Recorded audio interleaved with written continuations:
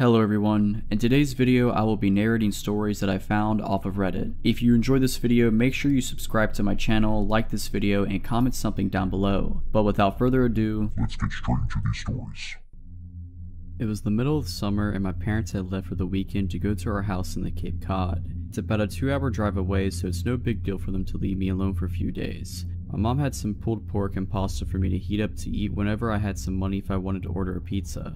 Things were all good. The first night I was alone, I stayed up till 3 in the morning playing Xbox, so I woke up really late the next day. I checked my phone when I woke up and saw it was a little past 1. I had made plans to play some street hockey with my friends at 3, so I threw myself out of bed and stumbled into the shower. I take really long showers, so when my parents are gone I go mental. I was in there for about 45 minutes on my phone scrolling through Reddit and Twitter and whatnot, when I heard my front door open. The bathroom is directly up the stairs from the back door, and the thing is pretty loud when it opens and closes. I immediately froze, since obviously I was supposed to be alone. I waited for about 2 minutes, ears trained and trying to hear anything else. Nothing. I figured it was just the wind or maybe my parents were home early, so I turned off the shower, wrapped my towel around myself, and slowly walked down the stairs to check it out. Even though my house is old and each step on the stairs makes a super loud creak, I still took my time and tried to be as quiet as possible. I probably took 45 seconds walking down all 12 of the stairs. So when I get to the second to last stair, right before I could see around the corner to the kitchen, I take a little breath to compose myself.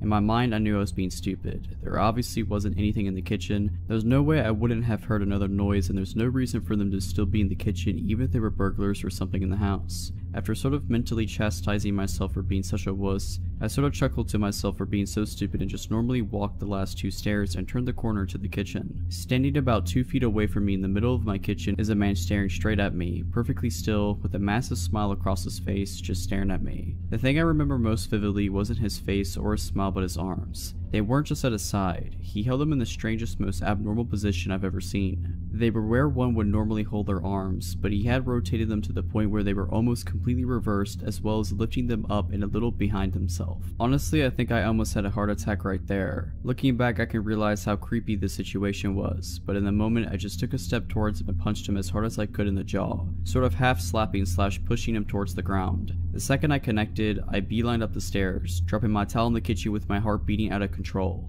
I sprinted into my room and locked the door behind me. I quickly put a chair up against the doorknob like you see in TV. Almost without thinking, I immediately called 911 and nearly in tears told the operator what happened. As I sat on the floor of my room in practically the fetal position, staring at the door praying that a cop would be here soon, I noticed the light coming from the gap between my door had stopped. The guy was standing outside of my door. There's no words to describe the feeling I had. I was paralyzed with fear, watching the shadow across the bottom of the door shift in tiny ways. I stayed balled up, staring at the gap, praying the man would go away for what seemed like an hour. All the while, the 911 operator was asking, Hello, sir? Sir, are you there? Hello? I didn't want to make a noise, and even if I wanted to move my arms to bring the phone to my mouth, I don't think I could have.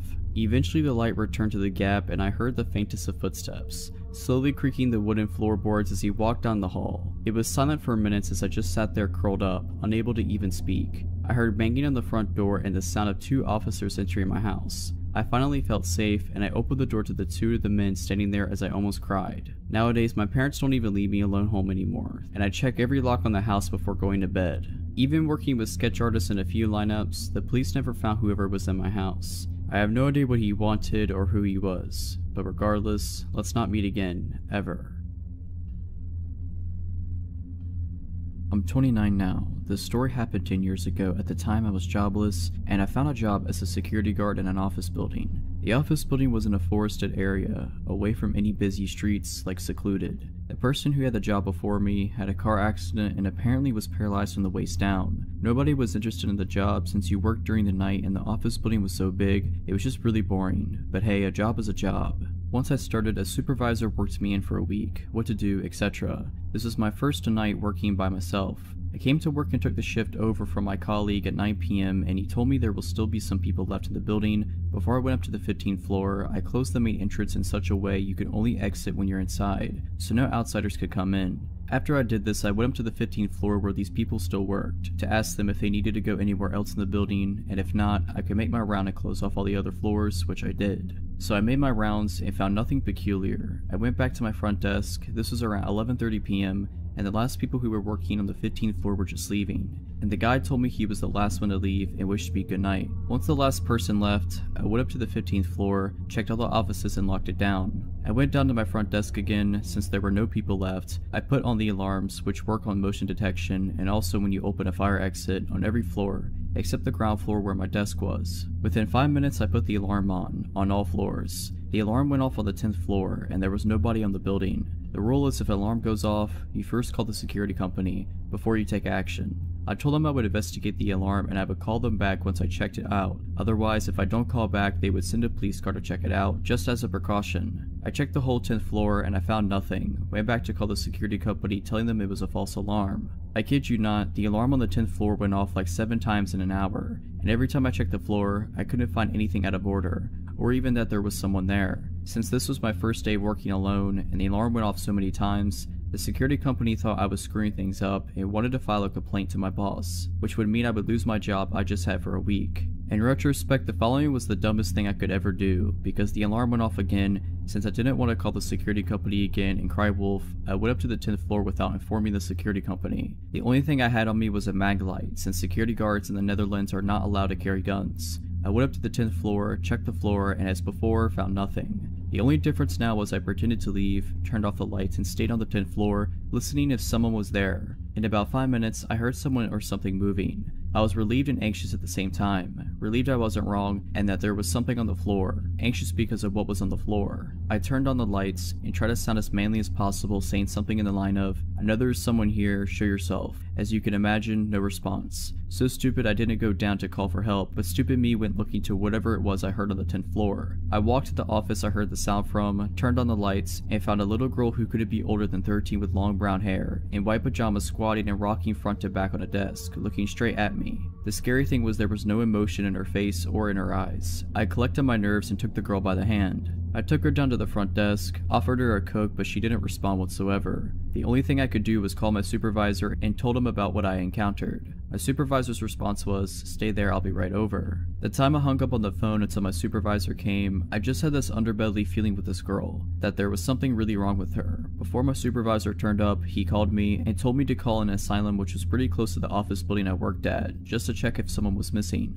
Why would there be a 13 year old girl in an office building with no houses nearby whatsoever? So that's what I did. I called the asylum, asking them if there was someone missing from the asylum, and I got the scariest response you can get. Yes, as a matter of fact, someone is missing.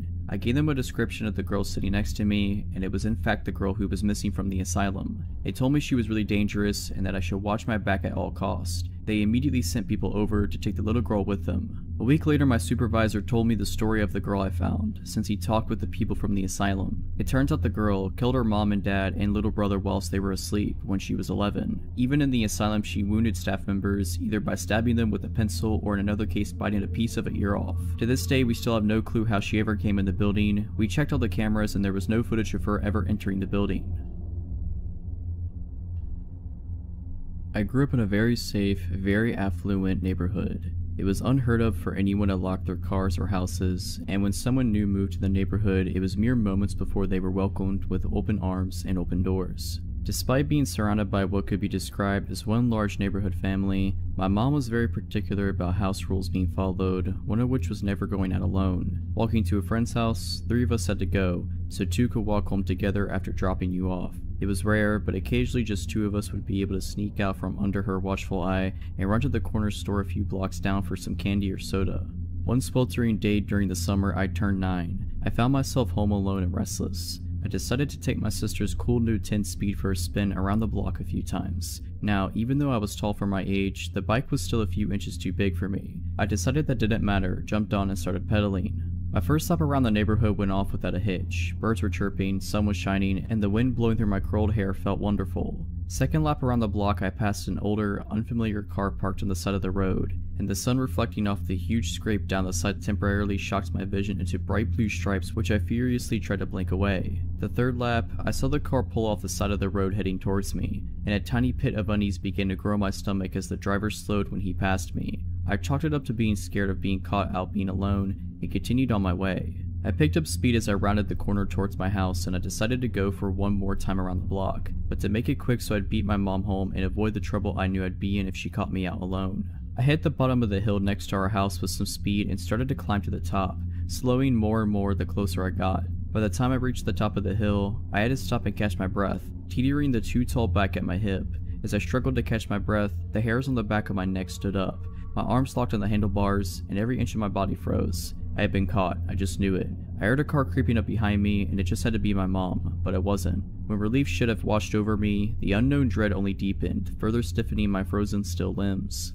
I turned to see the same old car, with the same blinding scratch down the side, slowing down right next to me. The man stopped the car right next to my bike on the wrong side of the street, and through his opening driver door started to ask me if I had seen a stray dog running around, because his had come off the leash and run off. I froze. This cliche question is the one they warned us about in school, the one every kidnapper supposedly uses. I decided if I answered him firmly and rode my bike away that he would know his plan wouldn't work on me. Plus, he might just really be looking for his dog. This was my plan. My terrified body betrayed that plan and a trembling no is all I could manage. As I fumbled my feet to the pedals of this too big bike, his car door flew open and out he lunged. No, I said again as I wobbled my way past his open car door, his hand brushing the back of my shirt and knocking my back tires I pedaled as fast as I could the 50 feet to the next driveway I saw. I pedaled, legs burning up the drive, running my front tire so hard to my neighbor's front tire that it bent the wheel. My body catapulted over the handlebars and I burst through the neighbor's front door. Eddie, Eddie help. My neighbor was not home. I ran into the kitchen, still calling in hopes I was wrong. What are you doing? A man's voice behind me and I froze. I slowly turned around, not knowing what else to do, and there stood my neighbor's son, home from college.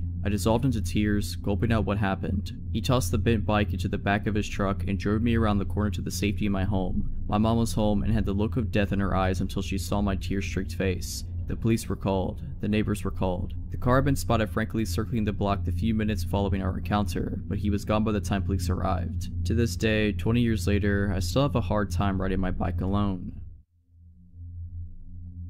This all happened when I was 19. I'm not the best looking dude, so I've never had much luck with women and I ended up on Tinder. I wasn't having much luck there either until the third month of using it when a blonde woman named Katie messaged me. She was pretty enough that I just dismissed her as a bot. It wasn't until three days later that she messaged me again which was odd because bots almost never messaged more than once. I clicked on her chat and replied, then looked at her profile. What I saw was pretty generic, but it definitely wasn't a bot's profile. We had been talking for like a month when she proposed the idea that I come see her. I was pretty reluctant as she lived nearly 8 hours from me by car, but I had to admit I really did like her quite a bit and I had been thinking about asking her if I could come see her for a while now. After a bit more badgering from her, I finally said that I would take the drive to go see her. At this point, I had no reason to doubt she said who she said she was. We had video chatted every other week and called most days, and I just assumed I got really lucky. Things did get a little weird on the way there though. She kept messaging me, asking me where I was, and making sure I was still coming. At some points, when I took more than 30 minutes to respond, she would send me a slew of annoyed texts. Admittedly, I chalked this all up to her being nervous about me coming to see her. I was pretty nervous too, so I couldn't blame her. I had a hard time finding the house at first. The directions she gave me were pretty confusing and it was back through a series of gravel and dirt roads and a large thicket of trees. It was still about midday when I came onto an old looking house. A window on the second floor was boarded up but it didn't look abandoned, just worse for wear. Katie's red buggy that she liked to talk about was parked in front of the garage. I took out my phone and texted her that I was here. She only sent a smiley face in return. When I got out of my car to go knock on the door, I noticed someone was looking at me from one of the second floor windows. I found it a little creepy but figured it was just her father or something. She had told me that he comes to stay with her every now and again, so I ignored it and knocked on her door. She answered with a smile and even gave me a kiss which surprised me and I followed her inside.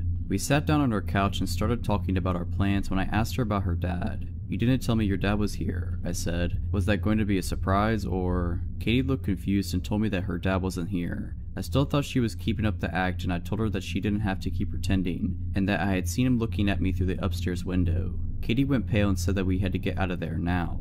We both ran out to our cars and when I questioned Katie she informed me that her dad wasn't there and that she had been home alone until I showed up.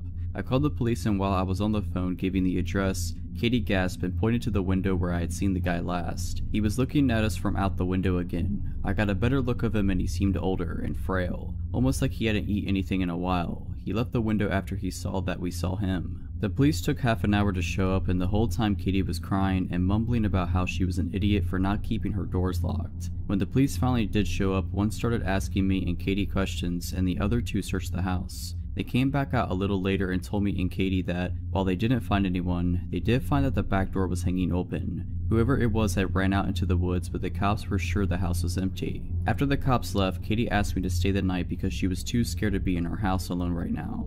I gladly did and we slept downstairs on the couch as Katie's bed was the room next to the one the man had been in. Katie had also brought out the shotgun that her father had given her but she never used. I told her it was fine, the man's gone but she insisted, saying she'd feel safer if we had it out. I'm glad she did. Later that night I was still wide awake, watching TV. Katie had somehow managed to fall asleep. From the kitchen I heard the sound of a doorknob being turned. At this point I wasn't even scared, I was just pissed. I flipped on the light in the kitchen and pointed the gun at the kitchen door and there he was. The guy that had been in the house before was standing on the other side of the glass door. He looked shocked and I'm glad we had locked the door. The man unfroze and yet again ran into the woods. I woke up Katie and told her what happened and called the police yet again. When they arrived they did a sweep of the woods and found no one yet again. They told Katie and me that it'd probably be a good idea to stay at somewhere else for the night. Me and Katie said our goodbyes. She was going to stay at our friend's house and I was going home. I left a little after Katie did, and I was on the phone with my brother telling him about what happened. My headlights were on. As I was talking, something caught my eye. That man was standing at the corner of the house just watching me. I gunned it out of there and didn't even bother calling the police again, but I did text Katie and she said she was going to call them again. I don't think Katie ever even went back into the house alone. I had to fly out to a small town I'd never been to in order to look for a place to live. I'm moving there in the fall to start grad school. My boyfriend flew with me, and before the trip I researched all sorts of apartments on Craigslist and set up a bunch of appointments. Our first appointment was in the afternoon in this sort of remote residential area. The landlord sounded fine over email and asked me to call him an hour before the appointment to confirm that I was coming. I called, he didn't answer, so my boyfriend and I started walking to the house and just hoped that he would show up. Maybe 10 minutes before the appointment, he called me. Are you coming? he asked. He sounded like an older man and had this very strange, slow way of talking, but I just thought that he was just older. Yes, we're in front of the house now. He got extremely upset. We? Oh yes, my boyfriend's with me. You never told me you had a boyfriend. You never said that. It had never crossed my mind to tell him this information. Since my boyfriend would not be coming to live with me, he was just helping me look for apartments on the trip. I told the man so and after a very long pause he said, I'm sorry, it's just sometimes people don't tell me when they're married and it surprises me. I'll see you soon. Then he hung up. I told my boyfriend about what the man had said and he was immediately weirded out. He wanted to leave but there were slim pickings in terms of real estate at this point so I stupidly said that we had to stay, in case this place was the place. As we're discussing it, we see a man leave the house we're going to view. This man was young and extremely sketchy looking, greasy hair, furtive eyes. He took one look at us and ran out of the house to his car and pulled away from the curb with a screech. Okay, so now we're really weirded out, but this isn't enough for us to bail just yet, and as we look at each other wondering what to do, the landlord arrives. He's in his 50s, very tall and very strong looking. His eyes are completely blank and empty of warmth or emotion. He slowly walks up to us and says, I'd shake your hands but mine are dirty. What from? My boyfriend asked. Work is the flat reply. He asks us a lot of questions about me, completely ignoring my boyfriend. The entire time he stares into my eyes without blinking. What am I going to school for? What other places am I considering for living? Is my boyfriend moving to this town too? I try to give answers that are as vague as possible. Meanwhile, my boyfriend asks the landlord questions of the same kind, which he refuses to answer. Then he says, apropos of nothing, let me show you the basement. At this point, I should have noped out of there, but I didn't. I kept thinking this was an eccentric old man from a small town. We're city folk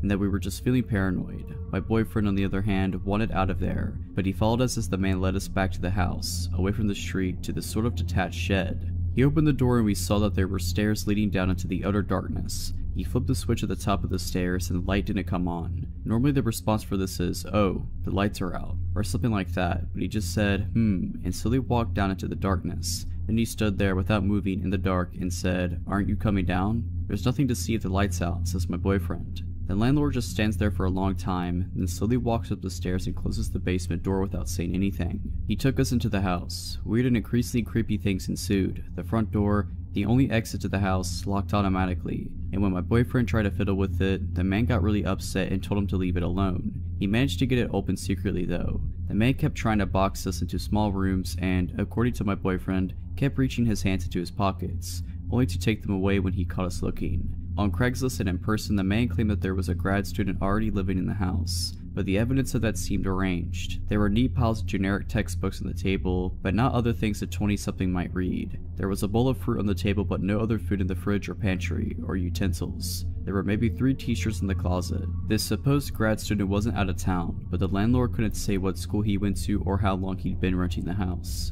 Finally, the man had showed us every single room in the house but one. This one he refused to open, claiming it was just the attic and we didn't need to see anything up there. He gave us several reasons when we inquired. It was unfinished, there was furniture up there, it would smell bad. This last one I believed, because standing near the door, it smelled terrible. Finally, we made our excuses and bolted out of there. The man walked us out, pretended to go into his car to leave, and when he thought we had turned the corner, slowly sauntered back into the house. My boyfriend, fixated on the idea that there was something wrong with this guy, googled the man that night. We found out three things that he was a pillar of the community, known by a lot of the townspeople, and that there was no evidence of him owning or managing a real estate company, as he claimed on Craigslist, and he had listed his home address as the very house we had been touring, the house where the grad student lived. Yeah, we won't be renting this place.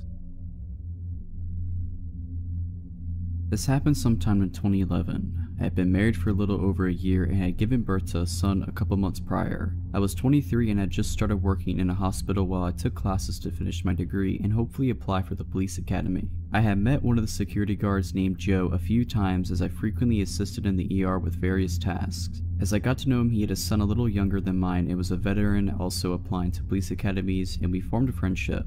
We exchanged numbers as he offered to help me train and give me pointers for the physical portion of the police test since I was out of shape after having a baby. One day while talking to him I mentioned how where I would study when on break was so loud and wish I could find a quiet place to sit. He offered to give me a tour and show me some all the hidden places employees would use. It was a Sunday so the hospital was quiet and I met up with him. We walked around and he showed me gray areas and offered to show me where the helipad was. We went through areas that were blocked to most staff. As we climbed the stairs and got closer to the roof, I started to get anxious and felt my stomach drop.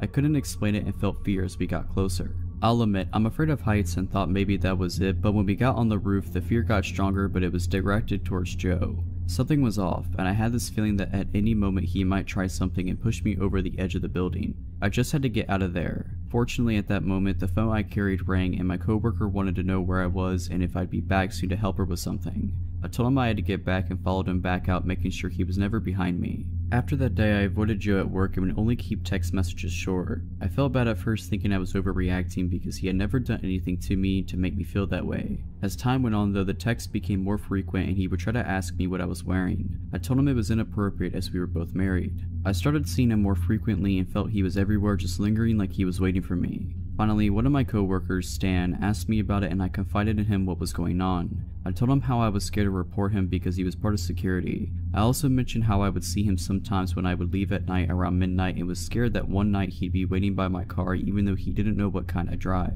After that, Stan walked to my car every night I worked since we had the same shifts together. After he noticed I was never alone, he stopped bothering me. A few months later, I found out that he was fired for harassing another girl, who had the courage I didn't have to report him. I feel bad that I didn't speak up at the time and someone else had to experience it. So Joe, I hope we never meet again and I hope you never got into police academy.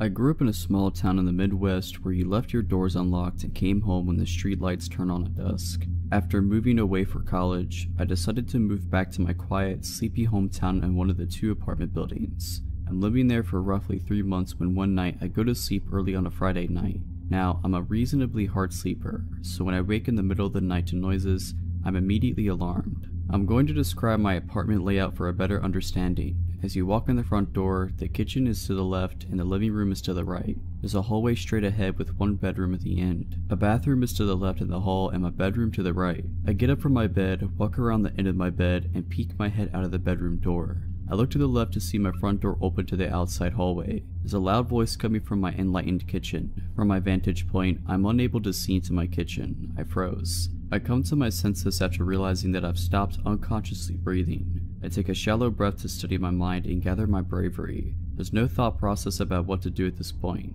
I let my body and my instincts take over. I turn around and head back to the far side of my bed. I grab my phone from the nightstand and quietly remove it from the charger. Luckily my bed frame is high enough for me to squeeze under without much difficulty. I immediately realize that there is no escape from my hiding spot if things turn south. I'll have to rely on luck to get me through this. I dial 911 and a woman answers and asks about my emergency. I briefly explain in a whisper that an unknown man is in my apartment and that I am currently safe. I lay there, listening to the chaos of my home, reassured by the presence of my cat, Marcy, laying under the bed with me. It seems to me that he's in a phone call based on the one-sided rambling. I tell the operator this fact and explain my fear that he's going to bring other people into my home. He was making enough sound to allow me to give a play-by-play -play on the call. He starts screaming about killing someone. I'm unsure at this point whether he's talking to the person on the phone or if he knows I'm there. The voice is unfamiliar, but this does little to ease my terror. He then starts ringing the doorbell in the outside hallway and yelling for me to come out. My blood runs cold as I realize that he might come try to find me. Marcy is alarmed by the doorbell that hasn't ceased ringing and she creeps out from under the bed. I panic. What if he hurts her? I start whispering as loudly as possible to get her attention without letting him know my location. She senses my unease and crawls back under the bed with me. At this point it's felt like an eternity and I ask the operator how long until the police arrive. She is unsure but assures me that they are on their way. My town is roughly a 30 minute drive to the nearest city police but I assumed there's a highway patrol that would be coming soon. Little did I know that safety was in a rush to get to me. I hear him walking around my apartment and enters my extra bedroom, which is a storage room with a bed. He hasn't stopped yelling. I'm still unaware whether he is on the phone or not. I hear him mention that it must be a kid's room. I shush the operator because he's ceased his screaming for the moment. I hear more noises like he's going through boxes and throwing things. Then my fear is realized, as I hear him quietly enter my room. I see his feet walk closest to my vantage point. He starts going through my clothes and emptying my hamper onto the floor. He turns around and walks to my bed and sits down. I stopped breathing. I think he lays down at this point since the pressure of the bed lessens on top of me. He's deadly silent and I'm still holding my breath. They're shuffling and moving around and he gets up and walks out of my room. I take a shallow breath and steady my conviction. He starts making noise again like he's throwing and punching things. I inform the operator that he was just in my room and the police need to hurry. I don't know how long I can keep Marcy under the bed and concerned about what could happen if he finds me. He walks back into the kid's room quietly. I shush the operator again because she is continually asking for a play-by-play. -play. I hear him breathing from the other room. After the quietest few minutes of my life, he yells, Who's there? I freeze again listening for movement, nothing. I'm starting to get lightheaded from my shallow breathing. The silence is deafening, and I fear he's trying to detect me. After a lifetime, I hear footsteps entering my apartment. I hear a man's voice say, hey bud, you're in the wrong house. I've never felt more relief in my life before this night or since. I hear my door close, and I crawl from under the bed and break down. The adrenaline and anxiety take over as soon as the feeling of safety washes over me. A female officer comes around to my side of the bed and puts her hands on my shoulders. I'm trying to keep it together and failing miserably. She let me put my clothes on, and I could hear three male voices coming from my apartment. The woman left and came back with a handful of clothes asking if any weren't mine. They all were, and I answered in kind. She shut the door behind her as she left again. I turned and looked out my window and see no lights from the cop car on the street. I look at my phone and realize the call to 911 took 19 minutes. I can't explain the feelings I had at this time since many hit me all at once. The door opened and the officer motioned to have me exit. Taking a first look at my home was almost as anxious as the event itself. My apartment was a complete mess. Clothes were everywhere mixed with garbage and other belongings from my shelves and counters. This man had removed items that he intended on taking and placed them in the outside hallway. They tell me that they found him on the floor in the second room completely naked, holding a bottle of lotion. In his vicinity, there was a winter hat with an unknown substance inside. They tell me to look and see if any of the clothes in the apartment do not belong to me. I tell them no. This man entered my home completely naked and destroyed my home. I noticed that the lid of my garage can was filled with cat poop. It seems that it had been separated from the rest of the bag. The rest of the garbage was littered across the outside hallway. They asked me if I would like to stay here or go elsewhere. They Thankfully my parents lived on the street and I had an officer drive me there. I explained to my parents what had just happened, and in the next few days, I had to explain the situation to what felt like half the town. The ridiculousness of the story catches people's attention and becomes a slight joke. Now I should feel better knowing that he is in custody, but the events after the break-in do little to comfort me. An officer shows up with a subpoena to appear in court to testify, but I receive a call for a postponement. I just want this to be behind me. After a month I call the phone number on the paper I received and ask when they are rescheduling for since I hadn't heard anything. The woman informs me that they mailed another and I had not shown up. I asked where was it since I have not received a summons. She tells me that they sent it to my address, but the wrong town. It has been two years since this happened and I've since moved three times. I don't know if I'll ever be content and happy anywhere, but I'm hoping that is not the case. He was released six months after his conviction for some reason or another on parole. He immediately disappeared and fled from his parole officer. So Naked Man, I hope to never meet you again. So about 6 years ago, I was 21 and I was home from college for the summer and living with my parents. This is deep Texas suburbs, so the houses are all cookie cutter houses built around the same time by the same developer. Every few blocks there's a pool or a park of some sort. Well every year the community people, I honestly don't know how this gets organized or by whom, have a rock the park event at one of the pools slash parks within walking distance of my house. Some old guys bring their garage band and cover songs by Aerosmith and the Eagles, etc. The pool stays open late, there's a playground, and you can hear the music from every corner of the park. It wasn't too loud though, unless you were nice and close. Well, my parents went on a dinner date that night so I decided, with my 21 year old brain, to pour some vodka into my uh, Coca-Cola bottle and walk up to the park for some tunes and have a good time. It's only about a block away from me, so I get there pretty quick and down a good amount of vodka along the way. I'm feeling pretty good by the time I get there, so I head right up to the closest bench to the stage. They were just standing within some cones and speakers on the grass. There's a person sitting on the far edge of the bench, but I don't really pay attention to him first. There's a good 4 feet of empty bench between us. It didn't take long, however, for him to strike up a conversation. He had a bony face and looked to be about at least 30. He said hello, how are you, etc. I was polite back, but pulled out my phone so he might get the message that I didn't really want to talk. He asked if I'm having a good time, and like a fool, I tell him that of course I am. I'm a couple shots worth of vodka in. I shook my coke bottle and the small amount left in it fizzed. That was when he started to ease his way in. I stayed on the far edge of the bench, but as he kept talking to me, he kept moving closer. He asked if I lived around here and I said, yeah, don't worry, I walked. I honestly thought he was asking because I was not sober enough to drive. He told me he lived in some vague direction and then asked if he could have my number. I started getting uncomfortable because for the first time in my life, I was alone somewhere and in a compromised state. I told him I didn't know him that well and he said something like, okay well get to know me. I told him I needed to walk around because the music was too loud and I had to make a phone call. I ventured to the other side of this large playground equipment with lots of climbable walls and tubes. I make sure he can't see me, but I know he watched me where I went. I texted a bunch of my friends from college telling them what was going on and asking for advice. They told me to leave, but I knew he could see me and I didn't want him to follow. I started hitting up my friends from high school, hoping some might be home for the summer already, and luckily one of my friends was. I told her what was happening and asked if she could save me. She said she could, but that she couldn't make it for another 20 to 30 minutes, which was still well before the event ended. I went over to a different part of the playground where the swings were and took a seat where I could see the stage, hoping maybe he'd forget about me and leave me alone. Sure enough, the moment I sit, he's approaching the swings. He takes the one next to me and starts trying to be like, what did you want to know about me? What do you need to know? I was like, actually, I'm getting really tired. I am probably going to go home soon. I just want to enjoy the music a bit longer without talking. That was when he became adamant about walking me home. It was a suggestion at first, but the more I told him no and that I'd be fine, the more aggressive he got about it. My parents wouldn't be home for another few hours, so if I did go home and followed, he'd know where I live and have me alone. He asked which direction I lived in and I pointed in the opposite direction of my parents' house. He got up and took a few steps in that direction, then turned back to me like he expected me to follow.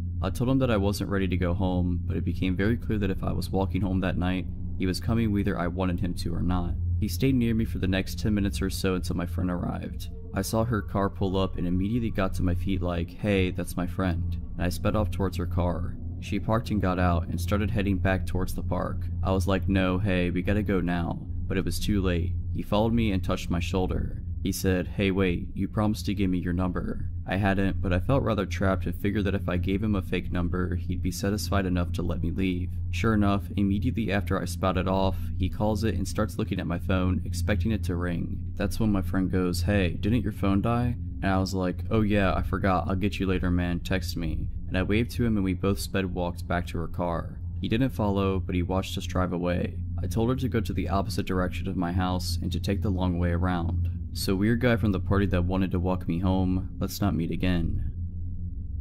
If you're liking this video, all I ask is that you make sure to subscribe to my channel and like this video. Thank you.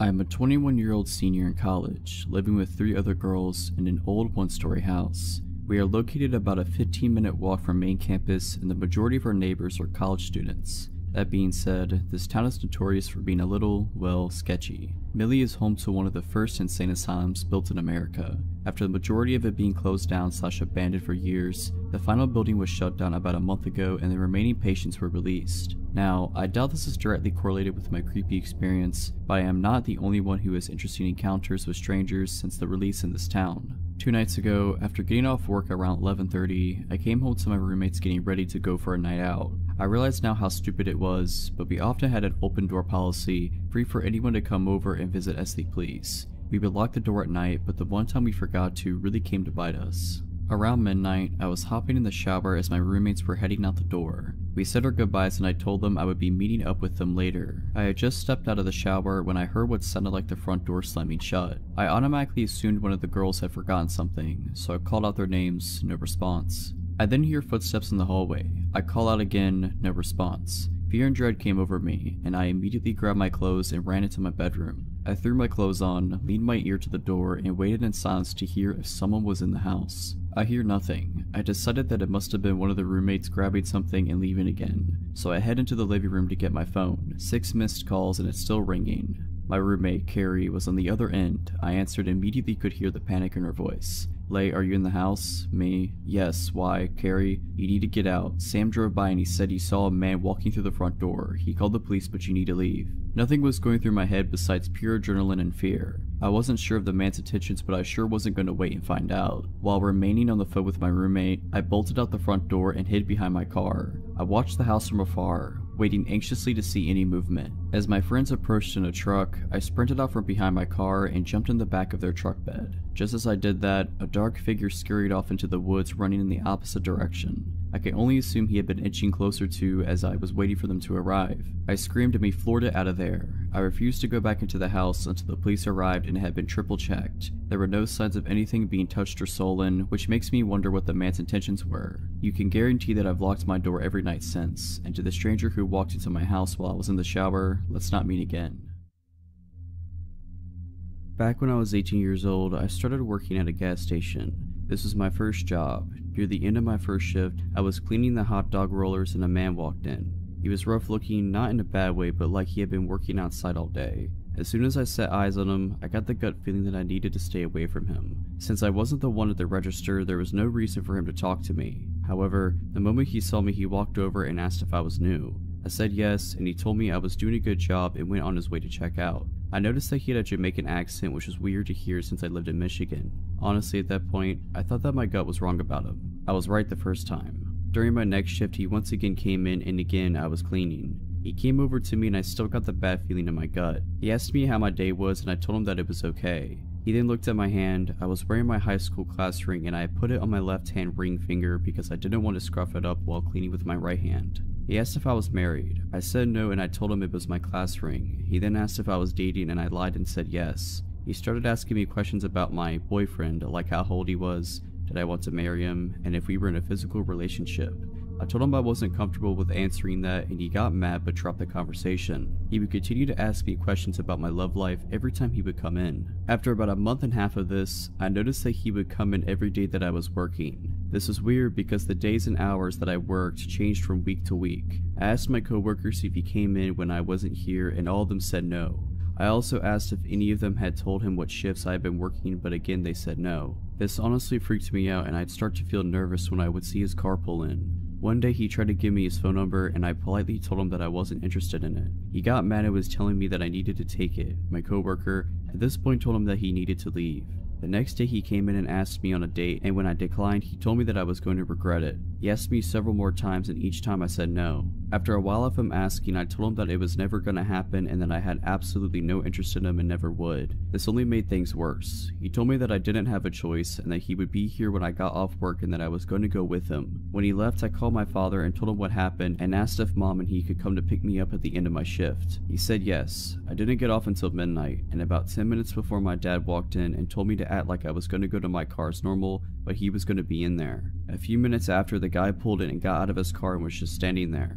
As my shift was over, I hurriedly walked over to my car. He started approaching me and I jumped into the passenger seat and slammed the door shut. When he got to my door, my dad rolled down the window and pointed his gun at him. The man ran off and I thought that it was the end of it since he didn't come back into my work the next few days. However, it wasn't. About a week later, I was at the store with my mom when I got the feeling that someone was following us and sure enough it was him. We got out of there as fast as we could and from then on out, my mom and I were not allowed to leave without my dad. Everywhere I would go he would show up, even when I went to my friend's house who lived about a half hour from me. We caught him driving by the house several times. My mother also caught him following her several times, which freaked her out. We contacted the police and told them what was going on, but they said there wasn't enough evidence and that there was nothing they were able to do. To this day, I am still mad at the police for not doing anything. He started coming back into my workplace, and I asked my boss to ban him from the store, but she said no. Later, I would find out that they were friends, and that is how he always knew when I was working. I also believe that she was the one to give him my phone number, because it was around this time that I started receiving strange messages about how I looked, about my parents, and other creepy things. I got to the point where I was so paranoid that I wouldn't leave my house without my father. I had to have him drop me off and pick me up from work, and when I was at work any time I had seen a car that even somewhat looked like his, I would run and hide in the back room. Even my poor mother was paranoid and wouldn't go outside without someone with her. Finally, my father had enough and told me to quit my job and that he would help me pay the few bills that I had. Even after quitting my job, I was freaked out and decided to go stay with my aunt and uncle, who was a police officer, who live about 6 hours away from me. When I got there, it was the first time in nearly 6 months that I was able to relax. It didn't last for long. One night, my uncle and I went to pick up a pizza. Less than a minute after he walked in, the glass on my door was broken and hands were grabbing me. It was the Jamaican man and another guy. They got the door open and were pulling me out. I fought them as hard as I could. I got a few good hits on them, but it didn't do much good. Thankfully, my uncle came out and both of them ran after my uncle when he announced who he was and my uncle chased down the Jamaican man after I out which man he was. That day he was arrested. Later on, I found out that he was illegally here and was deported. It took me about two years before I would go anywhere by myself. Honestly, it wasn't until I got my CPO that I was comfortable going places without someone with me. So Jamaican man, let's not meet again. I was in college and I lived in a house with five roommates. I lived on the second floor, and the way it was set up is important. There were four bedrooms on the second floor and two bathrooms. Two of the bedrooms each shared a bathroom, which was accessible only by the bedrooms, not the hall, so I could walk through the bathroom to my roommate's room and vice versa. My door had both a handle lock and a deadbolt which I used every single night because it was a habit I'd had since freshman year, because in dorms drunk roommates or floor mates tend to wander in and wreak havoc if you don't. The door to the bathroom, however, didn't have a lock, so I could never secure that. One of my roommates had her boyfriend visiting, and he'd brought a friend with him. I hadn't spoken to the friend or gotten to know him at all, and I didn't really have any opportunities to since I didn't hang out in any of the common areas of the house, and frequently didn't even sleep there because I was casually seeing someone at the time. My first interaction with him was about two days into his visit. I was coming home around 6am from the house of the guy I was seeing, and I walked into the living room. When I came in, the visitor was alone and shirtless in my kitchen, which is open to the living room. He didn't even say hello, he just angrily asked me, where were you, which I was taken aback by, because he sounded like a jealous boyfriend, but I told him I had been at my boyfriend's house and he said, you didn't tell me you had a boyfriend. Well of course I hadn't told him, I've never spoken to him. I made a weird face at him and went upstairs and didn't see him again for the rest of the day. I slept in my own room that same night, deadbolt secure. I woke up at around 7 in the next morning to him entering my room from the bathroom. Before I could say anything, he saw that he woke me up and said, sorry, I was looking for the bathroom. I replied, well, you're standing in it, so, and he retreated and closed the door. I didn't think much of it at the time because I was groggy and I just fell back to sleep. Now, despite all that, up to this point he didn't really creep me out, he just seemed weird. But later that day is when it got worse. I came home from my classes and went up to my room. He followed me and let himself into my room without knocking. The door had been closed and I made it clear that that wasn't okay but he was being friendly so we chatted normally for a couple of minutes because I didn't want to be rude. Then he decided to say, I think you're the one. The first moment I saw you, I knew you were the one and you're gonna marry me. Obviously I was taken aback by this as this was only our third interaction and we'd spoken for maybe 2 minutes total. I told him that I had no interest in marrying him, that I wasn't even attracted to him and told him to leave me alone now. I decided to leave and called the guy I was seeing and told him what was going on and he told me I could stay over at his house until this weirdo left. A couple of days go by and the weirdo was supposed to have left for good, so I went back to my house. I slept in my room that night with the door locked as usual. I woke up to hear someone trying to come in through my main door, but thought it was just one of my many roommates. Then, I hear the bathroom door open and someone walking into my room. I rolled over and he was standing maybe a foot away from my bed and said, hey beautiful, where have you been? I said, weren't you supposed to leave? Why are you in my room? He said, I wanted to wait for you to come home. I couldn't leave without saying goodbye. And then he tried to climb into my bed with me and kept touching me while saying, Scoot over, I want to say goodbye properly. To which I started yelling, Get out of my room. I didn't invite you in. Leave now. I smacked his hands away from me and he got upset but left without much of a fight. I immediately left my house and went to my boyfriend's. The guy did finally leave later that morning. The next day, despite me yelling profanities at him and telling him how creepy he was when I last seen him in my bedroom, the guy still decided to find me on Facebook and try to add me. Nope, blocked immediately. So, creepy guy, let's not meet again. This is back in November of 2018 and takes place in North Carolina. I was 14 at the time. My family and I just moved across states. We had just gotten to the city where we planned on living after a long road trip. We were all hungry so decided to go grab dinner before we went to pick up the keys to our new house. We went to this local pizza shop. Since we had our dogs with us, we hadn't moved into our house yet. We decided to eat in the car.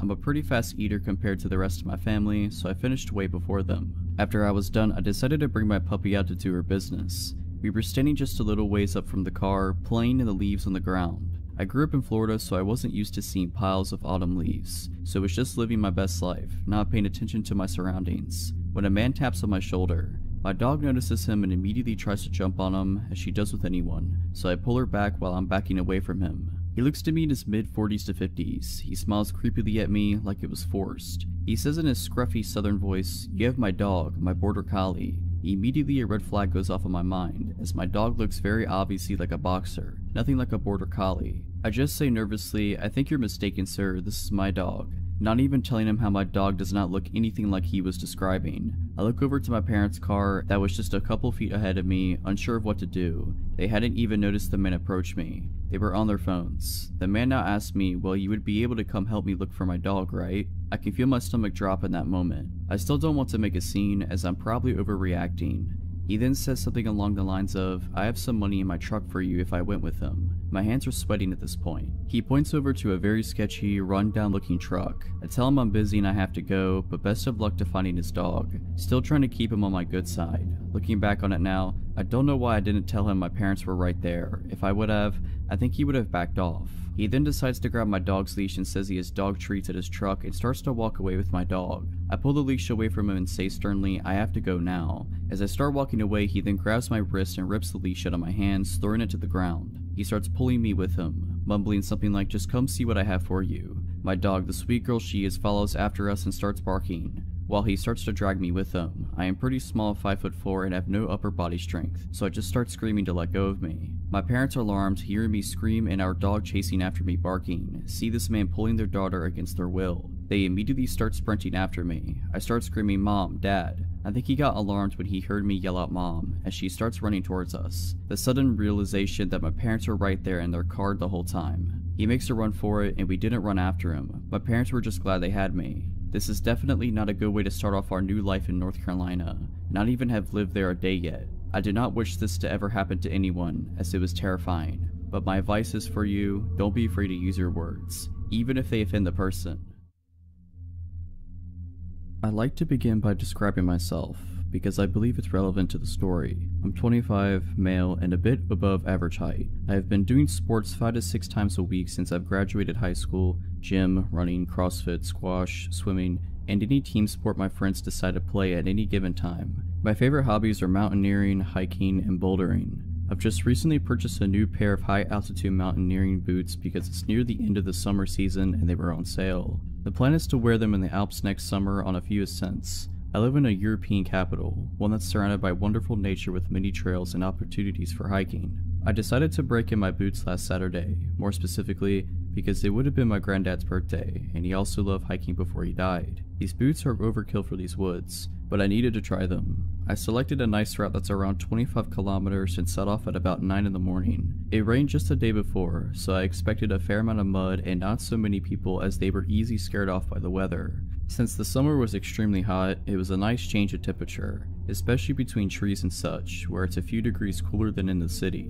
In the not so distant past, my dog would have definitely joined me on this hike, but she's turning 14 this year and she doesn't enjoy long distance walks anymore. My girlfriend had to do something for work on short notice, so I knew from the moment I woke up I would be doing the hike alone. The first half of the hike was perfect, the altitude difference along the trail is minimal, I barely broke a sweat, and I misjudged how many people would be out due to the storm the day before. I met at most 6 to 7 people during the first 2 to 3 hours, and most of them were cross-country runners. It's worth mentioning that I wasn't walking quickly. I stopped on many occasions to take pictures or study some animal tracks. There are deer and wild boars in these woods, nothing more menacing, not animals anyway, but I won't get ahead of myself. Between 12 and 1, the path ran into an actual road, one where cars can go. This road is asphalt, but deep in the forest and can only be used to reach certain landmarks that are also in the forest, so cars seldom go here. My trail required me to take this road for a few hundred meters. As I was walking along the road, I heard a car approach from behind me. It went past me, not too quickly or too slowly. It was an older, green SUV with a fresh registration. You could tell by the license plate. Probably an import. Anyway, I thought nothing of it at the time. Then I heard it come back.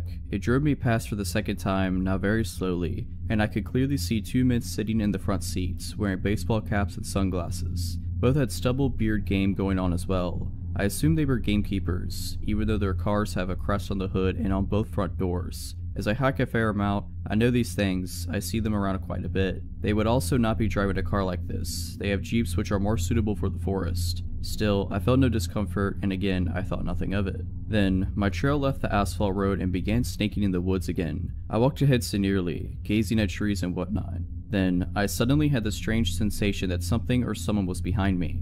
An engine sound was becoming more and more clear as well. At this point, the trail was quite narrow, but if, for whatever reason, you want to drive a car in it, you could, just about. Now when I turned around, the aforementioned SUV was basically in my face. It was an arm's length away from me, and it stopped just as I had. I looked at the driver, who was staring back, as I can only assume as he was wearing sunglasses. I calmly asked him, what's wrong, shall I let you go, in a polite tone as his window was rolled down. He didn't speak. He slowly started reversing and he soon disappeared behind a curve. Now I was quite uncomfortable. I also noticed that he was alone in the car, unlike earlier. I listened intently, standing still since I wasn't sure what was going on. At this point, I was not scared, but there was a faint feeling of unease in the air and bad thoughts began gathering in the back of my mind. I heard the car and the engine stop just behind the curve. I heard a door open and shut, but nothing from that point on. I turned around and began walking towards my destination at a much faster pace than before. Now I was a bit scared. I didn't understand why he didn't answer and why he just reversed and left without a word.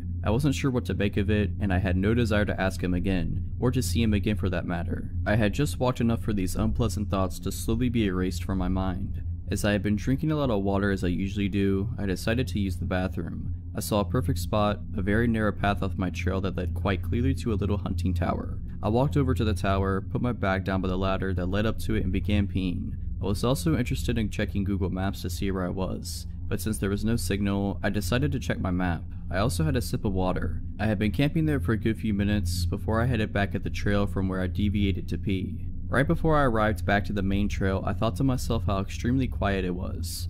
No wind, no noise of any kind, absolutely nothing. This made me realize, just a moment later, how alone I was. Except for the man who was standing maybe 50 meters away from me on the trail, in the direction where I was headed. I only saw this as soon as I stepped back on the trail, since the small one to the tower was well hidden by trees and you couldn't see the main trail, as it was running perpendicularly to the small one. I looked at him and I was instantly chilled to the very bone. He was dressed in tactical clothing, with a baseball hat on his head. The only reason he was standing still, I believe, was a moment of surprise that I had appeared from a place where he didn't expect me to appear from. At this point, I was fully and utterly alarmed. He was holding a rifle that had a scope on it. Had this happened without the incident with the SUV, I would have probably walked along the trail thinking he's a hunter. However, in light of the strange encounter with the SUV, from which the second man was missing, something in me snapped instantly. In hindsight, it's also illegal to hunt in these woods this time of year. I figured in the matter of two seconds that I was going to sprint through the woods until exhaustion, towards and past the tower, as it seemed natural to do at the time. If there was no malicious intent on this man's behalf, or the others, he'll just think I'm an idiot and forget about me in two minutes. If I'm right, it's the best call I will ever have made. He began running towards me, adrenaline blossoming within me, I began sprinting away. I sprinted past the tower and deep into the bushes, not sparing my legs as I was wearing shorts and a thermal jumper. I crashed through branches, small trees, and slipped on several occasions. I really did sprint until I was exhausted. It must have been several kilometers. I even crossed some smaller trails but didn't even bother to look either way. My pulse was a billion the whole time. I began checking my phone for a signal, but nothing. I was already really angry at myself for not memorizing the license plate. After a while I began power walking, but still off trail straight ahead in a direction that I knew would sooner or later lead me out of the woods. When my phone got a signal, I told the story to several people frantically, but no one took me too seriously. They said I was overreacting and whatnot. You must have misunderstood the situation. Finally, I reached a trail that led directly to a cute little town that borders this rather large forest. It felt like an eternity, but I walked the last kilometer to the main square, took off my jumper and put it in my bag. At least I looked a little different from far away. I waited for a bus that took me back to the station near my car, rather anxiously. After the bus ride, during which I studied each car on the road, I walked back to my car, got in and drove home. My dog welcomed me like I was coming back from a two-year deployment. Dogs are just amazing. She must have felt that something shook me up. The boots destroyed my feet, but they aren't meant to be sprinted in for long periods of time. I called the Forest Gameskeeper's office. I inquired about whether they have such cars in service as the one I come across. They do not. Their gamekeepers also don't typically work in pairs, like 99.9% of the time they are alone. I told them my story and they took me a lot more seriously than my friends, but they assured me that the police wouldn't. No one could have been legally hunting in the area during summer either. I've been reading local news but nothing extraordinary has been reported yet. I really hope nothing will be reported either. Gentlemen in the empty forest at lunchtime, let's not meet again. This happened a couple years ago. In 2016, I had just turned 18 and was in my second semester of community college. I was lucky to get to take a few specialized classes that were requirements for my major. These classes require me to drive about 45 minutes every Monday, Wednesday, and Friday to the main campus of my community college system. This is relevant because I was going to a town that I didn't know much about and didn't know anyone who lived there. There was a man in my class named Eddie. He was a big guy in his late 40s. We spent a lot of time in the lab for these classes, and he was stationed right across from me. I was a bit more naive and unsuspecting at the time and wanted to be nice so I talked with him and my other classmates quite a bit. It was a lot friendlier to him than I would be nowadays. He started being overly friendly to me and would stand too close and ask too many personal questions. He'd flirt with me in class to the point it seemed to make other people uncomfortable to watch. He also started staring at me a lot with an intense look that scared me. Of course, being young and not wanting to hurt his feelings, I decided to ignore it as best as I could. I told my boyfriend about it, but again, Eddie hasn't actually done anything to me, so there wasn't a lot I felt like I could do. A few weeks after that started, all of us were hanging out in a small break room type area, studying for an exam in our next class, which was about 30 minutes away. I was sitting at one table chatting with some middle-aged women in my class, and Eddie was at the next table over messing with his phone. I noticed that I was going to get something from the vending machine and stood up. As I did, he tried and failed to discreetly turn his phone toward me and snapped pictures of me as I walked in the machine, got my drink, and bent over to pick it up. I realized what was going on as I was walking back to my seat with him still taking photos and I shot him a look. He put his phone away and just sat there staring at me. I was trying to look pissed but honestly I was just really freaked out.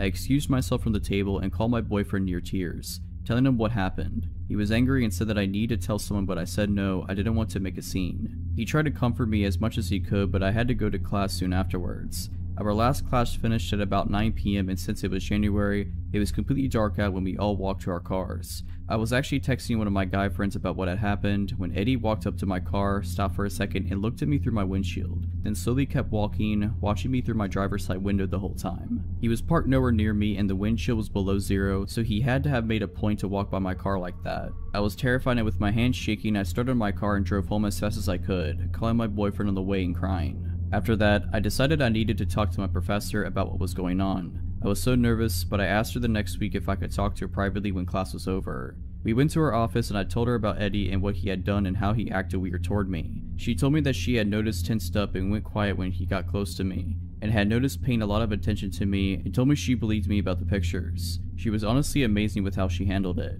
She promised me that she would move things around where I'd be away from him in the lab and asked if I wanted her to talk to him about it. I said no, that I didn't want to make him angry, and she said that she'd respect that, but she was gonna have the security guard stand at the door and watch me go to my car every night and that she'd tell the program director what was going on, but Eddie wouldn't know that I had talked to her. By the time we had got done, it had been around 30 minutes since class had ended and she offered to walk me outside. I'm glad that she did, because when we came out the elevator to the first floor, Eddie was sitting there in the foyer alone. Everyone else had gone home. My blood ran cold but I tried to act as normal as I could. He seemed as surprised to see our professor there as she was to see him. She asked why he was still here and he said he noticed my car was still parked out front and wanted to make sure I didn't have to walk out by myself. I'm pretty sure I was as pale as a ghost but my professor gave him a look that I couldn't read and said not to worry, she's walking me to my car from now on and the security guard will be there every night. He said that was good and quickly said goodnight and left. It still chills me to think about what could have happened if my professor didn't walk me down to my car that night.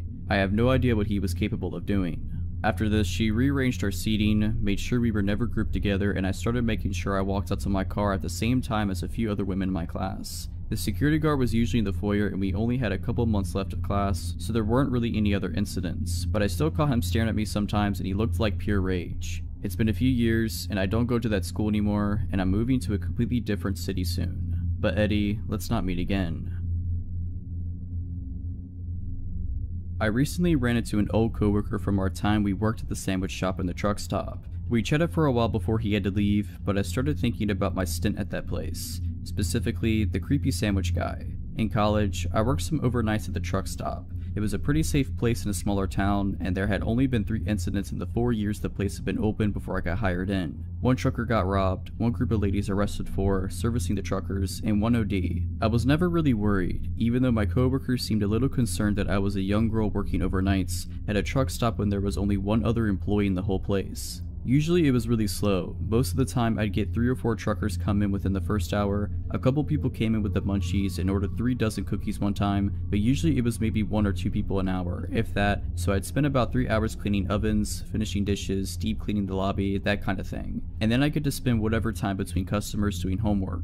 The overnight boss on the other side, the gas station side, was cool as long as everything was cleaned and tipped regularly. A few weeks before I inevitably left this place, a guy came in about 20 minutes before my shift was over, so it's about 5am by this point. My coworker had arrived early so he could fill out some paperwork he had to get done, so he was sitting in the back office already. I started making this customer sandwich, making chit chat like usual. Nothing seemed out of the ordinary. He told me he was driving from New York to Wisconsin, asked me a little bit about how my night had been. Nothing crazy. I wrapped up his sub, rang it up, and threw in a small discount for him since he seemed nice and I was just happy I was getting ready to go home for a few hours of sleep before I headed to campus. When I went to take his change, things went wrong. He dropped the coins in my hand, but suddenly he had his grip tight around my wrist. The next thing I knew, I'm on the other side of the counter on the floor. He had yanked me across the counter and still had a tight grip around my wrist. Thank god my coworker was there. The manager on the other side had slipped into the bathroom, so to this guy's knowledge I was the only one there at the moment. But my coworker, while filling out his papers, was looking at the cameras and had seen everything. He was out of the back just seconds after I hit the ground, and before I really knew what was going on, he had chased the guy outside. He didn't pursue him far, afraid that someone else was nearby who would come after me. So he ran back inside, locked the door to our side of the store, and shouted to the manager to call the police. The cops came, they searched the area and watched the security videos, but nothing ever came from it. The guy disappeared and I never really heard anything about him. I put in my two weeks notice the following day after my nerves had calmed down. I was switched around so I worked during the day around my classes for my last few days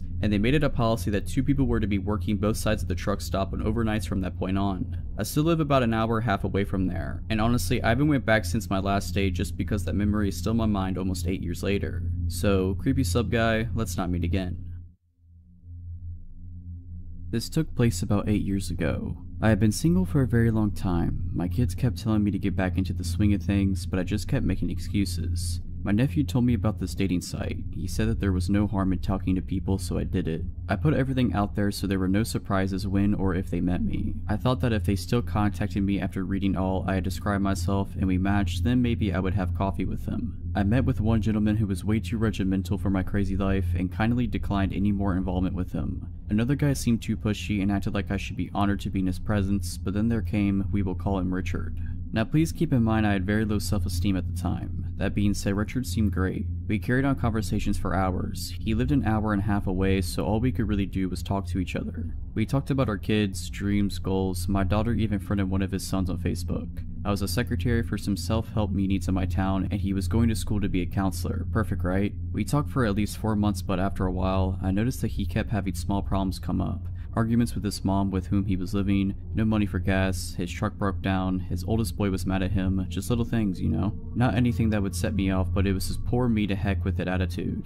I tried to let that go and really be a positive influence in his life. His mother and boys loved me and told me that they had never seen him so happy. Time went on and we were still talking every day. I had an opportunity to come see him and of course, my daughter went with me so she could meet his son in person as well. I took him and his son out to eat at the only little coffee shop in that town. He knew I was on a fixed income but I paid anyway because he was going to school and didn't have an income as of yet. We had a good time. We met at his son's house in a hilltop town. We were having such a good time that we didn't notice that the snow was coming down hard and the roads were icing up so my daughter and I stayed the night in one of the rooms. It seemed like the closer we got to his family, the more distant they became to him. It was odd. The next day the roads were clear so we said our goodbyes and went home but before we left I received one extra hug from his son's mother-in-law. She whispered in my ear, don't fall for him. I thought that maybe there was something she didn't like about me. That came out of the left field. The next few days we didn't talk. I thought that was odd. Did I do something wrong? Someone from the self-help meeting told me that there was a man looking for me. She said he looked disheveled and smelled like alcohol. This wasn't a surprise to me because I helped quite a few people get back on their feet and maybe this one fell off the wagon and just needed to talk. As I was driving down my street, I saw a truck in my driveway I didn't recognize at first. It was him. He found out where I lived and was sitting in the front of my house. At first I was happy until I looked in his truck and saw him slumped over reeking of booze. At that point my fixed mode set in and I asked him in for some strong coffee. He told me that he had a blowout with his mother and she kicked him out and his boys won't talk to him. I got him some clean clothes and told him to take a shower. I figured we could sort it out the next day. In the meantime, I was taking him to a meeting. He sobered up and agreed to go, but the whole time at the meeting, my friends were acting like I had lost my mind. Did they see something I was blind of?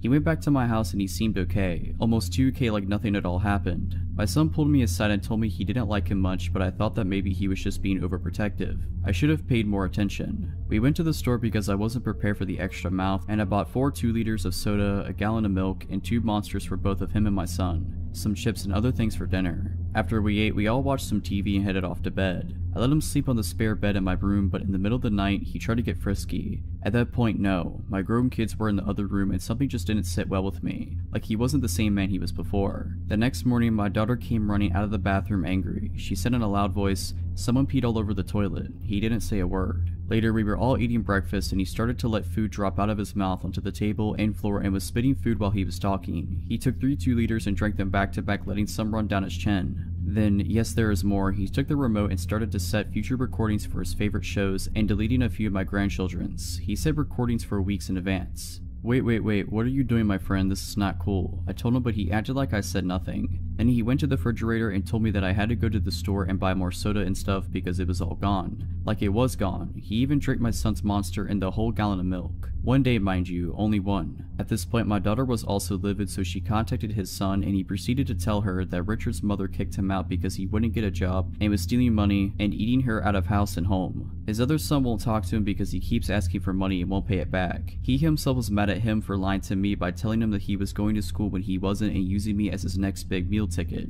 Well, that was it. I got all of his stuff together and took it to his truck and asked him to leave. It doesn't end there. He had loosened some bolts on his transmission making it impossible to move. He begged and pleaded for me to let him stay. He was at that point snot was coming out of his nose. He said that he just wanted to be close to me and if that meant sleeping in his truck, he would do that and he couldn't live without me. Well no, I called his oldest son and told him that if they didn't come with a tow truck and get their dad, his fate was not going to be nice. They arrived two hours later apologizing for their father's actions. We found out that through his son that for many years he had gone through quite a few unhealthy relationships and took advantage of a lot of women that fell for his lies. He still tries to friend me on Facebook to this day.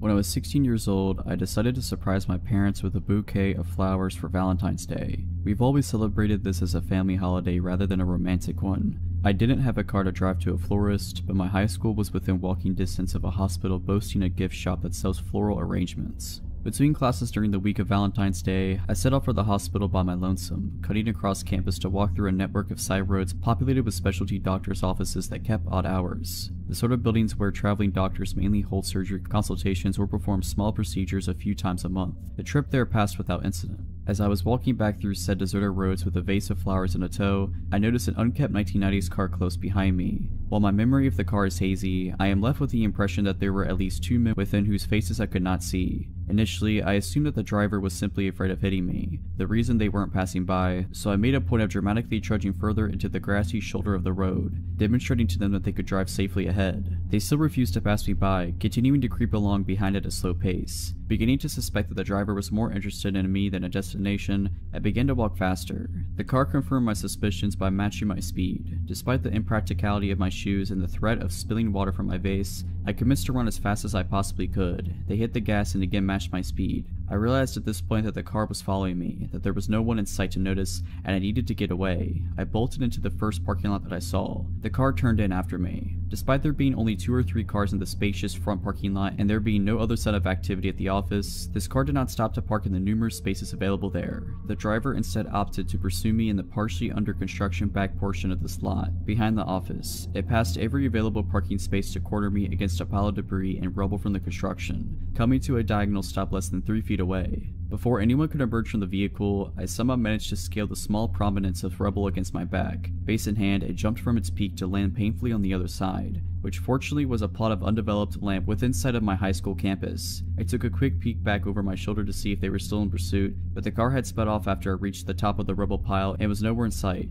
They had not parked in the lot at all. They had no business there. The driver was following me. I sprinted at top speed and didn't stop until I was soaked with sweat in the dead of winter and panting in the student lounge among my classmates, who didn't seem to care when I told them. In retrospect, I should have told an adult, alerted campus security, and called the non-emergency line at the local police station, but I was young, foolish, insecure, and afraid of getting in trouble for leaving campus when I didn't have assigned permission from permitting me to do so.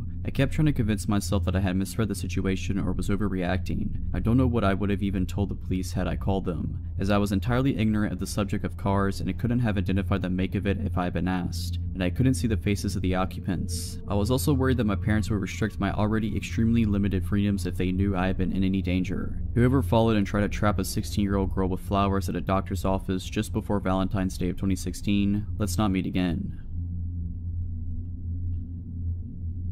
So when I was in probably second or third grade, we had an early dismissal. For those of you who don't know, that's when school goes for longer than half a day but we still get out an hour or so early. I remember sitting silently in class working on math problems when the phone rang. I joked to my friend next to me that I hoped it was for me. We all watched the teacher answer the phone because we knew that 90% of the time it meant someone was leaving class. When the teacher's eyes met with mine, I suddenly got pretty worried. My teacher said something into the phone and then asked me, when are you getting off the bus today? I thought this was really weird. My mom knew I would be getting home because she had to leave work early so she'd be home when I got home. I just told the teacher the normal time. The teacher talked for a few more seconds and then hung up the phone. I asked her what it was about and she told me that my parent just wanted to double check what time I got off the bus. I didn't really think about it too much for the rest of the day. Later I got off the bus and walked home without incident. When I walked in the front door my mom asked me about my dad and took my coat. I remember the look on her face when I asked her, why did you call the school to see what time I was getting off the bus? She looked shocked. She said that she hadn't called the school. I told her the whole story and she immediately started making frantic phone calls. I knew that something was wrong. I watched some TV while my mom talked. About 20 minutes later, my stepdad came home early from work. About 10 minutes after that, a state trooper pulled up. I was pretty scared because I thought that somehow I was in trouble. The state trooper asked me a few questions like, has anyone tried to talk to you while you've walked from the bus stop?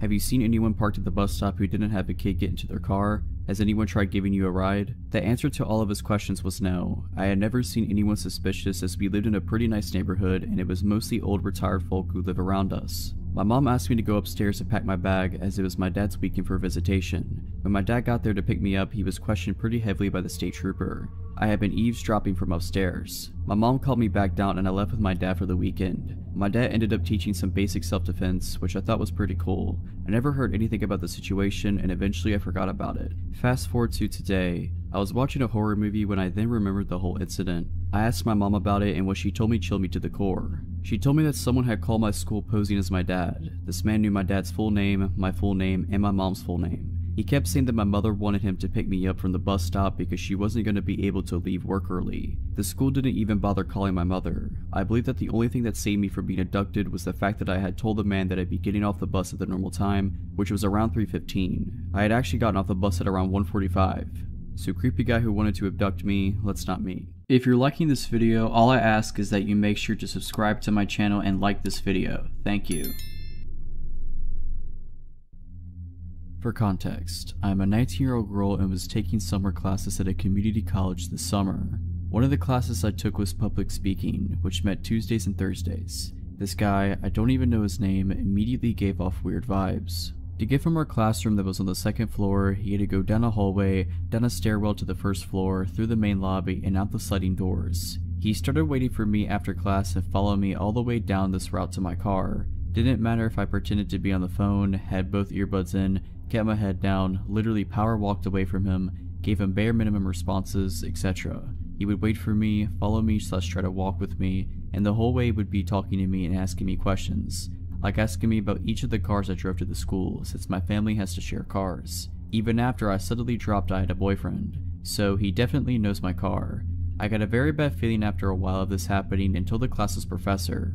She immediately took it seriously, notified camp security, and told me to always stay after class so she could walk me to my car. However, true to form, the guy stopped showing up to class for at least two weeks or so, so I thought it was fine and that the crisis was averted. And it was, until one day he showed up to class again. As soon as I saw him enter the room, my heart dropped. During this class, I slipped a note to my professor telling her he's the kid in the blue shirt, and she told me to hang around after class. I did, and so did the guy and another female student. Before he tried to talk to the professor about why he should pass the class despite never showing up or doing the work, the professor asked me and the other girl to wait in the hall. From the hall, we could hear him yelling aggressively at the professor.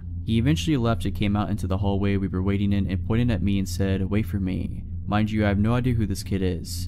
I instantly got the creeps and rushed back into the room to tell my professor, who was equally creeped out. Having overheard our conversation, the other female student came back into the room approximately 10 minutes later and told me and the professor that the guy was just standing in the hall waiting for me. The professor called campus security multiple times, phoned the front desk multiple times, but she received no responses. So, we took it to our own hands and came up with a plan to leave the classroom together, pretending to be in a very deep conversation with each other, walked past the guy without even looking at him, and walked down the stairwell to the main lobby. His eyes bore into us as we passed him, and we entered the stairwell he stood up and followed us. The professor and I exchanged looks of terror but kept her cool act up, stopping at the main desk in the lobby and pretending to converse with the secretary. The guy passed us, still staring at us, and walked out the sliding doors where he was out of our field of vision. We literally had to track down the campus security ourselves and tell them everything that had happened, and my professor was furious. After we saw security camera footage of him lurking around, she contacted the local police because she and I both had that very strong gut feeling that this kid was not right and that we weren't safe around him. So that public speaking class was from 3 to 5 p.m. and I had another class from 6 to 8 p.m. So I would usually drive to Wawa or something in that hour gap. However, there was no way I was going anywhere because I knew the guy was waiting for me to do so. For over an hour we, me, the professor, security, and secretary, tried to figure out who this kid was. None of us knew his name because he literally didn't come to class, there weren't photo IDs next to the class roster, and approximately half the original class stopped showing up so we couldn't use process of elimination. All we had was the security footage of him. I was escorted to and from my next class into my car at the end of the night. The security officer asked me to point out my car and when I did he said, oh wow, so he was parked right next to you. Confused, I asked what he meant and he told me that he had been watching more security footage and the guy got into the car parked right next to me, waited in there for a long time, and then eventually left. The thing is, I knew for a fact that I hadn't parked next to anyone when I arrived at the school because the lot was practically empty since it was summer. After finally getting home that night, I was the only person home for a few weeks, go figure. Local police did drive-bys by my home all night in a well check. When I returned to the school two days later for my Thursday classes, I was informed of chilling information. Footage showed him waiting for me in his car on Tuesday after our shared class, which I had already been told, but it also showed him coming back to the parking lot at around 8 p.m. when my last class got out and sitting in his car. I never told him about my schedule or any of the classes I was taking. This whole time, my public speaking professor was filing reports, making complaints against the school for their incompetency, and even got a lawyer because she felt so uneasy about the kid that if he showed up again, she would walk out. I was in contact with the president of the entire college, the director of security of the entire college, police, etc. for days. They told me that he was banned from campus and everyone was on watch for him, and that if he was spotted he would be asked to leave until the director of campus security, middle-aged man, called me and told me that he identified the kid and talked to him, via telephone call mind you, and he told me that the guy, and I quote, just wanted to be my friend, and told me that whatever I was doing with the guy, you know, literally running away from him, probably made him think I was flirting with him. My professors were absolutely furious and excused me from physically attending class for the rest of the semester. I still don't know his name, and I hope I never have to learn it. My New Year resolution 2012 was to get in shape again. After my first kid was born, I lost my athletic interest, but I had every intention of getting it back. So I started running 4 days a week with my friend Hannah, who is a great runner slash motivator. We would run after work, 5 to 10 kilometers, usually favoring the forest trail. It's the kind of trail that got lighting in the darker months of the year, so you could run there anytime really. Once you turn on the lights, you got 45 minutes to run the shorter trails, and longer to run the longer ones. Then the lights shut off automatically. We had been running for about 2 months when we started seeing the same man hanging around the parking lot every time we got there. thin man, 25 to 30 years of age, always dressed in sports clothes but never actually running. He never looked you in the eye either. We speculated that he could be homeless camping nearby because he was constantly there. We got used to seeing him, sitting somewhere close by, silently and always on his own. We felt sorry for him. He never seemed to talk to anyone or interact at all, but there was something about him that made us hesitate to talk to him or ask if he was okay. Can't pinpoint what it was, but something wasn't completely right with him. One evening, Hannah didn't make it to our run and I decided to go on my own. I arrived at the parking lot, my car being the only car there. I did some stretching, turned on the lights, and set off on the 5 kilometer trail. I hadn't seen the thin silent man when I started my run. Perhaps it was getting too cold to sit there now since it was autumn, dark, and getting closer to the freezing point. He must have been here though, somewhere in the shadows, because when I got to the top of the first steep hill, I could hear heavy breathing somewhere behind me. I look over my shoulder and I see him. He is running like a man obsessed. In regular shoes, not running shoes, with his arms moving in a really strange, stiff manner as he was made of metal. His hands like arrows, straight in an upward inward angle, sort of like a sprinter but more extreme, moving like a robot. He had never done anything to harm me, or anyone else as far as I knew, but the look in his eyes alone was enough to let me know that I needed to go. I started running faster, trying to create distance between us, and I could hear his heavy breathing getting even more strained. I ran like my life depended on it, adrenaline pumping through my body and giving me new strength. I tore off my necklace and threw it on the ground thinking, I must leave a trace if he takes me, something must be left behind. I tried screaming, hoping someone would be close enough to hear me, but I couldn't scream my lungs out and keep up the phase at the same time. He was still behind me, maybe 100 meters behind now, but I figured that if I trip and fall, or run out of energy, or fumble with the car keys once I reach the parking lot, then I'm screwed. So once I reached the sharp turn on the trail, I went off the trail and ran straight into the dark woods. I ran only a short distance and then I laid down flat on my stomach, my hands searching for a rock to defend myself with if he found me. I realized that I was wearing bright running clothes with reflexes and neon coloring. I had ever felt so visible in the dark before.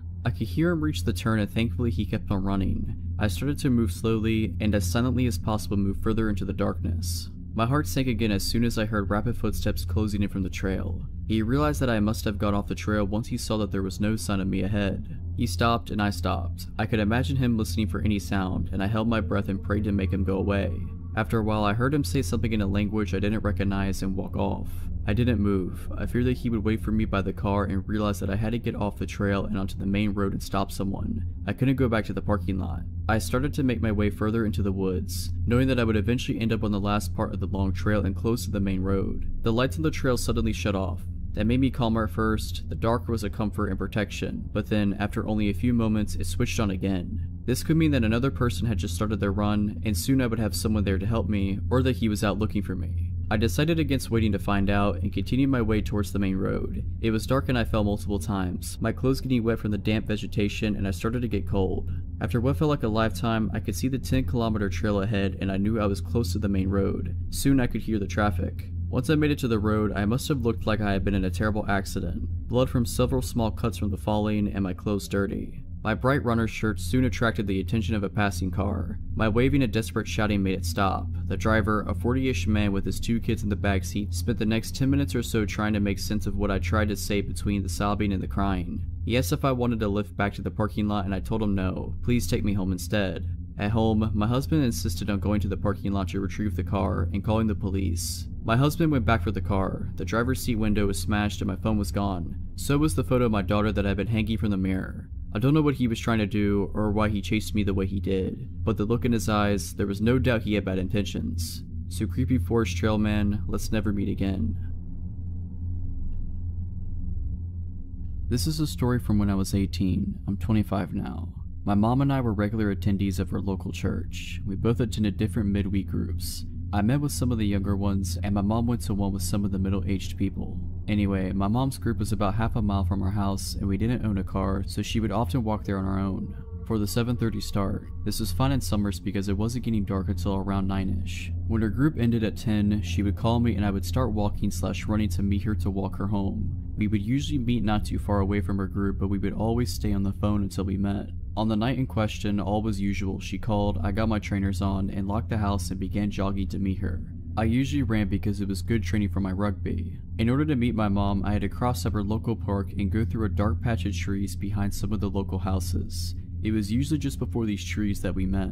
Anyway, I'm running and my mom's walking. We are talking about her evening and who was there when she suddenly says, Joe, hurry up, I think someone's following me. My heart rate goes through the roof and I start to panic, so I start sprinting still with some way to go until I meet her. I tell her to stay calm and keep her updated on my position. My mom is tough, but short. I hear my mom scream through the phone and also hear it in the distance ahead. Get away from me, what do you want? I don't have any money and you can have my phone if you want. This panicked me. I ran like I had never run before. The distance I had to cover usually took me a good 45 to 60 seconds to run, but I did it so much faster. By now I can see them in the distance. My mom's screams were piercing through me. I could see the guy has her by the hair and is dragging her about. She was fighting him all the way. I shouted get off of my mom and charged in. He was tall and lean but had hardly any weight to him. What happened next is something of a blur and only through me and my mom talking about it have we come to some conclusion on what really happened. And the guy's injuries of course. He saw me and immediately let go of her. She fell to the ground sobbing and tried to run. I caught him fairly easy and took him to the ground hard. My mom says I took him clean off the ground before smashing his head slash shoulder into the ground.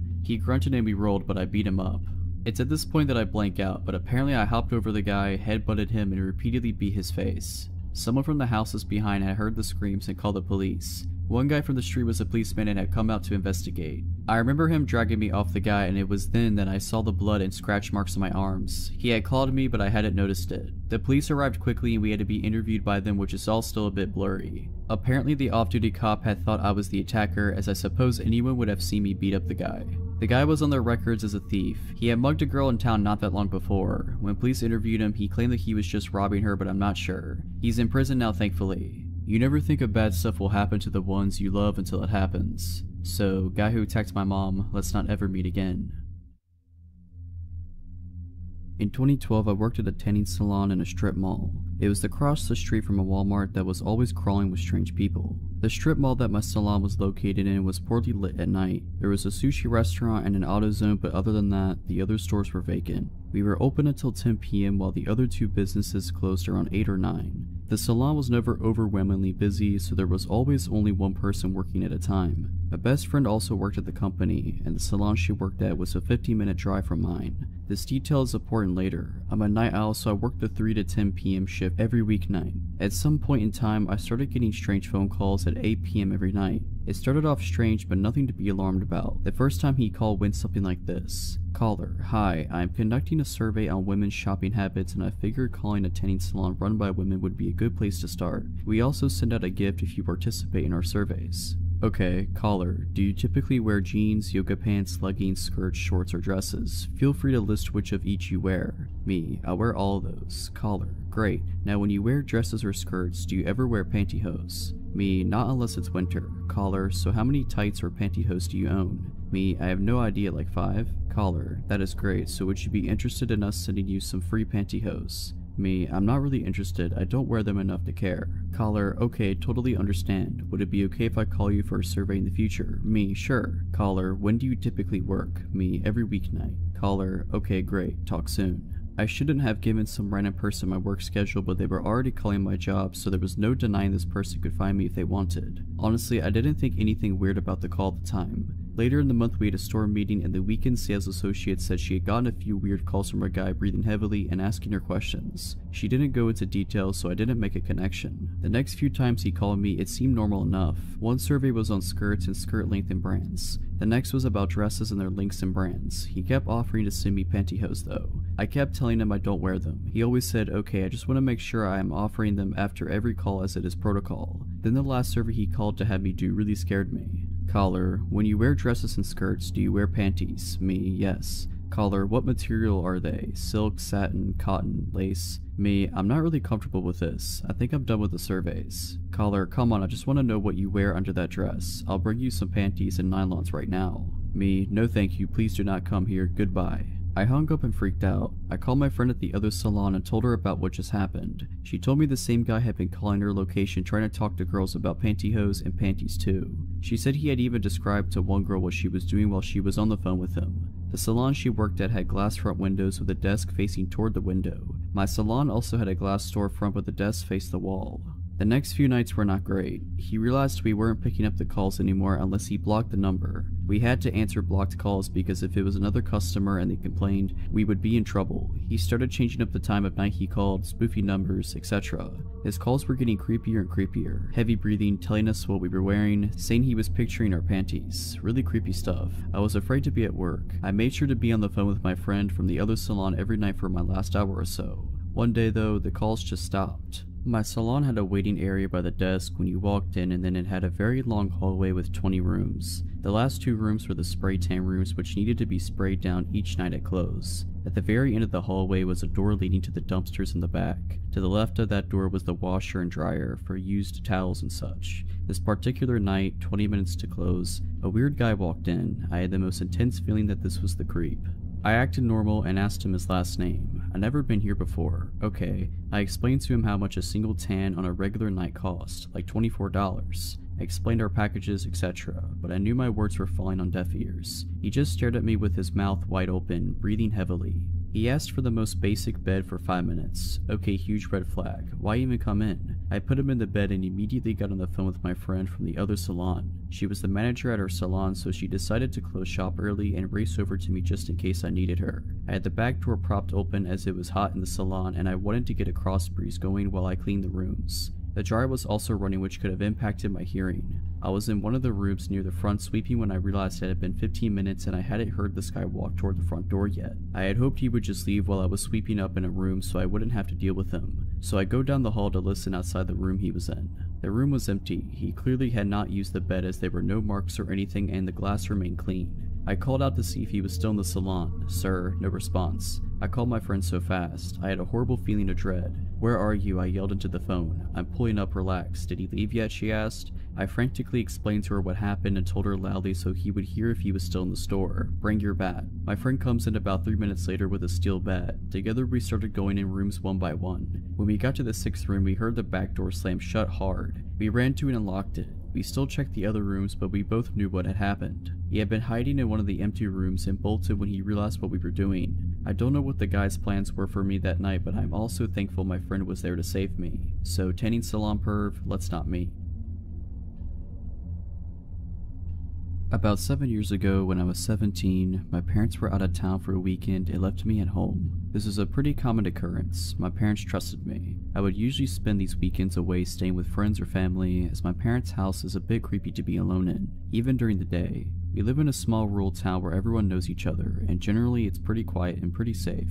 Saturday I was supposed to stay with a friend, but her parents decided at the last minute not to let me stay. It wasn't a big deal that I had to leave. I was somewhat prepared to have to go home because her parents got weird about company sometimes. I left her house, which is about 15 minutes away from my parents' house, at around 9.30 or 9.45. While I was on the way home, I got a weird feeling that I can't really explain.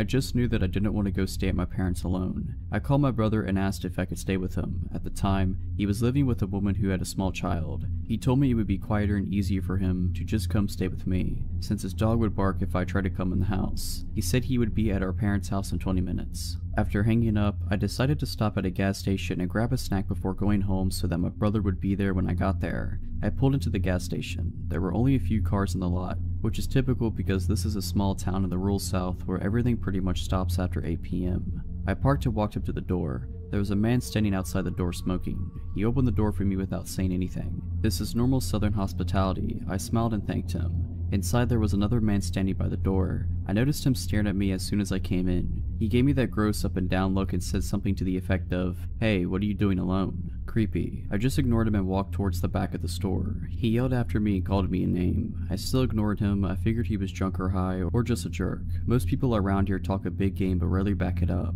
I wasn't scared, just annoyed. I got my snacks and paid at the counter. When I walked back up to the door, both of the men were gone. I was happy to not have to deal with any more catcalling. I began walking across the lot towards my car, which was probably around 100 feet away from my door. As I was walking, I looked down on my phone to see if enough time had passed for my brother to be at my parents'. When I looked up, the guy who had hit on me was standing at the pump staring. I looked at him for a second and continued walking. Hey, you know you're supposed to answer a man when he speaks to you, he said. I remember saying something snarky back to him and getting in my car. He looked pissed at my sarcasm. I locked my doors as soon as I was in the car, started it, and was thinking of nothing but getting home to eat my snacks and hang out with my brother. I put my car in gear and realized the man had disappeared. I looked around before pulling out of my parking spot only to realize that both men were sitting in a car facing mine across the lot. They were both staring at me and talking, occasionally even pointing toward me. I just stared at them, defiant and pissed. I didn't want them to think they scared me at all. While we were sitting having our staring contest, the man who had opened the door for me smiled and gave me the finger across the throat gesture, as in, you're dead. I rolled my eyes and pulled out the gas station, annoyed. To my dismay, they pulled out behind me. I hadn't been scared up until this point because, as I said, most people here are a lot of talk with no follow through. Instead of going home, I took a few back roads that connect back in a sort of circle to see if they were really following me, which of course they were. When they realized I was testing them, they drove up really close to me and started laying on the horn. I couldn't see their headlights, they were so close. I called my brother and told him what was going on. He told me to come home and he would handle it. I started driving home. The two guys were still in my car blowing the horn. Even with my detours, I was only about 3 to 4 minutes from my parents' house. I slowed down to pull in the driveway and was immediately relieved. At the end of my driveway, my brother was standing hands crossed in front of his stomach, clearly holding a pistol. I drove around him into the yard. The two guys actually started to pull in behind me until they saw my brother, then they hightailed it out of there. I have no idea what they would have done if I had stopped somewhere alone or kept driving. I'm thankful my brother was there. This past New Year's Eve, I went away for the night with my two best friends and one of their moms. I was home for the holidays from college, and my friend Sarah invited me to go to Palm Springs to celebrate New Year's with her mom and our friend Rachel. I didn't have any other plans, so I decided to go with them. We went to a cool city about an hour from where we live that is big on shopping and resorts. We planned to have a pretty calm night, watch the ball drop at a block party thing downtown, have a few drinks at a bar. Since we're on the west coast, the ball drop is at 9, so at around 8, we ventured from our hotel, walking to the block party about a mile away. On the way, we passed by a very lively bar. We decided to stop by and spend 15 minutes dancing, but didn't get any drinks. We continue on to the block party, get some dinner, a glass of champagne. The ball dropped and they had a DJ, so we spent about an hour there dancing. After we got tired of it, we decided to head back to the bar and hang out there until midnight. Once we get there, Sarah's mom pays for a drink for each of us, but leaves soon after that because she was tired. It's about 10.30 at this point and Sarah, Rachel, and I are enjoying our drinks and having fun dancing. Rachel tried some of my drink since it was the one she hadn't had before. I went back to the bar to get a second drink and that's the last thing I remember. The rest I've gathered from Sarah and Rachel. Almost immediately after getting my second drink, I asked Rachel to go to the bathroom with me because I wasn't feeling well, even though I was completely fine 10 minutes before. Once in the bathroom, I just collapsed on the floor, and I was almost unresponsive. Rachel, not worried, somehow drags my half-lifeless body out to where Sarah was waiting for us. Security, seeing my condition and assuming I was wasted, asked us to leave. Sarah and Rachel decided to take me back to the hotel about a half a mile away. By this point, I was unconscious and there were barely any sounds escaping from my mouth. They saw someone leave the bar at the same time as us, who was walking near us, but they were preoccupied with trying to keep my lifeless body off the ground. At one point, I threw up all over myself, the both of them, and the sidewalk, etc. The next part of the story we had to get from Sarah, and Rachel doesn't have any memory of this. Still struggling to carry me, the man they saw leave the bar approached them. He was hitting on Rachel, trying to get her to go grab a drink with him. She was very agitated and told him to leave. Her friend needed help right now. He didn't take no for an answer and continued to follow us down the street, asking if they wanted to get drinks with him, if he could help carry me and such. A middle-aged woman witnessing this came up and told the man off. Something along the lines of, stop harassing these young women or I'm going to call the police. He left after that. Next, by some miracle, an EMT and his wife that joined the holiday ran into us on the street. He checked me out to make sure something wasn't majorly wrong and then carried me the rest of the way to my hotel and into the room, since my friends could barely hold me up.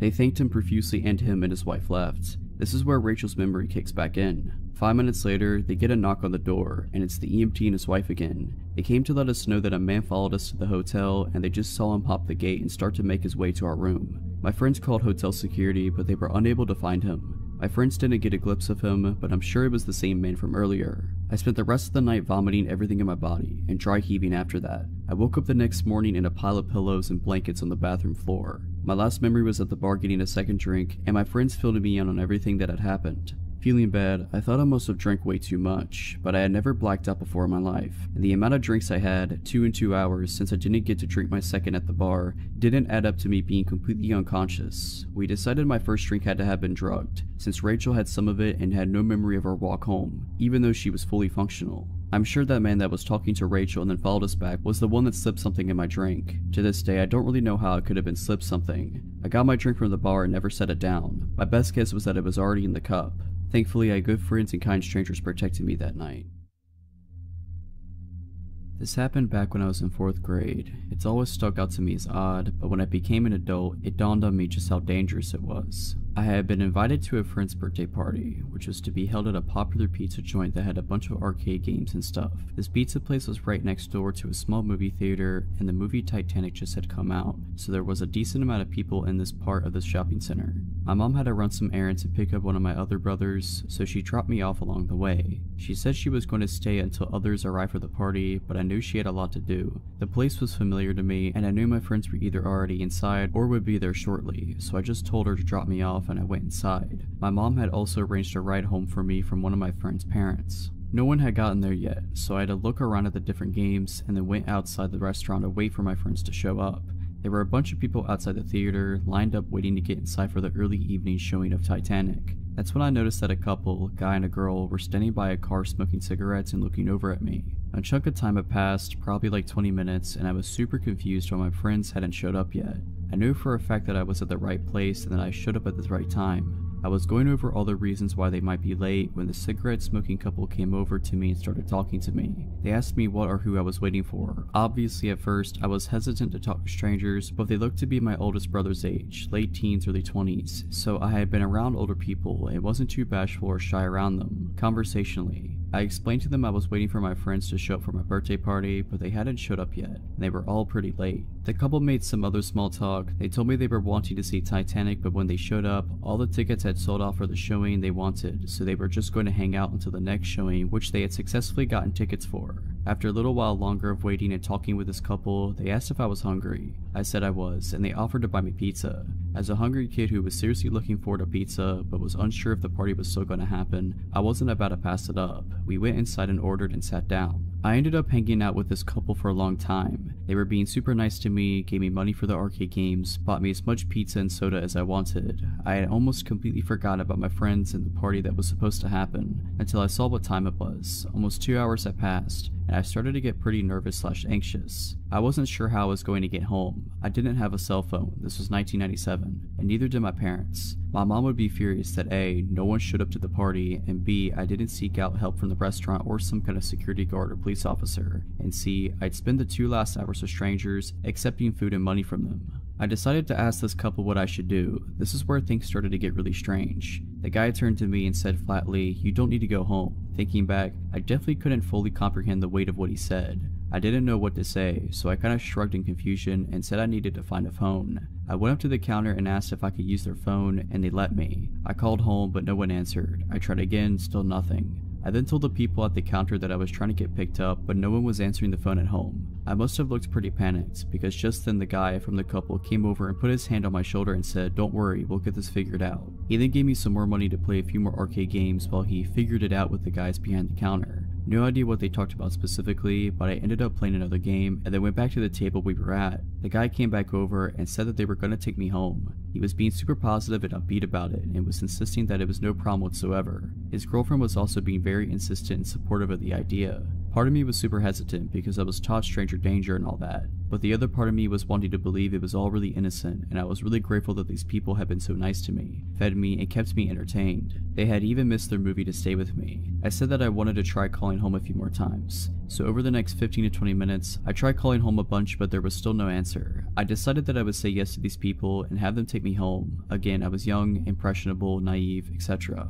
The people behind the counter must have been seeing this from the more rational side and realized something seriously fishy was going on. One of them had gone on break and called the police to come over and address the situation. Policeman shows up and comes over to figure out what's going on. I don't remember everything about the conversation, but what it ended up coming down to was who was going to take me home. The couple was still really insistent. Thinking about this as an adult, I find it strange that the cop was even considering letting this whole thing to be an option. As an adult, there is no question in my mind that the cop should have shut the conversation down and taken me home, but for some odd reason, they let me decide. I felt like I was being pressured. I remember going back and forth in my mind. These people had been so nice to me and had hung out with me and I didn't want to be rude, and I also felt really intimidated by the police officer.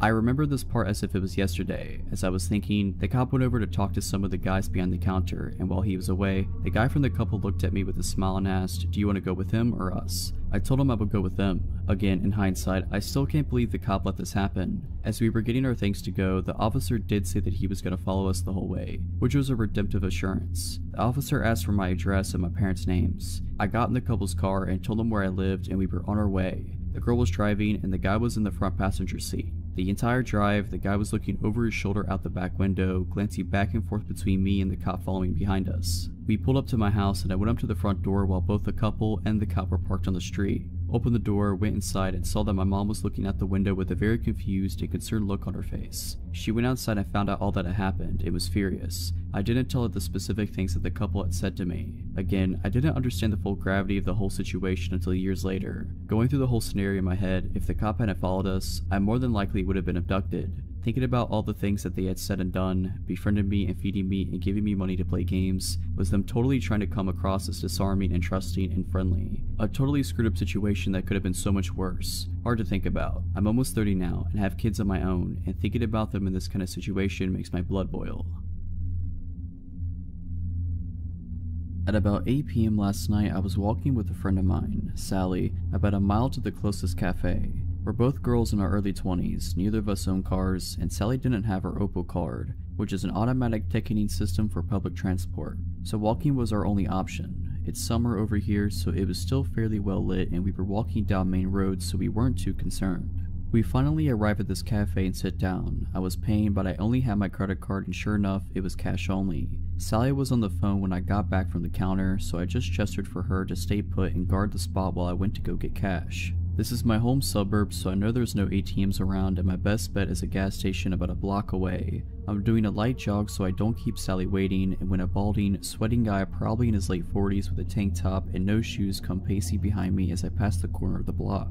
He walks behind me for about 100 meters. I didn't really think much of it. The gas station was the next building along. It seemed like he had just come out of a nice suburban house along the street and it wasn't the witching hour, so I just assumed he was going to the station like me. He didn't even cross my mind as I entered the tiny convenience store, nor did he follow me in. In my peripheral, I saw him walk past the door and out of sight. I looked around for an ATM they sometimes have inside. No such luck, so I go up to this man in his 30s at the desk and reluctantly ask if they're able to do cash out. He smiles and says, of course, and then asks, is he with you? I have no idea who he's talking about at first, and then he points to the man from earlier, pacing around outside the store. Keep in mind, he didn't look at all menacing. He wasn't going back and forth just outside the door. He was drifting in the space outside, from the pavement to the gas pumps to the storefront seemingly aimlessly. I assumed he was on drugs. I tell the clerk no, not thinking much of it at all. He says, oh, he was staring at you before. I thought he might have been your dad. I laugh it off.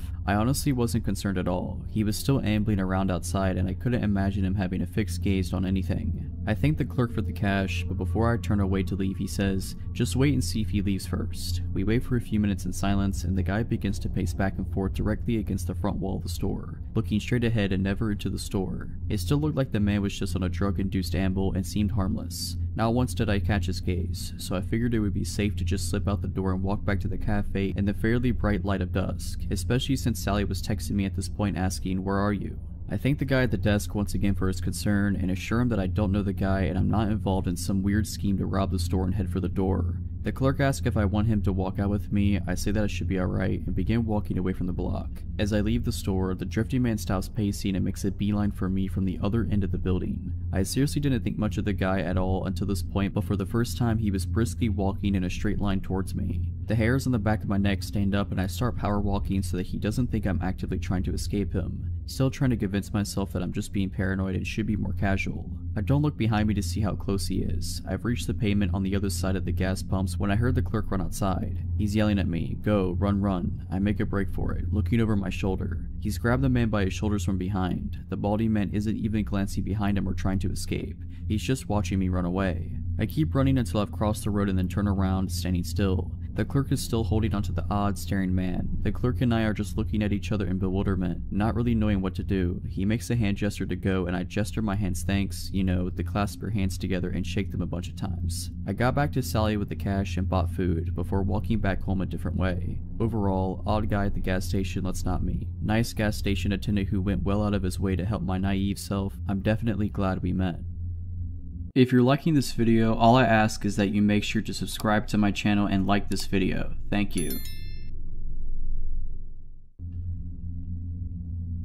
I was selling my old car as I had bought a new one. I posted it on a couple of selling sites and Facebook. I arranged two visits that day and was home alone. It was broad daylight, so I assumed everything would be fine. The first one that came made an offer a little lower than what I was looking for, so I said I would get back to him later as I had another viewing. The guy from Facebook pulled up in a blacked out Range Rover and three other guys got out. I opened the car and explained why I was selling the car. You know when you just get a bad feeling? I wasn't sure why four people would need to come view an 8 year old car. He asked if he could take the car for a drive. At this point, I was not going to get in the car with him, so I said, yeah, take it, I'll wait here with your friends. He asked me to get in the car. What if he just took it? I said, well, it wouldn't matter, that's what insurance was for. I was not getting in the car with him. The three guys left and didn't even speak to me, just to themselves, and I found that odd, but it made me feel very unsure if the car would come back. The car was not putting up a fight for or arguing over. He then pulled back up. He got out and offered the same price as the other guys earlier buying the car for his daughter. He wanted me to get in the car with him to go collect the cash. I said it was fine, his friends could take him if he needed to go, but I had another viewing and I would contact him later. I didn't want to walk back to my house as I had now decided to sell to the other guy as they were just giving me the creeps. He then offered more than honestly the car was worth if I went with him now. I said no and locked the car and started walking towards the main street as I had seen my neighbor walking down and shouted to him and his dog. They spoke to each other and drove off. I texted the other guy and told him the car was his and he was welcome to come over anytime to get it. I sorted and filled out the V5 and off he went. That night from my living room, the black Range Rover came back and parked outside. I live in a cul-de-sac, so I am set back to where we had been. I told my husband and he looked out and he said that was strange and then my phone started blowing up. I politely said the car had gone and that I was sorry but I couldn't help.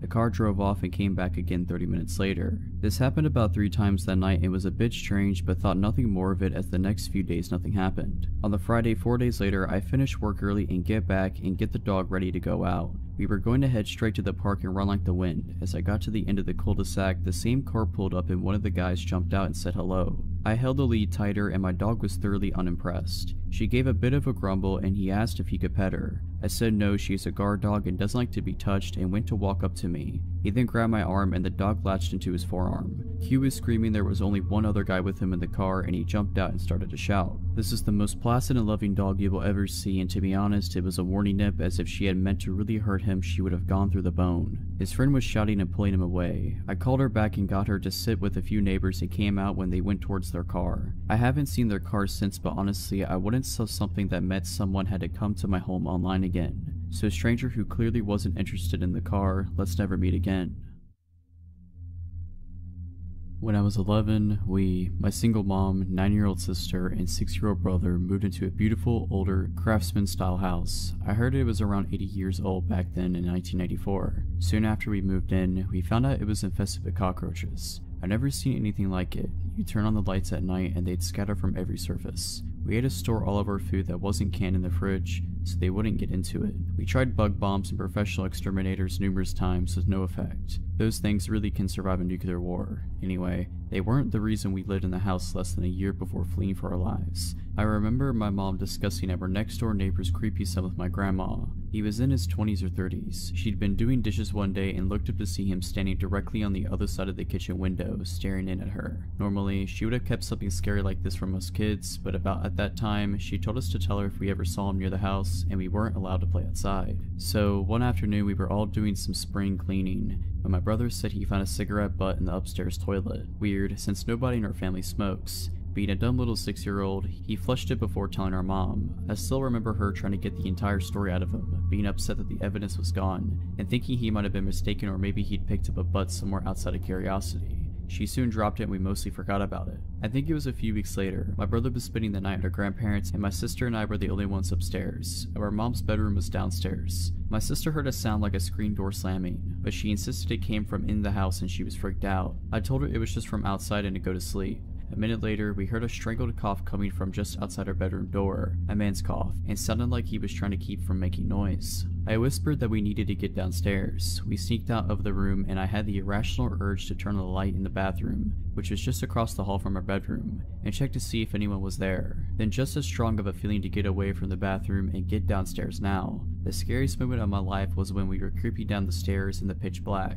It was a spiral enclosed stairway with walls, the perfect place for someone to hide. The stairway light was burned out and the wood steps were creaky, so it was terrifying making our way down. We got downstairs and woke up our mom, panicked that there was a guy upstairs in our bathroom. She started to tell us to go back to bed, but could see we were seriously scared. She went over to the bottom of the stairway to go up and show us that there was nothing to be scared about. Then she just had strong of a feeling to close the stairway door and lock it now. She did, called the cops, they found nothing and didn't really take us seriously. The next day, she called a PD detective friend of hers from high school to come over and inspect the house. Remembering the cigarette butt in the toilet, she had him look at the upstairs bathroom window. It was a high, narrow rectangular window, not very big but just wide enough for a person. Who knows how many times the intruder climbed our roof to get in and was upstairs while we were sleeping across the hall.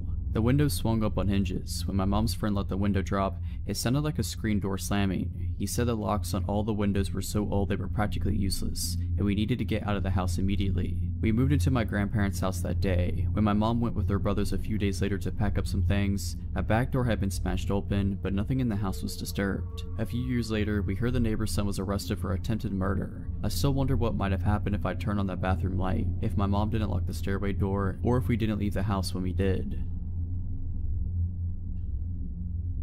Backstory My wife and I don't live together. She had become abusive over the last few months, mostly towards our daughter. Our daughter is almost 18 months old and is my whole world. I am unemployed at the moment, but my mother had been helping me out a lot. Today at around 4 p.m., I took my daughter to the store. I usually do this around the time she wakes up from her nap. My daughter is a very active child and can't seem to sit still for more than 10 minutes without getting cranky. I usually let her walk with me, holding her hand and patiently walking at her pace. I usually get just a juice for her, but had to get some extra groceries that I was short on flour, sugar, and some noodles. I also remembered we were low on milk and grabbed a gallon on our way back. With all that I was carrying, I wasn't able to hold her hand. I made sure to walk behind her, but that only makes her walk slowly. As we made our way to the registers, I was continuously urging her to keep walking, which she would do, but only for a second before her attention would be drawn to another rickety box with whatever was on sale, or she would see something colorful on a lower shelf. I was getting a bit frustrated, but I wasn't showing it in my voice. I kept urging her to keep walking, and she kept getting sidetracked. With everything I was carrying, I started to wish I had grabbed a basket. At the front, their customer service desk holds register 1, which was thankfully open. I want to take the time to mention that my daughter is very fond of saying hi and waving at everyone. I set everything up to get rung up, but the service attendant was busy with the return of the customer service area, so I had to wait. The entrance to the store is to my right. The only exit door is behind the service desk, which leads into the small foyer before leading to the other doors. As people enter, they have to pass the customer service desk. I was being fatherly to my daughter, trying to entertain her with patty cake and the itsy bitsy spider. While we waited for the cashier to check us out, my daughter would frequently wave at people passing and say hi in her squeaky toddler voice. Some people would smile and wave back, while others would stop to adore her. At this point, I'm used to people doing that. The lady was ready to check us out, and I told my daughter to hold my hand, since I wouldn't be looking her way. I had to pull my wallet out to retrieve my debit card to pay for the groceries and let her hand go for a moment. I kept looking her way to make sure she wasn't wandering off. The lady went to hand me my receipt when she all of a sudden yelled at someone behind me. What are you doing with his daughter? She bellowed as I turned to look at a man who had picked her up and started running towards the entrance doors. I was shocked. The doors didn't open since they were a one-way set of doors, and the cashier quickly picked up the phone yelling that she was calling the police. I was stunned to the point of immobilization, but quickly realized what was going on.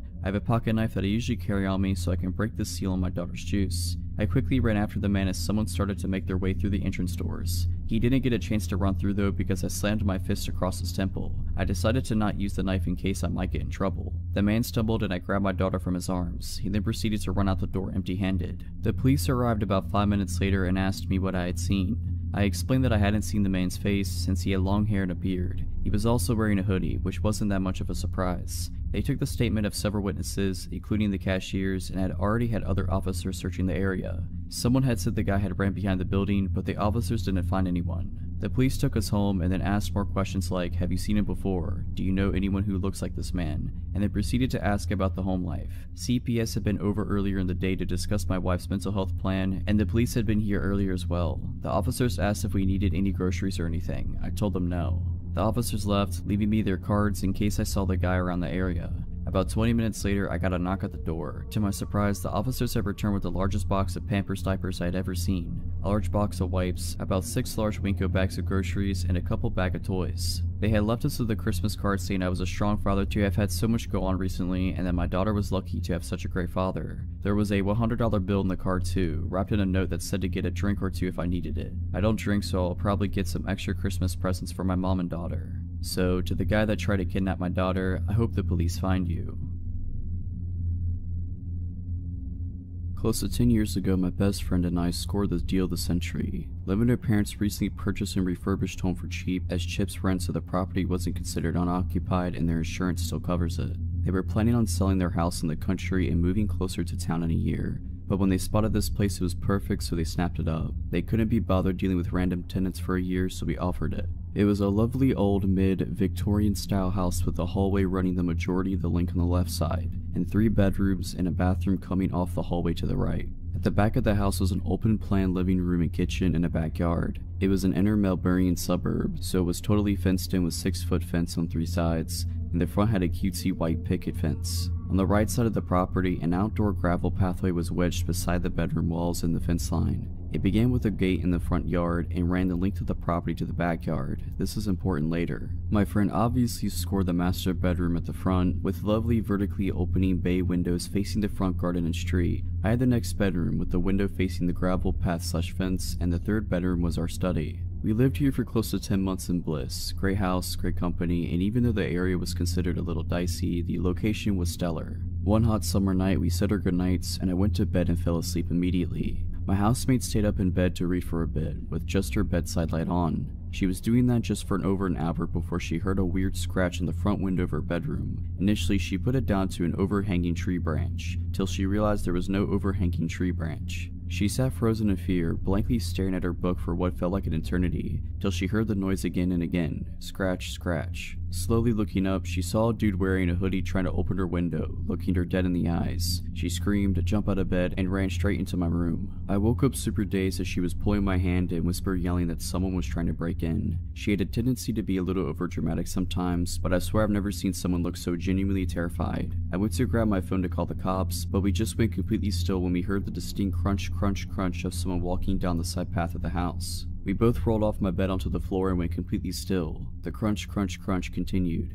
getting closer to my bedroom window. I don't know what it is about distinct sounds at night when it's otherwise quiet, but it sounded deafening. And then I realized why it was so loud. My window was wide open. I jumped up, slid the window down, and slammed the lock shut just as he reached the window. He looked at me, but he didn't react at all. He just calmly tried to open the window, but when he realized he couldn't, he continued down the pathway to the backyard. I was extremely terrified now and my housemate was crying. I sprinted to the back door to thankfully find it locked and ran back to my room and called the cops. I didn't know what the cops knew that we didn't, but they must have broken a land speed record to arrive all at 3 minutes later, lights and sirens off. We saw them go down the side path, guns drawn, straight to the backyard. There were some noises from the yard, then a knock at the back door a moment later and the police identified themselves. Turns out the dude had vaulted the back fence, and another patrol car was headed to the next street over to look for him. The two cops at our place asked if we were okay and then asked if they could come in and look around. They managed to calm us down whilst making sure the place was safe. They took her statements and they asked if there was anyone we could stay with tonight. My housemate and I stayed at our boyfriend's place for a few nights after that, and when we stayed in the house, it was never the same. We felt completely violated, and ended up moving out a few weeks later. We never found out if the dude was caught, but there was a random stabbing a few nights after the incident at the train station two streets over. If it was related or not, I don't know, but all I can think is that we were so lucky that it went the way it did. This happened way back in October of 2006. At the time I was just a 19 year old kid always on the lookout for adventure. One Friday night after wrapping up a shift at McDonald's, I met up with some of my friends who suggested we check out this haunted location called White's Bridge. My one buddy Brendan said he had recently learned about it and began telling us the legends associated with the 100 year old wood covered bridge. Never one to turn down a spooky experience, we all piled into my green Ford Taurus and headed out on our journey. Brandon gave directions, guiding me off the main road and within minutes we were on the dirt back roads, surrounded by woods and cornfields. Our only point of reference was a blinking cell tower off in the distance. We could tell we were getting further from the city as our cell phones began slowly losing service. As we rode deeper and deeper into what legitimately felt like the absolute middle of nowhere, Brandon repeated the legend associated with the bridge. Back in the early 1900s, a local farmer discovered that his beloved wife had been cheating on him, and in a fit of rage he killed her and her lover after discovering them in the act. After committing the cold-blooded murder, the farmer left his home and wandered the dirt roads in a daze. He eventually came upon White's Bridge where the realization of what he had done finally began to sink in, and deciding he would rather die than face the consequences of his actions, he hoisted a rope up and over one of the bridge's rafters and hung himself. As far as I could tell now, the story is complete fiction, but we totally believed it at the time. After a long and bumpy ride, Brandon instructed me to turn right on an off-road I wouldn't have even noticed was there had he not pointed it out. I took the turn and there before us was White's Bridge. It looked like something straight out of a horror film, an old wood-covered bridge, aged by time, sitting alone above a river deep in the middle of nowhere. We parked the car on the side of the road and got out to explore. Immediately catching our eyes was a scarecrow lying abandoned at the entrance to the bridge. My friend Mike, who was known as somewhat of a risk taker, and a stupid one at that, picked up the scarecrow and lit it on fire. The hay body burst up into a ball of flames, and Mike waved it around proudly next to the old dry wood bridge. Realizing the risk, I told him to throw the thing in the river and put it out, which thankfully he did. After making sure there weren't any rogue embers that could ignite the bridge, Brandon suggested we get back in the car and pull it onto the bridge. He explained that the legend was that if you parked your car in the middle of the bridge, put it in neutral and killed the engine, the spirit of the dead farmer would push the vehicle forward to get it off the bridge. Naturally, we had to try this. We piled back in and did exactly as he said. We parked halfway across the rickety old bridge and killed the engine. We sat in the pitch black, saying nothing, waiting for something, anything to happen. The only sounds were the creaking of the bridge, the river flowing beneath us, and footsteps. Suddenly, the back driver's side door opens and a woman abruptly enters the back seat, cramming in next to my two friends back there. She looked to be in her late 20s slash early 30s, long straight black hair, slim, and wearing a plaid shirt and blue jeans. It's been a while, but this is essentially how I remember the conversation going. I saw your fire signal for me, she said. Uh, wait, what? I replied, totally freaked out and at a complete loss of words. I'm so glad you came. My boyfriend's car broke down down that way. I need a ride back. My brain was doing its best to compute the situation. I'm sorry, but who are you? I asked. What are you doing out here? I told you. She responded curtly. My boyfriend's car broke down over there. Can you please just give me a ride so I don't have to walk all the way back? She was pointing ahead, towards a narrow road that forked off to the right on the other side of the bridge. My friend Mike, the scarecrow burner, and never the gentleman added, I mean, if you need a place to stay, you're more than welcome to come crash at my place. I got plenty to drink and I interrupted him. No, lady, listen, I'm sorry, I don't know who you are. You just got in my car and this is all really weird. I'm sorry, but you have to get out. She glared at me in the rearview mirror. If looks could kill, I would have been done for, but you signaled for me. She responded in an irritated tone. We weren't signaling for you, get out. She let out an angry sigh and got out, walking back in the direction from which she came and disappearing into the night. I started the engine right up and looked at my friends. They all had looks of disbelief on their face. Without saying a word, I put the car in drive and slowly rolled forward and off the bridge. We needed to turn around and go back across the bridge to get to where we had come from, and the only way to do that was to pull onto the side road that the woman said her boyfriend's car had broken down on, and then reverse. As I pulled onto the side road, my headlights illuminated the three posted signs that I hadn't been able to see from the bridge. No trespassing, private property, and do not enter. Looking up the road, there was no sign of the woman. Wherever she went, it didn't appear she went that way.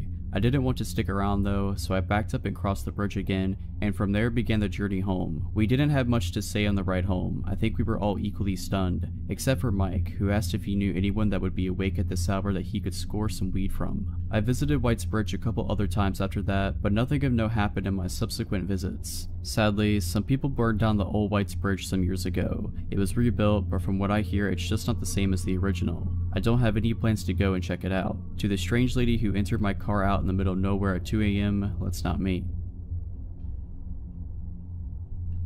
This happened in 2019. I was in my second year of college and living in a townhome about a 10 minute walk from campus. I lived with two other girls at the time, but they were all back at their parents' house for the holiday. I work in healthcare and was working Christmas this year. A little bit of backstory. There used to be four of us living there, but one girl had moved out due to issues with her boyfriend. He was a jerk who abused our kindness and allowing him to stay there, was only supposed to come every so often but basically ended up living there. We told her she needed to kick him out after an incident with him one night after he got physical with her and verbally abusive with the rest of us. She wouldn't listen and we told her we would have to talk to the landlord then. Long story short, she ended up moving out and left on bad terms with us. At this point, it was affecting everyone and we didn't feel safe with him there, etc., so she moved out. Okay, so back to the story. It was Christmas Eve and I worked the next day, so I was getting ready for bed. Locked the doors, turned the lights off, and went downstairs where my bedroom is. I was scrolling on my phone for about an hour. It was Christmas Day at this point, when I heard what sounded like the chairs in the kitchen move. The kitchen is right above my bedroom. I thought maybe I was hearing the neighbors next door as we share the same walls and sometimes they can be loud.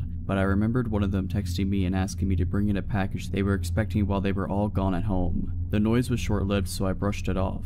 Next thing I know, my bedroom door is being opened slowly, but my phone screen is lighting up my scared jaw drop face, so I can't act like I'm asleep. Where I'm laying in bed faces directly to the door, so we're just looking right at each other. So there I was laying in my bed while this guy has one foot in my bedroom with the door cracked open. It felt like an eternity, but in reality it was probably more than like 10 seconds of us looking at one another. He slowly takes his foot out and closes my door. I sit there just in complete utter shock. I couldn't make out what he looked like as my eyes were adjusting to the dark again from the phone screen. All I could see was a backwards baseball cap. I knew I had to call the police, but my anxious self knew if I called, it would alert my parents' phones that I called. Me being dumb, I was like, well, I don't want to make them worry. Also, I was scared he might still be somewhere in the house, and I didn't know what he would do if he heard me call, so I text the guy I was seeing at the time and tell him, some random guy just broke into my house and came into my room. He snapped me out of it and told me to call the police, and so I did. The dispatcher asked me if I felt comfortable to go unlock the front door for them so they didn't have to break it down, and I told her no way I don't care if the door is broken, I'm not going up there alone. A couple minutes later I see flashlights shining through my window. I hear the police knocking at the door and announcing themselves. They got in and asked me where I was. I came out of my room and they came and got me. They told me to wait on the back porch while two of them searched the house and one stayed with me. They didn't find anyone and I said nothing looked like it had been taken. They even tried to get fingerprints but were unsuccessful. They then started asking me questions and informed me that the back door was unlocked and had no signs it had been broken. I told them I had locked it. Luckily the guy I was talking to stayed with me that night but I still couldn't sleep. I kept having to go check every inch of the house over and over. I placed chairs under the door handles on the front door, back door, and my bedroom. The next day I informed our landlord and she refused to come out and change the locks, and she never ended up changing them for the rest of the time we lived there. Every time I go to bed now, I triple check all the doors have been locked, doesn't matter where I am. I have a dog now and he helps my anxiety of intruders, as well as a recent purchase of a ring doorbell. I believe it was our old roommate's boyfriend. I think they may have made an extra key for him because he was basically living there, but I don't understand why he didn't do anything to me, the house, or our belongings. If it were someone random, I don't know why they wouldn't have done what they intended and that could be many different possibilities. I don't know what their intentions were that night, but to the man who broke into my house on Christmas Eve, let's not meet again. Over the summer, me, my fiance, and my stepdaughter, then two years old, went on a vacation to Presque Isle in Pennsylvania. We stayed there throughout the afternoon and decided to get dinner in a nearby town, Erie, Pennsylvania. We go there and see a water fountain that kids play in. We think our kid would like that so we get food and take her there. Now it was kind of a pretty sketchy area, but there were also kids and it was still a little light out, like 6.37 p.m. ish. Me and my fiance sit down and watch our kid play for a bit. At some points our kid wants me to run in the water with her, so I do. I kinda keep going back and forth between playing with her and keeping my fiance company. After playing with my kid for a while, I come back to my fiance. She looked kinda pale and said, go get our kid, we need to leave right now. I didn't know what was going on, but I got my kid. As I was turning to go back and get her, I noticed a group of about three really weird guys staring intently at us. When I looked over, one of them stood up a little bit and was giving me a stare. I grab our kid and start following my fiance who is booking it. As we were walking away, she tells me that somebody is following us now. I look over and see the creepy looking, shirtless dude getting into his old, beige sedan behind us. My fiance explains to me that the same man kept approaching her whenever I would get up to run around with her kid. At first he introduced himself and tried talking to her. She thought he was being benign but just trying to hit on her. When I came back, he apparently bolted. I sat with her for a couple of minutes and then went back to play with our kid. Apparently, as soon as I went, he returned. He asked her if she was married to me. She said that we were going to be hoping that it was the end of that. He goes away before I came back to sit with her again. The third and final time I go to play with our kid, he apparently came back. He told her that she thought she was a beautiful lady and asked if that was her daughter, pointing to our kid. My fiance said yes and the guy said that our kid was also a beautiful lady and that his night was going to be made, whatever that means.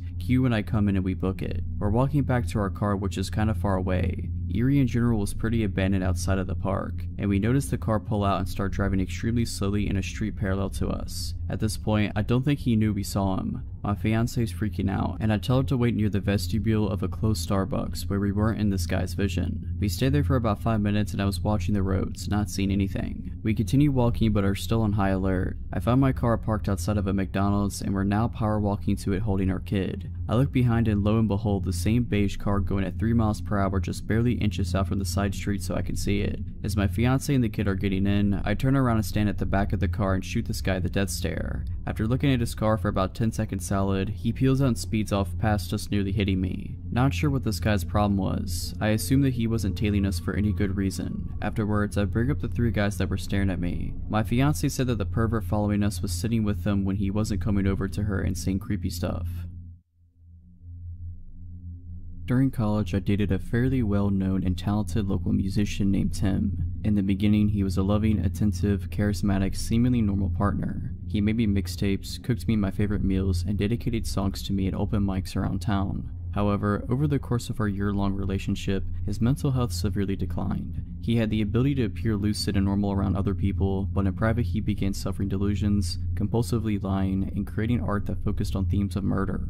I was worried sick and his condition was exhausting, but I did my best to be kind, understanding, and supportive. I loved him and believed that he shouldn't have to struggle with this mental illness alone. One time he vanished without a trace for a full day. I found his apartment empty, lights on, front door wide open, phone on his nightstand. I took a few deep breaths and called all around the city for hours before finally discovering he had been involuntarily checked into a mental hospital. I did my best to be strong for him, seeing him every day during supervised visitation hour, bringing him his favorite books to pass the time, and holding him as he sobbed that it was all a mistake that he did not belong there. It was surreal to see my boyfriend surrounded by visibly insane long-term psych ward patients. In retrospect, none of the staff ever told me the real reason why he was there, and I was too polite and naive to ask. Our relationship ended a few months later. I found undeniable evidence that he was cheating on me and secretly relieved confronted him. I told him to leave my apartment and never come back. He cracked. The gentle Tim I had known and loved melted away to reveal a new dark persona. He threatened to off himself with pills unless I took him back, but I was so extremely done that I called the police. They weren't much help, but Tim left.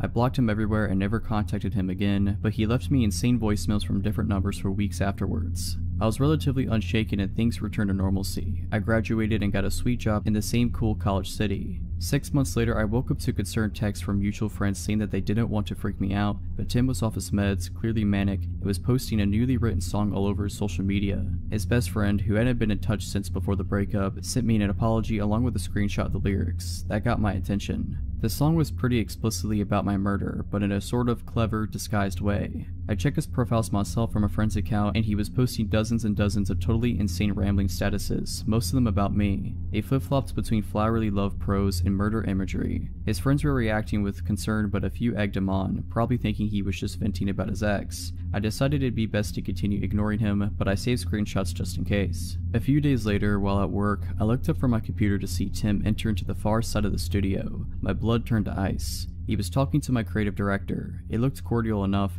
and I saw Tim begin to casually scan the studio. I ducked down and bolted into my favorite project manager's office, slammed the door, and unleashed upon her what must have been a nearly unintelligible explanation of what was happening. I was shaking so hard I could barely speak, but Nancy was amazing, and she understood almost immediately. She snuck me out of the building and drove me in her car to the police station, where I showed officers the screenshots and filed a report. My coworkers later told me that Tim was there to inquire about the open designer position. He is not a designer. He had brought with him a portfolio and an elaborately fabricated work history that sounded legit. At the end of his interview, he casually asked if I still worked there. He said we used to collaborate. Oh, and he had written a song for me, and it had been picked up by the local radio this morning. He asked my coworkers to let me know with warmest regards. That phrase still makes my skin crawl. He then left, found my abandoned car in the parking lot, and paced behind it until the police arrived. Unfortunately, he wasn't enough of a public menace for police to bring him in that day, but the incident helped me to secure a restraining order against him. My company was amazing too. I was deeply embarrassed about my literally insane ex coming to the studio, but the CEO filed trespassing charges against him and created an action plan to keep me safe if it happened again. Not long afterwards, I moved to a different city, and that was that.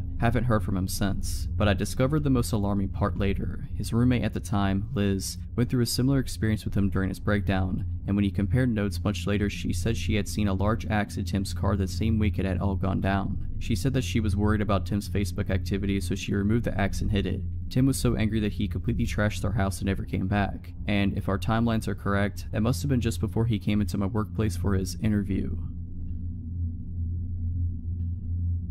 When I was about 12, I decided making a newspaper for my entire neighborhood was a really great idea. My friend and I were both at middle school and decided to get together once a month and write absolutely enthralling articles about the weather or when the pool would be open and then deliver our front slash back one page newsletter to every single house in our two street neighborhood whether they wanted it or not. We kept this up for about two years until the time of the story. So we were on our once a month paper route, if you could call, walking around our small neighborhood and putting a single sheet of paper in every mailbox of paper route. It was raining this particular time, so we had umbrellas and we were carefully walking to each mailbox, trying to keep our newsletter as dry as possible. This also meant all the cars that came by had their headlights and windshield wipers on, and also made sufficient noise with their tires splashing through the puddles. My point is that we knew when a car was approaching behind us. We were about halfway through, on the street we weren't so familiar with, the one we didn't live on, when we noticed this souped up old white car coming really slowly up the street. Now, the way my neighborhood was set up, the only reason why you would be on the same street as us is if you lived there or you made a wrong turn. So there were even less cars on the street and the ones that passed usually were people that we knew. We continued walking from mailbox to mailbox, while periodically checking to make sure the white car wasn't just parked. It was moving very slowly and the headlights and windshield wipers were either broken or just not turned on. This car drove slowly past us as we walked, going roughly the same pace as our steps if not slower. Something was so off about everything. There was no reason for this car to be on this road in the first place. We definitely didn't recognize it or the driver inside, and it was going so incredibly slow. Car trouble? I don't know. We pretended one of the houses was ours and walked up the driveway to avoid the car as it got close to us. It continued at the same pace and we watched it until it eventually disappeared around the corner. We laughed about it, thinking it was weird but nothing happened. It was all well and good until the car showed up at the end of the street behind us again, going just as slowly as it had before. What was this person doing? We were so confused and walked a little farther from the curb to avoid the car again as it came by. We didn't laugh about it this time. The car showed up a third time at the end of the street, and at this point we decided we should cut through some yards to get home. Better safe than sorry, right? We crossed the street, but the car passed again and we shrugged it off and kept going. The fourth time this car came around, it pulled up right next to us and the driver had his window down. Being 12 and living in a bubble, my friend and I hadn't really experienced shady people, but we knew something was up with this guy. He had a white towel draped over half his head, was wearing a white tank top, while we were in long sleeves and rain jackets, had his window down, and when he spoke his speech was slurred. We were polite and said hello and he asked us what we were doing through his open window. We continued walking as this interaction took place because we knew this dude seemed sketch, but at the same time we didn't want to assume anything and be rude. When we told him we ran a newspaper he immediately perked up and enthusiastically asked us about placing an ad. He also took his hands off the steering wheel and leaned over so he could get closer to the window. He smelled of cigarettes. My friend and I looked at each other, we knew something was wrong. We told him no, we don't place ads in our newspaper, even though we did. He told us we were pretty girls and probably cold. Our idea to cut through some yards was decided. We hurriedly said something about needing to go home and he began shouting at us from inside the car as we crossed the street. We bolted to a neighbor's backyard when we heard the car begin to move quickly and hid in some bushes until we were sure the car was gone. We stopped writing our newsletter after that. Meeting a creepy person while you're alone in the rain in your own neighborhood was a good deciding factor for calling it quits. So, weird and probably high dude that tried to talk to a 12 year old me and my friend, let's never meet again. To start off, I am a 16 year old female. Okay, I was visiting my mom's apartment for the weekend with my sister. We go there every weekend or every other weekend to see her. We arrived at about 10 in the morning and brought in our pillows and movies or whatever from my grandma's car. We get inside and chill there for a couple hours watching TV before my sister says that she's hungry. My mom asked, okay, what do you want? I said I was okay with having a pizza and my mom said that she would have to run to Kroger's, which is less than a mile away. She said she would also get some movies from Redbox. My sister then asked if she could go with my mom to Kroger's. My mom said she could and asked if I would be okay in the apartment by myself. I said I would because I knew I would. I'll be gone in 20 minutes tops, my mom said. She didn't like leaving me alone, but she thought it would be okay as she told me later. Now, my mom's apartment is kind of in a crappy place, where people have been spotted with drugs and thieves and stuff, but I was on the third floor in one of the many surrounding apartment buildings, with tons of neighbors, I would be fine. Okay, lock the door, and you know not to open unless it's me. They left soon after, and I was sitting in the couch, on my phone with Jerry Springer playing in the background. It was about 10 minutes after they left when I heard the doorknob jiggle. I looked up, not feeling scared right away, but also feeling a little wary. I should mention that I carry a pocket knife everywhere with me and the blade is about 3 to 4 inches long. It was sitting on the coffee table in front of me when I got up to go to the door. I'm only 5 foot 3 and I knew not to open the door, so I grabbed a chair and stood on it to look through the peephole. That's when I got scared. On the other side was some guy, just standing there trying to open the door. Of course, being how I am, I try to laugh myself out of being afraid because I had no reason to think he was going to do something to me. Maybe he just had the wrong room. I'd never seen him before and I don't know everyone in the building personally, but I had seen them all at least once, and he wasn't one of them. Hey man, I think you got the wrong room. He froze, his eyes glued to the door handle, and then at the peephole. He probably could tell exactly where I was when I spoke. I swear we made eye contact and the whites of his eyes were so yellow I thought he had jaundice. Then he all of a sudden started ramming his shoulder into the door, like full on shoulder ramming like in football. I jump off the chair and grab my phone and knife and run into a room with a window and lock the door. I call my mom's friend who lives in the apartment building across the street and start crying hysterically and said, Jess, someone's trying to break in, call the cops, bring Chris, please just get over here. She didn't even hesitate, I'll be right there. Within seconds of hanging up, I call my mom. The guy is still hitting the door and he's yelling in frustration now. My mom picks up at after a few rings and I tell her what I told her friend and she was coming with Chris and she needed to get here quick. She was frightened and yelled that she was almost there. By the time I saw Jess make her way down two flights of stairs and across the road with her boyfriend, my mom was flying down the road and was there within mere seconds of me calling. They all race inside and I hear everyone yelling in the hallway. I unlock the door and peek outside of the apartment and see Chris holding the guy against the wall while my mom hugs me and Jess is screaming at him. Long story short, the police arrived and took my statement, and the man first denied it by saying, I thought it was my room, but then he ended up confessing that he wanted to see me and talk to me because he thought I was pretty. The police officers had him in handcuffs and ran a background check on him and what came up wasn't surprising. He had a warrant for an assault charge on a woman and had been arrested for kidnapping. Yeah, I hope I don't have to experience that again. If you're liking this video, all I ask is that you make sure to subscribe to my channel and like this video. Thank you.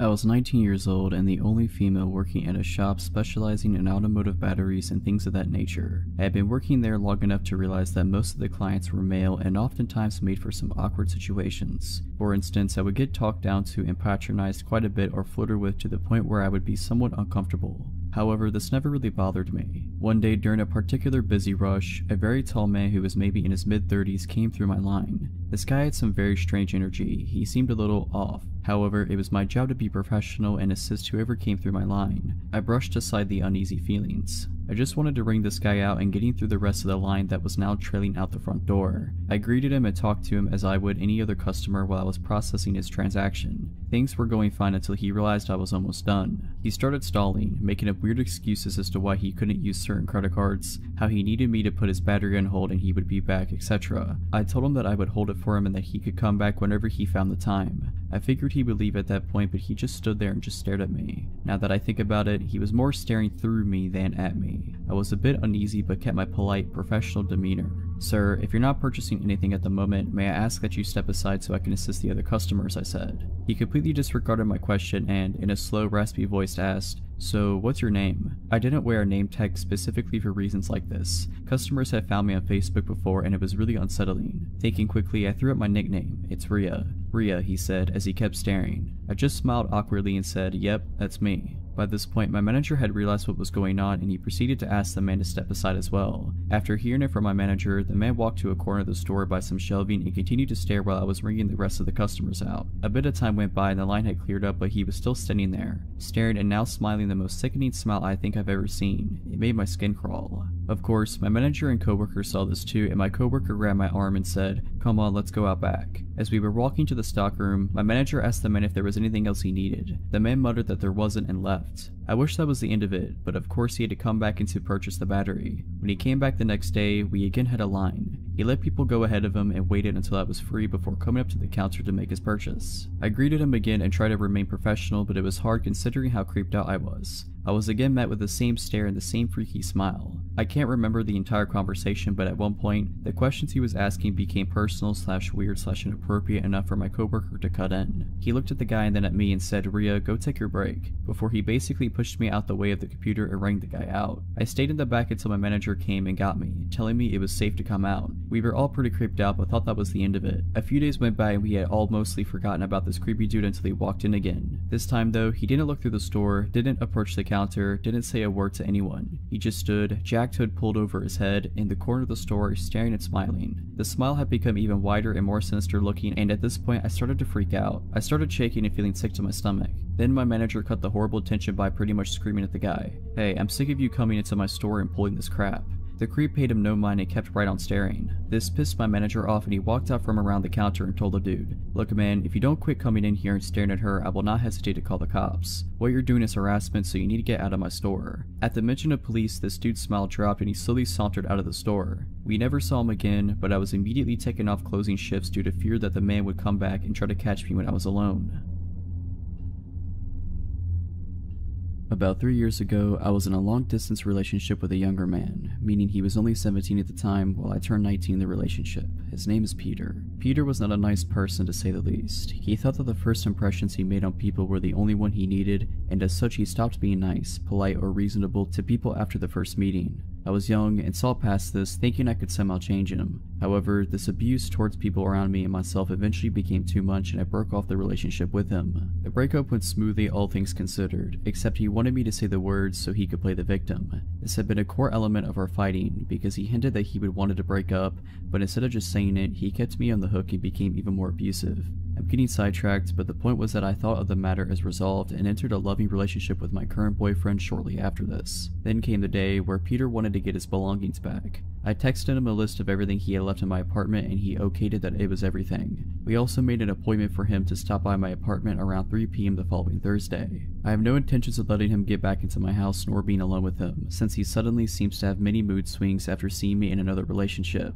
He has been blocked from my Facebook account, but somehow knew I was in a new relationship, which was a major red flag to me and my boyfriend. Thursday came and I felt eager just to be done with it. My boyfriend and I are walking home from high school when my phone rings. It's Peter. He yells at me that he has now been waiting at the train station for over an hour. I try to reason with him, agree to meet him there with his belongings since he needs to catch a train. My boyfriend walks with me to the train station, but we arrive only to find it vacant. I live in a small town and the train station is mostly used during rush hours in the morning and evening. It is also located rather bizarrely among normal residences and there are a lot of off alleyways leading all over town from there. I get a text stating that Peter can see us, but won't come out of hiding when my boyfriend is there. We leave his stuff on a bench at the train station, calmly replying that I'm not not actually interested in meeting him. When I say calmly, I mean that my reply is calm. I'm shaking and my boyfriend is furious over this child's play. On our way home, I receive another text. This time, he states that he has a gift for me and it is in my mailbox. This freaks us out even more, mostly because this indicates that he might be waiting at my home. It is entirely possible that he watched us on the train station and then ran all the way to my apartment. However, there is no trace of him and nothing except a bill in my mailbox. By now, we figure that he is acting out of spite and proceeds to ignore the bombardment of text, calls, and so forth that follows that day. After a while, life returns to normal. Then I get another call, this time from my ex-elder brother who is worried about his sibling. Apparently he has disappeared, taking one of his brother's gas pistols. I am speechless, but since I haven't seen anything, I shake it off as another childish act. The same day my boyfriend sees police officers walking around the basement staircase on the exterior of the house we lived in, while doing some grocery shopping. He did this every day around 4 p.m. The next day we are contacted by my boyfriend's mother. In the newspaper, there is a description of an unnamed young man from the same town as Peter, who has been arrested for attempted robbery of the pizza place I lived above. He was armed with a knife, a gas pistol, and lighter fluid, while stating that he was not attempting a robbery but was there to visit his ex, presumably me. Contacting the police, I discovered that he also had a mask, fake papers, and a wig in a duffel bag, which he had thrown down in the staircase when, around 4 p.m., he had jumped a fence and tried to enter the pizza place. This means that my boyfriend went out our front door, while my ex was hiding right beside the front door armed. I have never been that freaked out before. The sad truth is that my ex never got charged with anything because he is a minor, has a father with a military background and money. Luckily after this, me nor my boyfriend ever saw him again. So this happened when I was in 7th grade, a 12 year old kid. At the time, it was just my mom, my brother, and I living in a rental in a rundown low income area. We moved in during the summer before the school year started, and we were welcomed by our next door neighbors, which wasn't too uncommon, but not super common at the same time for that area in Oregon. My mom worked 8 a.m. to 5 p.m. every day, so my little brother and I would ride the bus home every day from school. My cousin would also sometime ride back to my house with us and her parents would pick her up later, important for later. One day when I came home, I noticed our small laptop we owned was gone off the counter. I figured my mom had moved it. Later when my mom came home later, we determined it was missing and that a lot of other things were missing like my iPod and wallet and my mom's safe with her handgun in it, and lots of family valuables. We called the cops and reported a robbery and they came to investigate. They determined the person probably slid through the doggy door leading into the garage and then entered the house through our unlocked garage door. Cops stayed in their cars on the curb all night and said they would stay on watch for our house more than normal. I was terrified all night and my brother and I slept in my mom's room. The next day we locked all our doors. It was Wednesday and it was a random half day at my school so I rode the bus home around noon and my cousin came with while my brother went to a friend's house for the afternoon to hang out. I used the key under the mat my mom leaves for me, and my cousin and I hung out for about an hour or two until her mom came and picked her up. After she left, I hear the doorknob of the closet right next to the front door slowly open, and out comes this skinny, what looked like a 35 year old man that I recognized as our next door neighbor. He seemed to be constantly shaking, intense eyes, had a really unhealthy look to him because of the extremely sunken face. Terrified, I'm in the living room just standing looking at him while he looks at me, with a surprised look on his face. I think he thought everyone left when my cousin did, until his face changed to an amused smirk when I believed he realized that I was alone in his house. He begins to walk towards me while I stand there shocked, not sure what to do. He grabs me really hard on the shoulders. He seemed crazy and excitable with his intense eyes. I instinctively jump and buckle my knees to allow my full weight to be the force that rips me from his grip and fall down. He then bends down for me when I heel kick him as hard as I can. He then yells and falls to his knees. I use that time to run past him to my front door. I open it and run to a kid I rode the bus with's house about six houses down. He and his mom were there and she called the cops and my mom while I waited. The cops got to the house and he wasn't there but had managed to steal a few more small valuables. I gave my testimony that it was our next door neighbor and he was later caught the same day selling some of our stuff at the pawn shop in town. He ended up being a crystal meth addict, stealing our stuff to sell and pay for his addiction. He was super weak from all the drug abuse which is probably why I was able to get away from him. He also was apparently somewhat high when he spontaneously decided to attack me being that I was alone. He had apparently watched us for a few months, learning our schedules from when we left and got home. He took the time to take the key from under the front door mat while we were gone, get a copy, and then put the original back under the mat for my brother and I to use when we got home. The cops were surprised he was smart enough to do that, as he seemed to be mostly dim-witted with everything else due to the drug abuse. Either way, I testified against his physical attack, and he got a few decades of jail time being that he was already on parole for drugs. I was terrified and slept in my mom's room for the next year.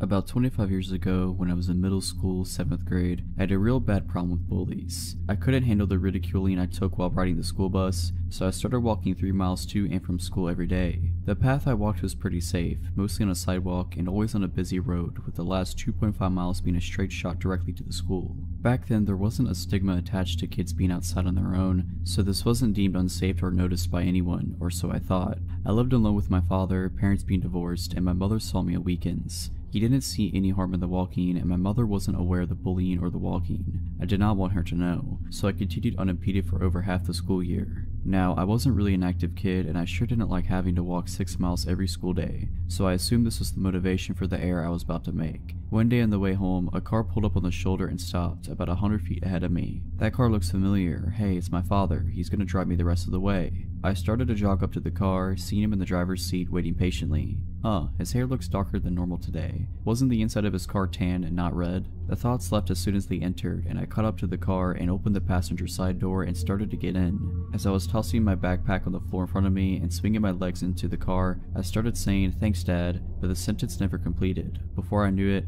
I had shut the car door and we began to move. This isn't my father. This man was much older, by at least 20 years, hair obviously dyed black, and hands propped at 10 and 2 on the steering wheel. The shirt he was wearing looked just like one my father would have worn. A short-sleeved collared button-down, brick red with black horizontal lines, not pressed, but not too wrinkled either. He was smiling at me, which probably would have felt warm if it was coming from my grandfather, but instead it felt menacing. I heard a click and looked over at the door, which had just been locked. I stared at the door for a moment longer, then turned and faced front and completely froze, terrified. Hello, I saw you walking. I figured I'd come give you a lift. I did not move or answer. His voice matched his smile, deceivingly friendly. We were roughly a mile away from home, and half a mile from the next turn needed to head in that direction. All I could concentrate on is how I was going to get out of the situation. Are you on your way home? This snapped me a little out of my zone. Yes, I want to go home, I answered. Stay calm, talk normally, don't act scared. Where is your house? I can take you there. Feeling just slightly relieved, I told him to take the next right turn. I felt myself begin to breathe and I realized how tense I had been. My body relaxed slightly and I finally moved and wrapped my hands around my backpack straps. We started to come up on the intersection and I pointed ahead, reiterating that this was my turn. Okay, but if you want, we could take a ride instead. It sounded like a question, but it didn't feel like one. The dotted line for the turn lane had begun, but he did not get over. Instantly, I tensed back up and my grip and my gaze on the backpack straps tightened. Through strained muscles, I choked out that, no, no, I really need to get back home. He swung the car into the turn lane and began to make the turn. Wide-eyed, I glanced up and verified that yes, indeed, we were making the turn. Are you sure? I'll make sure you get home before anyone realizes you're gone. Grip tightening further, I abruptly stated that no, I need to get home now. My father's expecting me home now. He's waiting. I just hoped it sounded more convincing than it sounded to me. We completed the turn.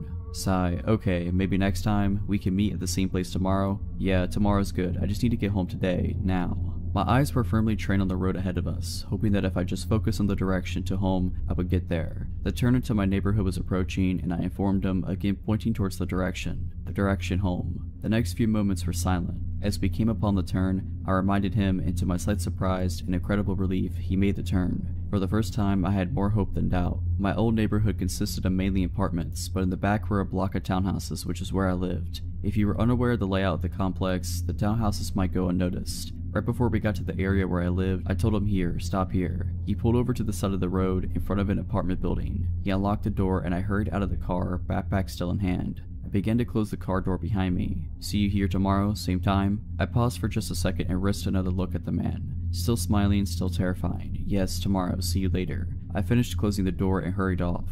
I swung my backpack on the right way and briskly walked into the opposite direction of my house. I could hear the car still idling behind me, and it wasn't until I was able to turn off that road and leave his view that I heard him start to move. He had to drive up to where I was walking to turn around, and I glanced back as he was making an awkward turn, instead of going around the block to leave.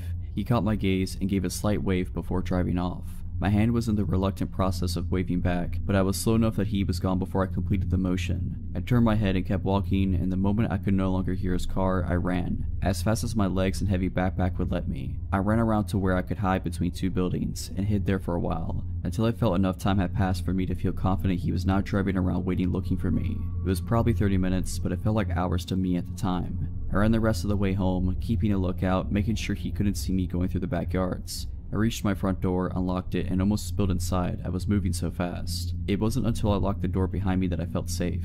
I didn't feel scared anymore, I was home. In the end, I told both my parents, and my mother forced my father to drive and pick me up from school for the remainder of the school year. And luckily for me, the bullying stopped the next year. My father didn't believe me and thought I made up the story to get out of walking to school. In his defense, me trying to explain that, no, the car was exactly like yours, except the entire color of the inside, and no, he did look like you, just with darker hair, and it all happened so fast. It was worth his disbelief and annoyance every day in the car, so I never had to meet that guy again. So this happened when I was 16, visiting my grandma, who lives in a small town in Poland. Just for context, it was summer and my family wasn't with me at the time. As you can imagine, living without my parents for a short time, my grandma's really chill was a dream. I could stay out late as much as I wanted to without my parents being able to prove it. Now at 16, you feel you're invincible. You don't really think about how many screwed up people there are in this world. Because of this mindset, I wasn't worried about walking alone at night. The day on which the story takes place was very hot. I remember shopping and hanging out with my friends until about 8 p.m. when it started to rain. Instead of walking home quickly, I decided to visit my aunt's house, hang out with my cousin for a bit, and walk home when the rain stopped. Well, I lost track of time and ended up leaving her house at about 10.30 p.m. At this point, the rain had mostly stopped, and this being my favorite type of weather, I declined my aunt's offer to drive me back, telling her I was getting a cab. I'm still surprised she believed this, but maybe she just didn't care. So I went on my way, called my grandma to tell her I'd be home in 30 minutes, but not telling her that I was walking alone. If there was one thing that scared me, it were the huge train tracks which you had to cross in order to get to my grandma's house the fastest, so I decided to take the longer way around through some sort of nature preserve. I'm not sure how to call it. I enjoyed my walk through the light rain until the long metal bridge came into my view. Just as its beginning, I saw a man. It was a small quiet town, so it wasn't common for the people here to be out this late, but I wasn't scared immediately. I only saw his back, but he looked like every other guy you'd pass by on the street. He didn't seem to notice me, and I didn't really care. I got distracted by looking at the trees to my left, but when I came to the beginning of the bridge, the man was nowhere to be seen. I suddenly stopped dead in my tracks and got an ominous feeling. This man couldn't have already been out of view. It would have been impossible for him to move this fast. He would have had a run and I definitely would have heard him running on the metal bridge. At the end of the bridge there was a small path that led under it, which was hidden by thick bushes. I got even more scared by the thought that he was hiding there, waiting for me. I slowly started to walk backwards, not taking my eyes off the bushes. I hid behind a tree and decided to wait a few minutes to see if he was hiding there. After about 10 minutes, my biggest fear came true. Suddenly, the man emerged from the bushes, looking in my direction. He was holding something big and shiny. I could make out in the dark that it was a knife. My mind started racing with a thousand questions. How did he see me? Why didn't I see the knife before? Where was he hiding it? He suddenly started to run in my direction, so fast. He ran straight past me, hiding behind this tree, and I was so relieved. When he was out of sight, I ran faster than I ever ran, not stopping to look behind me. Being frightened the whole way back, thinking that he'd somehow find me and do whatever sick thing he had in mind. Luckily, I arrived home safely, my grandma waiting for me already mad. Looking back, this was one of the most stupidest things I could have done because of what happened a month after this incident. Two teenage girls about my age were stabbed dozens of times by this bridge. One body was found about 30 meters from it, and the other one was thrown into the nearby river. To this day, nobody knows who did it, but I'm pretty sure that it was the same man whom I've encountered.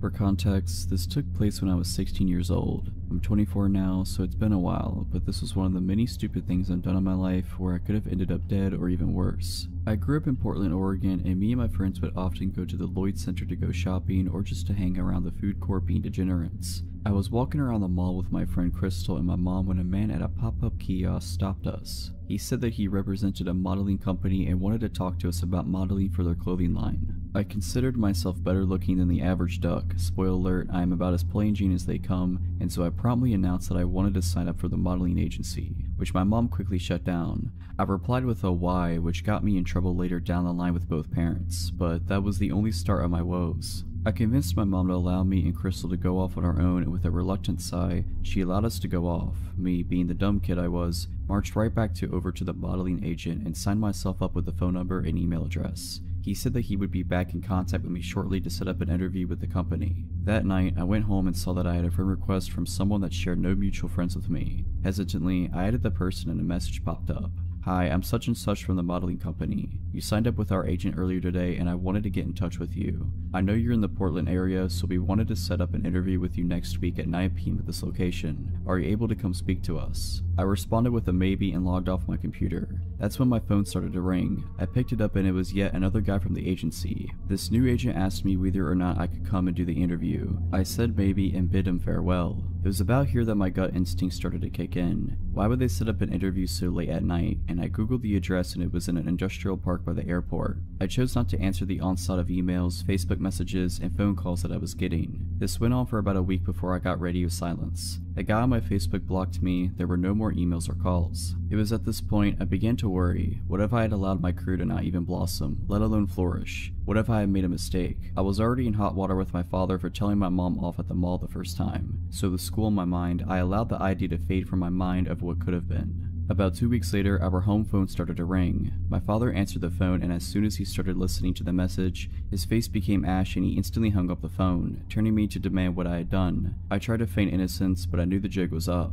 We had just gotten a phone call from the Portland Police Department to warn our family about a ring of traffickers who were targeting young girls with promises of modeling and acting. They had stumbled upon the name of one of the men who worked for the ring and through that started contacting families of young women whose information they had gotten a hold of. The worst part of it all, they had my family's address and home phone number as well. I was grounded for the rest of the year, which was to be expected, but it was better than being carted off to some trafficking ring, so I couldn't complain. When I was finally allowed back to the mall with my friends, we walked by the kiosk where the modeling agent once peddled his false hopes and dreams. All that was left was an empty booth.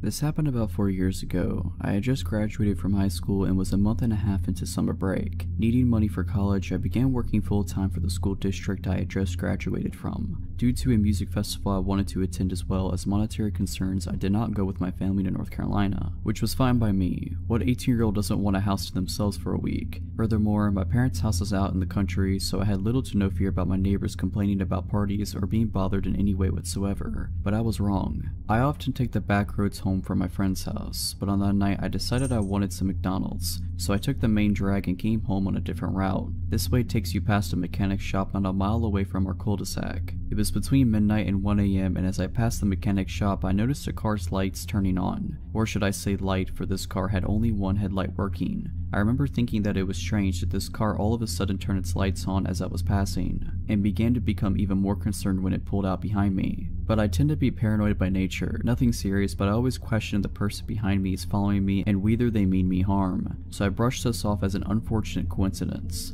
but as I neared my street and the car was still tailing me, I started to become freaked out. I looked at my gas tank and my heart sunk as I saw I was on E. Either I pull up my street and go home, or I risk driving around some and seeing if this dude follows. Yet that option held the risk of my car running out of gas and leaving me stranded on the road and I figured I'd rather take my chances on my own soil than on the side of some dark and lonely country back road. So I turned onto my street only to have my heart sink when the one headlamped car makes the turn right behind me. At this point, I know I'm screwed. With nothing left to do, I begin pulling up my driveway. It's a hill about a hundred yards long. To my utter horror, they begin to follow me up. Looking back, I should have called the cops, but there was no love lost between law enforcement and myself, and at the time, I was too caught up to even consider calling them. If my family would have been home, this would have never happened. I could have called my dad and he could have grabbed his gun, but he, along with the rest of my family, were gone, 12 hours away at the beach. So when they began to drive up my driveway after me, I stopped to put my car in reverse. They responded my reversing as well, yet they stopped at the bottom, effectively blocking my driveway. At this point, I pulled forward again only to have the same jig and dance happen. They followed, I reversed, they reversed, and set at the end, blocking my escape. I quickly pulled up and turned my car around to come at them head on. By this time they were halfway up my driveway, the furthest they had come up. Looking back I was terrified, alone, and angry. Who did this person think they were? With my brights on and shining right into their face, I opened my car door and got out. I pulled out my pocket knife and held it in my left hand while I grabbed my hammer in my right. I used to keep one in between my sear and door. In some weird desperate mindset, I made a split second decision to grab the hammer from the head with the handle sticking out. My hope was that it would be mistaken as a gun. I began yelling at points of my hammer slash gun at the car, screaming at them to get out and what do you want? All the while I held my hammer as a gun and prayed they would fall for it. Whether they did or not I cannot say. Part of me believes they thought it was a gun due to my brights being behind me making my whole front side a shadow yet they could have just not wanted a fight. Perhaps they thought I was a girl or was timid and wouldn't resist so aggressively and violently. Who knows but it worked. They slowly backed out of my driveway and crept around the cul-de-sac. As they were leaving my street I ran after them hiding behind my neighbors' houses and at every driveway the car would slow down to a near stop, as if scoping out the houses. Thankfully, they didn't pull into any driveways and they turned off my street altogether. After I was safely in my house, I ate my McDonald's by the front window with all the lights turned off, waiting to see if they'd come creeping back. Thankfully, they didn't, but that night I locked every door in the house, which I always did anyways, and slept with a hammer, machete, and baseball bat next to me and my pocket knife under the pillow. Complete overkill I know, but I was terrified. Now I know where my dad keeps his gun, so if it ever happens again, I'll be better prepared. Last year, I was dog sitting for my aunt. The dog is small, sweet, and a little skittish. I had worked most of the week, so I was just living in the house for the time being. It's a nice house, not big enough to feel empty if you're alone, but not small enough to feel cramped. The only rooms I used were the kitchen, bathroom, living room, and the guest bedroom. My last day of work this particular week was a double shift. I was excited because after this I had two days off. I planned on using them to introduce the dog to RuPaul's Drag Race. I usually try to keep good spirits for a double shift because regardless of the time and annoying customers, extra money is always needed. My old job was a barista and cashier. Mornings are always busy and nights are slow. On weekends, people are more concerned with coffee and breakfast than anything else we may have to offer. I was having a nice time, actually, because this day was turning out to be not as hectic as the previous ones that week, one even involving a small fire. As the morning rush line was dwindling, the limited tables in the restaurant came into view and I started people watching. As I slowly scanned the customers eating bagels and reading the paper, my eyes met a man at a laptop. He had long, dirty hair and a bit of a stubble. He stared at me with a little too much intensity. I wondered if he found my people watching rude, so I decided to clean and restock instead. It didn't take long for a line to reform, so I returned to my register. Once again, after the line died down, I could see the few tables in the front. The man was still there and he was still staring at me. Every now and then he would look at his computer and then back to me. It almost felt like he was looking right through me, or like he could see every part of me. It felt so uncomfortable that I went and cleaned in the back of the restaurant, out of his sight. After the next rush, I took my break and sat far away from the man. He was out of sight and I was out of his. When I came back from the break, the man was gone. My manager asked if I had interacted with him at all. I told her about him making eye contact with me, but that nothing else really happened. She told me that the man had been watching 18 plus content on his laptop and she had asked him to leave. So that was weird enough. The man had been watching that and stared at me. I really wish that this is where the story stopped. Hours passed and the rest of the day was entirely normal, despite me and a few female coworkers feeling a slight edge. We were in the process of closing, which is actually a process I really enjoy. We're well in and I'm almost done with my assigned jobs when my manager comes up to me again. She informs me that the man had found his way back in the restaurant at some point, and she found him hiding in a back corner. She chased him out by threatening to call the police. She knew that earlier in the day, he seemed to be paying attention to me. She said I could finish up whatever I wanted or needed to, but afterwards she strongly advised me to get home as soon as possible. She also offered to walk me to my car. I took both offers and quickly got my things together and clocked out. My aunt's house was not far from work. It was a 5 minute drive at most, which was helpful because then I didn't feel the crippling anxiety for much longer. Got in the house and after triple checking that I had locked every door, got into my pajamas. But unsurprisingly, I was not ready to sleep yet. Now was the time to introduce the dog to RuPaul's Drag Race. I went into the living room. The living room consists of a couch, two chairs, a TV, a window, and the front door. Unfortunately, the porch light was broken and the window had no curtains. That had me a little stressed, but I was willing to take that over the only other TV in the house, which was the one that exists in the scary basement. Facing the basement TV included having my back to a sliding glass door facing the very dark woods. No thanks. I was setting up the TV when the dog started growling. I really didn't think much of it. As I said, the dog is skittish so he growls and barks all the time. I wasn't looking at him. I was muttering shush shush and figuring out how to work the TV. The dog didn't stop and started to get louder so I finally put down the remote and I turned to face the dog. I froze. The dog was barking at the window and there was an outline of a man at the window, the exact same build as the one at the restaurant. I screamed and luckily that was enough for the man to run away from the window. I stood there frozen for a while. The dog had calmed down but I hardly felt safe.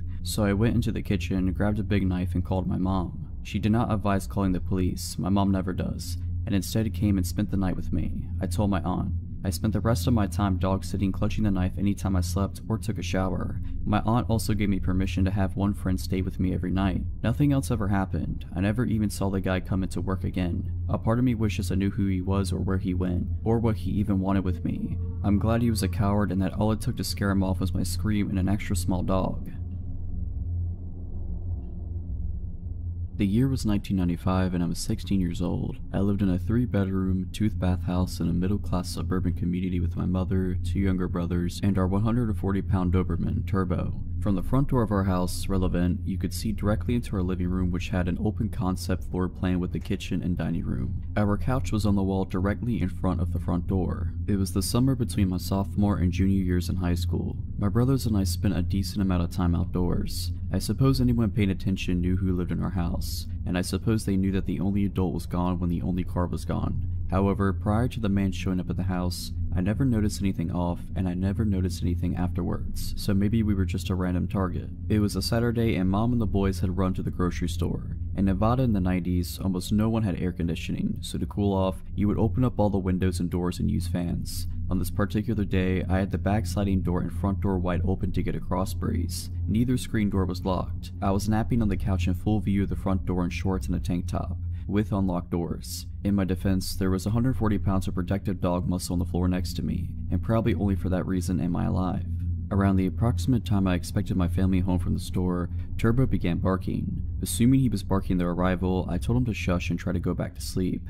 Turbo continued to bark, becoming more and more intense and even aggressive with his barking. Finally, after 5 to 10 minutes of Turbo refusing to quiet and my family never coming in from the car, I sat up, realizing something was wrong. A man who I didn't know stood, seemingly frozen, staring at my frenzied and barking Doberman.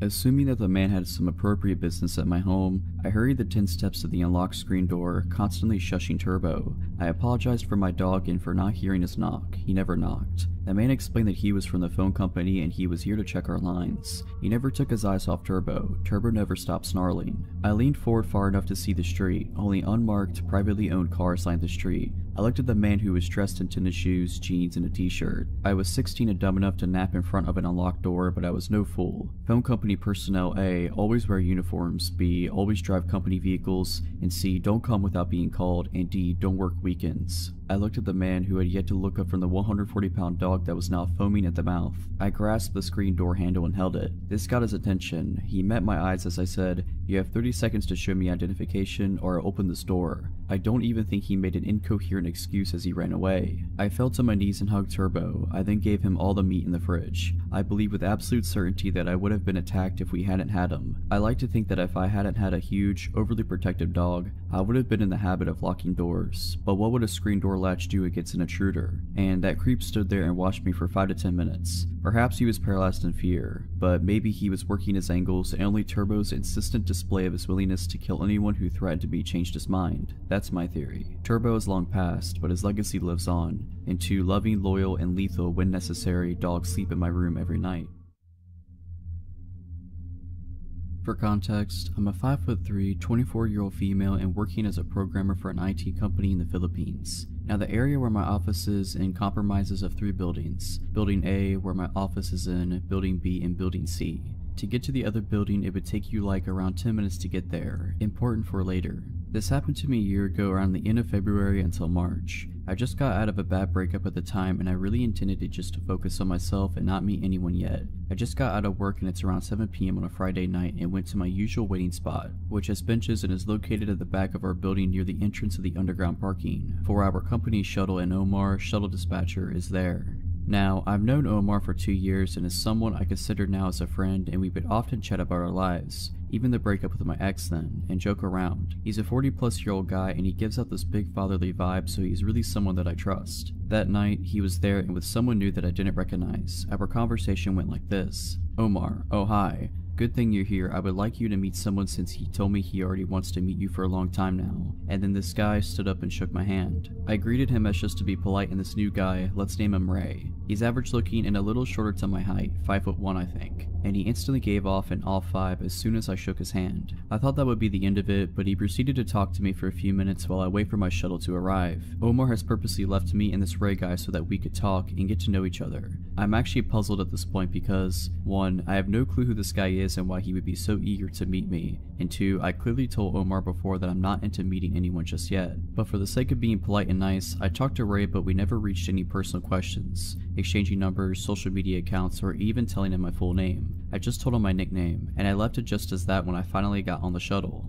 Fast forward to a week and Friday again, I got off at work in the same time and surprise surprise, Ray is there again with Omar and a security guard. They were chatting but as soon as I came, Ray instantly greeted me and at this point, I'm a little creeped out as I expected our encounter would only be a one-time thing. I just said hi and brushed him off and sat on the benches to wait for my shuttle again and of course, as this guy doesn't seem to know the definition of personal space, sat beside me and talked to me again but this time he's asking for my cell phone number. I told him off and clearly said that I'm not giving out my number to strangers and just giving him one word answers just to give an impression that I wasn't interested at all. He would ask, why wouldn't you give your number, I just want to be friends. And I could see it in his face that he was getting frustrated every time I told him I wasn't giving it to him. This happened while Omar and the security guard was looking at us from afar, but this went on until I got on the shuttle again. As soon as I got home, I mindlessly scrolled through my timeline and saw a notification that I have a new friend request and guess what? It's Ray and he even messaged me with a please accept my friend request. I just deleted his request, but now I'm pretty shocked since I didn't tell him my Facebook account, so how did he manage to find me? The following day was the last straw when I decided to get off at an earlier time so that I could avoid him, but to my surprise, he was there, again waiting for me, along with Omar and the security guard. Ray immediately ran up to me to say hi, but I brushed him off and dreaded the fact that I would have to wait with this creep again when I saw my shuttle isn't there yet. He immediately asked me if I accepted his Facebook request, and I decided to play dumb and said I haven't been active on Facebook and I haven't seen any requests. He got disappointed and he fiddled with his phone for a bit and then revealed his phone to show my Facebook profile and asked me if this was me. I said yes, and this time, I was completely ignoring him at this point and playing with my phone and told him that I wasn't going to accept his request because I don't know him. And then Ray grabbed my phone out of my hands angrily and said he was gonna add himself using my Facebook account if I won't. I muttered a what the and grabbed my phone from him and with perfect timing, I got on the shuttle in a hurry and told the driver to go. At this point, I could confirm that this guy could be stalking me and now knows my daily schedule and social media accounts. I reported this incident to my manager and told her how this was already happening for some time now. She was surprised that I didn't report it earlier but I blamed it on my lack of assertiveness and fear that I might be overreacting to his advances. We reported the incident to office security and told them what happened and they couldn't do anything at first as 1. I need actual evidence about my allegations to him and 2. I only knew Ray by his first name and they would need more information than that. I didn't bother to ask where he's from or if he's even working in our office slash building which is dumb of me and I should have asked in the first place. My manager then decided that I should be at least accompanied by some of my office mates to confirm the situation and the guys volunteered to accompany me every time I got off work. They accompanied me for a couple days and no matter what time I got out, Ray was there to harass me. I felt bad for my office mates as they had to deal with his BS as well. First instance when he saw I was with my office mates, I could see the visible anger in his eyes and he would try to butt in our conversation even if we were ignoring him. At one point when I'm talking with my office mates, he let out an exasperated sigh and said, Can I talk to you for a second please? What do you want? I just want to talk to you. If you don't, I'll leave. Okay, and then I went back to talking to my office mates. He butted in once more and asked that I should introduce him to my office mates when I didn't. He proceeded to introduce himself instead which irked the heck out of my office mates and I as his behavior doesn't seem normal at all. After that incident, my office mates and I told my manager what happened and how dangerous this guy might be. She decided that we should escalate it to HR and have them deal with it immediately. Gladly, HR responded and took the situation seriously and began to do an investigation on who Ray might be. Same day, they sent an email that after searching through records, turns out Ray wasn't an employee at our office and they might need to talk to building security to find out more about this guy. HR also requested our office security to escort me and observe the situation. I honestly felt relieved as now I'll feel safe for the time being while they search for who Ray might be. He still showed up even if I got out late or earlier than usual, but never went near me when he saw I was accompanied by security but he would just keep his distance and stare at me, smile creepily and linger outside my shuttle until it left. HR contacted me for a meeting with them and my manager about some news on Ray and I was shocked by the information that they found out. Ray was not an employee of our building slash office, but in fact, a temp in the security office in building C. I then thought, okay, this creep is really putting an effort for someone who is clearly not interested and if he's a temp meaning there's a chance I won't be able to see him after this. But then what HR said chilled me to the bone. He was a temp assigned to work on the security cameras meaning he had access to all the building cameras. It has been his way to spy on me and the reason why he was able to be there at the exact same time I got out. HR has already spoken to his supervisor and gave a warning to Ray and of course, Ray denied the allegations even if I had witnesses against him. The supervisor wanted to apologize to me in person, but I decided not to as I just wanted this to be over with. After that meeting, I never saw Ray again and I reckon he must have been kicked out after HR issued warning against him. As for Omar, I never seen him as well and I felt bad but he was also part of the people who enabled Ray and didn't do anything when I was clearly getting harassed. I received a bit of backlash from the security guards at the building for a while as well, hearing them say that I was overreacting and I should have accepted his advances which was disgusting as I heard the same thing being said by female building staff as well. Nothing strange happened for a few days, but then the security guard that was with Omar at the time when Ray was harassing me added me on Facebook, but I didn't make much of it and just deleted the request. I'm still working in the same office and building as of today and been totally shaken up by the incident that I decided just to keep my distance from people so I could avoid from this ever happening again and to Ray, please don't meet me again. If you're liking this video, all I ask is that you make sure to subscribe to my channel and like this video. Thank you. This story is of my brief friendship with a guy that near stalked me, and I'm sharing it for some closure, I think. I started my freshman year of college at a university in my hometown that's pretty nice. I'm not going to share too much about it, but it has a smaller amount of students but enough that you don't really run into people often. I lived on campus and I was only 17 at the time. I had Tinder of course, as I was fresh out of a relationship and looking to experience new things in college. I matched with this one boy, Asher, who seemed nice enough. Pretty socially awkward, but I never really minded because I have anxiety issues myself and I'm really sympathetic to it. Because of that, I ignored a lot of warning signs I shouldn't have. We texted for a while and he seemed really nice and caring. He wanted to know a lot about me, which I wasn't too keen on sharing, but I told him the basics and we texted kind of regularly. He lived on campus as well and invited me to hang out. At that time, things didn't seem too sketchy so I was completely down. When I first met him, that's when things started to get uncomfortable. We hung out in his dorm, which is pretty standard overall. I got cozy with him on his couch. I'd say almost cuddling, but not quite. Still, really standard. When we started talking more, I realized how uncomfortable things really were. He kept making comments that just put me off, but I tried to ignore them. Things like, I've never really cuddled with anyone before, sorry if I'm doing it wrong.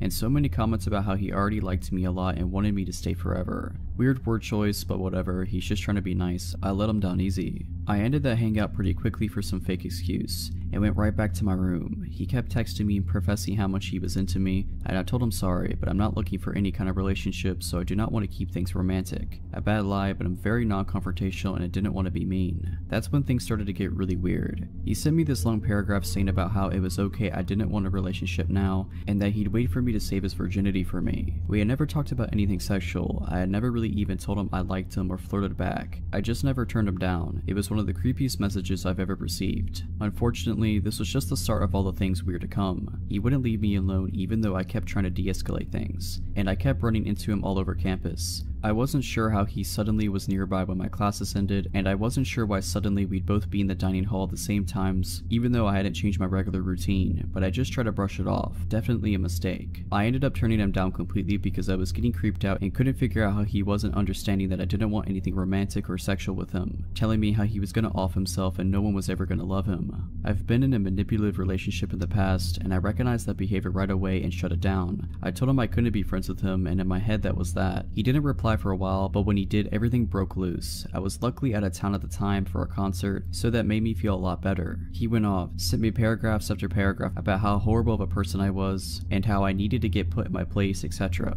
I could handle that, I just ignored it. Then, once the regret set in, he made it his mission to win my love however possible. He apologized profusely, told me how he couldn't be all alone and I was his only friend, and how much he loved me. Whatever, terrible, but I didn't care about that. Then, I guess to prove his dedication, he did the creepiest thing yet. First, he told me he was outside my room. We did not live in the same dorm building, and you can't get into the buildings unless you live there. I don't know who let him in. I wasn't there, and my roommate was out, so that was okay. I texted back at that point and told him to leave and how wrong and creepy that was, and he pulled out his last resort. He just sent me screenshots of my contact in his phone. On Apple devices, you can fill in tons of information and have a note section. Everything was entirely full. He knew my home address, my room number on campus, my parents and brother's names, my pets' names, my schedule. It was terrifying because I'm a fairly private person. My Instagram is my only social media and I do not share that much on it. I don't think I'll ever find out how he discovered all that about me. I blocked him on everything right away and reported him to school. The school did nothing at all. I still see him on campus, but it seems like he doesn't care about me anymore gladly.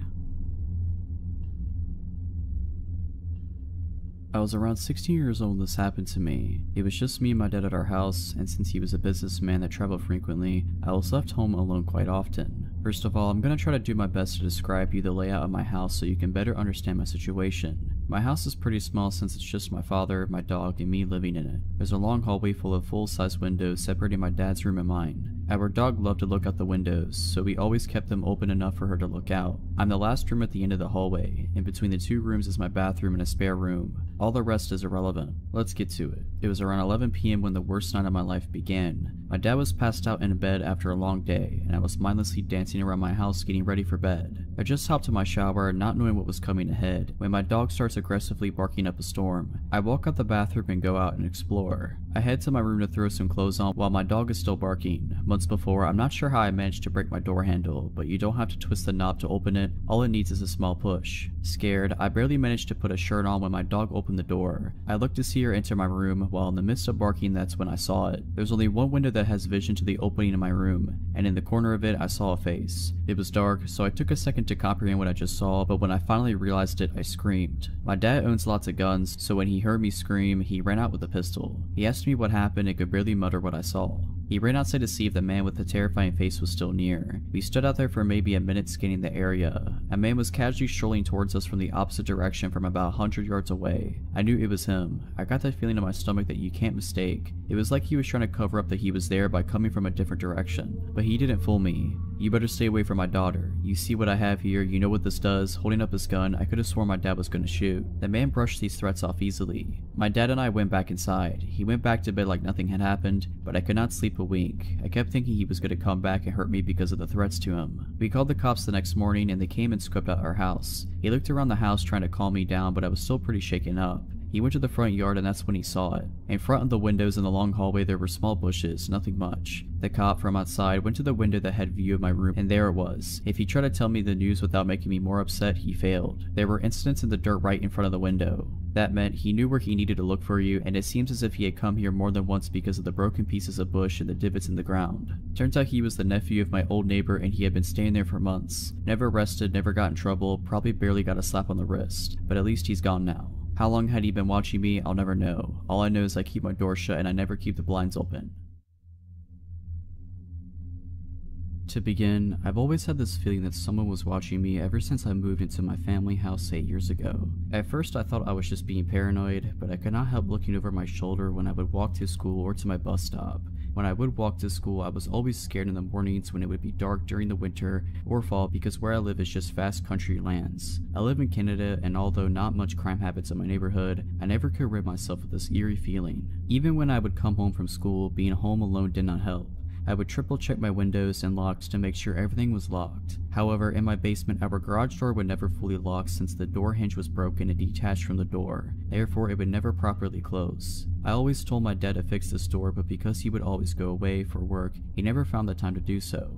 Stupidly, I thought nothing bad would happen since my garage needed a 4-digit passcode to get in. Now my theory is that he knew the passcode of my house, Therefore, he had free reign for seven years to go through my things. At first, I thought I was being forgetful. Maybe I was the one who misplaced my underwear somewhere. Maybe I was the one who misplaced my favorite top, or maybe my dad accidentally donated it. But I should have known better. During my four years in high school, he never really contacted me. It was when I went to university that things started to change. Since I live in the countryside, I decided to go to a university an hour away. My dad did not want me to live on residence because he didn't want to leave the house unattended for long periods of time. So we came to the conclusion that it would be the best if I drive to and from school. Now I would leave for university very early in the morning, around 6 a.m., and come back around 6 p.m. at night. I stopped being aware of my surroundings at this time because I would be tired from my 12 hour days, and now that I wasn't walking alone, everything would be fine. When I would come home from university, I would find certain things moved in my house. I am a neat freak and I like things a particular way in my house. When little things like my makeup or candles would be moved, I thought it was odd and would frequently bring it up to my dad, but he would just say that it must have been me who was doing it, but it wasn't me. During my second and third year in university, I started getting weird notes in my mailbox. The writing on these notes looked almost childlike and it would always be written in blue ink. I have those country style mailboxes at the end of my driveway where the little red flag goes up whenever we get mail.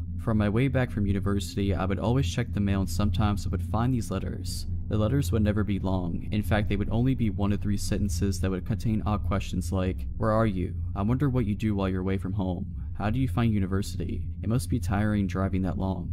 Did you make new friends? Do you still hang out with your best friend? You dress differently now. Why is that? I miss the scarves you used to wear. You don't close your curtains as much anymore. Why don't you look for me? These letters would always come once a month at the beginning of the month. I would show my dad and at first he would say, oh maybe your cousins are just pranking you, or it's probably your friends. But every time I would ask my friends or cousins, they would give me this confused response saying that they never sent me any letters. Now that I am in my fourth year at university, the letters do not come as frequently, but two weeks ago something happened that makes me think that things are escalating.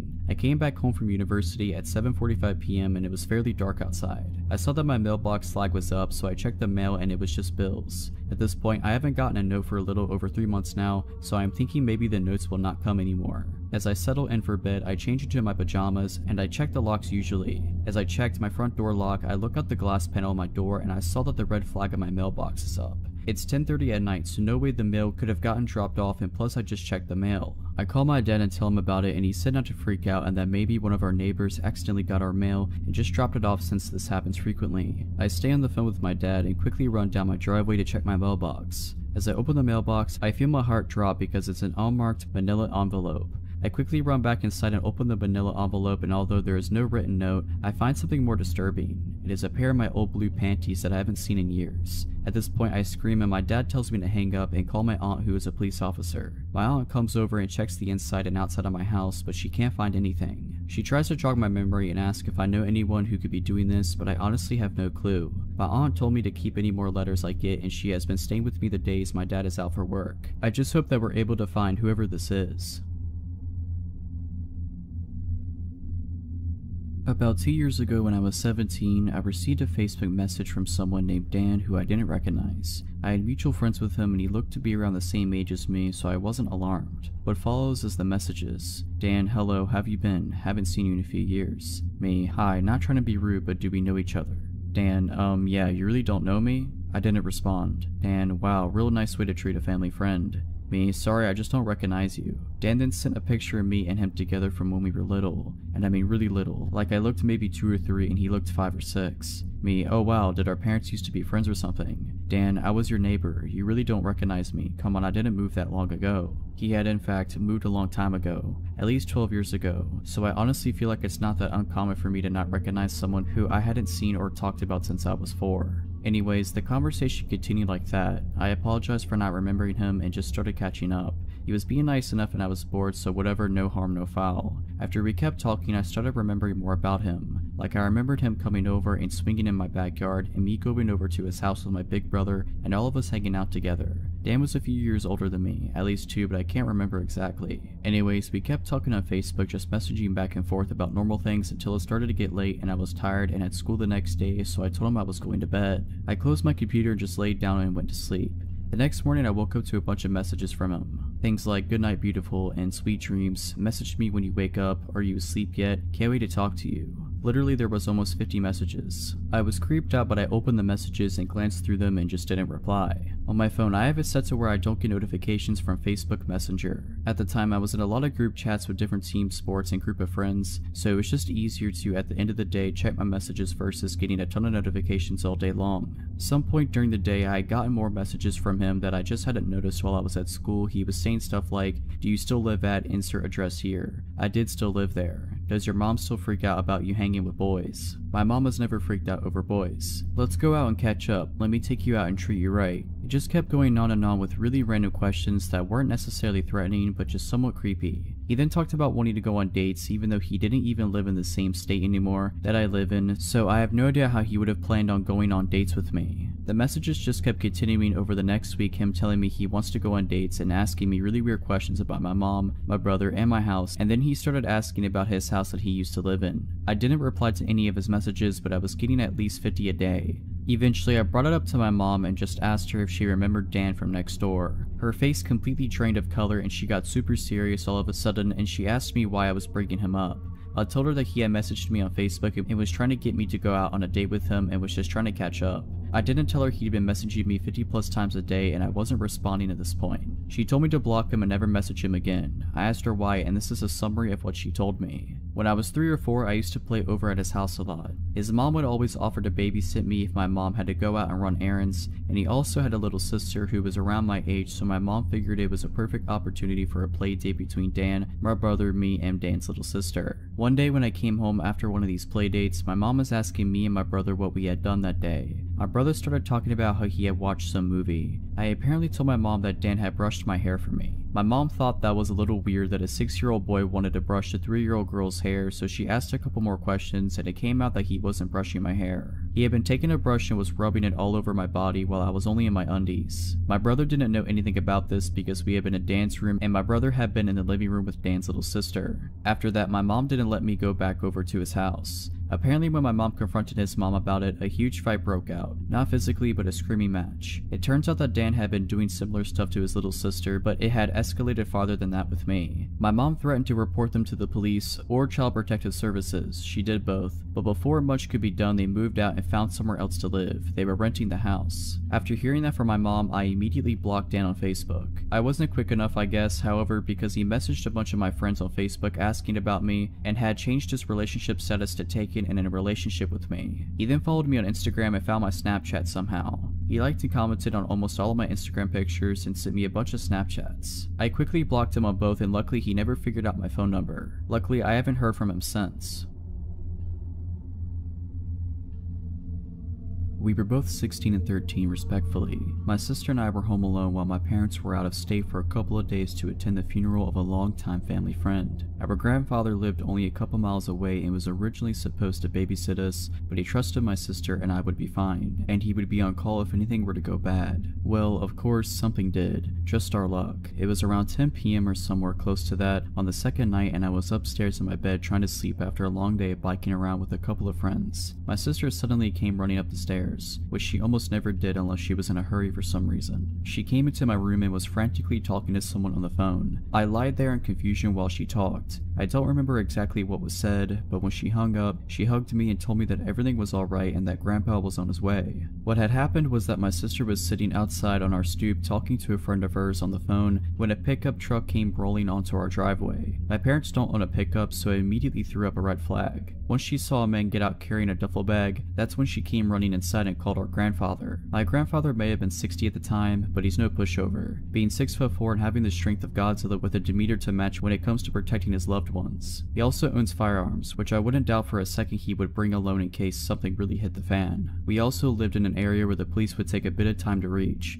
which is another reason why my sister called him and not the authorities. Suddenly, we hear what sounds like a door being kicked open downstairs. Almost immediately afterwards, we began barricading my bedroom door, since none of the bedroom doors had locks on them at the time. Once we're done, she looks at the window while I sit there, covering myself with my blanket. All the while we hear footsteps downstairs on our hardwood kitchen floor. My sister then looked around my room and asked if I had a bat or something, which I did in my closet. My Louisville slugger that I used when my parents made me play baseball when I was in elementary school. I also had a hockey stick, but who would use that as a weapon unless in a very circumstantial situation? She rummaged through my closet and found it, then stood next to the door while I ducked down behind her, thinking maybe I should grab the hockey stick, but it's much less intimidating than a bat. Unless this burglar has some sort of PTSD associated with hockey, then this is the ultimate weapon. We then hear the sound of a gunshot followed by a man yelling out in pain. The sound of both I can still hear even to this day when I think about it hard enough. My sister and I are standing by the door, almost sobbing when about a minute later, we then hear my grandfather yell out our names, asking if we were alright to which we both yelled out simultaneously that we were. My sister and I pulled the dresser and various other objects out the way of my door and we both went out into the hallway. We heard my grandfather on the phone with 911 as we stood at the top of the stairs. When the police and ambulance arrived, the man who had broken in was taken out on a stretcher, to which I later learned was shot in the abdomen. My grandfather had come in through the same back door and found the man in our kitchen looking through drawers. When he came at my grandfather with one of our kitchen knives, that's when he was shot. That man almost died from blood loss, but ended up surviving and I hope he's learned his lesson, both through being incarcerated and by being shot in the abdomen and almost losing his life. But, of course, you never know with certain people, especially the nefarious ones. This all started my sophomore year of high school. I was 15 and at a new school, so I didn't have many friends yet. I was in that phase where I thought I needed a boyfriend to have validation, so I was actively trying to find a date for the homecoming dance. A classmate suggested a junior in one of her classes, whom I will call David, to be my date and got him to ask me out. He seemed nice, so I said yes, a decision that would haunt me for the next two years. David and I had fun at homecoming, so when he asked me to be his girlfriend, I said yes. It's important to note that he was quite the loner. He was very much into science and often spent alone conducting experiments in his room and even at school at times. I just brushed it off as him being quirky and figured I shouldn't get in the way of his passions but it wasn't long before I realized there was much more to his nice guy facade. Over the first several weeks of our relationship, we would talk over the phone and David would make increasingly inappropriate comments about things he wanted to do to me. I was 15 at the time and he was 17, so not only was I incredibly uncomfortable, but he was also nearly an adult making these comments to a younger girl. I kept telling him I wasn't comfortable with the things he was saying, but he always laughed it off as me being prude. I was fed up after a while and finally threatened to break up with him, and that finally made him stop.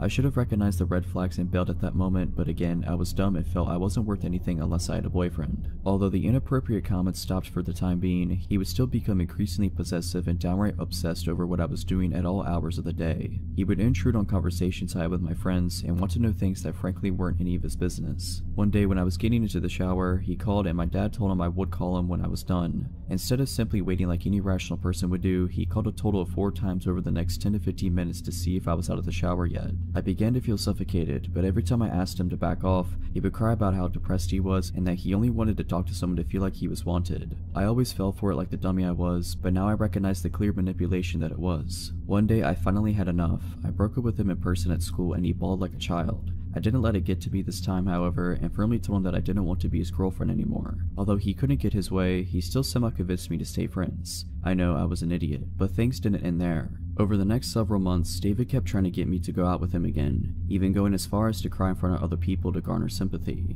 Fortunately for me, David had earned a bad reputation throughout his school year, so no one really believed him. He would even try to trick me into a date by subtly suggesting we go see a movie as friends, which I always got around by inviting my friends to come along too. They knew what he was doing and never turned down the chance to help a girl out. In the last few weeks I spoke to him, he would sit on the phone for hours on end literally begging me to take him back, and thankfully I held on strong and kept refusing. One night his brother actually called me telling me he was crying hysterically. Eventually it came to a point where I told him I didn't want to hang out anymore because it was clear that he would not stop until I became his girlfriend again. He agreed to not approach me anymore, but I wouldn't be writing this story if it ended here. The very next day at school, David came up to me like nothing had happened. I once again reminded him of the conversation we had the night before about how we agreed to not hang out anymore, but he acted offended that I would even suggest such a thing. Eventually, my friends and I convinced him to leave, but of course it didn't stop there. For two weeks straight, he would follow me around school, call my house and my cell phone.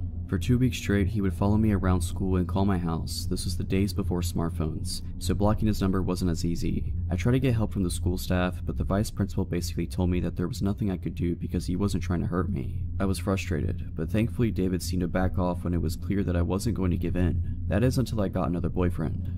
The following school year, my junior year, I started dating a senior named Justin. Not long after we went public with our relationship, I noticed David following me again. Now, Justin was a football player and he was a pretty big guy with unresolved anger issues, so he didn't take kindly to this guy. He would hang out with me and my friends, and David would hover over nearby, walking by every now and then and making it blatantly obvious that he was spying on me. One day, Justin walked straight up to David and confronted him. He didn't lay his hands on him or threaten him in any way, but he did ask, What are you doing? in a really angry tone. David simply muttered some kind of excuse and scurried away. We thought that was the end of it, but later in the day I was called to the principal's office. Turns out David claimed that Justin threatened him and blocked the doorway so he couldn't move. Justin denied it, of course, and told the principal I could back up his claim, which I did. Thankfully, nothing came of it, but this was only the first of a long line of incidents. Over the school year, David and his brother, who was a year younger than me, would try to get Justin in trouble every which way they could, even started rumors and threatening his life. A classmate of mine overheard them talking about ambushing Justin and hurting him, but even though I brought this to the staff, nothing was done about it. All the while, David kept following me when Justin wasn't around. There was even an incident in the school gym one day when a bunch of classes had to stay there for the period.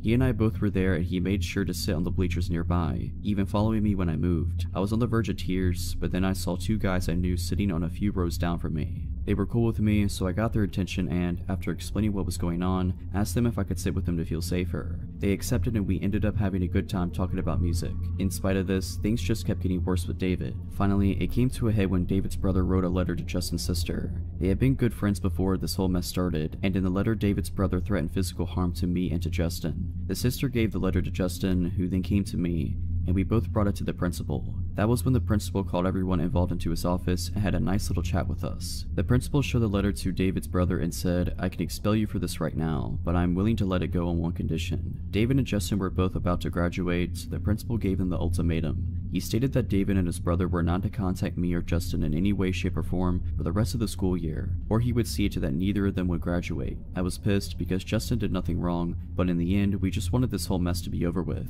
From that point on, David didn't bother me again, thankfully. Justin and I ended up breaking up that summer for unrelated reasons, and the following year I didn't have to see either of them ever again. A few years later, however, David tried to send me from request on Facebook. I deleted the request and blocked him. I even unfriended and blocked the two mutual friends we had for good measure. Sure, I was being paranoid, but it made me feel better. There was one last incident involving David not with me, but with my younger brother. When he was 14, he took his then girlfriend to see one of the Transformer movies and David walked in. Upon recognizing my brother, he sat behind him in his date and kept laughing uncontrollably at inappropriate times and even started kicking their seat. My brother tried confronting him, but it did no good. They didn't bother getting the manager because my brother's date was too afraid he would attack them if they tried to leave.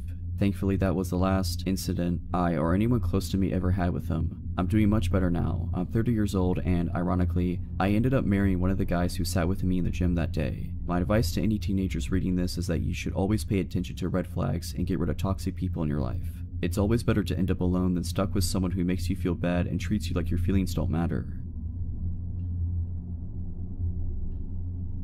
This happened a few years ago when I was bartending in college. I was coming home down a stretch of divided highway at around 3am when I noticed a car heading towards me in the wrong lane. I doubted myself at first and thought that the car was on the other side of the highway. Sure enough, the white Ford sedan passed me at a really high speed at around 90 miles per hour. It's worth noting for later that I also drive a white Ford sedan. I was used to drunk slash idiot drivers in the middle of the night so I pulled to the side of the road and let him pass me. I had a moment of clarity and thought to call the police, thinking this person could hurt themselves or somebody else. The dispatcher answered and after telling them which road and exit slash mile marker I was at, told me they would send a car. The state police station was only a few exits away so I figured they would send somebody and I would just drive home. As I headed back onto the highway, I noticed some lights a few miles behind me. I live in a more rural part of southeastern Pennsylvania and traffic at 3am tends to be truckers and cops. The car gained on me as I was getting up to speed so I stayed in the right lane and waited to be passed. Instead, they flipped on their high beams making it uncomfortable to drive and rode my tailgate. At this point, I thought I was going to be pulled over by the police.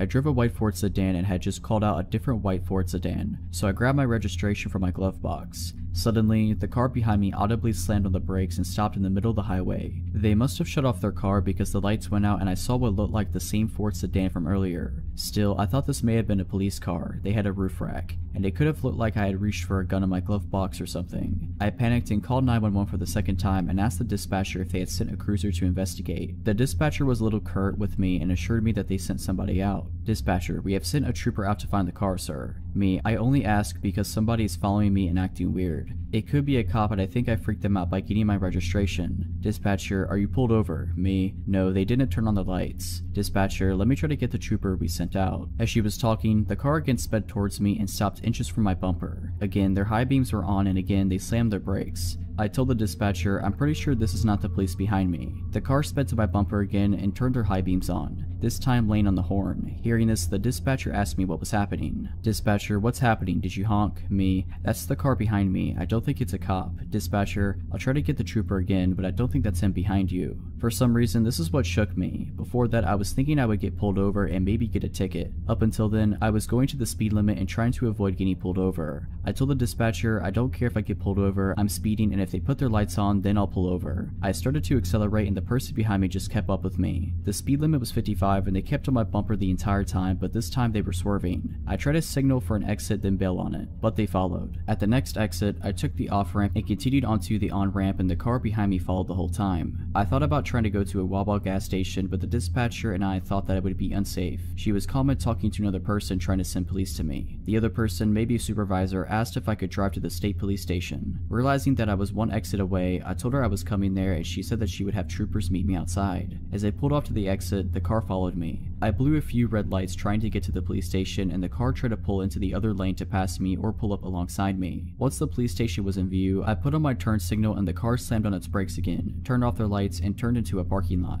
The story ends kind of anticlimactically as I pulled into the police station and met the troopers. Two of them went to find the car and I stayed with the third trooper. I think the dispatcher and her supervisor and the state trooper escorted me home after taking a statement from me. I was never called to follow up or testify, so I can only assume the person didn't get caught. I don't drink as a general rule, but once a month or so I'll go out with friends and binge. My friends and I had a great night at a bar in the city and they left. I was chatting up a cute guy so I decided to stay. I went back to his place. After post-coitus, I'm ready to head home so I call an Uber to pick me up. I don't know where I am, I know the city I'm in, but not my exact location. I ordered the Uber, but it's taking forever, so I cancel it and try again. Pretty soon a car pulls up. I drunkenly mumble something like, is this the Uber? And I hop in. Mistake. Ubers apparently are supposed to have some kind of marking on their vehicle. The guy pulls away and starts driving, we're chatting, I'm fumbling for a cigarette, and the next thing I notice is that we're headed for the highway, but in the opposite direction of where I thought we needed to drive, and we're going at a solid 90 miles per hour. Then I get a call from an Uber driver, he's there and I'm not, because I'm in the car with someone else. I start texting my friend frantically counting off mile markers for her. Then I realize that's going to do jack, because she's probably drunk too, so I call 911 but I realize this guy is crazy. He's refusing to let me out of the car, so I've got to do it on the sly. It's been about 40 minutes now, I'm terrified. I don't know where I am, I don't know who this is, we're driving at over 100 miles per hour, weaving in and out of traffic. This guy is trying to get me to hang up my phone call, and also smoking pot, so I don't want to do anything that might provoke a violent reaction from him. I start chatting to the 911 dispatcher as if it's my friend, praying that they'll catch on. Hey girl, it's me. Yeah, I'm with someone right now. We're driving past highway exit. No sweetie, it's not my Uber. I thought it was, but it's not. It's a shame you can't come and meet me and bring friends.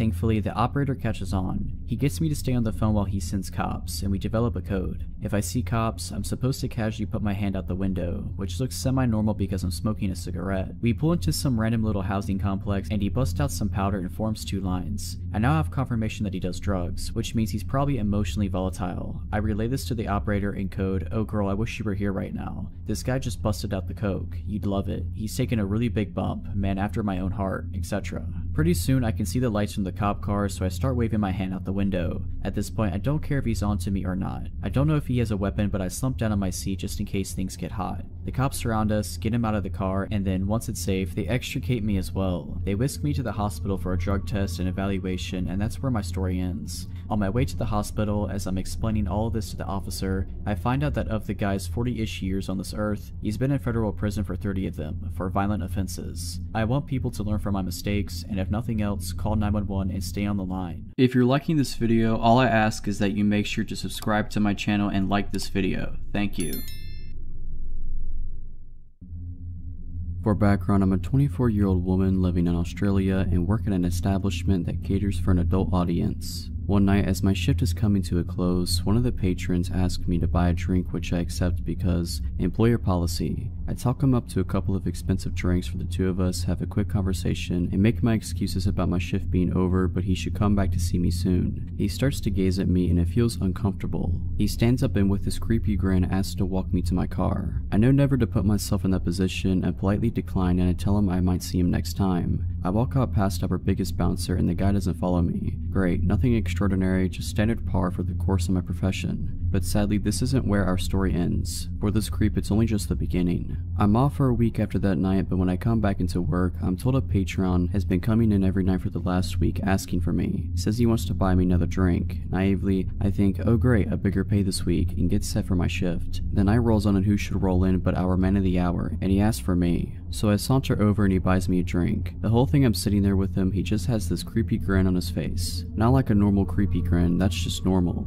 No, this is the kind of grin where he knows something you don't and is very pleased with himself about that fact. So we're talking and I'm getting him ordering himself drinks and trying to upsell him where I can. About half an hour goes by and I make my excuses to leave so I can try to spread the tips around. But this guy isn't having it, he won't let me leave and the more I insist the angrier he gets. He's practically hissy at me by the time I give a look to one of the bouncers, who promptly comes over and diffuses the situation, giving me an opportunity to walk away. Great, crisis averted, wrong. Bouncer doesn't throw him out, just gives me a buffer so this guy starts following me around the place, even attempting to walk into an employee only area which is where another bouncer finally notices and kicks him out. I finish my shift and walk over to my car. There he is, I kid you not, sitting on the bonnet of my car. How he knew it was my car I will never know. He wants me to give him a ride and tells me how pretty I look. He's spewing greasy slimeball creep lines at this point and I'm not interested. I try to give him a hint nicely and decline to give him a ride, but again he just turns to me and grabs me by my arm insisting I give him a ride. I tell him to screw off and jam my key in his shoulder as hard as I can. He lets go and I push him with all my might so he falls down. I jump in my car, lock the door, and shove that key in the ignition. He's back up and banging on the window angrily to let him in. And I mean hard, so hard I think his hands or my window might break. I gun the accelerator and I'm out of there. When I get 5 minutes down the road and I'm sure I'm not being followed, I pull over to the side of the road and call back to work. I tell them what's happened and alert them that the other girls need to be careful leaving tonight.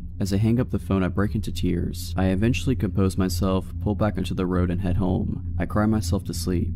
Next morning word has gotten around and owner calls me to make sure I'm okay. I assure him I am but he insists I take some time off in case this creep comes back. He wants to put some distance between us, makes sense. A week goes by, then two, he's coming in every night asking about me and being told I quit and don't work there anymore. I lie to get him to stop coming in, you know, but he just keeps coming in and asking, clearly not buying it and then suddenly two and a half weeks in, he stops. Great, I am really needing money at this point so I'm happy to be able to go back to work the following week. Time goes on and everything seems to go back to normal. Same old chances but the good kind that leads to higher paychecks. Abusive guy doesn't come back in, I'm happy. I start being forgetful though. I think I leave a door closed when I leave the house but it's open when I get back. Lights on or off, food left out, things ending up in different places than I remember putting them sometimes moments before. I'm losing it but it's probably just the stress of everything that's gone down. One of my close friends who works with me reassures me that it's normal after being grabbed like that and it will pass. This keeps up for a month until one day I head out to work, get 15 minutes down the road and realize I forgot some clothes I'll need that night at work. I head back home only to find the lights in my front room on and the TV visible as on from the outside. I really am losing it, good thing I came back I guess. I head inside, grab my stuff, make sure to turn the TV off and the light out and head to the door. Suddenly I freeze. There standing blocking the door is the creep that grabbed me. I'm stunned, jaw dropped on the floor. Then after what seems like a lifetime of standing in silence staring at each other, him smiling, I scream what the, I'm screaming for him to get out and ask him what he's doing here, how he knows where I lived, all in one jumbled mouthful of confusion. He just stands there with that smile on his face while I'm loudly freaking out but stupidly not moving. I start gasping for air in a mixture of panic attack and bewilderment, then he decides to speak in my wake. The words ooze out of him and leave me chilled.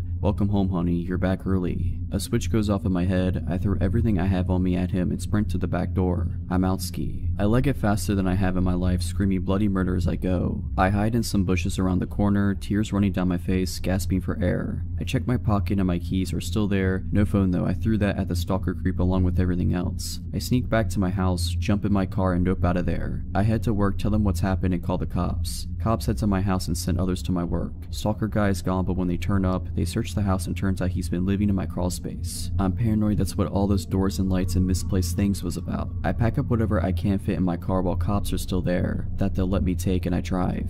Haven't been back since. I moved states, new everything.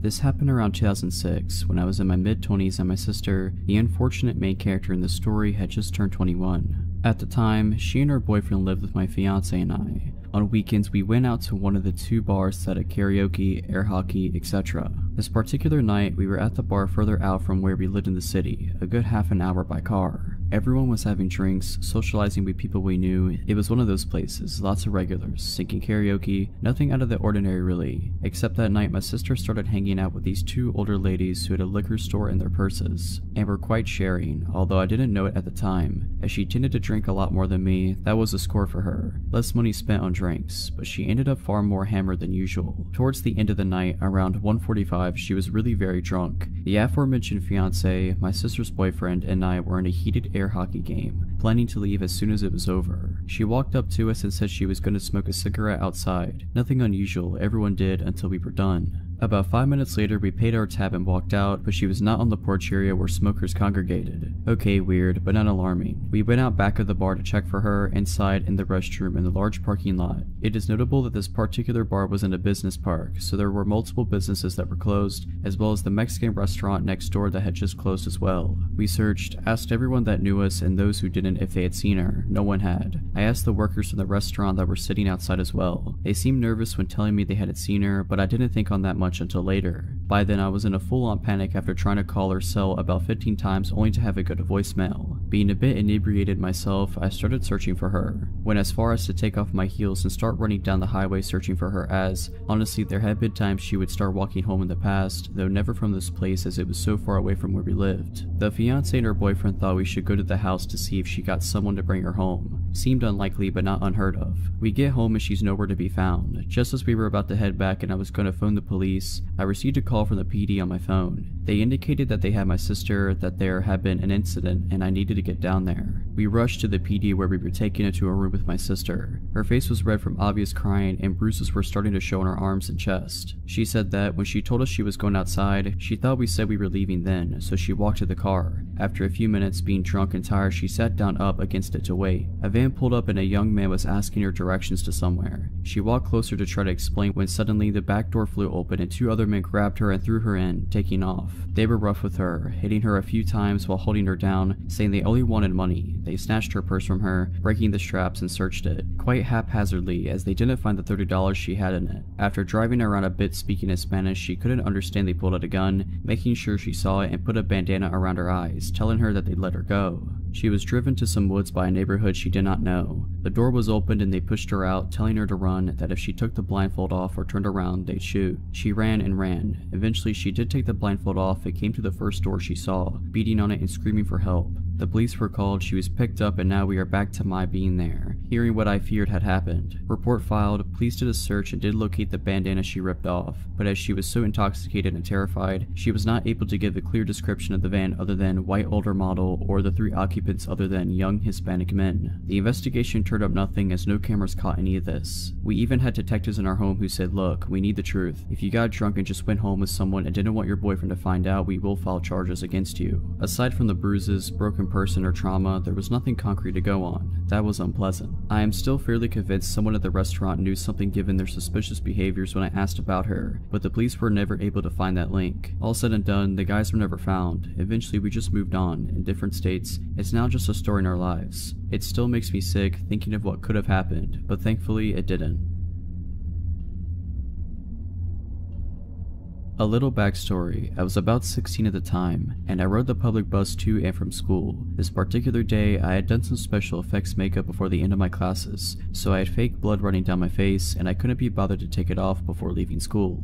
Now I knew as I was boarding my bus, people would stare or ask questions, so I wasn't surprised when this man, who looked to be in his mid-30s, started asking about the makeup. The conversation was normal at first, just the usual, oh wow, did you do that yourself, kind of stuff. I answered the questions as normally as I would, and expected the conversation to be done and over with. But I was wrong. This man, he mentioned his name was Joe, started steering the conversation into strange territory, asking me if I had a boyfriend, to which I lied and said I did. He then proceeded to ask if my boyfriend liked the makeup and if I was on my way to see him now. I again lied and said he likes the makeup and yes, I was going to see him, trying to get Joe to believe someone was expecting me. The conversation died down for a bit until he said this, you know, you remind me a lot of my sister. He said with a grin. I just smiled in response, not really knowing what to say. After not hearing anything from me, Joe continued, My sister was kind of a jerk. She was always lying about me to her parents. I had fantasies about breaking her jaw. Now at this point I was terrified. My bus stop was still another 20 minutes away, and I just wanted to be out of that situation. Seeing that what he said made me uncomfortable, he switched the subject, telling me about where he worked and what he does there. I just nodded along to what he was saying, remaining silent the entire time. Closer to my bus stop, he says to me, Why don't you come to my house? I have a freezer full of pizza and ice cream. Maybe we can hang out for a while. To which I politely declined, seeing my boyfriend was expecting me. Finally, I get to my bus stop and quickly get off the bus, speed walking all the way home, all the while calling a friend to inform them of what happened. Things were fine for a bit after that. I switched my bus route so I wouldn't run into him again. But one afternoon, I had to go to a store that was on my old route. I was nervous about getting on that bus again, but was happy when I didn't see Joe. I did my shopping, and as I was leaving the store, I saw Joe standing out by the door staring at me. The second I was out the doors, he walked over to me, a grin on his face, and wrapped his arms around me. I pulled away from him, telling him I was very busy and had to go. He then asked, well what are you doing? I have time I can tag along. I was very persistent, saying I really couldn't, I had to go, and I walked away, heading into a neighboring store that I knew would be busy. Sure enough, Joe followed. I ignored him as I made my way down a heavily populated makeup aisle, keeping my attention on some cheap lipsticks in the hopes he'd get the hint and leave me alone. I was wrong. Joe reached over my shoulder, grabbing a red lipstick as he leaned in close and whispered, This color would look gorgeous on you. I can't wait to see you wearing it. He then placed the lipstick in my basket and walked away, leaving the store. I remained in the store for about 20 minutes after he left, afraid to leave and make the walk home. After I mustered up the courage, I put the lipstick back, put away the basket, and called a friend to stay on the line with me until I made it home. Now I don't know if he followed me home or not, but I can say that after that day, the motion detector porch lights started coming on at night, and I started hearing knocks at my bedroom window. Thankfully, I moved shortly after and haven't seen Joe since. This happened two summers ago while I was house sitting out in California for an older couple I had met at a conference for work. It had seemed like a dream scenario. The couple wanted to vacation in Hawaii for two weeks, but didn't want to board their cats, and I had been chatting with them about wanting to visit California again, where they happened to live, because I had loved it for the first time I went, and we figured that we could mutually benefit if I came out and house sat for them. So I flew out there, and they showed me around for a few days, taught me how to take care for the cats, two of them, one that was extremely shy and I barely saw, which is important later, and their plants, gave me access to their house and cars. These people were so generous, and before I knew it I had dropped them off at the airport and I was on my own. At first, it was really the dream vacation. I was staying in Oakland and making forays into San Francisco, Sonoma, Monterey. In the mornings I could walk out the front door and shortly be hiking the paths surrounding nearby Mount Diablo, and I was just ultra content with the world. I was so enamored by the area that I had actually started looking into taking some steps to relocate out there even. But then one day, about halfway through my final week there, when I got back to the house I felt really odd, almost like I shouldn't go inside. I shook it off and went inside anyway, because it was getting late and I needed to put out dinner for the cats. Once I was inside, I forced myself to ignore how off I felt, and I made some food for myself, went to bed, and was shocked to find the shy cat hiding under my bed and crying. This was the first time I had ever seen her close up. The entire time I had been there up to that point, she never left my host's bedroom unless she didn't realize I was around. Again, I ignored feeling weird and just assumed she had decided I was okay and went to bed. I did start locking my bedroom door that night though. I also remembered that about halfway through that night, I thought I heard someone walking around in the gravel outside my window, but after listening for a bit I didn't hear anything else and went back to sleep. The day after, in the morning, I still felt a little odd, but kept up with my plans for the day. I drove out to a little musical festival in Sonoma and went clothes shopping and had an overall great day. When I got back to the house though, I found the front door locked in a way that I hadn't left it. Basically, my host never locked the deadbolt, only the lower second lock, and that's the only lock my key worked on, so I never messed with the deadbolt, but it was definitely locked. So I had to call my host and find the hide key, which, to their credit safety wise, was buried like a whole foot underneath a bush outside and had definitely not been unearthed for a long time, so I used that, went inside, and kept the key with me just in case it happened again. And it did, but with a different door. This time I had stepped out into the garage to get a drink, and when I turned around to go back into the house, the door was shut and locked. I could use my normal key on that door, but I was still getting pretty bewildered. My own cats are whack, so I think in my mind I was trying to come up with a way that the cats could be locking me out the house, but I was coming up empty. I decided I must have been misunderstanding how the locks worked and just wrote it off and started checking and triple checking locks when I went out of the house or into the garage. That night when I went to bed, the really awful feeling of unease was still there, and so was the shy cat, who was clearly unhappy to see me, but also wouldn't leave my room. But again, I just locked my bedroom door and went to sleep.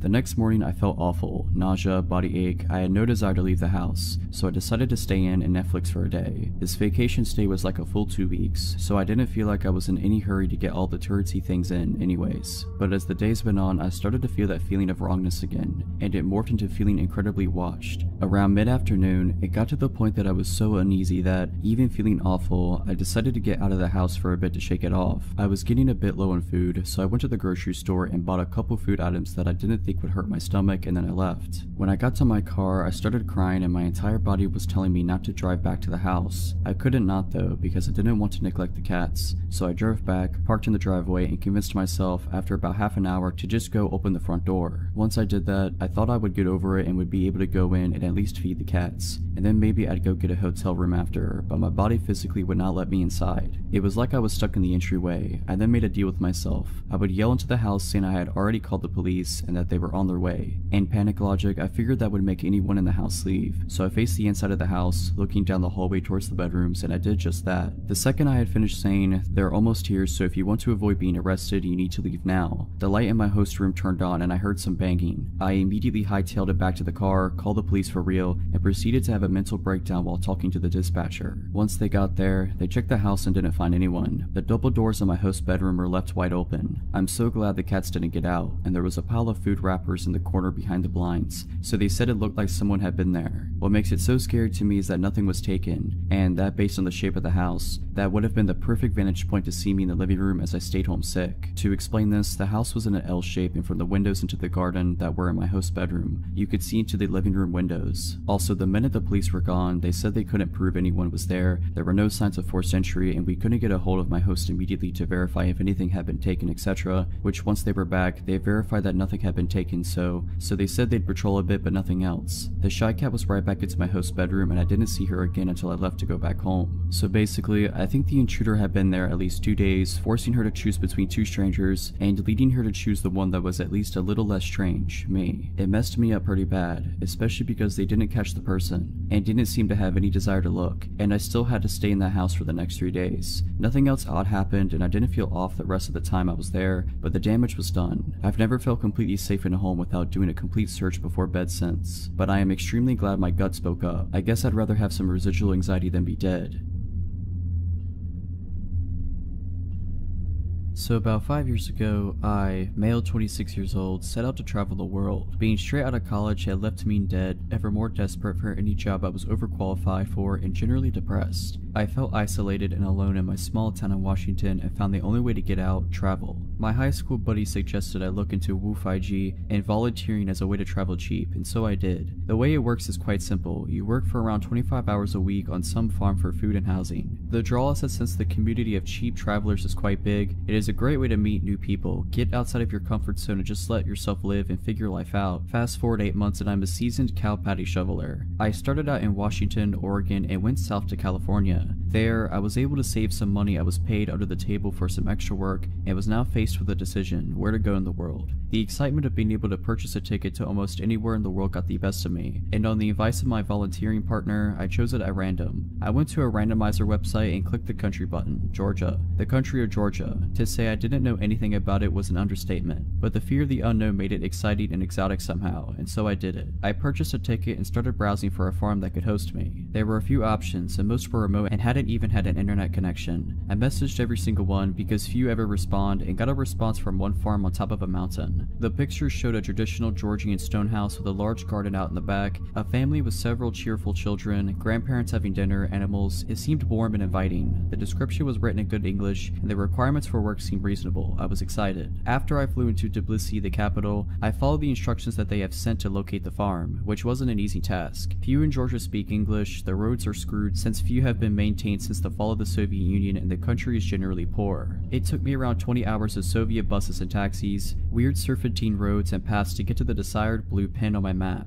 It was a dirt path leading up a steep hill into a national park up in the north of the country. There was nothing for miles on end but trees and their silence. As I got up that hill, I saw the house about half a mile away on even a steeper hill, surrounded by the trees. From that viewpoint, it seemed abandoned, overgrown, brown, and dreary. As I walked past the gate, Geary, fake name, the apparent owner approached me. He was a heavy, small, middle-aged guy with a big smile on his face. He shook my hand and in broken English started to show me around. He also smelled a booze. As he was showing me around, I noticed that there wasn't anyone there but us. I asked about his wife and kids and he brushed that aside and said something to the extent, they're away right now. By this point, I am creeped out. From browsing around, it was apparent that the farm was in deep decline. Apple trees and crops were dying, the roof of the small barn caved in, and the house itself full of trash and smelling of mold. It was obvious that Geary was going through a rough patch, but I wasn't going to turn around and just leave in the middle of nowhere, without a plan, having not slept for the past 36 hours. It was evening, and after feeding me well and trying as best as he could to hold a conversation in English, Geary showed me my room on the second floor and I went to sleep.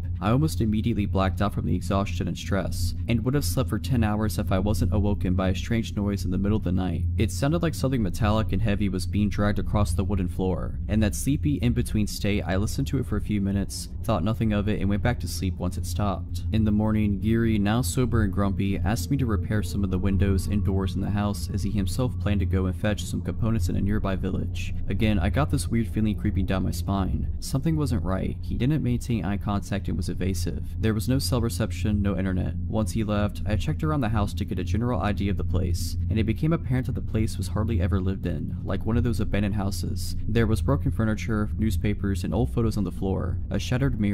I took my phone and looked through the saved listing again. The photos didn't match neither the backyard, the garden, or the walls. Geary wasn't in any of them. It was a completely different house. Now by this point, I am full-blown panicking. I pack my stuff and start to leave when I see a group of three men going up that first hill. There aren't any other paths I can take, so I go behind the house and rush down this hill into the forest. After some time I stop and listen. I hear them in the house. They're clearly looking for me. Afraid of making any noise, I remain still, hidden behind a bush. I don't know how long I wait, but they were persistent. At some point I hear them leave, so I count until some large number and proceed back into the house and path, and once I find it's all clear, I book the heck out of there. Never ran this fast. But I am still in the middle of nowhere. No traffic, no public transport. I reach a paved road and start walking in the general direction from where I remember coming. Hours go by and finally a car drives by and stops. It was a really nice Russian family that gave me a ride to town. The listing disappeared from the website a few days later I left, and I haven't heard from Geary since. I've yet to make sense of that experience. I have traveled since and volunteered too, and have yet to have an experience like that again, but I trust my gut feeling something was really not right.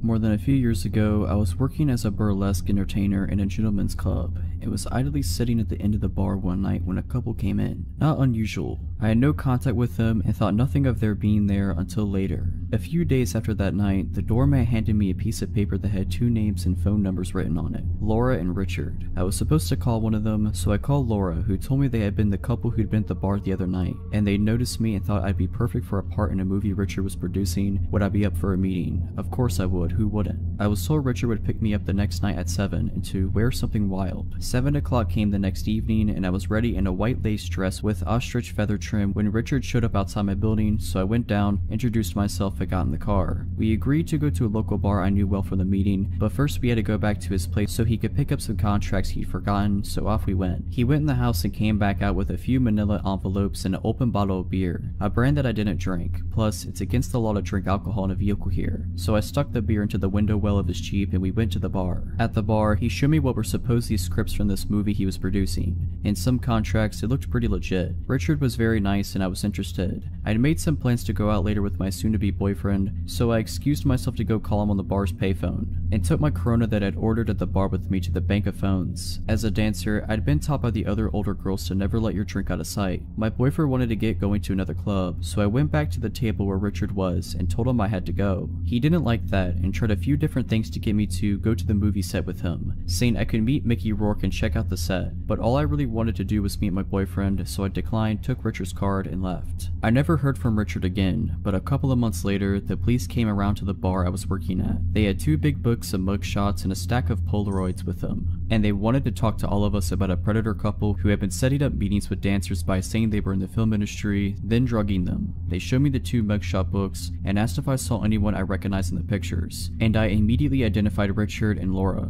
They then showed me the Polaroids, which were trophy pictures of the couple in the act of attacking the poor drug girls, and asked if I knew any of the victims and where they might find them, in order to talk to the girls. I only knew a couple of women in the photographs, but there were a lot that this had happened to. Richard and Laura were prosecuted. He went to jail, but she didn't because she was from a wealthy family and she also turned witness on him. About 12 years after Richard was convicted, I saw in the newspaper that he was up for a possibility of parole, so I wrote a letter to the parole board telling this story and urging them not to let him back out, because he's a dangerous offender who should have to stay in prison for the entirety of his sentence. If I had drank that open beer he had handed me in his Jeep on the way to that meeting, I wouldn't have made it to the meeting and would probably have ended up in that stack of Polaroids. Girls and guys, always always keep your eye on your drinks. Have fun but be careful out there.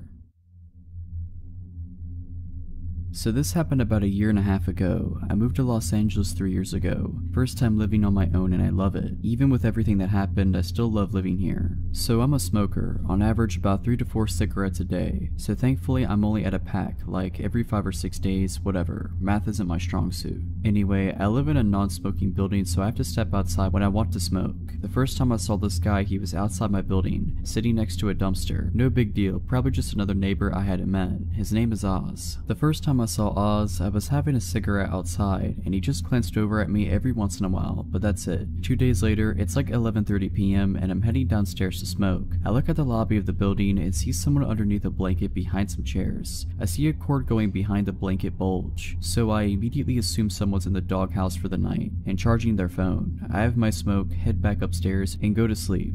A week later, it's the middle of the day. I've gotten some work done and decided to take a smoke break. I go and sit outside like I always do. Oz is sitting outside as well. This time he's got some paperwork with him. A lot of paperwork. At this point, I feel like I should provide a description of Oz. He's about 6 feet tall, early to mid 30s. He has medium length hair that has been styled into dreadlocks. A full but short beard, if that makes sense. He was wearing worn down pants and jackets. Based on his face, he seemed like he cleaned himself up regularly, but his clothes made him look homeless, and sadly he was. So Oz is going over the paperwork in his hands when he looks over at me and says hi, so I responded kind. He then asked me how I'm doing today. I'm doing pretty okay, I respond. How are you? I'm good man, I'm good. Good. It's a nice day, right? Yeah, yeah it is. So when are you moving? Now that question came out of nowhere. Was he hoping to find a new place to live? Was he trying to move into this building? Was that what his paperwork was all about? I mean, if he's moving into a new apartment, great. I hope life works out well for him. But why was he asking me when I'm moving out? I know the building at the time had a vacancy or two, so if he was going to move in, why ask a question like that? Why make it sound like he's waiting for someone to move out so he can have a spot?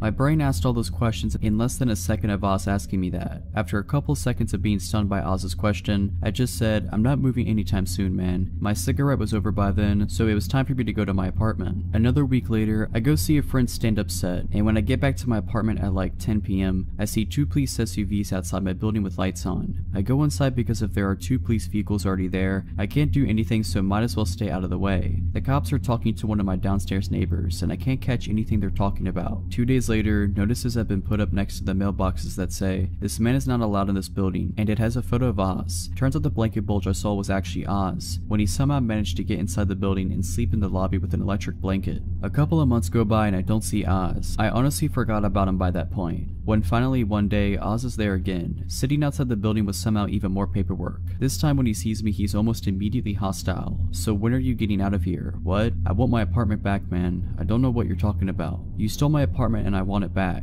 I was so confused by this. I snuffed my cigarette out and went back into the building. This exchange pretty much repeated itself every few days for the next two weeks, each time making me more and more uncomfortable. On weekdays, I would get home very late, like anywhere between 11.30 p.m. and 2 a.m. Oz never had a predictable pattern to his appearances, so I started getting really nervous about going home. Like, I wanted to avoid going home so I could avoid being accosted by Oz. Finally, one Saturday after lunch, I step outside and have a smoke. Oz is there, and this time he's mad. He's saying that if I don't get out of his apartment by the end of the day, he'll get me. That shook me up a lot. I got back inside and stayed there. Around midnight, I decided to step outside and have a smoke, hoping against hope that Oz isn't there, but lo and behold, Oz is there, wizard. He's sitting by the dumpster again, and I go to the opposite direction to inhale smoke. I see Oz go up to the stoop and stand in front of the door to the building. Great. When my cigarette is done, I head to the stairs to get into my building. Oz steps to block me from getting to the door. Excuse me, I say as I try to go past him, but he stops me. You ain't getting in here, he says. Why? Because you don't live here. Yes, I do. No, you don't, man. You don't live here. Yeah, I do live here. Now please move out of my way. Maybe if I stay kind, he'll let me go home, but no, he doubled down. Nah, man, you can't get in here because you don't live here. For the last time I live here. Prove it man, you got paperwork? Yes, I have a lease. Where? I was getting really irritated at this point, so my answer started becoming really cold. Like I was getting pretty rude to this guy. I don't carry it with me everywhere I go. Now move aside and let me in. No, now you need to get out of here. Move. Nah, now you need to get out of here or I'm calling my security team. No, you need to move or I'm calling the cops. Do it man, my security guys are already on their way. They're gonna screw you up.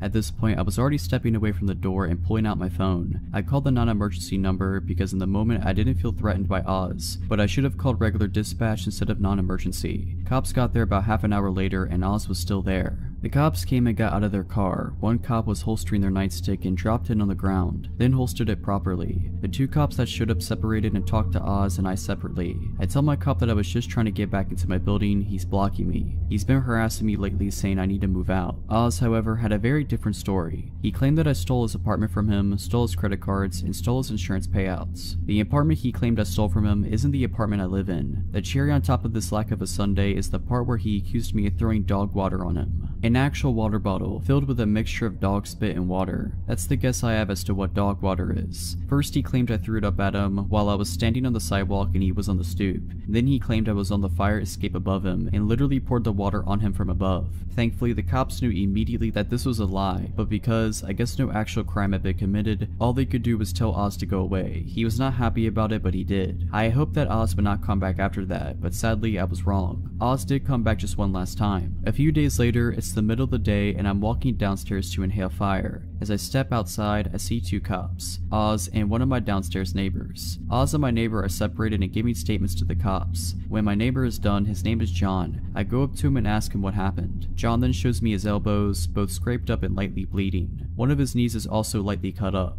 Oz also had a couple of bruises and light cuts on him. John tells me that as he was trying to enter the building earlier, Oz was standing right outside and tried to force his way in. John stopped him and tried to tell him to leave. The two got into a small fight and the cops were called. I decide to sit outside with John while everything is being figured out and while John is waiting for his wife, a nurse, to get home and look him over. The manager of the building is called and helps the cops to look at the security camera footage for the front of the building. After looking at it for about 10 minutes, the cops and manager return. Sadly, the fight took place outside of view of the cameras, so it became a case of he said he said, so all the cops can do is tell Oz to leave once again. Since then, I have not seen Oz anywhere near my building, and a sign has been put up outside the building stating, this building is not open to the public, no unauthorized entry, which is both comforting and disconcerting. This event took place quite a few years ago, so unfortunately I don't remember everything that happened, but I remember nearly all of it. Anyways, this happened when I was around 4 to 5 years old and on Easter Sunday. My family always gathers at my grandmother's house to celebrate holidays, birthdays, etc. So as we do every holiday, my mother and I started our hour-long trip to her house. My mother prefers to live away from all the city commotion, which explains the long drive. We were probably around 20 minutes away from our destination when my mom noticed that we were a little low on gas, so we pulled into this old, almost rustic looking gas station with just a handful of customers inside. It was red and white with a few festive decorations outside and lots of Easter stickers on the two large glass windows that were on either side of the door. My mom having taught me not to talk to strangers nor open the doors for anyone but her, trusted me enough to leave me in the car alone as she went inside briefly to pay for gas. She told me she would be right back before going into the gas station. It felt nice that day, so the windows in the car were down so we could feel the breeze while driving instead of the AC. While I was waiting on my mom, I remember adjusting the colorful paper clippings in my Easter basket next to me, then looking out of the backseat window. When I looked over, I saw a tall, older man, maybe around 30 or 40 years old, approaching my window.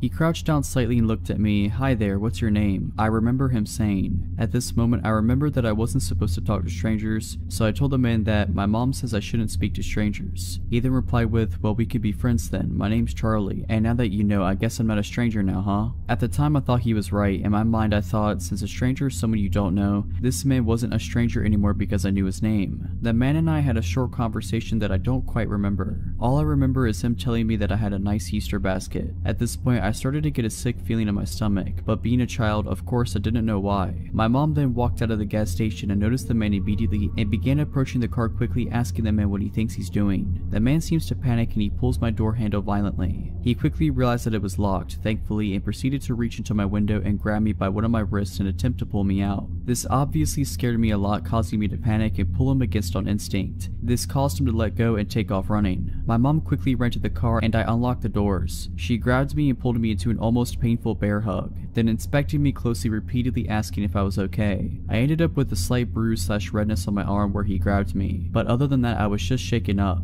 The reality of what had just happened set in at this moment, and I remember just crying and holding onto my mom right after I said I was okay. I don't remember anything after this point, but I recently asked my mom about it and she said that she called the police immediately after. To this day, my mom still says that this was the most frightening moment of her life and claims that if she had gotten there any later and came back to an empty car, she wouldn't have been able to live with herself.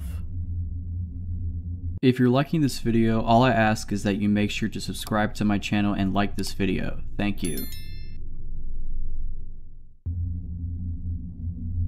I am a female and now 23. This happened around the time that I was 15 years old. Around this time it was my sophomore year in high school, so little backstory to help understand the story I'm about to tell. I was involved in my high school color guard. We are a part of band except we don't play instruments. We would spin colorful flags. We also use rifles and sabers in our performances. Around this time it was the fall and we were practicing our show, doing a lot of reruns to try and perfect it before our usual competitions. Normally practice would start at 4 and end almost at 9. Side note, I didn't live close to my high school like most people that went there. The drive would take at least 15 minutes max. Walking from my house to school would take an hour and taking the bus would take 45 minutes. My brother at this time worked late hours and my parents didn't get off of work until midnight, so my next best choice was the bus. The neighborhood wasn't the worst, but it also wasn't safe to be walking home at night. So on this night, I was saying goodbye to my friends and not wanting to bug them for a ride, I walked to my bus stop. I had my cell phone and started scrolling through Facebook. I would occasionally glance up and look at my surroundings. I noticed a car slowing down in front of my bus stop, but it immediately signaled to make a turn to my left. I didn't think much about it since there are houses behind that bus stop.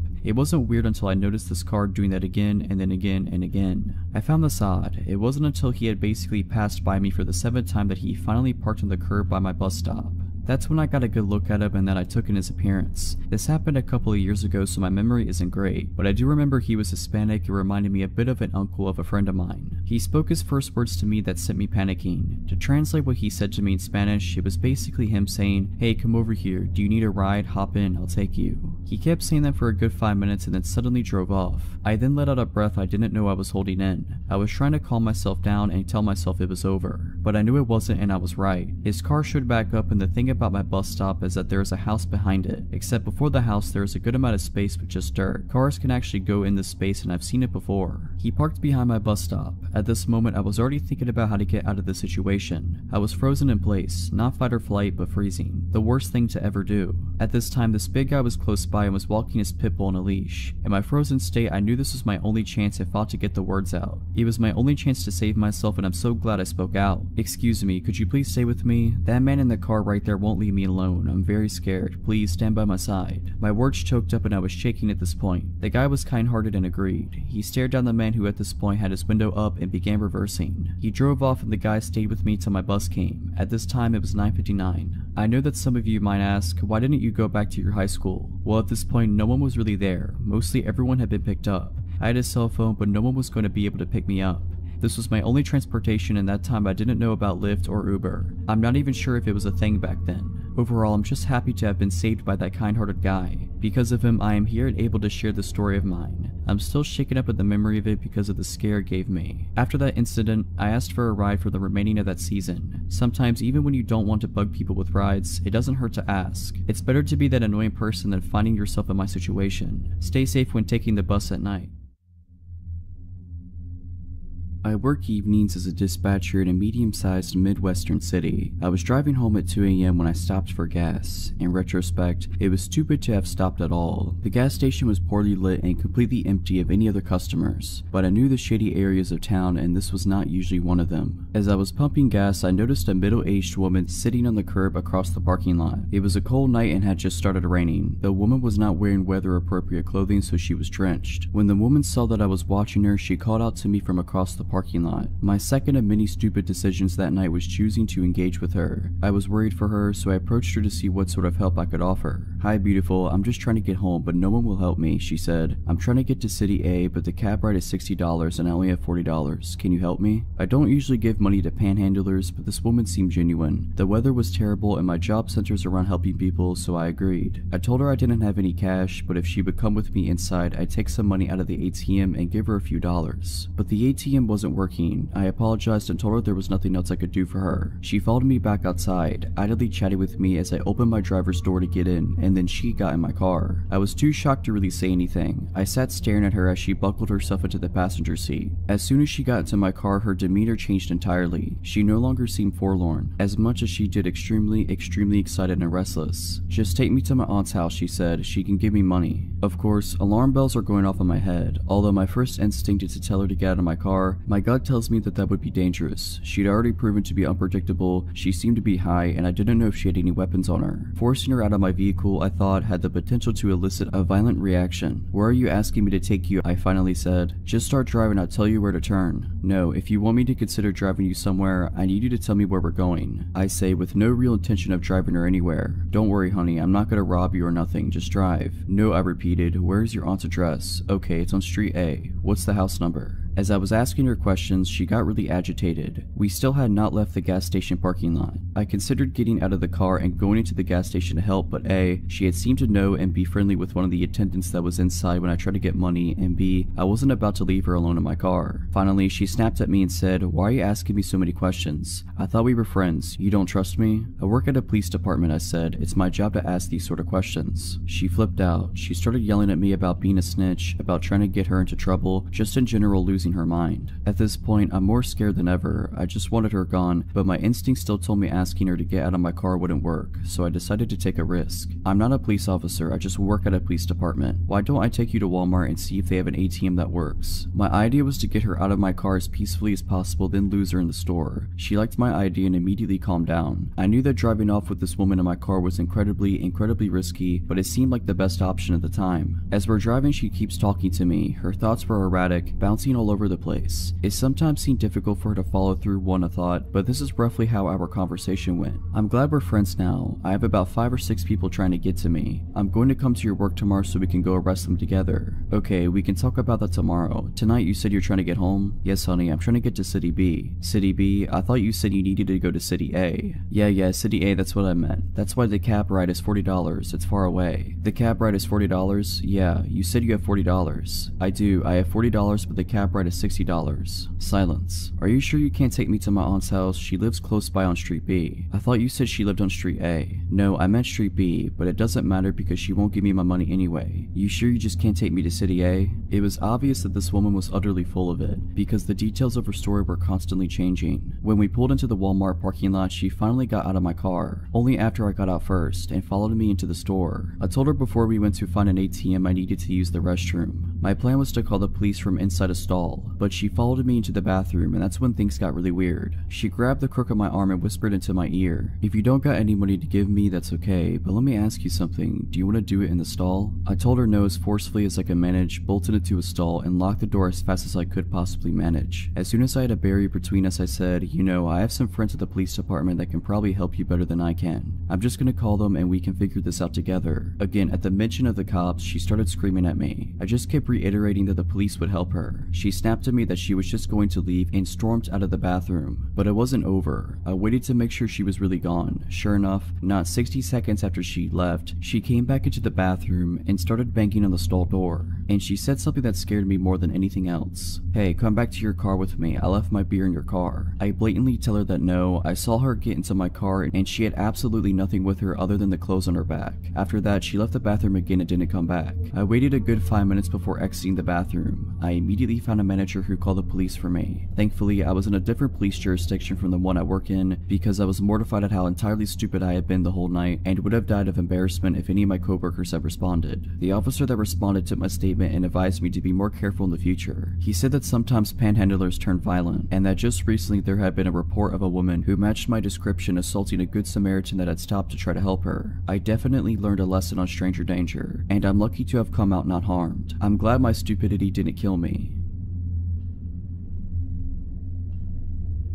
This happened a few years ago when I was around 20 or so. I was hanging out with my buddy Matt at my apartment, located in the downtown area of a medium-sized Midwestern city. We were drinking whiskey, watching comedies, playing tunes, etc. He mentions that he has a close friend, Emily, who used to live in my apartment building with her mother. She now lives across the street from me, and he thought it would be a swell idea if we met because apparently we are very similar and I was single at that point in my life. He rings her cell and tells her to come by my place. She arrived at my apartment and I instantly became fond of her. She was hilarious, very pretty, and a musician just like me. She was around 30 or 10 years older than me. My friend Matt was 35. I've always had friends that are much older for some reason. We played songs together and laughed hysterically for hours. Matt decided to go home, leaving us two alone. We chilled for a while longer, ended up making out, and I got all of her contact info before she told me she's going home and that we should meet up soon. Over the next few weeks, we developed a strong relationship, and we hang out almost daily. I would throw some pajamas on and walk across the street and we'd get wasted and watch movies. It was awesome. After arriving home from my 10-day trip to New York City, things got really weird. The day I returned, she asked if she could come over, so I unpacked my stuff and then told her to stop by. She rings the buzzer, takes the elevator seven floors up to my apartment, and lets herself in. I was talking nonstop about all the awesome things I did and people I met in New York City, and I could immediately tell she didn't want to hear any of it. She would change the subject every time I brought it up, and eventually she said, Can you stop talking about New York? I really don't care. I was surprised to hear her speak like this. The Emily I had been getting to know was not like this. She was caring and passionate and an amazing person, so I thought. Fast forward to a few nights later. I had just gotten home from a working 12 hour shift and I collapsed in my bed, ready to pass out for the night. It's about 9 p.m. and I get a text from Emily that says, Hey, what's up? I don't feel much like replying at that moment. I am too exhausted and our last hangout was too weird for me to comprehend, so I am still trying to decide how to deal with that. I plug my phone into my charger, turn the lights off, and fall asleep. Bang, bang, bang. I wake up to somebody pounding on my door and screaming at the top of their lungs. Open the door, let me in now. My entire apartment reeks like cigarette smoke. I grab my phone from beside my bed, my heart beating a million miles per hour. 27 missed phone calls, a bunch of text messages, all from Emily. I scan through the text while she's still at the door screaming, trying to break my door down. The most recent text from her is a long one claiming I'm a bad person for not responding to her text earlier, and that she's coming over to beat me up. For not doing so, she still had a key to the building still from when she used to live there. I get out of bed and nearly having a panic attack and try to decide what my next move should be. Should I open the door and calm her? Should I call the police? Should I just ignore her? I decide to open the door. She begins wailing on me, swinging her arms trying to hit me. She was smoking a cigarette and there were three cigarette butts on the ground next to her. Smoking indoors was prohibited in my apartment building. She was very obviously on some sort of drug. She kept screaming at me, telling me how awful I am for not responding to her text message, slurring her speech and losing her balance. I was somehow able to calm her down and I took her to the roof of the apartment building which had a pretty nice little enclosed picnic table area. We sat beside one another. She was quiet now finally. She kept asking me how I could be such a jerk and that I need to explain myself. The look in her eyes was pure evil as she spoke to me in a calm demeanor now. I said to her, Emily, I don't ever want to speak to you again after tonight. This whole scenario is absolutely insane. You need help. Let me walk you home. I take her home and return to my apartment to attempt sleeping, at which I do not succeed. A couple days later, I return home from work and there is an envelope taped to my door. I open it and it's a handwritten letter from Emily apologizing and saying that I'm a beautiful human who doesn't deserve an evil person like her in their life. There was a literal candy bar attached to the envelope, one that I had never heard of that she always told me I needed to try. I never spoke to her again. From what Matt tells me, which, by the way, he always knew she was a problematic person, she's a heavy user of crack now and is working as a food runner in a restaurant nearby. This happened on Saturday. My girlfriend, Tess, my puppy, Jack, and I are all getting ready for a road trip. We're planning on meeting some friends at their house and then starting the trip from there. On our way to their house around 11 a.m., a white car with all tinted windows cuts us off and brake checks us close enough that I had to slam the brakes and swerve to avoid an accident. In the immediate fury, I honked and flipped the driver off. I wish I hadn't done this. Immediately, the driver rolls down his window and waves his hand over. He slows down to go back to the other lane so that our cars are parallel to one another. The driver is gesturing wildly and yelling at us while we continue driving down the avenue. I proceed to make gestures to calm down and then try to ignore him and continue driving. He continues driving next to us. Eventually, I try speeding up and he revs in front of me and tries brake checking me again. At this point, I swerve to the other lane and he again slows down to match my vehicle speed. He is still gesturing and screaming while I try to ignore him. Suddenly, he reaches in his lap and I notice he is holding a glass bottle. He throws it and it shatters at the side of my vehicle. Tess is hysterical at this point and the pup had hidden under the passenger seat. I go into adrenaline mode and try turning into different streets as the chase ensues. He is following close behind when he throws another glass bottle that shatters against my back window. I tell Tess to call the police as we speed down a two-lane street and up a hill. She calls 911 as I come to a stop at the light at the top of the hill. The guy chasing us slows down to a stop behind us. Suddenly, he hops out of his vehicle and in my rearview mirror I see him reach back into his car and grab something and puts it into his shorts. He begins walking towards the side of my car as the car in front of me drives away. I noped out of there, slammed the gas, and turned into the next avenue. Within a minute, he has caught back up to us as I am now on speaker with 911 explaining the situation and giving them the details of his car and appearance. Tess is crying as we speed down a busy avenue, weaving in between cars at 20 above the speed limit. I'm updating the 911 lady with where we are and she tells me to drive to the station. At the next red light he yells out audibly, do we have a problem? Don't flip me off. I'm trying to gesture that we do not have any problem. He's still trying to get me to get out of the car. The light is still red and he again hops out of his vehicle. I again floor it through the red and he continues chasing as I make way toward the police station. We're now accelerating and brake checking each other as he tries to drive off the road. I make gestures that he should continue following, hoping to get him to the station. About a block from the police, we get stuck in a busy intersection. There are many cars around as he again walks up to my car. This time I'm boxed in and Tess is panicking. I'm looking for any escape options to no avail. The drivers around us notice and many put their windows up and lock their doors. He comes right up to my window, slaps it with his palm, and asks one more time, is there a problem? I again say no. The 911 lady tells me to not engage over the phone speaker. He says good. He gets back into his car and then speeds away. 20 minutes into this horrible car chase experience, we end up meeting with the cops and they say that there was nothing they could do, even though I updated them with more details of his direction and where he was last. We calmed down and then we continued our road trip. So I, a 20 year old female, lived in a shady apartment complex in an otherwise rich, suburban area for three years. This story is about a neighbor that I'll call Bob. A little backstory, me, 18 years old at the time, and my then 16 year old sister used to babysit all the neighborhood kids. These kids considered us their friends, and it got to where they seemed to have a radar of when me and my sister went outside. They'd come out and talk to us, and we let them ride our skateboards and such in the parking lot. The kids were ages 8 to 13. So one day we were outside with them and we were joined by a stranger. He stood between us and our car, towering over us. He introduced himself and asked us to sign a petition he made up. We did, just being friendly, then he asked us how old we were. I thought maybe he was a fellow teenager that looked older or that he was just awkward, so I told him I was 18, and the very next question was if I wanted to go out with him. In front of my mom and the other kid's mom, I awkwardly declined, but he continued talking about how he thought me and my sister were in middle school. Also, he was 28. Eventually, he wandered away to ask someone else to sign his petition. A few days later, he knocked at our door after asking neighbor for the address. He had a bag of what he said was chicken and wanted us to go eat it with him at the park. We declined because we both had schoolwork to do. He walked away and he was mumbling about how antisocial everyone was. Later, we look out our window and see him playing baseball with two girls. He kept physically moving their arms to different positions even though they shrugged away from him. Next day, one of the kids runs up to me. I'll call her Maddie. She's 8. She's got a new pair of Heelys and wanted help with them. I was holding her hand and guiding her along when Bob appears and says he can help better. Maddie says no but he insists. He pushed me aside and reaches for Maddie, holding her tightly around the upper chest area. Her grandma was there too and flips out. He wanders away. The next day, Maddie's freaking out, saying Bob was just sitting on her porch when she left for school that morning. Her parents found out, and as they walked outside, he let himself in, and they said he went to their kitchen to make orange chicken. We later found out another neighbor had a similar story. Another time, we were helping a family move. They have a two-year-old son. The garages are in a triangle shape to the road, almost a roundabout. There's a flat patch of grass behind them. Well, here comes Bob to help us. He criticized the way we packed things and didn't help until our neighbor politely asked him to leave. Well, he left the garage, but instead of leaving, he asked the two-year-old if he wanted to play. The kid said no, and it made him mad. He picked up the kid to play, and the kid slapped him. He asked the kid if he wanted to go behind the garages to play ball, so I go with him and guide the kid to his mom. The climax of the story is when me and my sister went on a walk with our 17-year-old friend and her other friend.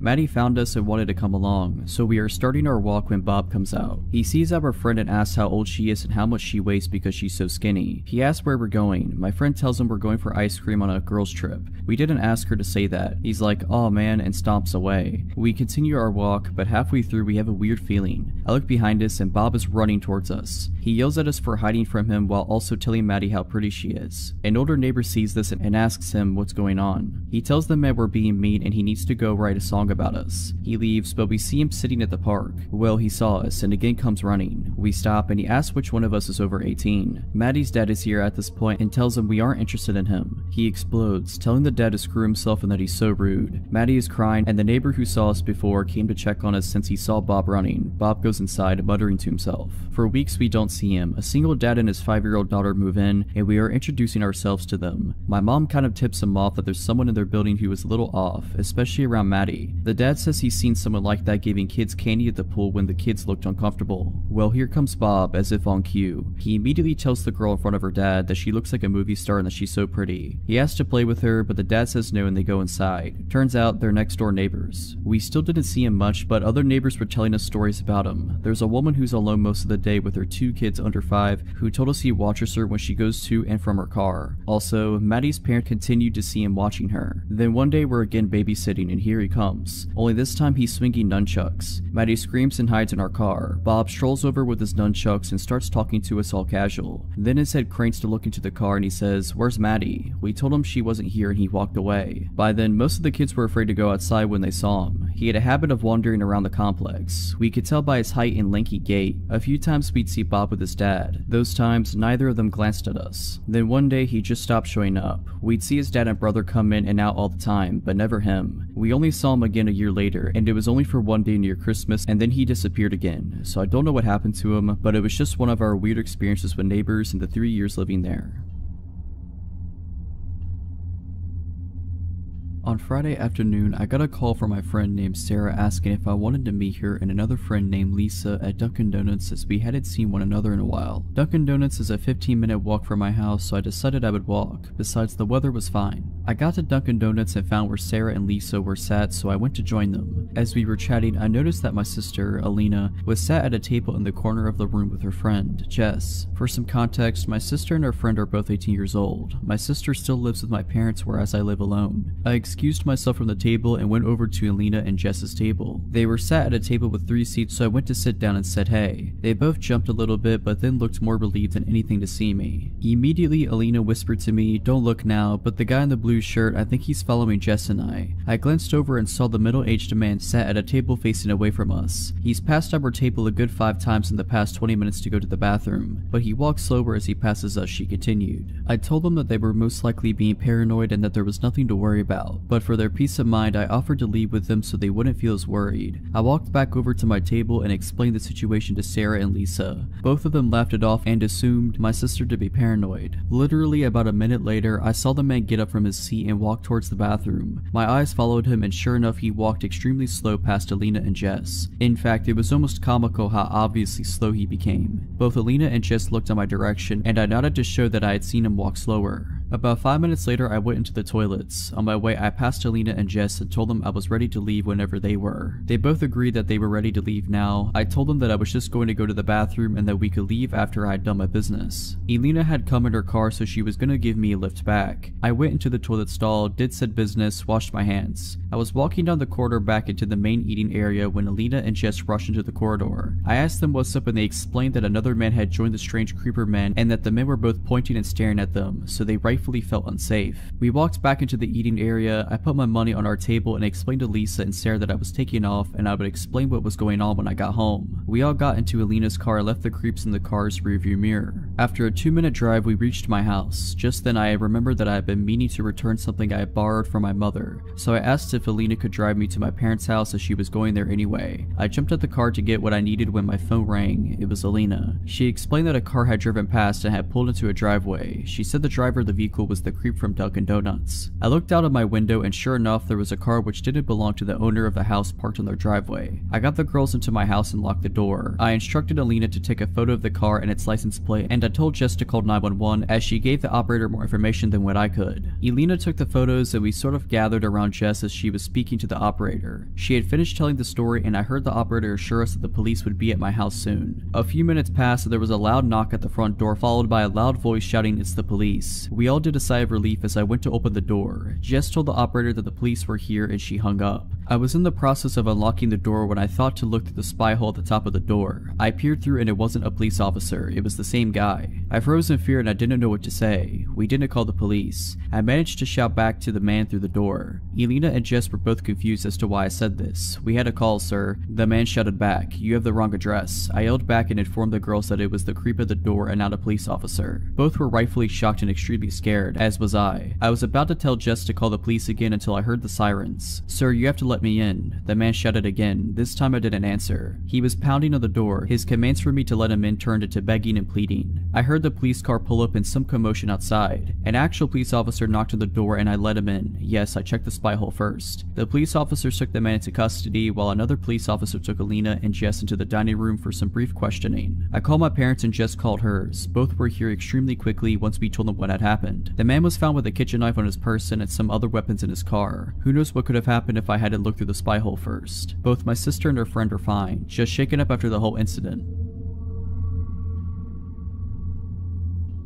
Back when I was 17 or 19, I worked at a small local bakery. There were less than 15 employees spread across all the night and day shifts, so we only had a few people working during the day. One of these people was Dave, the delivery driver. Dave immediately gave me an off vibe. He was in his mid 50s and way too friendly to a teenage girl, but the boss told me straight up that yes, he could be annoying, but no one worked harder than he did, so just ignore his antics. When I signed the paperwork, they never asked me to submit to a background check. In hindsight, that should have been red flag number two. Over the course of the year or so that I worked with Dave, I tried very very hard to ignore him. He was rarely outright creepy, but he was always just a bit too friendly. He would stick around long after his shift was over to talk to me and the other pastry chef on shift. He always wanted to lick the bowl after I made Rice Krispie treats. He would always stand in front of the racks of equipment or ingredients, just enough that sometimes my hand would brush him while reaching for something. He always stood just a little too close. He was constantly asking me about my life, what I liked, what I did for fun, if I had a boyfriend, almost daily. He would tell me how a nice girl like me should have a boyfriend, how maybe a boyfriend would be good for me. I let this slide because sometimes older people can say things that were meant differently in their time. Then it was concert invites. Every other week he had tickets to one concert or another. Once he figured out my genre of music, it was almost exclusively tickets to bands I desperately wanted to see. But I also knew I should not go anywhere with him. I don't like to associate with coworkers outside of work anyway, and I had seen way too many red flags about Dave to trust him for even a second. My birthday came. He brought me a t-shirt. It was two sizes too small. He told me to try it on. I said no. He told me to try it on after work and text him a photo. He gave me his number. He asked for mine. I said no. He asked for the other pastry chef for my number. She had my back and refused as well. He also brought me two tickets to a band I'd been wanting to see. VIP section, 21 plus year old only. He said he could get me in, but I had to go with him and him alone. I refused. He told me he could get me booze. I declined. For months and months this continued. I brought it up to one of my bosses, but they laughed it off as classic Dave. When he wanted a hug on his birthday and hugged me without my consent. That's Dave for you. Offering to get me booze or pot? Ah, Dave, you scamp. When he pulled up his shirt and showed me his abdominal scar from a snowboarding accident, well, that's just Dave. No respect for boundaries, but a good worker. I seriously considered having one of my male friends come in under the guise of being my boyfriend just to placate Dave. I was repulsed by him, but he hadn't really done anything to classify himself as a predator. Besides asking for my number, he had never tried to harass me outside of work hours. And besides the odd hug or two that I was too afraid slash shy to refuse, he hadn't gotten super physical. Then one day, Dave was gone. His name disappeared from the employee roster.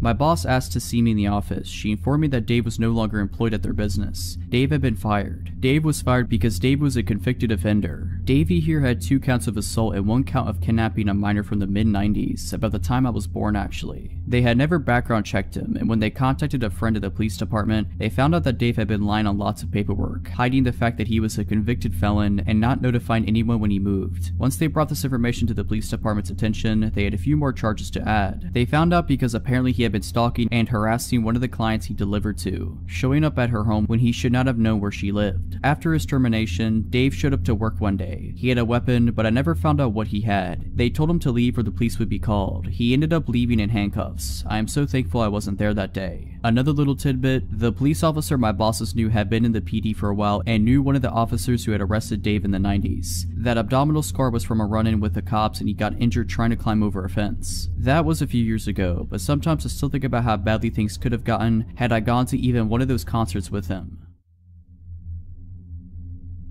This happened when I was a bartender about four years ago, but I think about it often and has changed the way I operate throughout life. I now refuse to go to any store alone after midnight. For the story's sake, I will tell you that I was 25 and a blonde at the time. On a busy Friday night, I was bartending with the bar manager and he had noticed that they were very low on some bar necessities after the dinner rush. Lemons, limes, bitters, that kind of thing. So I was sent out to go to a 24 hour grocery store down the road to pick up the odds and ends that we would require to get us through the weekend. I picked up everything that was asked for me without trouble at the store, until I got to the liquor aisle. There were two country looking guys that were probably around my age in the aisle and they were staring at me and whispering to each other in a way that made me uncomfortable, as I assumed they were making comments about me. All pretty innocent so far. Before they could approach me, I grabbed what I needed very quickly and power walked to the self-checkout. I really booked it out of there because when you're a bartender, it's kind of like you are on stage and are required to be charming and interact with people that you otherwise absolutely wouldn't be able to tolerate unless you're getting paid to, thus why I am not a bartender anymore. I get to the self-checkout and the two guys are on me. I'm scanning my stuff and they use the scanning station next to me. I get a better look at them now that they are right next to me. One is taller, muscular, and average looking. The other is shorter and more plump.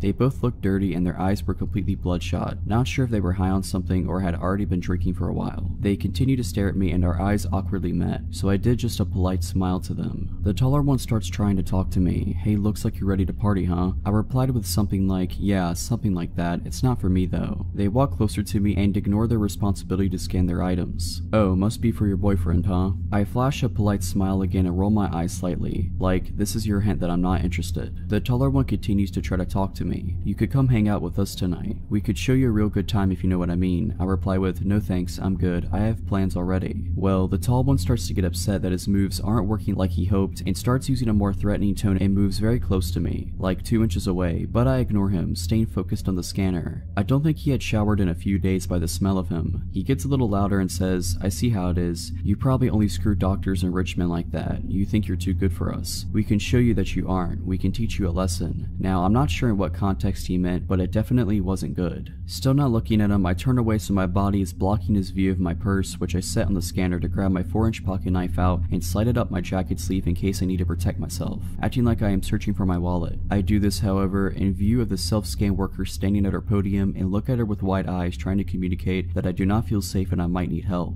I turn back to the machine and slide my credit card to pay, while the creepy and hostile guys are practically standing on top of me. The machine malfunctions and starts beeping. The lady worker comes over immediately, and the guys standing next to me change their expressions from, I am planning to torture you for a couple days and toss your body in a creek, to, just your friendly good old country boys making polite conversation over here. They actually try to act like I knew them and we were friends so the worker wouldn't be alerted to their ill intentions. They tried joking with the worker saying I was stealing something, and that's why the machine went off. The worker was definitely not buying She was a 6 plus foot tall woman with some muscle on her by the way. I wouldn't mess with her on my best day. Anyways, she presses a few buttons on the screen, shooting the guys a very unimpressed look when they were trying to act charming and cancels the order completely. She turns to me and says, I am sorry for the inconvenience ma'am. This machine seems to not be working correctly. Why don't you gather your things and I will bring you up at an actual register. She puts her hand on my back and gives me a wide-eyed look like I gave her a minute earlier, letting me know that she sees I am in danger. I pick up my things to follow her to a register that is near the security office. The guys linger around the self-scan, still glaring at me, and eventually complete their purchase, but stand at the exit assuming they are waiting for me. I felt like I would be walking to my death if I made my exit in that moment. The worker keeps a close eye on the guys and scans my items. As she's scanning, she tells me that there wasn't really anything wrong with the machine I was using. It just misread my credit card. She said, I had a bad feeling about those guys from the moment they walked in, and I then saw them getting aggressive towards you. I already rang security to be ready to walk out to the parking lot and make sure you left safely when you were ready to leave. Then I saw you take that knife out and put it up your sleeve getting ready to protect yourself. As much as I'd like to see you show them they picked the wrong chick to mess with, I'm glad I was able to pull you aside and make sure you are safe.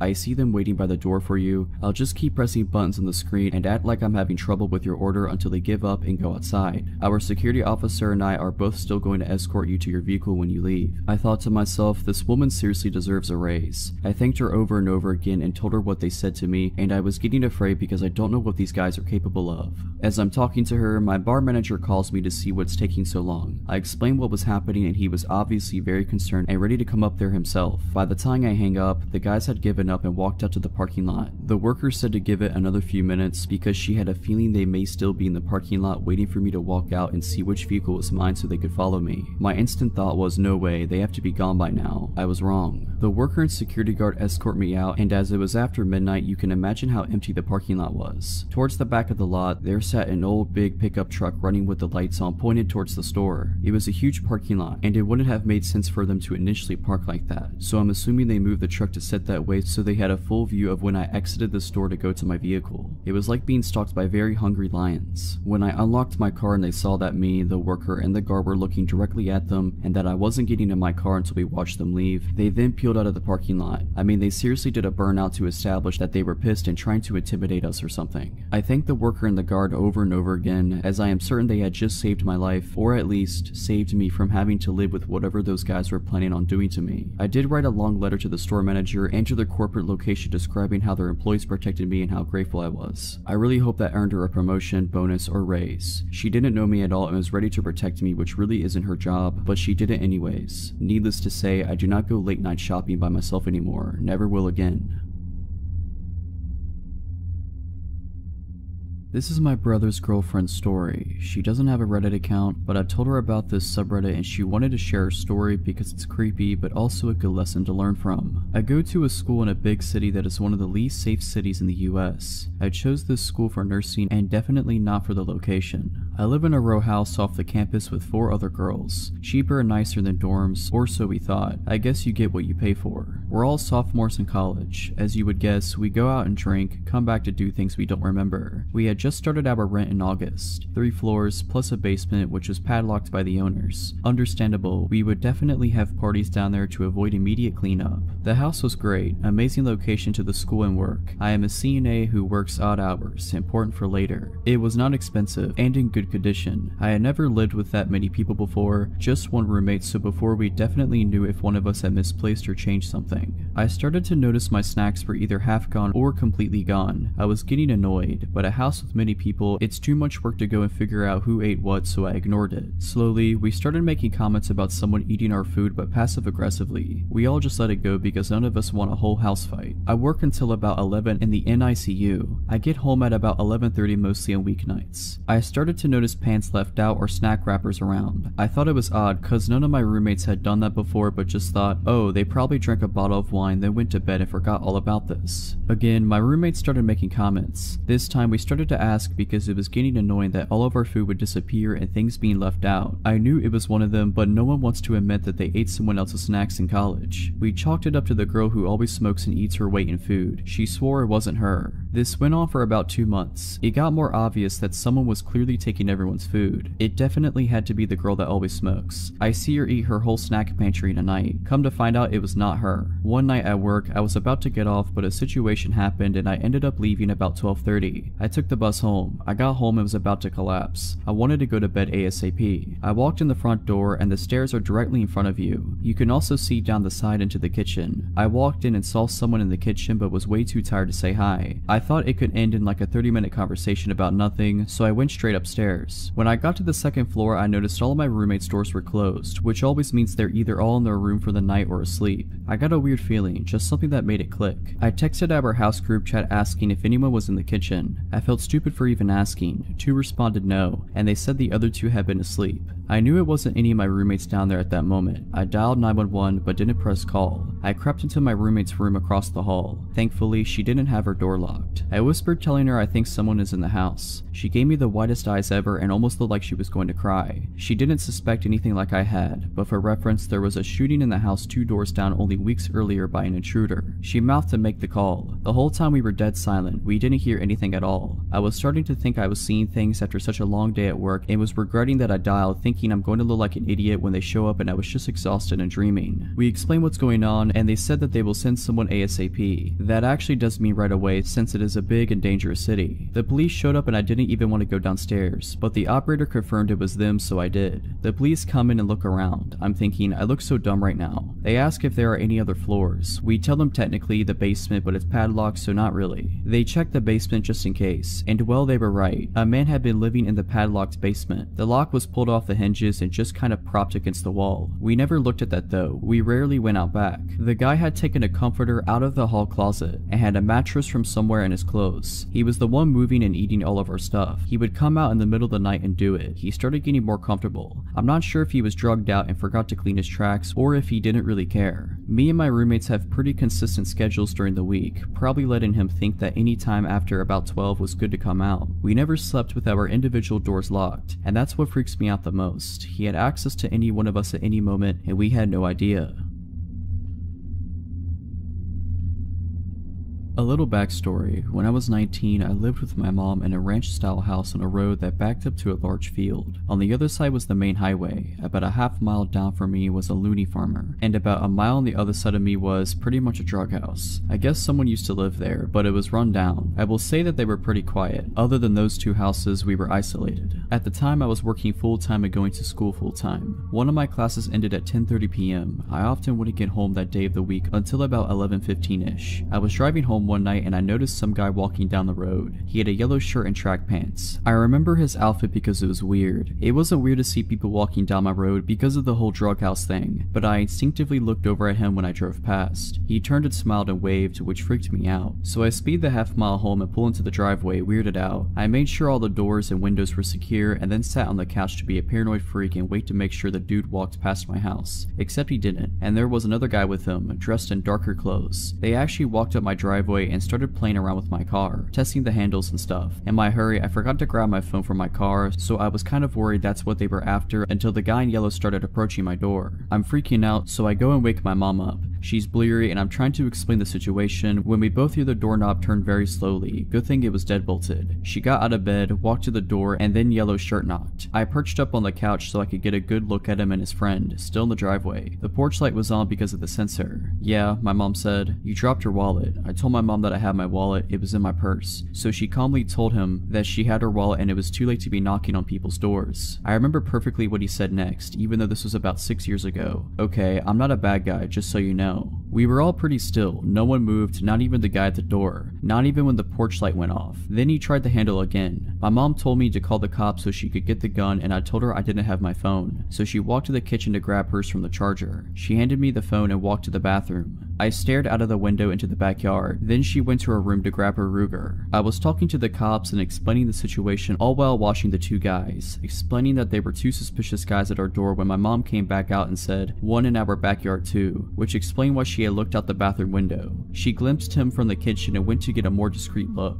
My mom walked back over to the door with her gun and loudly said, if he tries the handle again, I'm just going to open the door and shoot him. I don't know why she said that instead of waiting for the cops to arrive, but the guys took off down the road. I told her and she rushed to the bathroom, where the guy apparently in the backyard saw his friends running down the road and sprinted off too. They were going in the direction of the drug house. The cops searched our house and our yard and went to the drug house, where they found five dudes hanging around. One was the yellow shirt guy and I'm assuming his friends were with him. They did get arrested and nothing weird like that ever happened again, but I was on edge for a while. I still make sure the doors are locked at all times every day, even though I live in a much nicer area now.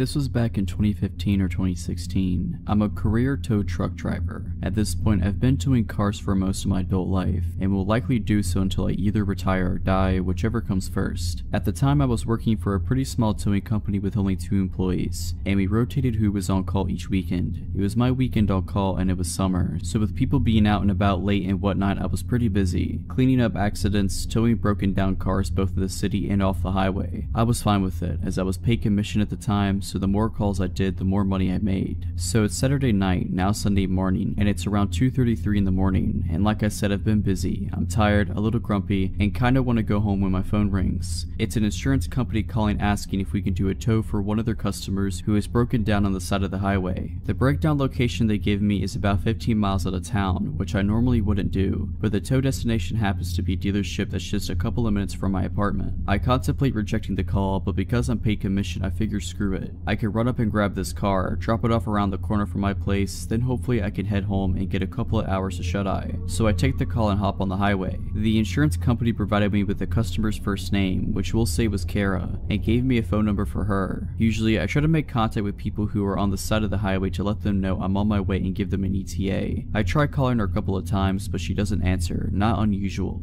After a short while, I see hazard lights up the way on the shoulder, so I turn on my strobes and start slowing down. As I approach, I notice that not only is there the late model car that I'm looking for, but there's another car on scene as well that doesn't have its hazards on, but it's parked in front of the car I'm meant to tow. This is annoying but not uncommon, as I need to be able to get in front of the disabled car in order to load it and sometimes people don't realize that, but because the other car is there, I instead pull up behind both cars. You do this so that as the tow driver, you're the one that has to make the weird maneuver of pulling off the shoulder and back onto the shoulder, and that the other car just has to drive straight forward on the shoulder. Otherwise, if I pulled up in front, then the other car would have to go around me, and it's unprofessional and unsafe to make them do that. Standing in the trunk of the late model car, which is now directly in front of me, are a man and a woman. The woman is probably in her early 20s and dressed to the nines for a night out. She's about 5 foot 1 or 5 foot 2. She's wearing tight leather-ish or something pants, a halter top, long black hair. The man is probably around 5 foot 10 and skinny, maybe 150 to 160 pounds, wearing a dark hoodie and dirty jeans. They're standing very close and facing each other. She has her arms crossed and he's leaning down talking to her. I step out of my truck and approach them both, introduce myself. They separate a few feet and I look to the woman and say, are you Kara? She nods. I say I'm here for her insurance company and I ask what's going on with the car. Immediately, the man pipes up and says, yeah, it's just having some fuel issues. It's an easy fix. Can you just drop it off at this commuter parking lot? I'm gonna fix it for her there. I'm rather annoyed at this because the commuter lot in question is further up the highway and I'm already 15 miles out of town. Like I said before, I only took this call because it was supposed to be coming back toward my apartment and I really wanted to go home. Not only that, but in order to change the original tow destination, I would have to call the insurance company back, wait on hold for who knows how long for a representative, and then let them know the change and try to get them to pay me extra for the deadhead miles back home after unloading, and I really didn't want to do any of this. And thirdly, this is a late model car. I'm no mechanic, but it's new enough that whatever is wrong with it is likely covered under warranty, so the dealership is really the best place for it to go anyways. I explain all of this to the guy, but he's really not having it. He gets stern with me, saying something like, look man, you just need to take the car where I tell you to take it. We go back and forth on this for maybe 60 seconds and he's just getting madder. Well, you know what man, you're not the name insured, Kara is. The easy way to settle this is to ask what she wants me to do with the car, and whatever she says is what I'll do. Fingers crossed she'll want to take it to the dealership so I can get home sooner. I turn to look at Kara to ask her that question and I don't see her right away. She's no longer standing where she just was a minute ago, which was slightly off to my right. I continue to not see her until I've turned almost all the way around, because she's standing directly behind me, and by directly, I mean within an inch of my back, arms still crossed. I look down at her and she locks eyes with me. Her eyes are as white as plates, almost owl-like, and immediately it feels like she's staring into my soul. She didn't say a word and she didn't have to. I took a step back and did what felt like a double double take. I looked at him, then at her, then at him again, and then back at her, and it slowly started to dawn on me that maybe something isn't right. I ask her, do you know this guy? And she ever so slightly shook her head no. Without a word, the guy starts to move for Kara, and I move to stay in between them. He tries to push me out of his way by shoving me in the chest, but because I believe he underestimated my weight, only pushed me hard enough to make me take a single step back. Immediately, I took that step forward towards him and body check him hard, as hard as I could, hard enough to completely knock him over basically onto his back. Because we rotated during the back and forth push bit, Kara is now in front of me to my right, somewhat between me and the guy who's trying to scramble to his feet. I reached out snatched the poor girl up by her waist, spun her towards my truck and yelled for her to get into the driver's side and she does so. I turn back to the guy who is standing up again at this point and he's breathing hard. He gets right up in my face but doesn't do anything, just breathes at me. I stare him right in his face and tell him you need to go. I'm shaking now and I'm absolutely terrified. I don't know if he has a weapon, I don't know if he's gonna try to fight me, and I don't know what I would do if he did. After probably around 15 seconds or so, which felt like eons, he kinda huffs a bit, smiles one of the creepiest smiles I've ever seen, and starts to back off. Sucking his teeth and rubbing his hands together, he slowly walks backwards a few steps, then makes his way to the front car, gets in and drives off. I stayed motionless, watching him until I could no longer see his taillights. I got Kara's car loaded loaded up on the tow truck, and as we made our way to the dealership, she told me through tears that her car had shut off while she was driving, and she pulled onto the shoulder and called her parents because she was on their insurance. Her parents made the call to the insurance company, who eventually dispatched me to her location. While she was waiting, a bit after she made the call, the guy pulled up in front of her and walked up to her passenger side window to try to talk to her, asking if she needed help, etc. And she told him she was fine, that a tow truck was coming, and that she didn't need help. He persisted and she tried to tell him off and eventually tried to roll up on the window. Apparently he stuck his arm in the window and got the door unlocked and opened the door. In fear, she jumped out of the car, leaving her phone inside, and ran to the back of her car and stayed put there because it was in the line of sight of traffic. Apparently he was pretty lewd with her, and whenever she tried to go back to the car, he would prevent her from getting in. Several minutes later I showed up. Who knows what would have happened had the timing been any different. Her parents were waiting at the dealership when we arrived, and she told them what had just happened. Her parents gave me a $20 tip, which was all the cash they had on them at the time, and Kara gave me a very tight and clearly heartfelt hug before I left. I never saw her again.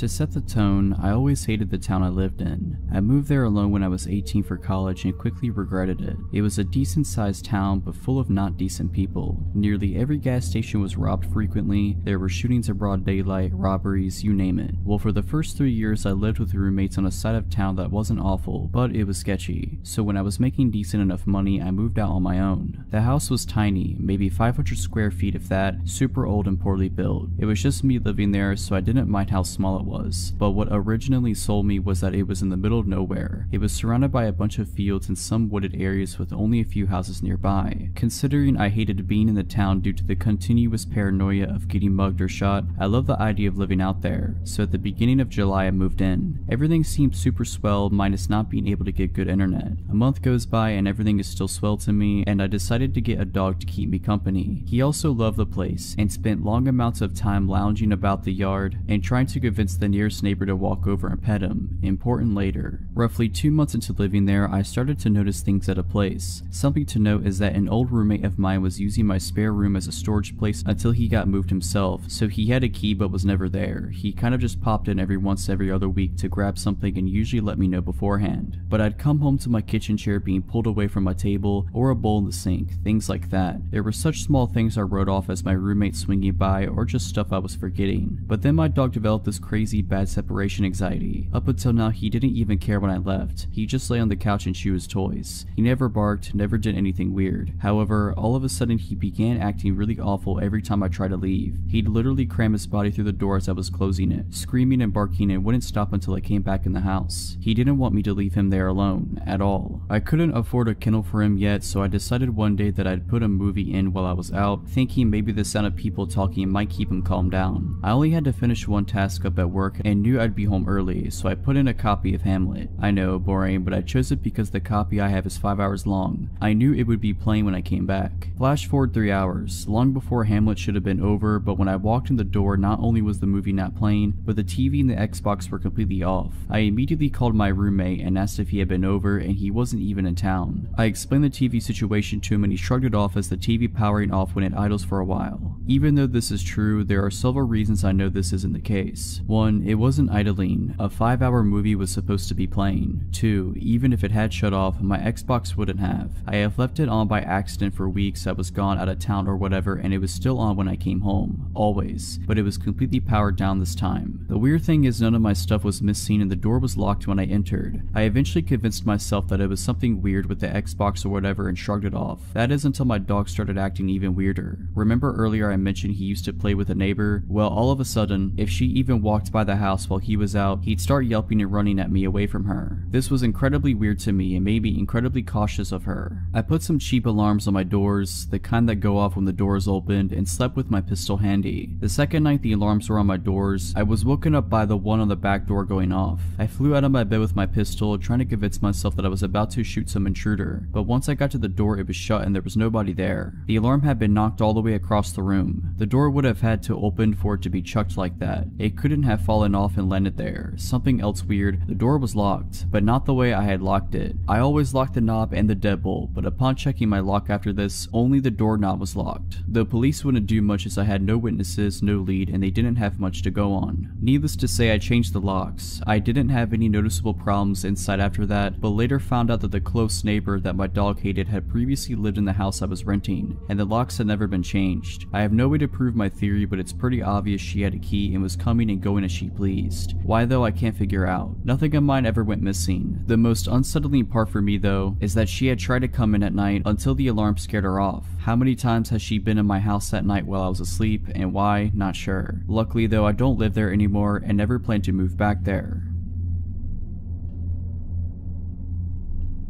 A while ago, I was staying in an upscale hotel in the safe area of a large Midwestern city. I am a 16 year old female and I was in a room all by myself with my parents a few doors down. In theory, this isn't unsafe by any means, but I had bad luck on this particular trip. Our first night there passed without incident. Me in my room, my parents in theirs. I watched a pay per view movie and ate way too much from the snack bar. I didn't have any reason to feel unsafe. The next morning, we did the usual tourist stuff that one does when visiting a new city. As we ate a breakfast, breakfast in the hotel restaurant, I noticed a man who looked to be in his 60s staring at me for an abnormally long amount of time. I ignored it and chalked it up to him thinking I looked like his granddaughter or something. The next night, my parents allowed me to meet up with a friend for dinner who lived in the area. He met me in the hotel lobby and we had a nice dinner and then went back to the hotel for drinks. Yes, I am underage, I had a drink, my bad. Coincidentally, the same man who had been eyeing me earlier was at the bar. This time, I knew I didn't remind him of his granddaughter. Even with my buff guy friend next to me, his eyes traced my body. I felt unsettled and mentioned it to my friend, Ethan, who glanced over and also seemed really weirded out by how obvious this guy was leering. We left the bar quickly and by now it was around 12.30 am. Ethan walked me to the elevators of the hotel and once I pushed the button, I left. I wish I would have asked him to stay, because no sooner had he walked away that my creeper came, rounding the corner, and stood there waiting with me for the elevator. I felt so uncomfortable knowing that he would be seeing what floor I was going to, but it hadn't occurred to me to get off on a different floor at the time, and even if it did, he planned on following me, so it would have been just as bad a move. When we were in the elevator together, I tried to keep my eyes averted from his, but they literally bore into my body. He kept trying to step closer and I kept backing up, too scared to even speak. What freaked me out more was that he hadn't pressed a separate elevator button, so he planned on getting off when I did. When I got to my floor, I almost ran to my room, and the guy just stood at the end of the hallway, waiting to see where I was going. I stayed in my room for 15 minutes until I was sure he was gone before I told my parents what had happened. They were freaked out and told the hotel staff, but there was no sign of the guy, and it was really late, so I just locked my door and tried to get to sleep.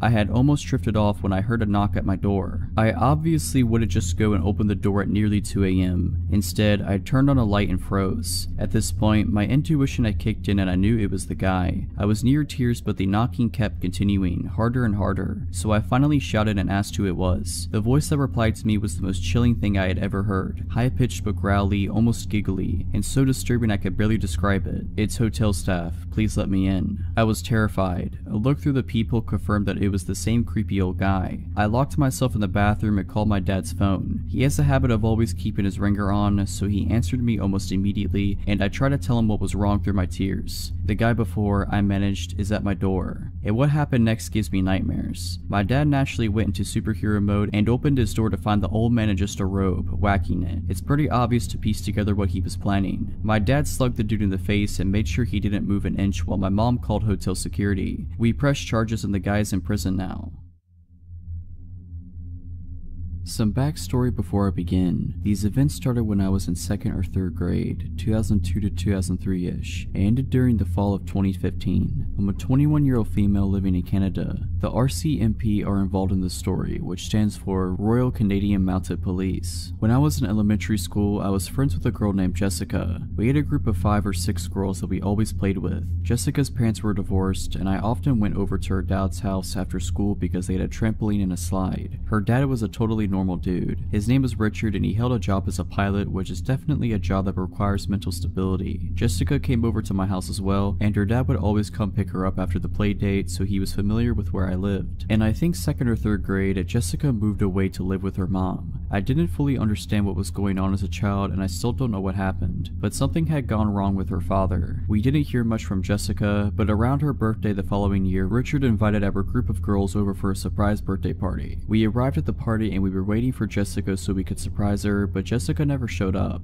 We were just hanging out with her dad for a while. As a child, this didn't seem as weird as it does to me now. When our parents picked us up, we obviously told them what happened, and we didn't hang out with Jessica or Richard again. After that, some of the girls started receiving presents from Richard at their homes. I never received them, but my mother told me about it years later. The presents usually consisted of cheap jewelry and notes. I have no idea what the notes said, but I'm not sure if I want to. After this, Richard goes away. My mom later told me he was in a mental institution. Years go by, I completely forget about the whole situation. Then, in the winter of 2013, I was out of town for a cheer competition. I was scrolling through Facebook one night when all of a sudden a new group chat popped up with five girls from my elementary school. I had not kept in touch with any of them, so this was weird. The chat was about how they had received messages from Richard on Facebook. I checked the other folder of my Facebook messages and sure enough, I had some too. I had a variety of messages that did not make a lot of sense, including some strange poems. Many of the messages were descriptions of dreams he had about me, though some of them were nonsense. Others were understandable enough to come across as violently threatening. I don't feel comfortable sharing some of the more explicit messages, but here are a couple of the shorter and less scary messages. Hi little girl from not long ago, pristine of pristineness, I want you, I want you, I want you. We're gonna have planets to go to someday provided you don't melt them first. I'm so proud of you, stay happy, and I haven't found a way to keep you all off my mind. I clicked on Richard's Facebook profile and his whole profile was dedicated to his five girls.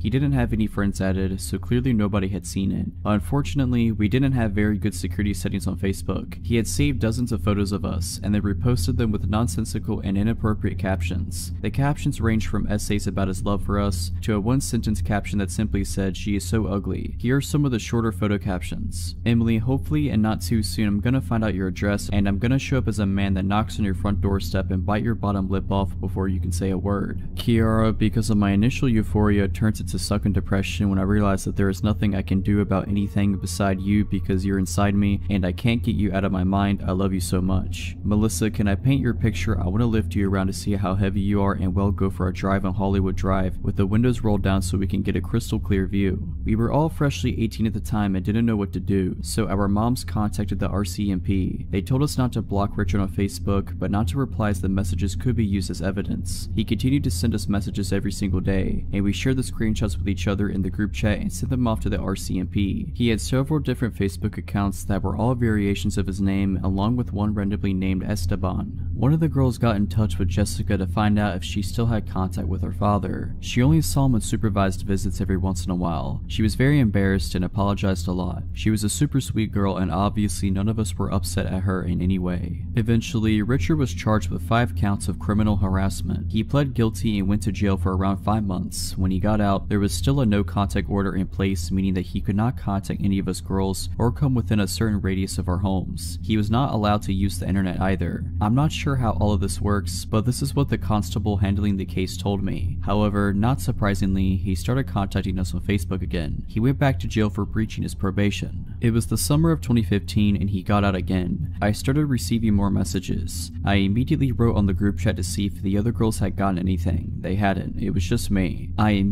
contacted the police. It seems they had forgotten to include my name on the no contact order. He knew not to contact the other girls, but thought it was still safe for him to contact me. This time things got worse. I had just started working at a new job, and being the idiot that I am, I had my workplace public on my Facebook profile. One day I came into work and there was a package waiting for me. I was obviously confused because I would never order something to be delivered to my work. I opened it up with my managers and there was weed inside along with a disc with encryption software on it. He had mailed me weed to my work. I knew immediately that this was him, and awkwardly explained the situation to my managers who thought it was hilarious. The security in my office tower was alerted and given a photo of him. They began walking me to my bus stop after my shifts. It was scary knowing that he knew where I worked. At this point, I hadn't seen Richard in years, but it was clear that he was mentally unwell. I had absolutely no idea what he was capable of or what his motives were. The RCMP did not seem to take this case very seriously, and they moved very slowly, passing the case around to various officers. Meanwhile, I was terrified. I could hardly walk down my street at night without freaking out. Every time somebody knocked on my door while I was home alone, I would drop whatever I was doing and hide under the kitchen counters. I had not moved since I was a child, so it was very possible that he remembered where I lived. The packages kept coming. I received more weed in several different forms, including cookies, what appeared to be cocaine, and a key to his apartment along with some miscellaneous items. I opened all the packages at the police station. One of the packages included a USB stick with a bunch of audio recordings on them, but I decided it was better for me not to listen to them. The return of the packages was to a random PO box in another city that did not belong to Richard, and no fingerprints were found on the packages. During all of this, the Facebook messages remained constant. Luckily, in one of the messages he informed me that he had sent me drugs and the key along with his home address. This confirmed that the packages were from him. He was charged again. I received a subpoena in the mail to appear as a witness in court. However, he once again pled guilty and I never got to go to court. I was actually a bit disappointed as I thought seeing him in person would provide me with some sort of closure. He is still locked up somewhere as I am writing this, but I still get scared walking at night or when somebody knocks on the door. The police provided me zero information on where he was being held or when he would be released. I feel like I am just waiting for the day that he will contact me again. I just hope that he never does.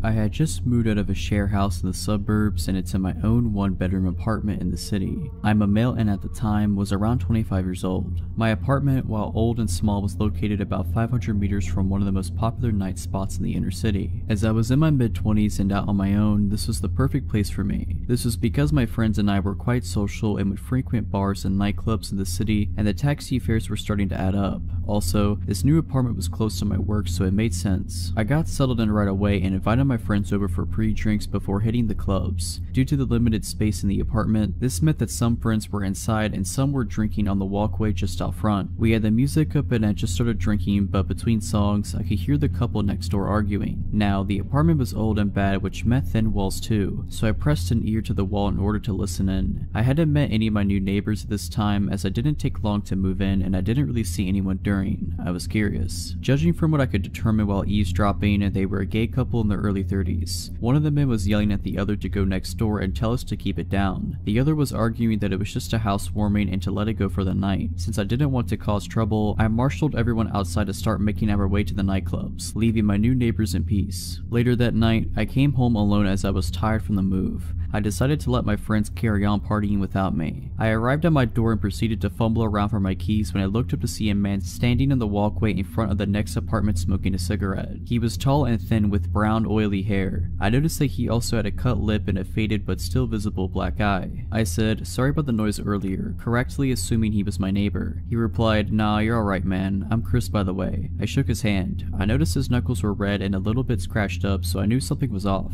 I apologized for the noise and said, I hope I didn't cause any trouble for you. He withdrew his hand and with a soft but cracking voice said, nah, that's okay. Rick just gets a bit cranky sometimes, I'm used to it. With that, I finished off the conversation and told Chris that I'd see him later. It was about 2am at this point and I just wanted to sleep but couldn't help worrying about the potential domestic abuse going on next door. I decided to just keep an eye on it for now as I didn't have all the info, for all I knew, he could have gotten into a fight with someone else. As the weeks passed, I noticed that my new neighbors got drunk regularly and would argue almost every time. I could tell that Rick was the dominant one as his voice was a lot deeper and Chris seemed to be afraid of him during their shouting matches. This is why I kept my distance and never really socialized with them. I would even overhear them arguing about me and that Rick thought that Chris liked me etc. I would just tune all of this out with headphones and video games, not to mention an active social life and full-time work to keep me occupied. I did find myself avoiding having guests over because of the neighbors. I would opt to meet people out as their arguments could be quite upsetting. This was working out fine enough for a while until Christmas Eve that same year. I was arriving home after coming from last minute Christmas shopping. I was getting ready for a night of present wrapping as I was to visit my family the following day for Christmas. As I arrived home, I noticed two police cars outside and Anna, an Asian Asian woman who lived a few apartments up from Chris was screaming. I asked her what was happening and all she said was, it's just so sad while sobbing. I could see three officers trying to restrain somebody and there was blood on their uniforms. I came just a little bit closer to see Chris's oily brown hair in the center of the affray. His face was bleeding from his jaw where he had apparently been slashed by something sharp. They got him to his feet and I could see that his cheek had been cut so deep that the skin was flapping open as he struggled and resisted with the police. I recoiled in shock and went to comfort Anna who was crying uncontrollably at this point. Suddenly, Rick's voice boomed out from nowhere. You see what you've done, you loser. This frightened me and my instinct was to get myself and Anna to safety. Even though the cops were here, they had their hands full with Chris and I certainly didn't want to get involved in such an ugly fight where knives were involved. Anna refused to come with me and said that she would be fine. I looked around to see where Rick was as he kept yelling at Chris the whole time. The three cops struggled to restrain him. I could hear Chris whimpering apologetically in between. I couldn't see where Rick was so I decided just to go to my apartment and lock the door. As I turned to go, I froze in horror as Rick's voice boomed, where are you going? A deep chill went down my spine as my brain struggled to reconcile the fact that these words were coming out of Chris's mouth. I felt panic grip me as I realized that all this time Rick and Chris were the same person. All the fighting, laughing, drinking, and carry on that I couldn't help overhearing over the last couple of months had come from one solitary person, a lonely guy in his small one bedroom apartment. For some reason that made me feel sick. I learned later from Anna that this wasn't the first time the police had to come take Chris away. Anna explained that he spends a couple of months at the local psychiatric hospital each time. His father owns the apartment so it's here waiting for him when he gets out. I moved out a few months later and while it is a sad situation for Chris, I really do feel him.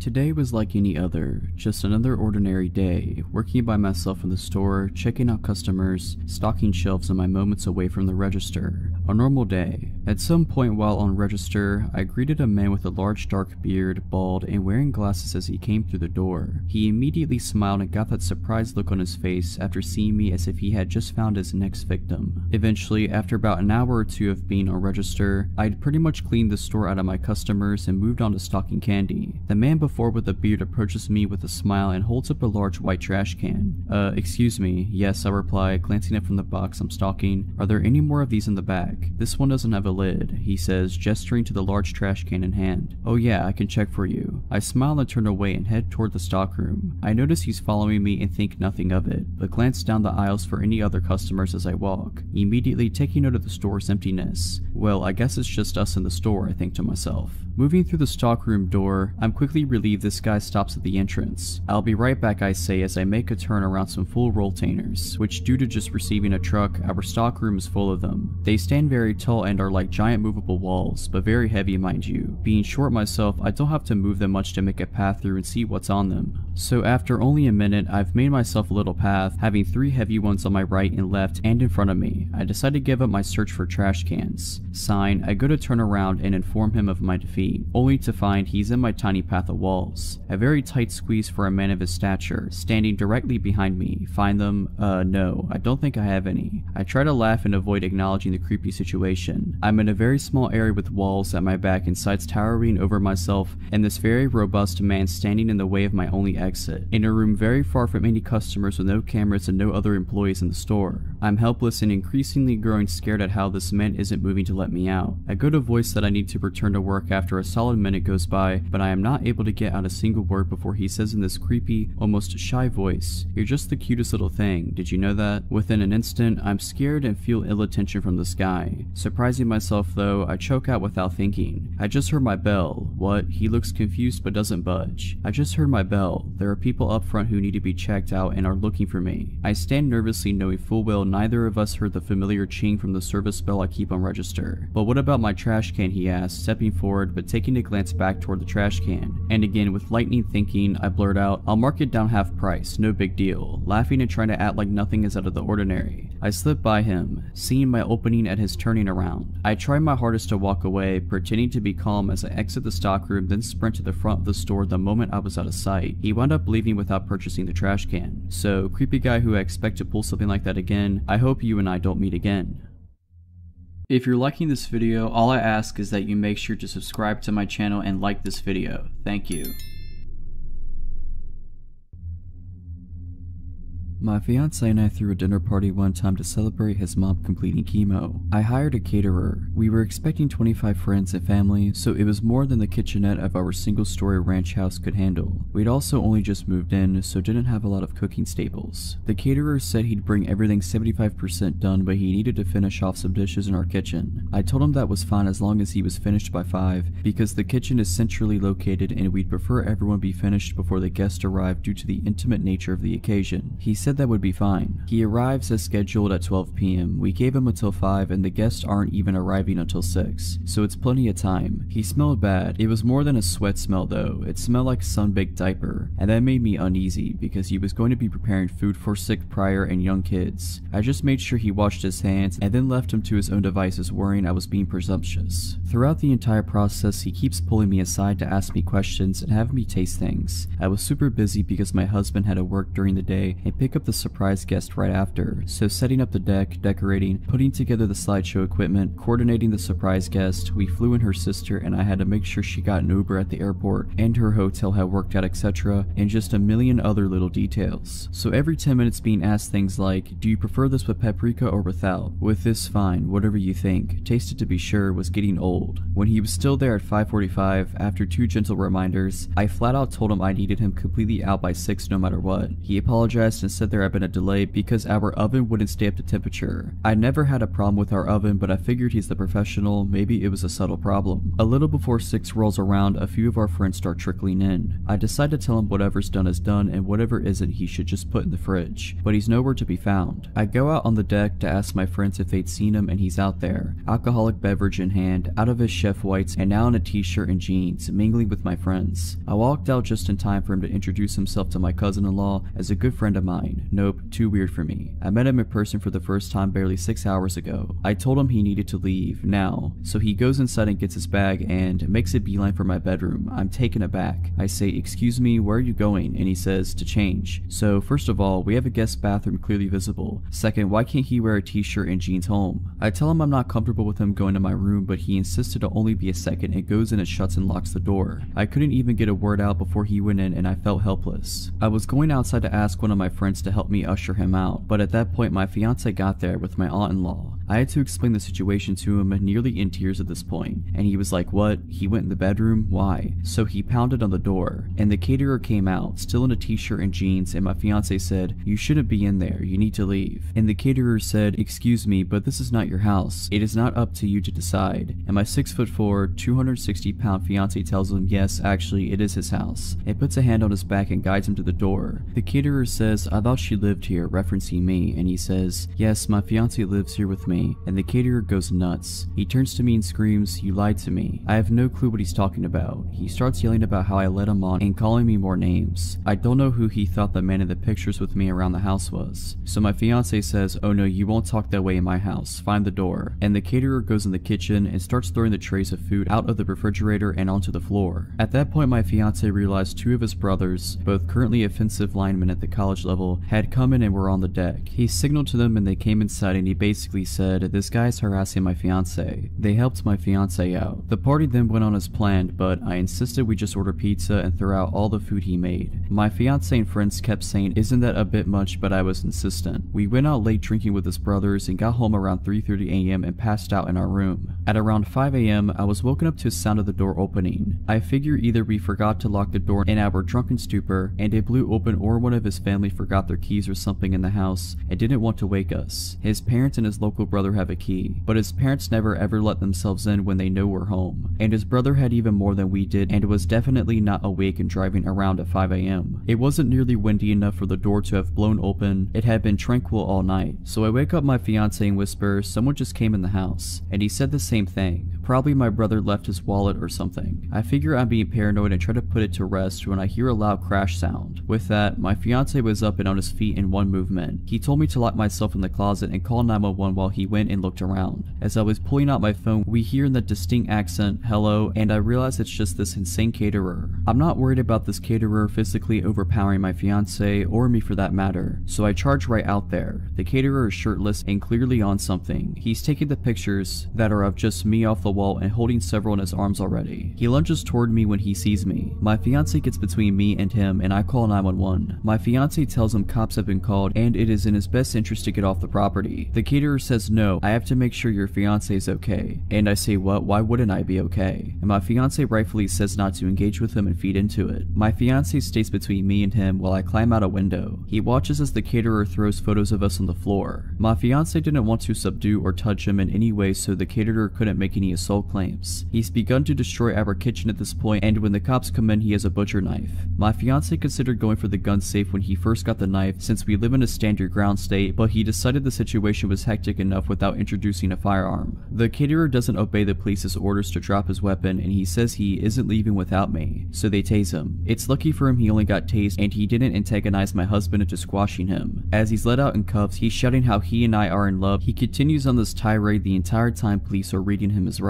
The police ask us to do an inventory of the house and see if anything's missing or damaged besides what we witnessed him do. We go around and there's nothing, but then I remember he was in our room yesterday and he went through the room. All of my underwear from the dirty laundry hamper were gone. We were so freaked out in the aftermath that we replaced all of our kitchenware, toothbrushes, sent our sheets to be professionally cleaned, and had a cleaning crew do a deep clean on the whole house. So glad we decided not to serve the food to our guest and my fiance's medically fragile mother. He sent me a letter from prison that thankfully my husband intercepted, because I was still recovering from the whole thing. We gave it to the police who helped us get issued a no contact order. He was sentenced to three years in prison.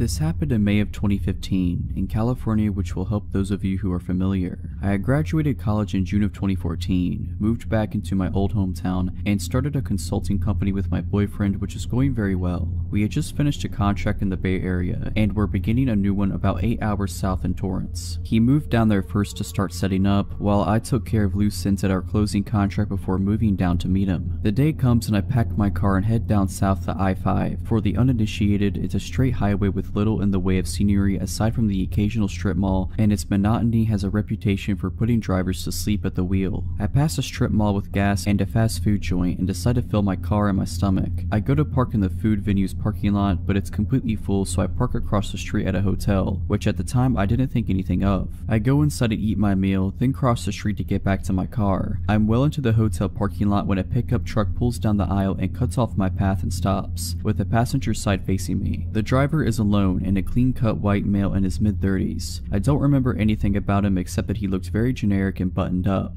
The way he pulled in front of me to block my path didn't initially set off alarm bells, as he has done it pretty organically. He rolls down the window and the dialogue follows. Excuse me miss, but could you please tell me where the grocery store in town is? I'm sorry, I'm not from here so I couldn't say. Oh, where are you from? Uh, good question, I don't know, not here though. I didn't say that to be rude, I had just moved through so many cities at that point and was on my way to a new one. I wasn't sure how to answer. He laughs and makes a joke, then asks me where I'm headed. I mention that I'm moving. I will say he was very charismatic and at this point I just think he's trying to flirt with me. And if I hadn't been so exhausted or in a relationship, on another date it might have worked. He makes another comment about how unpleasant moving can be, and then gives a warm chuckle and extends his hand to shake mine and goes, well I'm glad I got to meet you, I'm Scott. If you recall, the truck is in front of me with the passenger side facing me. I actually take a step forward to grab his hand and then got the delayed response of every alarm bell that should have gone off earlier. I'm in a hotel parking lot, he asks me a question that establishes I don't know where I am, another question that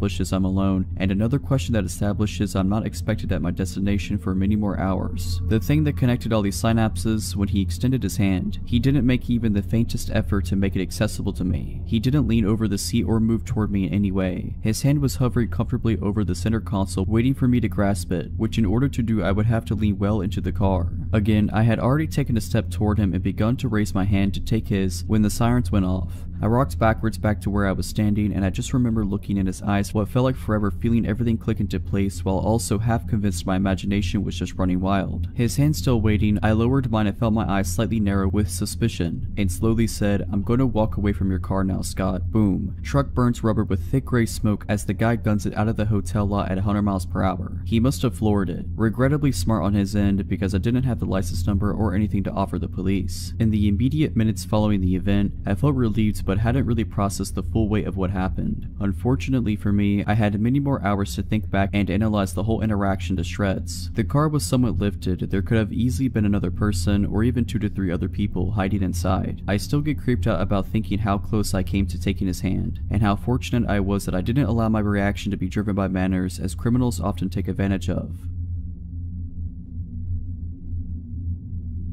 This happened when I was in high school long ago. My mom just recently found the paperwork about it when she cleaned out her office upon retiring from the police department. I remember being upset and scared when it happened, but reading the details as an adult, it sounded even worse than I remembered. I was a 17 year old female working at a flower and gift shop. It's nighttime, a man comes in, short, overweight, balding, and 40 years old. He tells me about how he needs an apology gift for his girlfriend, so I offer a bouquet, obviously it's a flower shop. He says she doesn't like flowers because they die. This is the first weird thing as he came into a flower shop. Then he goes into detail about how he hit her and asks me if I think it was the right thing to do so. This was long ago so I don't remember exactly what I said, but it was something along the lines of, not if you want her to continue being your girlfriend. He then tells me what a great job I'm doing and asks me when I get off work. I dodge answering and he leaves. Nothing for six months. Then right before Valentine's Day, he walks in the door one minute before close. It was dark and from the outside it looked like I was working alone as my coworker, about a 40 year old female, was in the bathroom. Instinctively, it felt like a predator had just entered the room. You know when something isn't right and everything felt not right. I then noticed he has a tarnished revolver tucked into the front of his windbreaker, which is halfway unzipped. It was obvious he wanted it seen. I quickly scribbled a note to my coworker that said he has a gun and handed it to her when she came out of the bathroom. She calmly walked to the phone and looked at me, wordlessly asking if she could call the cops. I shook my head no, as I felt like it would escalate the situation. God forbid he heard the police coming and took us hostage or something. I was just going to try and act as calm and normal as I could, and hopefully not tip the situation into something more dangerous. He spends 15 minutes wandering around what was a fairly small shop. In retrospect, he was probably waiting to see if my coworker would leave as it was now well past closing. Finally, he places an order for pickup on Valentine's Day, which gives me his name and info, which I'm going to for sure file with the police report. He buys a card and pulls out a wad of $100 bills, which he slowly thumbs through as though looking for the right one with which to pay for his $40 order. I ask him if he wants a bag, as it wouldn't be very inconspicuous if he just showed up at home with the Valentine's card. He replies, no, I didn't feel like being inconspicuous tonight, which seemed like an obvious reference to the gun hanging out of his coat. He leaves. We quickly lock the door and watch him sit in his truck outside. We were not about to exit the shop until he was gone. Finally, he pulls out of his parking spot and moves to another spot further away and continues to just sit there. I don't know how long we waited, but he finally left. I call my mom crying. She called the police, who came to the shop the next day to take a report. I told my best friend at the time what happened. She told her mother. Her mother happened to work with the man and informed security at her job. She said he was very weird, creepy, and liked to talk about weapons a lot. Security at his job, it's a large company with government contracts and things having to do with tech and security, pulled him into the office and questioned him about it. He claimed it was a glove in his pocket, not a revolver. The police were pissed that this company made contact with him about it before they did, and he successfully dodged the cops multiple calls and visits to his apartment. My mom, much to my teen fury at the time, made me quit my job, which was devastating as I loved it there. In retrospect, totally the right call. I never saw him again. In my late teens and early 20s, I was friends with a girl named Lucy. She was a very lonely kind of girl whose parents were, well honestly, not really great parents. Her mother was verbally abusive and her father really couldn't care less about anything. Because of the lack of love in her life, Lucy searched through dating sites for love and comfort from strange men and she was not afraid of meeting them face to face even if they'd been chatting for only a few days. My friendship with Lucy was a strange one. I found her quite annoying sometimes but I also felt awful for her because of her loneliness and lack of friends and love in her life. Sometimes I really didn't want to hang out with her, and some days I would accept her offer to hang out. When it was just her and I together, she was normal and okay to be around, but also very appreciative of having someone giving her attention. We had a small group of friends and she would try to get all of us together as often as possible and honestly, the whole group together was really quite fun. When we were all together, Lucy was very hyper and you could just tell that she was happy to be around people who didn't insult her as her mother does. Suddenly, Lucy tells us she has a boyfriend. We were all surprised surprised because we knew she met a lot of guys online, but we had never heard her say she was dating someone. A few days later, she sets up a day for our friend group to meet Trevor. None of us were looking forward to it because we thought he was going to be like all the others, a temporary boy toy. When we met him, we all felt awkward. He barely spoke a word, he wouldn't look directly at any of us at all. Lucy would try to be funny, but he would just give her dirty looks. Needless to say, we thought he was a weird one and could tell he didn't care much for her. As the days went on, Lucy kept telling me how much Trevor did not like me. She kept saying he thinks I am using Lucy for her money. Not sure how he thought that since I paid for everything for Lucy. To keep this piece of the story short, I think he was trying to find reasons to convince her to get rid of me. I got a terrible vibe from Trevor. He dressed like he didn't care about life, he never smiled, he didn't shake our hands when first meeting us, he stank of weed and really had an overall uncomfortable feeling about him. After months of Trevor trying to convince Lucy that I'm a terrible friend and she should not hang out with me anymore, she started to do as he said. She would start to hide me from him. If she and I were together and he would call her on her phone, she would lie and say I wasn't there. If she was with a group of friends, he would have her swear I wasn't there. When he was going to be joining the group on an outing or just hanging out at her place, she would tell me I couldn't come. Lucy will do whatever a boyfriend says just to keep pleasing him so she doesn't lose them. Now here's where it gets scary. Lucy calls me one day and says she wants me to come hang out at her place. I agreed. She came to pick me up and we went to her house and watched TV for a bit. We then decided since the day is nice outside, we would take her two dogs for a walk to a nearby pocket park and would later return to the house to have lunch together. While at this park, she receives a phone call. Now let me say that Lucy is not a private person whatsoever and has never ever walked away to answer a phone call until this day. She walked far enough away that she knew I would not be able to hear anything she said. This was suspicious to me but not enough to question it. The call ends and she begins walking towards me with a look on her face as if she is trying not to smile. She tells me, so I need to bring you home now. I was slightly confused as we had only been together for about an hour, when we usually spend the entire day together, and she would never want me to go home. She would even frequently beg me to sleep over to avoid being alone. So anyway, I said okay and we walked to drop off her dogs at home and we got into her car and off we went. About 10 minutes into the car ride, I realized she isn't going in the direction of my house so I question it. Where are we going? She smirked but didn't respond. I asked again laughing uncomfortably, seriously, where are we going? She continued to smirk but didn't want to answer me. I started to realize she was heading in the direction of where her boyfriend lived. I asked one last time with anger in my voice, where are you taking me? Her only response was bone chilling to me. Trevor wants to talk to you. I wasn't having any of this. I insisted and demanded she let me out of the car, but with her evil smirk and same response, she said it again. It's okay, he just wants to talk to you. I was furious at this point because this creepy guy who looks like he wants to kill someone, who also despised me, wanted to talk to me. Why can't he talk to me on the phone? Why do I need to go to his sketchy apartment? She absolutely refused to let me out of the car.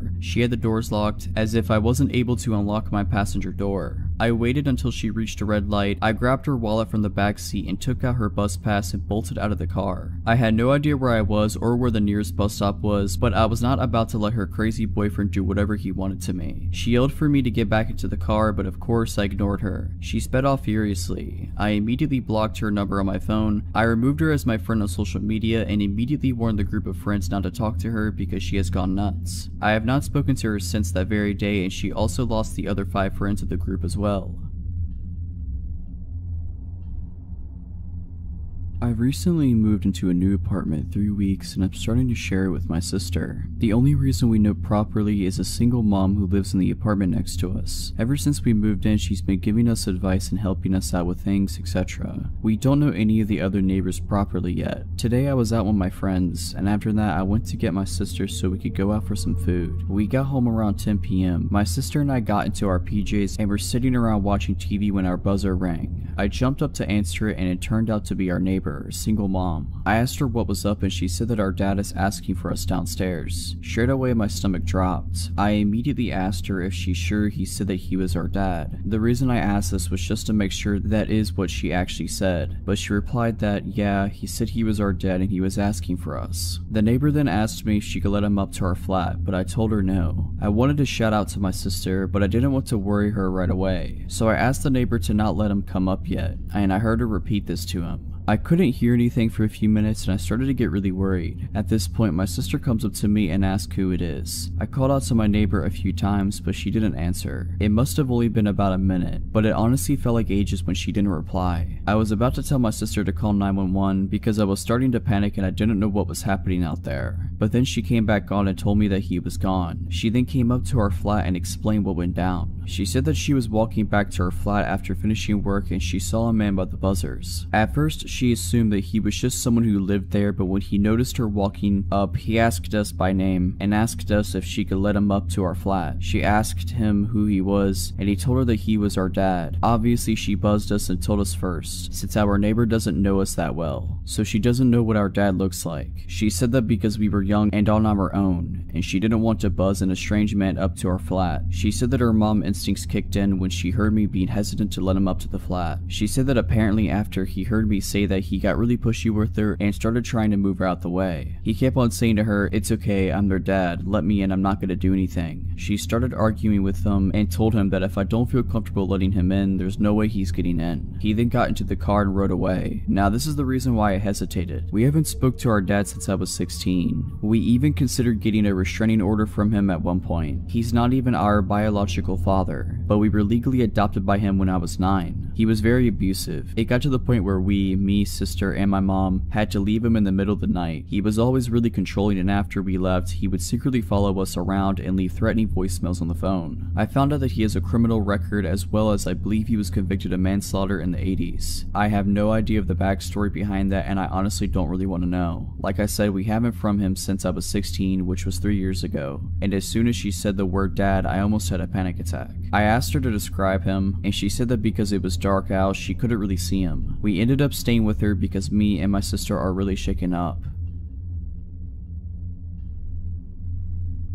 This happened a long time ago when I was around 15 or so. I'm 25 now. Back then I was really into singing and dancing with my friends and I was introduced to K-pop as a result. This was way before K-pop became noticeably mainstream, so whenever events relating to it came up we got very excited. There was a global audition for one of the big companies in my town and my three friends and I decided to go. I was the only non-Asian girl in our friend group, I'm only mentioning it because this pertains to the story later. The K-pop fandom back then was pretty much the same as now. People of various ethnicities were into the idol music genre. We all knew the likelihood of getting into the industry was super low, and for me even more so, as I wasn't of Asian descent, but I knew that going in. That wasn't the point of us going though, we just loved being in proximity of something important to the genre we enjoyed, just kids having fun. By the way, I looked pretty young for my age then, and wearing pigtails this day didn't help with that either. So we get dropped off and meet up at the audition place, a community center of some sort. We kind of dilly-dally around a bit until we have to line up for our respective auditions, i.e. singing, dancing, etc. I was going to go sing, so I was mentally preparing myself in the crowded space outside of the audition rooms. That's when out of the corner of my eye I see a tall, older, maybe 40 years old, white man beginning to approach me. I remember thinking, huh, is he going to audition too? It was strange because everyone else in there was younger, maybe he was a parent. He walks up pretty close and goes, can you help me please? I'm confused and I ask him what he needs help with. Oh, the staff here, my son. My son's trying to audition but they won't let him audition. Okay, this was weird. I then asked him why. He said, because he's not Korean. That was when I started to get creeped out. I looked around to see a pretty diverse crowd and then back at him. Uh, I don't know, that's terrible. You should talk to, and then I point towards the staff. They should be able to help.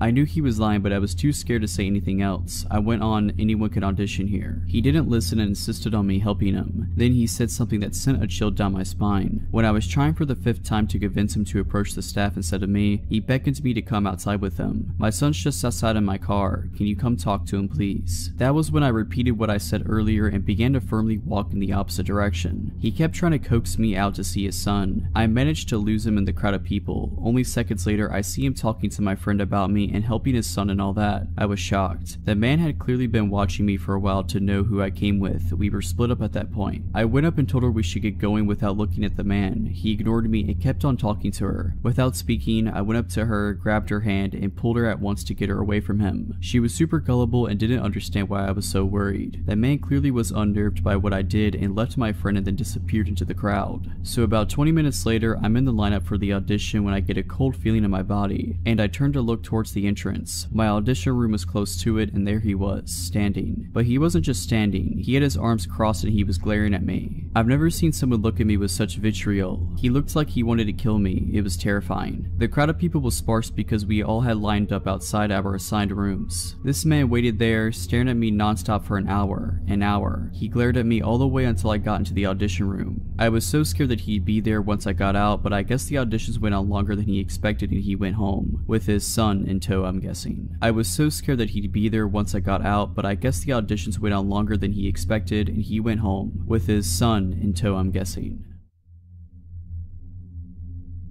I've worked a few odd jobs in my life. My first job was a summer job at 16 during summer break at a dairy farm. I absolutely hated it there and made it harder for me to find the motivation to even try finding work again when the time came. I don't really remember how I was first referred to the job, but the following summer, I ended up working as an office assistant for a self-employed photographer. My parents knew her because she used to be a member of their church, and my sister attended her 4-H program when she had it. By that time, her health had begun to take a hit as she claimed it was a mixture of things from chronic Lyme to fibromyalgia. I had also been warned by my parents that she was a little off. She was very religious and claimed to have had real encounters with demons, even participated in a few exorcisms. I'm an atheist and a skeptic, so I never took her story seriously. Aside from the weird things she would tell me, she was mostly harmless and working for her was not hard. The job basically required me to do a lot of data entry, as well as help prep her photos with some minor touching up and the addition of her company watermark before uploading them to a site where her customers could browse them and then pick which ones they wanted to order. She primarily photographed horse events, dressage, stadium, and cross-country jumping, etc. And for the first several months, my job stayed in her living room, which is basically my office space at the time. Eventually, I was talked into tagging along at shows where she trained me as a photographer, and soon I was shooting at the events along with her. It was boring work, I won't lie. I'm not a horse person, but things didn't get weird until a year later when I learned the hard way it was not her that I needed to worry about. She had two sons, one who was out of state, the other one was in the Navy. The latter of the two, a guy called Nate, I had only heard small things about. When he finally returned home and I met him for the first time while working in her living room, he seemed like a nice guy, a little odd but not concerning. He was obsessed with movies, and being a bit of a movie buff myself, whenever he would venture to the living room to strike up a conversation, it would always be about whatever movies we were into or were excited to see. I should point out here that I was 18 by this point and he was in his mid 30s. At some point he got it in his head that I was interested in him, though he never said anything directly to me. I had to find out about it from my parents. My mom worked as the secretary at her church and Nate knew it. I can only guess my boss had told him. One afternoon, Nate showed up at my mom's desk and started gushing about me. He talked about how much fun I was, how he loved talking to me, how he was planning to take me to the movies and take me to this church, and all these other plans he had for me. My mom was beyond uncomfortable, as was the pastor who happened to overhear it, and when I got home that night, she told me what had happened and suggested I make sure not to lead him on. I was completely baffled because I hadn't done anything. We never even discussed the possibility of doing anything together.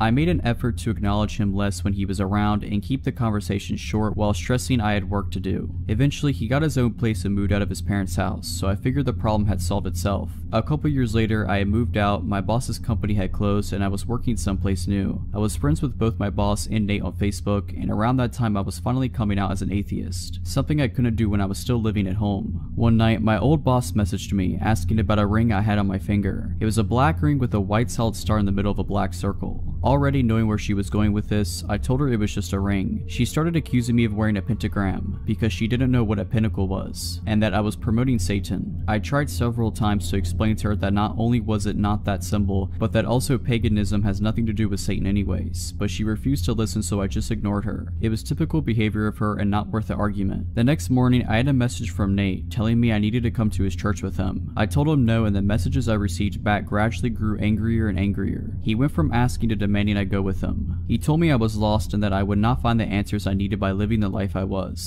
Eventually, he outright said he thought the fact that I was wearing a pentagram was disgusting and that I was opening myself up for possession. Knowing there would be even less of a point in arguing with him than there was with his mother, I went ahead and blocked both him and her, deciding I was done with the both of them. Then, he started showing up at my workplace. He would always search through the store until he found me, and then once he did, he would corner me and not stop talking to me no matter how many times I tried to dodge him or tell him I needed to get back to work. Eventually, the managers caught on and started intercepting him whenever he showed up. I wasn't making enough to pay the rent with that job, so I had to take up a second one. Within a week of working my second job, which was in a different town, he showed up there too. This time I told the managers outright who he was, and after that, every time he showed up, I was allowed to hide in the back room behind a locked door while they sped his order along and got him out. One of those many encounters, while I was hiding in the back, one of the managers was back there with me, inputting employee time punches into the computer when the both of us heard Nate shout in our directing, I know you remember me. That was the last straw for them and they told him his business was no longer welcome there. He started showing up at my other job as well for a while, which was a relief. Fast forward to a few years later, I was getting used to not having to look over my shoulder every shift or checking the parking lot for his truck. Then one day he reappeared. He was browsing a section I was walking past when he spotted me and got this deer in the headlights look. I made a beeline to the break room because just seeing him made me scared. After that, he started showing up regularly. I would always find ways to dodge and avoid him, but he would still eventually spot me and know I was still there. I was debating whether or not to tell the managers because at this point it had been a while since he had done anything and saying something just because I was nervous didn't feel right. Call me a coward or an idiot, but that was my thought process. What happened next made me regret not speaking up. It was bound to happen eventually, but one night he managed to catch me while I was at the customer service desk. He approached me and said hi, and I immediately started to look for someone to signal over so I could make a break for it. But before I could say a word, he said something that made me feel sick. How's your little girl doing? She's three now, right? I looked at him horrified. I had him completely blocked from all of my social media, I had his number blocked, I was living at a new address, and I had not seen or spoken to his mother since she confronted me about my ring. I had not told either of them I was a parent now or that I was married, and I was not friends with anyone anyone who knew them, but he knew. How's your husband doing too? He asked when I didn't answer. He's good, he's a good man, I said, trying to reinforce the idea that I was not available to him and that I had no desire to have anything to do with him. Where does he work? At this point, I felt like I was gonna pass out. Thankfully, another employee approached just to gather some reshelves, and I got out of there. As I was leaving, he called out behind me, I'll see you again, we'll talk. We'll go out and do something together, we will. I reported him to the managers, telling them everything about the encounter, including all the information he had on me and my family that he should not have had. They were able able to pull up his face on CCTV. I haven't seen him since the incident with my managers. I think he may have gotten scared off. Turned out one of my coworkers used to work with them too at a different job and she also made a complaint about him to the managers. I don't know what they did with that information afterwards, but I know he hasn't shown up since. It sounds like they plan to call the cops if he sets foot in the store again. With two employee complaints of stalker-like behavior, they refuse to ignore that.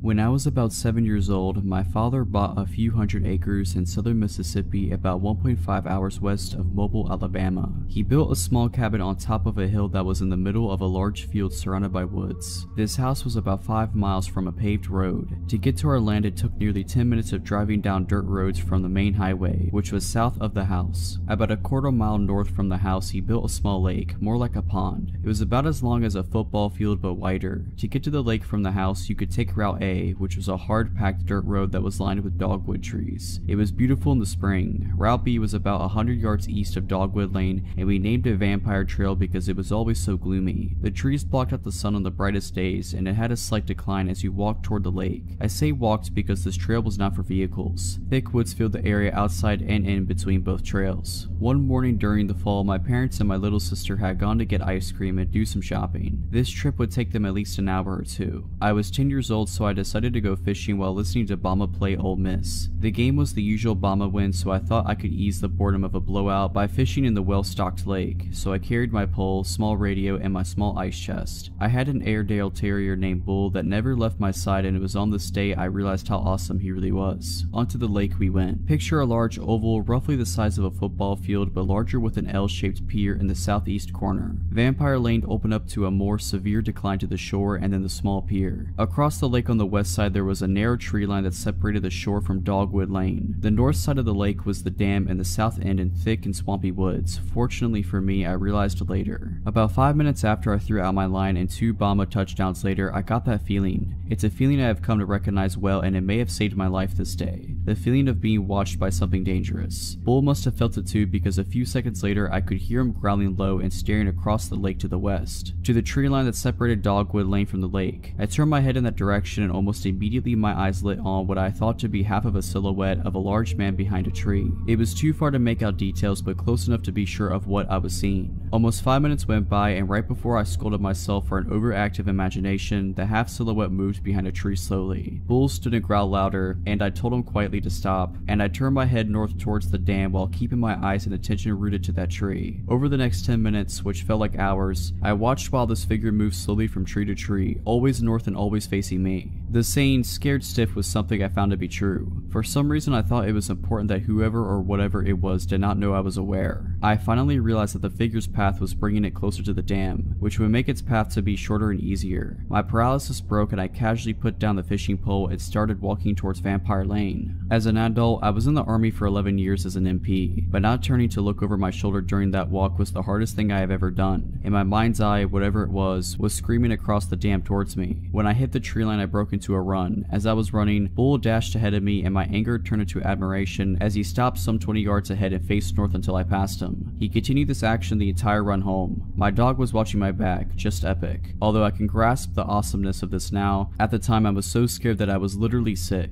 Even at such a young age, I knew that a large man watching and trying to creep up on a 10 year old boy was up to no good. When I reached the cabin I immediately locked the door and got one of my dad's shotguns as well as his 38 revolver. I sat at the large front window, my eyes glued to both trail openings in the woods between them. My family returned shortly after and for some reason I did not mention what happened. I never felt safe there again. When me and my friends or my little sister wanted to go anywhere other than the area around the cabin, I made sure my parents were with us. What scares me the most though is the fact that our closest neighbors were about 2 miles northwest of us, with thick woods in between us the crow flies. Who or what was watching me from the woods that day, guess I may never know. I sometimes wish I could go back then. As a grown man with military training, as I am now, Bull lived a full life was put to sleep peacefully as a very old but great dog. The best dog I have ever known. This happened a few years ago, and since then it has made me look at people very differently. I used to work in a strip mall out in a fairly rural area. Most people are recognizable even if you don't know them personally. People from out of the area frequently stop on their way through to other towns, so it's not like there are never out-of-towners, just that they might be easy to spot. Like in many places, we have a few homeless folks that hang around the shopping center, and they occasionally ask people for change or food. It could be a nuisance, but the folks that worked at the shops kind of kept an eye on them to help them out or to keep track of how they are doing. There's this one guy, let's call him Shane, that over the course of years has slowly gotten in worse and worse shape. He would be filthy and was clearly not doing well mentally, and was usually intoxicated. He always had several layers of clothing and the pants that he wore on the outside of his other pants always sagged making it hard for him to walk. He'd go missing for days and then show up again. We'd wonder what happened to Shane and ask around a bit, and a few days later he'd appear again. He was always so dirty. I always wished there was a way we could get him some help, but I didn't really know what to do. One day I was out in a major city that is about 80 or so miles away from where I work. I happened to see a well-dressed, very well-groomed gentleman that looked exactly like Shane, but at that moment I figured my eyes were deceiving me. This guy has an expensive looking shoulder bag, a new iPhone, and an Apple Watch. We were both in line at a popular food truck and it was usually a long wait to order and get your food. Most people just mind their business and scroll on their phones while waiting. This guy on the other hand is staring daggers at me. I keep avoiding looking that way, but I keep glancing to see if he's still there. And at the time, I want to look at him because I'm so curious about how much he looks like Shane. I glance his way and I have to stumble back because he's practically right up against me.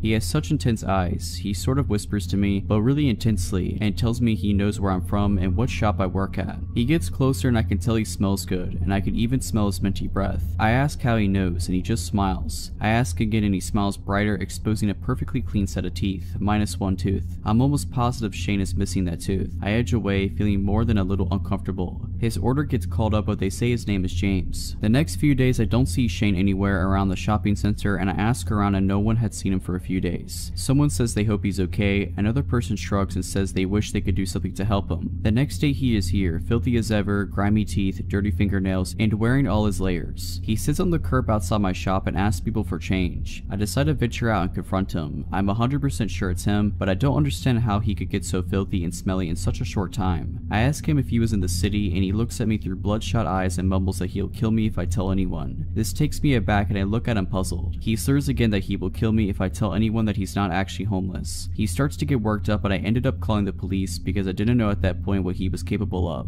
He wandered off and I haven't seen him since. If you're liking this video, all I ask is that you make sure to subscribe to my channel and like this video. Thank you.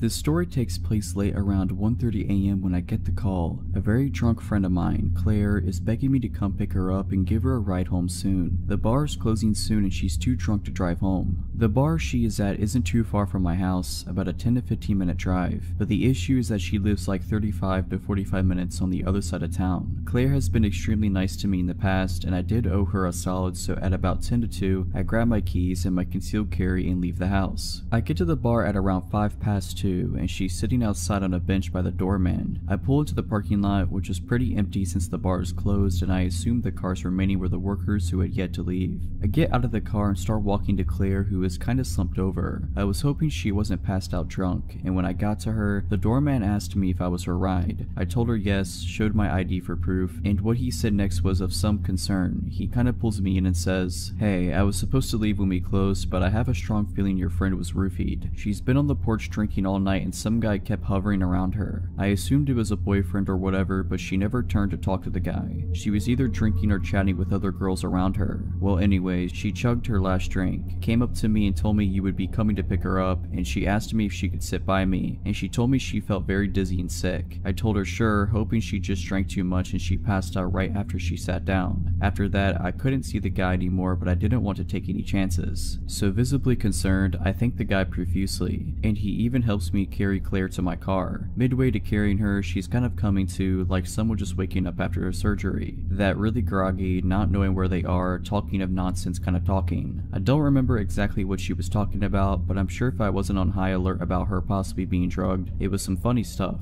So we get her buckled in, I thank the guy again, and he just says he hopes she gets home safe. So now, hoping my friend is only stupid drunk and not drugged, I start driving to her house. The whole time I'm trying to keep an eye on her and an eye on the road. She's now snoring asleep, which puts me at ease a bit, but about halfway to her house, my fuel light comes on. Cursing the fuel economy of a sports car, I pull into the next gas station. It's one of those small gas stations that doesn't have 24 hour store, so I'm on extra high alert while I start to pump gas. The gas station is about a block from the freeway, and right at the corner of the intersection. The street itself is pretty dark, with lonely lampposts shining very pitiful lights at large intervals. I get that really dead feeling like this place is just abandoned. To give an idea of positioning, because this is important, the gas station is at the corner of the intersection. The storefront would be facing south, and we were right in front of it where the pumps were. The east would be where there are air pumps for tires and parking spaces, and the north would be a diesel fuel pump right behind the store accessible from the street behind the gas station. I drive a Corvette so the filler is on the rear end of the car, and I'm leaning against the rear looking around. To my left, I hear this weird metallic scraping sound, so I turn and see this guy about 15 to 20 feet from me come around the corner dragging a long metal pipe on the ground. I immediately sense that I'm in a possibly dangerous situation now. The guy looks almost possessed but he's not looking at me, rather like he's trying to look into my car. I'm on the defensive, but hope I can get him to leave so I call out, hey, everything alright? Without looking at me, he answers back, you took my girlfriend from me, I'm here to take her back. Now he turns to look at me and he's got blood in his eyes. Before he begins to take a step though, I start yelling, hoping it'll get him to back off. Back off, please turn around. He takes a step towards me, clearly unimpressed, so almost automatically, I pull my handgun from my inside the waistband holster and draw a bead on him. Back off, you don't have to die, I start yelling louder. Anyway, in a panic the guy throws the pipe at me. It whizzes by and I dive behind my car for cover. I have no idea if he has a gun himself or what, but I was going to put some kind of cover between me and him, and by the time I kneel up and aim over the rear of my car, he's booked it. I hear a car door slam and tires screech, and he launches off the curb on the east side of the lot and is tearing down the road, swaying all over the place. In my own panicked hurry, I pull the pump out of the car, screw the cap on, and tear out of there myself. Claire, however, is still passed out in the car, and now I'm afraid because I'm convinced she'd been drugged and we were followed by that guy.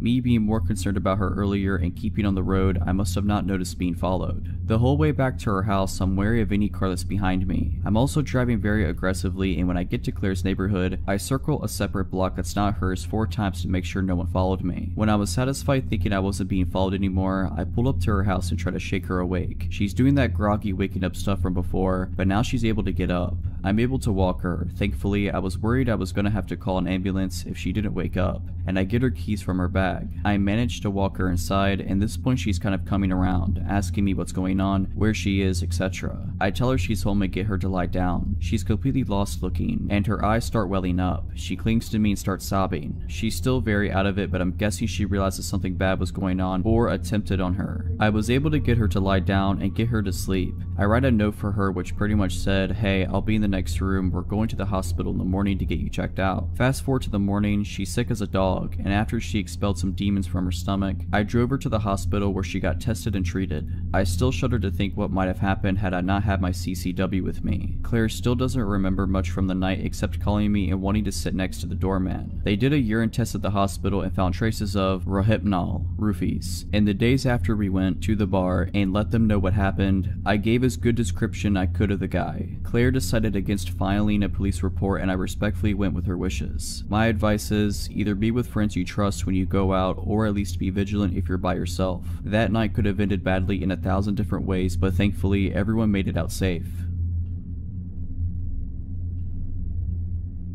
I don't really know where to begin, but I suppose it started before I was born. My birth set in motion a series of actions that led to the threat on my life beyond my control. So pre my existence, my mother, Jane, dated an older guy named James when she was in her mid-teens. He adored her but wasn't of the same religion as her, so she ended up marrying a gentleman from her congregation instead leaving James' brother put out. A year after being married, Jane gave birth to me and decided that she was unhappy with my father, Dave, and contacted James with the intent to go back to him. So Jane packed a bag one night, took me and left. As soon as she arrived at James, she was bombarded with messages from Dave telling her that he would take full custody of me if she didn't return. So with a heavy heart, she chose me over James, and therein lies my problem. She went back to my father and after another year of failed attempts, they divorced and my mother moved south to be with family, completely forgetting about James. My childhood was fairly normal for the next 13 years. A few house moves, a new stepdad, and a few siblings. Mother's second marriage falls through and she's single again. The year is 2010 and she has just discovered Facebook. Being newly single and having sudden contact with all of her old school friends, she quickly strikes up a few romances out of nostalgia. Nothing sticks though until she finds him. James has a Facebook account, not very active, no profile picture, but my mom is sure it is him and immediately falls in love again. He comes down south and meets his kids and stays for my 16th birthday party. Looks wise, he is easily in his 50s with shaved gray hair and glasses. My mom leaves him a third time and he finally flips and the crazy comes out to play. He starts turning up at the house uninvited. He is told to leave every time. The visits become less frequent and we think maybe he's got the message. But then hand-delivered letters start arriving for my mom, and it's the contents of these letters that cause me alarm. In them he details how if she had never met my father they could have been happy together, and he had a plan to get her back that was ruined by the untimely arrival of me. So he did what any crazy man would do and started plotting to get me out of the picture. Back in 1995 she had a near miss of a car accident, with baby me in the car when a car clipped her at a junction. She didn't get the car's details but put it down to chance. In the letters, James tells her that the incident 15 years ago was him, and that he won't miss this time. He informs her that he still believes that there is a chance for them, but only with me out the picture. I'm not a baby anymore, my father's well and truly out of the picture, but the crazy in James' brain won't let it go. The next letter tells her that he will burn the house down. If he can't have her, no one else will. The next letter informs my mother that he has told social services that she is a drunk and that they will come and take me away. Not hard to prove that false so we don't panic. The next letter tells her that he will burn the house down. If he can't have her, no one else will. This one she takes to the police. Upon investigation, it is revealed that an ex of James, with the same first name as my mother, has a restraining order against him for stalking and attempted arson. We are put on high alert and the process for a restraining order is begun. A few nights later, my mom hears someone outside the house. Thinking it's him, she calls the police. They arrive within five minutes and search the street. No James, but his car is found behind the resident garages. He doesn't return to it that night. The next day, the police contact a woman's hostel in a neighboring county. They have a room spare so we pack our bags and head there. And so the summer of my life was spent in hiding, no friends, no social media. Well, I wasn't supposed to have social media, but using proxy servers on the computer in the teens rec room, I was the only teen in the hostel at this point was easy, and possibly very stupid. James began messaging me through Facebook, playing nice, telling me how much he loved my mom, and needed to know that she was okay. I ignored him even blocked his account. I had a number of fake accounts try to befriend me and they were all blocked also. After three months they find us a new house. We have a week to go back and pack up our old lives. So that's what we do and now it's 8 years later and I've moved several times since, including for university. And honestly haven't given much thought to the man who wanted to kill me so he could be with my mother. Two years ago I moved back up north not far from my birthplace. Two weeks ago I received an email on an old email account for a rental agreement. At first I thought it was spam, but upon opening it the name at the top read to James Smith and the rental address was not too far from me, only a town away. That sick guy gave my email to the renters as his so that I would know he was nearby. I've heard nothing else but I seriously hope that we don't ever meet again.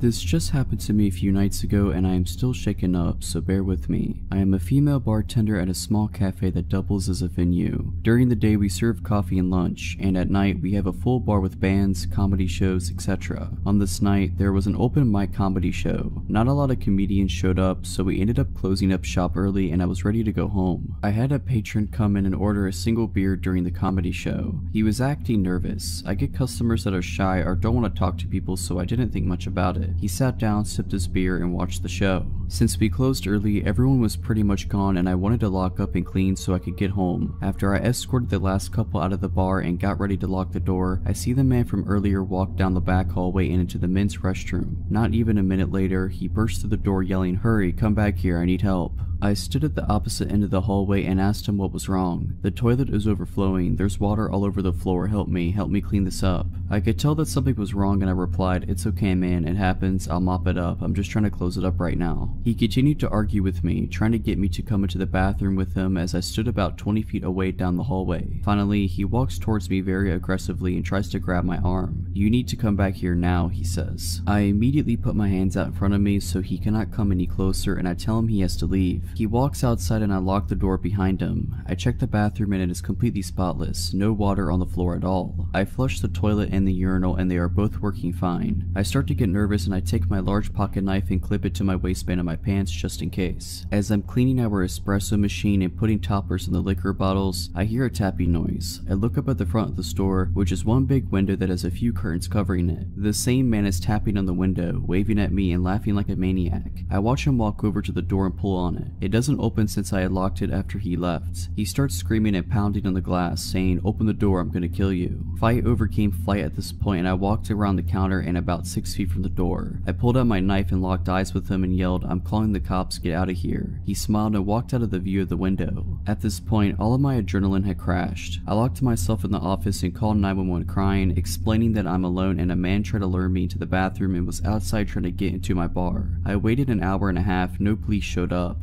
I called my boyfriend and he drove up to the shop.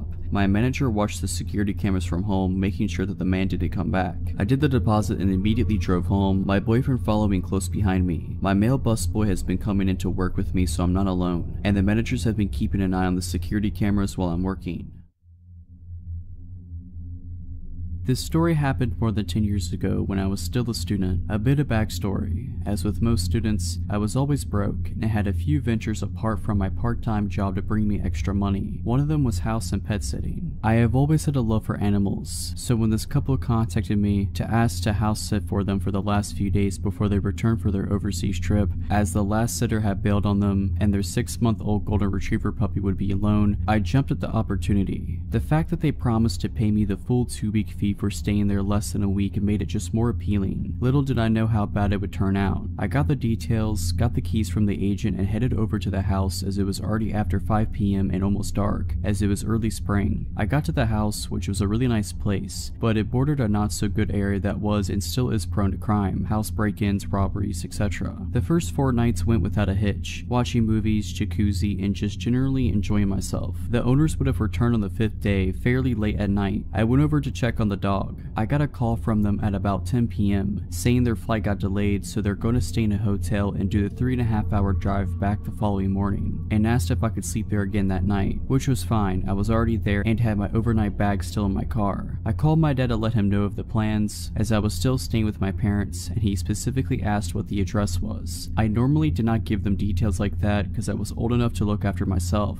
I still believe to this day that probably saved my life. I eventually got to bed about 1 a.m. and a it felt like I had only slept 5 minutes when I was awoken to a window breaking, and I could hear movement in what sounded like footsteps running down the hallway. The first thing I did was grab my phone and just hit redial. Thanks to my old Motorola phone, redialing was as simple as pressing one button, as my dad was the last number that I had called, hoping that he wakes up from the call. I then drop the phone in between the headboard and mattress in case my dad picks up that he can hear what is going on. I had barely done that when the first guy stormed through the bedroom door. I could see a silhouette and he had a knife in his hand. When he saw he raised it and came at me. Now one thing to those that are unfamiliar with South Africa and the crime, robberies and house invasions usually are very brutal and violent. People get murdered or tortured if they are in the slightest retaliate or don't cooperate with the robbers. Out of instinct, I raised my legs back when he came at me, and when he came within reach, I kicked both legs out as hard as I can. When I kicked and made contact with the guy, he completely lifted off the ground and shot into the wall. Luckily, the knife shot out of his hand as well. Before he got the chance to get up, I was on top of him, driving my right knee into his face and in return, his head into the wall. I knew that my life depended on it, so I put in some extra force. The guy dropped like a sack of potatoes, but before I could get up, I heard the sound of a pistol cock and I froze. It felt like all the blood drained from my body and I just became numb. He stood like that with the pistol against my head for probably less than 10 seconds. I did not move and he eventually said in very broken English to get on the bed face down. I panicked, but thought if he wanted to shoot me that he'd already would have done so, so I did as he said. He threw a blanket over me and I turned into a fetal position with my back against the wall, just so if they wanted to stab me that I had my legs and arms in front to protect my body. Now by that time I had forgotten that I had called my dad, and the guy that I had kneed is still down. I heard a third guy come into the room and I could hear what sounded like Portuguese to me. I could not understand what they said but I recognized it, as we used to go to Mozambique on holiday a lot and that is the main language spoken there. The one guy tried to get the guy that I put down off the ground while the other started to ransack the house, shoving valuables into a big bag. It was about at this time that I heard tires screeching and a car approaching at what sounded like Mach 2. The car skittled to a halt right in front of the gate and I heard someone scream. It was my dad. The three inside the house panicked and ran out the back door and tried to jump the fence. My dad opened fire, shooting in their general direction. I grabbed the house keys and pressed the gate remote, and my dad called the police while he came in. I met him at the front door and we walked out to the car to wait there for the police. It took them over an hour to get there, some excuse of no vehicle available. By that time I calmed down and started to look for the dog. I could not find her anywhere. I grabbed a flashlight from my dad and started scanning the surrounding yard, and as I got to the corner I could see her laying on the ground. I got to her and saw she was dead. Later autopsies revealed she was poisoned, and the police found pieces of meat laced with poison near the fence. Poisoning is pretty standard practice in my country for dealing with dogs at a house or area that is targeted for a break-in or robbery. I was fuming and so sad. The police was also pretty useless and had a I don't give a crap attitude, and barely took our statements. By that time it was starting to get light and I retrieved my bag, phone, and locked the house as good as I can without touching anything, and drove home behind my dad. Only when I got home I got the story from my dad's side. He said he answered my call only to hear the shouting and what sounded like fighting going on, and when I did not respond he flew out of the house and raced over. Luckily he asked me for the address the previous night, and he knows the area well to know exactly which house it is. Now, my dad got there pretty quickly, and he said he stayed on the line the whole time, only hanging up when he stopped at the gate. My parents' house is about 6 miles from there, through a residential area. It's normally about a 20 minute drive. The call duration was 7 minutes and 13 seconds. I met the detective there later that day, gave my statement, they took fingerprints etc, and the owners got back about the same thing. The rest of the day was a blur, as I came down from the shock and adrenaline. Now, that is not where the story ends. About 7 or 8 months later, I got a call from the detective telling me they caught the guys. The one that I had kneed apparently was the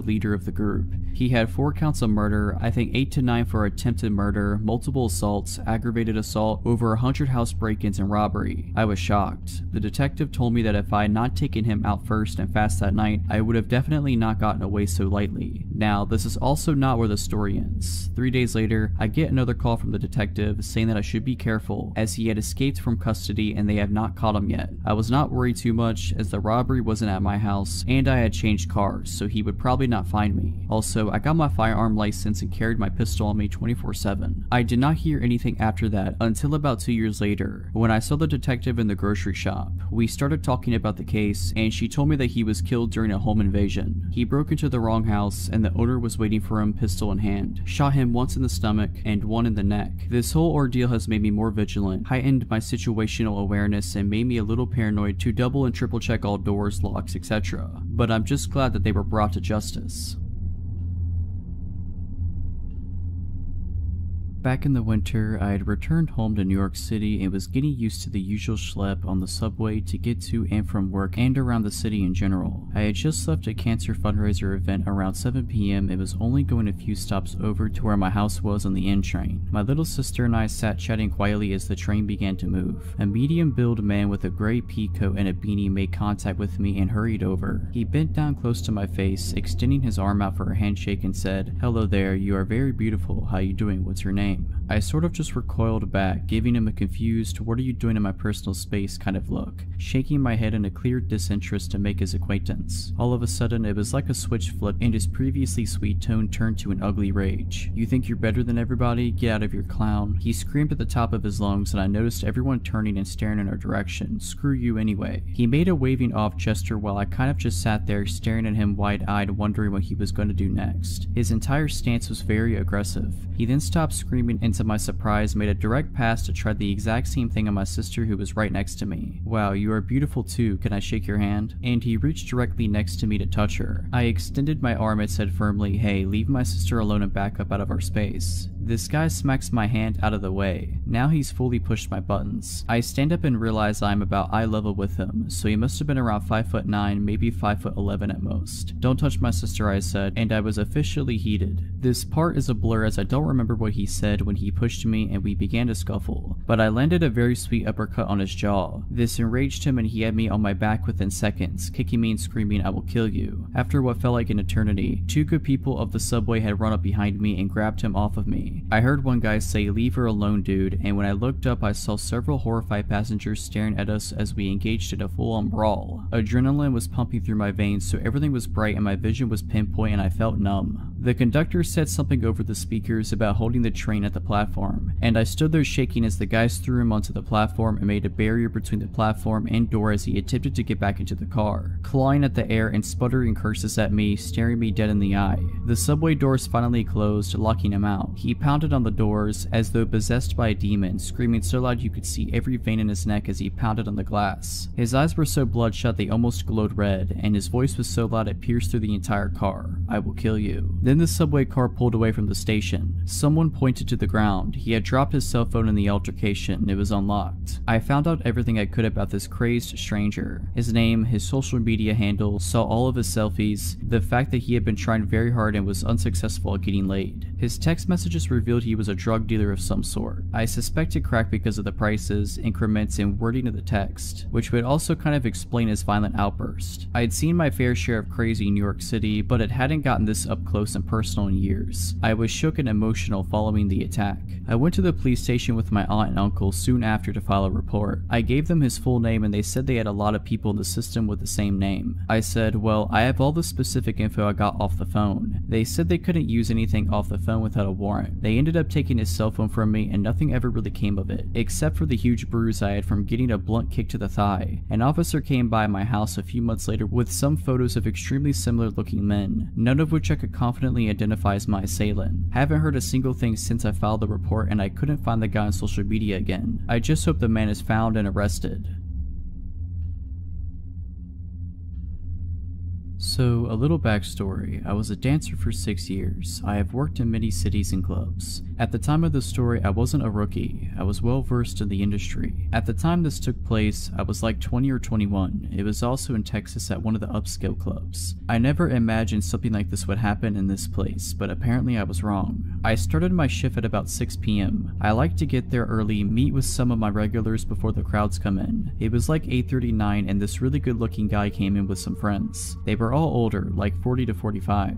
I grabbed some of my hustle friends and we went and sat with them. It wasn't hard to convince these guys into a VIP room with a bottle service, but this is where it kinda gets weird. The guy I was talking to wanted a separate room for just us. I thought maybe because his friends seemed rowdy and wanting to party hard, he wanted to have a more relaxed area. I wasn't complaining because this meant I wouldn't have to share my cut of the room, so stupid me saw dollar signs and went with it. We get some mixed drinks and shots. Now a lot of the guys that come into strip clubs really want to let loose and brought drugs as well. These guys had just about everything besides crack, meth, and heroin. I was definitely a party girl at the time too, so yes I partook in some of these. So at this time we were all hanging out in one room together. I took a little hit of coke off the back of my hand and continued drinking. After we were all hyped up and ready to party, my guy pulled me into the other room. This guy was like 6 foot 4, obviously worked out a lot and was attractive. I on the other hand, without my heels was 5 foot 6 and was like 120. I sat down in his lap and I started talking to him and laying down my moves to get him to empty his wallet basically. We were having a really good conversation and my bouncers were really good about checking up on the girls in the rooms because they were pretty secluded on the second floor. After about 20 minutes of talking, something snapped and all of a sudden he literally put his hands around my neck, lifted me up and slammed me against the back of the couch. The couch backs were tall and padded, so it wouldn't have been heard on the other side plus with all the music. I was literally frozen in fear. After almost three years of dancing, I had never been in this situation. He started calling me names, spit in my face, and his grip on my neck would get tighter when he would feel me take a deep breath like I was going to scream. Luckily, there were also VIP rooms across the large overlook, and a bouncer noticed me kicking and flailing. I faintly remember, like all the bouncers, running into the room. They had to pry me out of his hands. When I was finally back sitting on the couch, they had him on the floor outside the room, and his buddies acted like they didn't even know him. My manager grabbed me and carried me like a baby to the dressing room, asked me if I needed any medical. I said no, I was just really shaken up.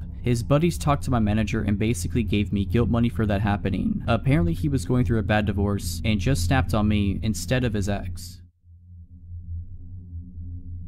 When I was 18, I was living in a small town. I was friends with rowdy skaters around and they helped connect me with this dude who sold weed. He was 29 years old I think at the time. He gave me pretty good deals and lived nearby. I wasn't driving at the time so this was convenient for me. His name was Max. Max had always struck me as a weird dude. We had normal weed buying interactions that never lasted more than 10 minutes. Buy some weed, maybe smoke a bowl, that's it. He'd often tell me he could drop it off at my house but I never let him because as I said before, he was weird. I wasn't afraid of him, but was definitely aware that his offers to deliver to me were weird. One day in May of 2018, I was invited to a bonfire by the same rowdy skaters that introduced me to this guy. I had no idea he'd be there, nor was it important to me at all. I brought the guy I was dating at the time, I said hey to everyone including Max. We stayed for a couple hours and some of them played some music on their guitars. Nearing the time I was leaving the bonfire around 11 p.m., Max was getting upset about something and threw his guitar into the bonfire. I didn't know what he was angry or upset about and paid no mind to it. This happened as I was leaving with the guy I was dating. I went to bed and woke up to paragraphs on paragraphs of crazy text from Max ranging from 1am to 5am, like a constant stream of text stating things such as, you know how much I loved you, you are cruel. He would go back and forth between saying, I would give you the world if you'd let me, and you really do deserve him though. He said really scary things like, you are a predator and should be snubbed out, just wait, and you are stuck, I will either love you or hate you to the fullest extent extent my powers behold. Right now I pray the worst death on you and that guy you're with. To top it all off, he said, losing you is like losing a mother to me. He told me to tell him I never loved him and that I wouldn't hear from him again if I did. So that's what I did. I said, I never loved you, do not message me again. I left it at that. I didn't get a response nor did I care to get one. Max had never expressed any romantic interest to me, asking me out or anything. This was all out of nowhere and he was 11 years older than me. I was barely 18. That night he cut his long hair off and posted photos naked on Facebook, curled up in fetal position talking about being a statue of shame. It's as if he had a breakdown, but I had no intention of causing that and didn't think I would even offend anyone by bringing this guy I was seeing. Everyone else seemed to like the guy that I brought. About a week later, Max texted me pretty late at night and asked if I had seen the flowers he spread along my sidewalk, saying that he stole every flower in the vicinity of my neighborhood that night. I asked how he knew where I lived and said, I hadn't seen the flowers so he must have had the wrong house. I also told him he shouldn't do that as I never felt anything for him and so on. He told me that he had heard I lived on the same block as another one of the skater guys I had and he wasn't wrong. The skater guy I lived by was on the other side of the block and I never walked that way so I never saw the flowers. I blocked his number and didn't hear from him again for weeks. Weeks later I woke up after a rough night and there were loads of flowers on the sidewalk right outside my house along with a little bouquet at the top of my walkway. I was pissed. I wasn't scared yet and stupidly I unblocked his number and texted him asking why there were flowers outside of my house.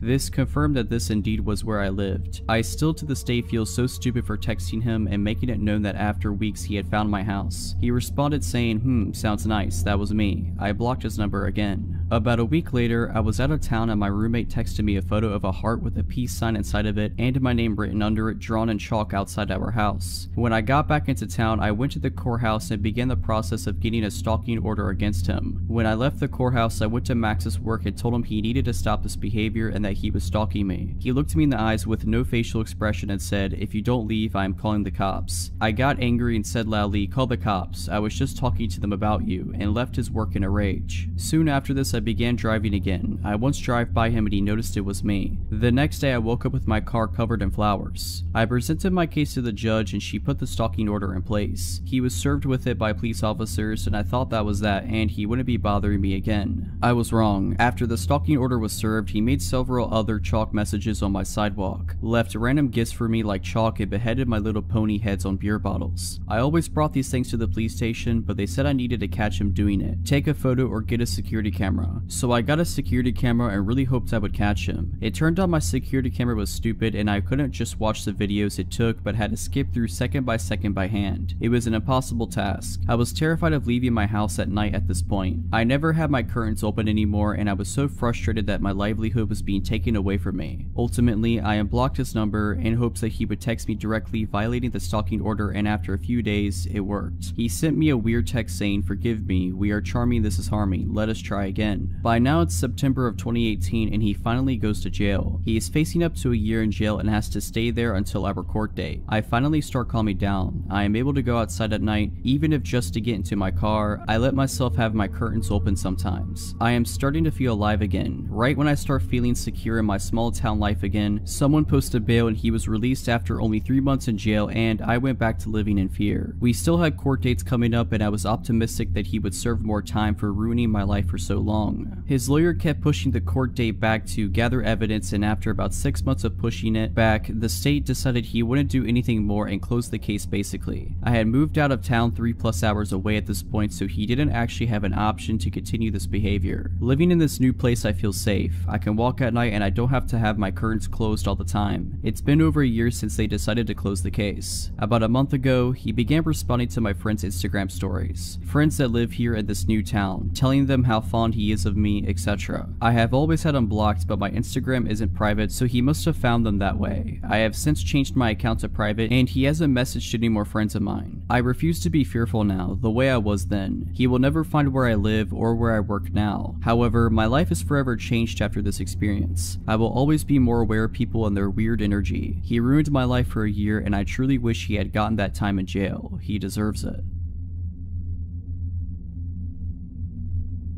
So I, a 19 year old female, was at a house party a couple days ago. I only really knew a couple of people there and it was packed. I hung around with my two friends there for a while having some drinks. After a while my friends went into this room that everyone was hotboxing. I didn't go because I really didn't feel like drinking and being stoned at a party where I barely knew anyone. So I just mingled for a bit then went on my phone talking to my other friends. I noticed this guy that keeps staring at me up and down and instantly felt my stomach sink. I instantly had a bad feeling about the guy. I looked back down at my phone and sent my location to my friends, just letting them know where I was because things were changing from feeling chill to sketchy. There were a bunch of cans of soda in the kitchen, so I got up to grab a Sprite instead of having any more drinks. As I'm there, the same guy that kept looking at me comes in and started trying to get me to take this drink in a red solo cup. I was like, nah, I have a Sprite, thanks though. He kept trying though and I was getting annoyed because he kept being super pushy about it and I'm pretty blunt so I just said, look, I don't want your drink or your company and walked away. I thought that'd be the end of it and pushed it to the back of my mind as one of my friends came out from the hot box room stoned and happy. We hung out some more and my friend wanted a cigarette so I went out on the balcony with her. As we're there, she put her cigarettes on the ledge and as she's talking gibberishly, her arm pushed her cigarettes off and they fell down into the yard. I was gonna go downstairs and outside with her to get them, but she told me she had to grab something from her car anyways and that she'd be right back. I decided just to wait there for her. I'm on my phone and hear the door open and I expected it to be her. As I'm about to say that was quick, I spin around and now I'm face to face with that guy from earlier. He just grabbed my face and kissed me and I pushed at his chest and said, dude did you not hear what I said? He proceeded to say something in Spanish. I can't speak Spanish but I could tell it was Spanish. I told him to screw off and went to push past him to go back inside and he proceeded to push me up against the wall outside and try to kiss on my neck. That's when I pushed him away as hard as I could, but he then let go of my wrist and grabbed my throat hard while maintaining eye contact and smirking at me the whole time. Just when he used his other hand and grabbed my butt, my friend came back from getting her cigarettes, poked her head out, saw what was happening, and she tried to intervene, but he pushed her with his other hand. I heard her say, oh nah. She grabbed the closest guy to the door from inside and brought him out. Random heroic guy from inside then grabbed the crazy throat grabber, putting him in some type of hold and started screaming at him. He got kicked out, pretty sure someone punched him in the face too. Everyone was super apologetic and said they didn't even know that guy and weren't sure who he even was. I wasn't about to call the cops or anything because I didn't want to get the party busted, but I went to the bathroom and immediately broke down crying. Called my friends, my friends here weren't sober enough to drive and they came to get me. I have a couple finger mark bruises on my neck still and I'd hate to think of what would have happened had my friend been distracted by something and not came outside when she did. All I know is I'm not going to a party where I barely know anyone anymore. That was scary.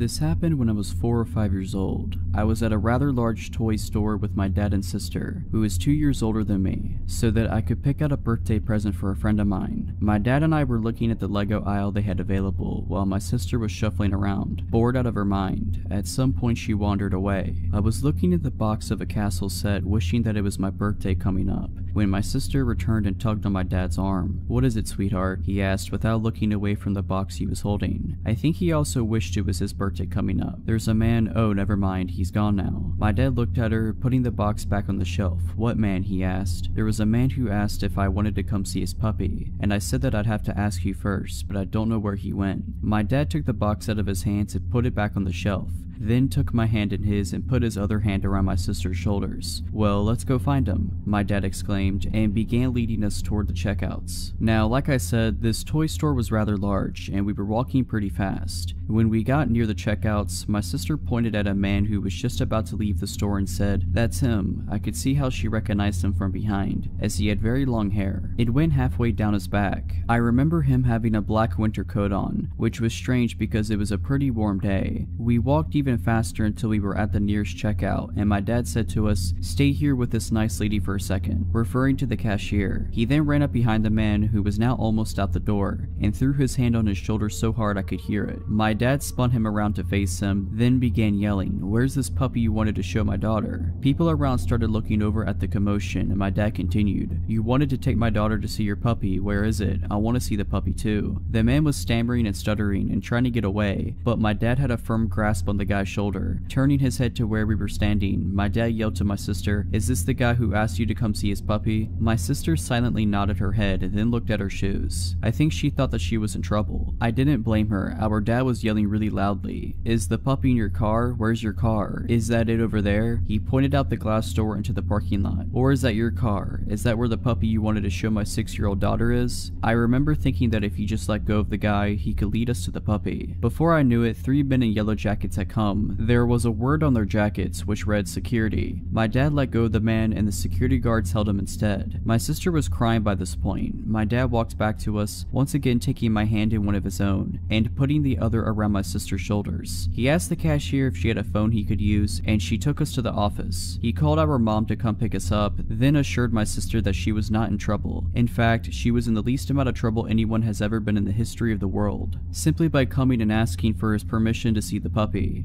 Asked him if we were still going to see it, and he just looked at me and said, sorry son, the puppy ran away. Our mom came in just a few minutes, and as we were leaving there were police cars pulling up. Are they gonna help find the puppy? My sister asked my mom, but she said no, they're here for something else. After a while, I remembered this incident and recently asked my dad about it. Apparently when the cops searched his car, they found rope, duct tape, a knife, pliers, and a hacksaw. My dad and sister testified at his trial and the guy got 20 years. If you're liking this video, all I ask is that you make sure to subscribe to my channel and like this video. Thank you. This story dates back to about a year and a half ago when my daughter was around 4 months old. I'm 26 years old. I had just moved with my then SO to a dangerous part of town, but the street we moved to wasn't too bad. Everyone knows their neighbors and everyone seems to get along. Well, since everyone in the neighborhood chats with each other, one of my neighbors warned my SO and I about a homeless woman that parks her van on the street and harasses everyone who walks by her car, and to try and avoid her as best as possible. Side note, parking in this town is street parking only, no reserved parking spots. This'll have significance later. I thought, eh, that's one small downside of living here, along with the street parking. Not that big of a deal as long as I avoid her, right? Wrong. So the next day after our neighbor's warning, after returning home from a long day at work and picking up my infant daughter, homeless lady, really slender, wearing what appeared to be newish clothes, breath reeking of something foul, is walking up to the left side of the sidewalk screaming up a storm at these teenage kids who look terrified. The teenagers aren't engaging her, just keep walking and looking at each other with uncertainty. I stay on the right side of the sidewalk even though I knew I'd have to cross the small street to the left where my apartment was located. My daughter wakes up from her nap in my arms and begins to coo. Homeless lady spots me crossing the street with my purse, work bag, my baby, her baby bag, and decided it's a good idea to come up and chat me up about her conspiracy theories as I'm walking up to my apartment. Fine, no big deal. At least she's not bothering the kids anymore. Then as I'm fumbling to get my keys to open the gate that leads to my complex, she asks for money. I told her the truth, I'm sorry but I don't carry cash on me. All the while trying to hold onto my baby, find my keys, hold my bags. Her response, stuck up lady. And then she continues muttering under her breath, which I must repeat was bad, and starts harassing more kids down the block. A couple months go by and she continuously comes up to harass me, as if she doesn't recall who I am every single day. Every day I politely apologize and say I need to get home, or I don't have any money, still, or I simply don't have time to chat right now. Every answer I gave her was met with an insult both directly and under her breath. At this point, I am still not concerned. I've always had a soft spot for the homeless, and I am aware that this lady has severe mental illness. I always apologize for not having money to give, even through the insults. One night, around midnight, my daughter wakes up crying horribly. My SO and I take her temperature, 103 fever. I tell him it's time to take her to the emergency room immediately before it gets worse. We gather everything up, and I gently take her from bed and lay her against my chest. She's so helpless, weak, burning hot, and whimpering terribly. I still want to tear up thinking about it to this day, so as we walk out of the apartment, my SO says he will run down three blocks to grab the car. Remember, it's all street parking, so we often had to park blocks away. I say okay, I'll stand in front of the apartment so he could just pick us up and we can book it to the ER. Wrong choice. I watched as he ran all the way down the street and turned the corner out of sight. Then I look back at my baby and start rocking and shushing her, so that maybe she could get a little bit of sleep slash rest before being up at the hospital all night. Moments later, when I look up, homeless lady walks around the same corner that SO just ran around and makes a beeline straight towards me. I get a little uneasy as I have a sick baby in my hands, but maybe she'll leave me alone this time, right? Nope, that was wishful thinking to the max. I'll label homeless lady as HL and me as me. Homeless lady, and a voice loud enough to wake up the entire block. Oh hey there sis, daddy just told me that baby's done sick and she needs a healer. May still trying to gently rock my baby as she startled back awake and wondering why he told this lady about my baby being sick. Uh, what? Sorry? Homeless lady, I'm a healer. My mama and I have been healers since birth. Give me that baby. Me, still trying to give her the benefit of the doubt, knowing she's mentally ill. Sorry, I'm waiting on her dad to bring the car around so we can take her to the hospital. Can you keep your voice down? She's trying to sleep. Homeless lady, nah girl, I'm a healer, didn't you hear me? I done said I was a healer. You know what a healer is, don't you? Give me that baby. Now at this point, she reached out and put her incredibly dirty hands on my daughter's leg slash foot and wouldn't let go. Me, excuse me, let her go now. Homeless lady, give me that baby. Me, she's very sick, you're waking her up. Stop. Her, let me heal her. Me, if you don't let go right now, I will kill you. It was at this point that she and I locked eye contact, and her facial expression was what I can only describe as the most terrifying, evil look a person can give, with her eyes and smile widening with every passing second. She then broke out in a laugh so loud and terrifying that I can't believe I didn't piss myself. By this time, my daughter was crying hysterically. My internal dialogue went something like this. Where is SO? I'm gonna have to set my sick infant daughter on the ground and beat this lady up just to get her to not kidnap my kid. It also crossed my mind that if I did that, I'd probably be the one arrested. Like a Hail Mary, my SO comes around the corner in the car and I reiterate to the lady that my SO is now here and if she doesn't stop harassing me, I will kill her. This finally struck some chord inside her brain and she took off running down the street, cursing profanities very loudly. My daughter's cry has me in tears too after being yanked so hard by this lady. I still wonder what could have happened if she yanked hard enough to take my sick daughter. My SO ended up admitting that he felt bad for her, so he told her that our baby was sick and even struck up a conversation with with her about it. All the while his daughter and I were waiting outside past midnight alone in a bad area for him. Needless to say, he's now my ex. He even later laughed about the entire thing and told me I was exaggerating and she was harmless. He also still struck up regular conversations with the woman after that anytime he'd see her and it infuriated me. I don't think anyone who would have seen the look in this woman's face would label her as harmless. She looked very much like she was ready to harm. From 2006 to 2011, I worked in the electronics department at the local Walmart in the small city I lived in. Through those five years I had worked there, I had plenty of creepy encounters with strange customers, especially considering the state hospital was directly across the road. This story isn't just a regular old creepy encounter, but something that would lead me to being stalked for nearly a year. It all started in 2010 on a night I was working second shift. I was doing my end of shift ritual when a woman in her late 40s interrupted me. She was with a little girl no more than three or four years old. Excuse me, I need help with my cell phone. She spoke softly and proceeded to tell me her problem. I need to turn my phone into a straight talk phone. The girl earlier said you could do it. I said, sure, let me see what I can do. She handed me a six year old phone from Verizon and I knew as soon as I saw it I wouldn't be able to do what she wanted. I explained that she would have to buy a new phone from Straight Talk and transfer her old number. Basic stuff really. Now, I always took my job seriously and held myself to the highest standard of customer service.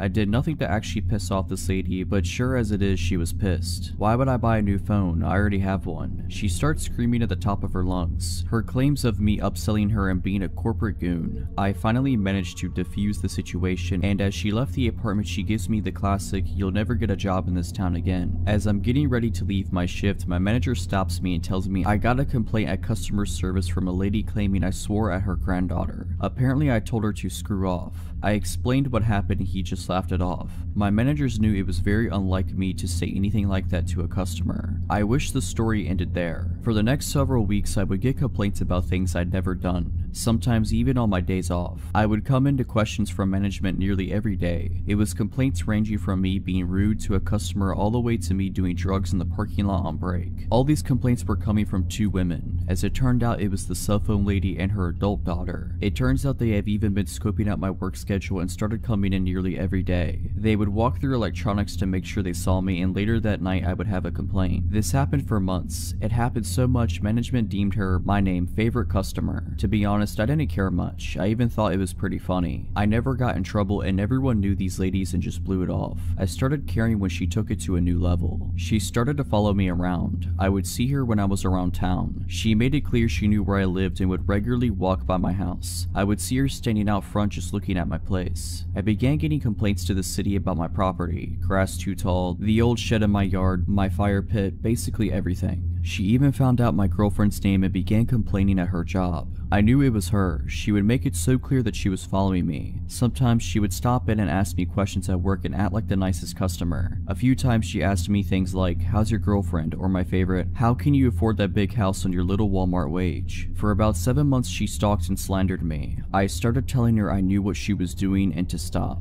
but she played it off. I couldn't report her. She never once threatened me, she was just making my life hard. By this time, everyone in my life knew about this woman. One night, I'm grabbing dinner with my friends from work and we're joking about it when someone says, what if you just counter stalk her? At first, I thought it was a terrible idea, but this convinced me it would work and they would all help me. So we hatched a plan. It went as follows. Find her job, find her name and address. Make complaints in the same manner as her. Find out all the rumors she told about me. Make it clear that we know, show her that we have numbers. I found out her information easily enough. Turns out she didn't live anywhere near me. I was even friends with a few of her coworkers. They would keep me informed on crazy stuff she said about me and even told her to stop. We began doing exactly what she was doing to me. We did this for about 4 months. The more we dug into her life, the more I found out about how obsessed she was over getting me in trouble. She had claimed that I assaulted her. She urged others to report me and follow me. She told police I was a potential drug dealer. Eventually we won though. She started putting together that there were six of us digging into her life and asking questions about her. My last month at work I didn't get a single complaint. In fact, I never even saw her anymore. The day after I quit though, I heard she was in the store complaining about a new person after asking one of the managers why I quit. I'll honestly never understand why she was so bent on destroying me. I just told her to buy a $20 prepaid phone. I work about a mile from my house, in a pretty small town, 100,000 people-ish spread out. I grew up in one of the largest cities in the states, so living here has been a bit of a culture shock. It's very easily accessible by walking, so I never drive. About half a year ago, I finished work around 1am. Nobody is really out past 8pm here. A huge shock coming from a big city, so the park I walked through was utterly deserted. I live in one of the safest countries in the world, not America anymore, so it's easy to forget just how vulnerable I still am. I honestly didn't feel uncomfortable at any point in my walk until I rounded the corner past some basketball courts nearby my house. I was still about two minutes away from home and this stretch of my walk was completely dark. The moon was massive that night. While I had welcomed its light at the beginning of my journey, and the absence of streetlights, it actually made things look pretty eerie. I had walked this path hundreds of times, but tonight something felt off. I'm not a fearful person in any sense of the word, but I was really on edge suddenly. Then I saw it, a van in the parking lot next to the courts, with its side door open. I picked up my pace and kept an eye on it. There are usually cars in that parking lot, I live in a tourist town and backpackers often stay in their vehicles to save money. I'd never seen one with its door hanging open like that in the middle of the night though. I was so focused on the van that I missed the man walking out from the trees near the courts. Until he was a mere 30 feet behind me, he was walking fast, and there was little doubt that he was heading straight towards me. I was at a loss for what my next action should be. Screaming wouldn't do much, I was still too far away from any residences. I usually carry a glass water bottle with me for protection. We have very strict laws on weapons, but had left it at work that night. My phone was dead, everything I knew better than to do I'd done. I hesitated running on the off chance that he didn't mean to act sketchy. I also knew I couldn't outrun him. I saw a little dark blur darting across the library parking lot at the back of the courts. It didn't even register to me what it was. The whole situation was so surreal. The guy was behind me now and judging by his footsteps, he hadn't veered course. I quickened my pace, felt out my keys in my purse, and slipped them in between my fingers. I heard a slight jingling noise and everything suddenly made sense. The blur was Apollo, the large black cat that often walks me home on the stretch after the park. Tonight, he was doing that weird cat run, where they get really low to the ground with their ears back. I had an impression that he was angry, but he was moving too fast for me to see his face properly as he rushed past me. I kept walking, but the heavy footsteps were retreating now. I didn't dare look back, and kept moving forward quickly. Apollo was suddenly by my side, still staying low to the ground and stopping every few feet to look behind him and hiss. Then he would do that weird cat run to catch up with me. He walked the whole way home with me, as he had done so many times, but I'd never seen him act like that. As we neared my gate, he visibly relaxed and flopped on his back. I coaxed him inside the gate before giving him some massive hugs and head bumps. I stopped walking home by myself at night and still saw my sweet little cat friend often. I never saw him behave that way again though. Apollo moved away three months ago. I still miss my little buddy and often think about how strange that night was. I wish I'd turn around to see him chase the guy off. I've heard so many stories about dogs protecting people, but rarely about cats.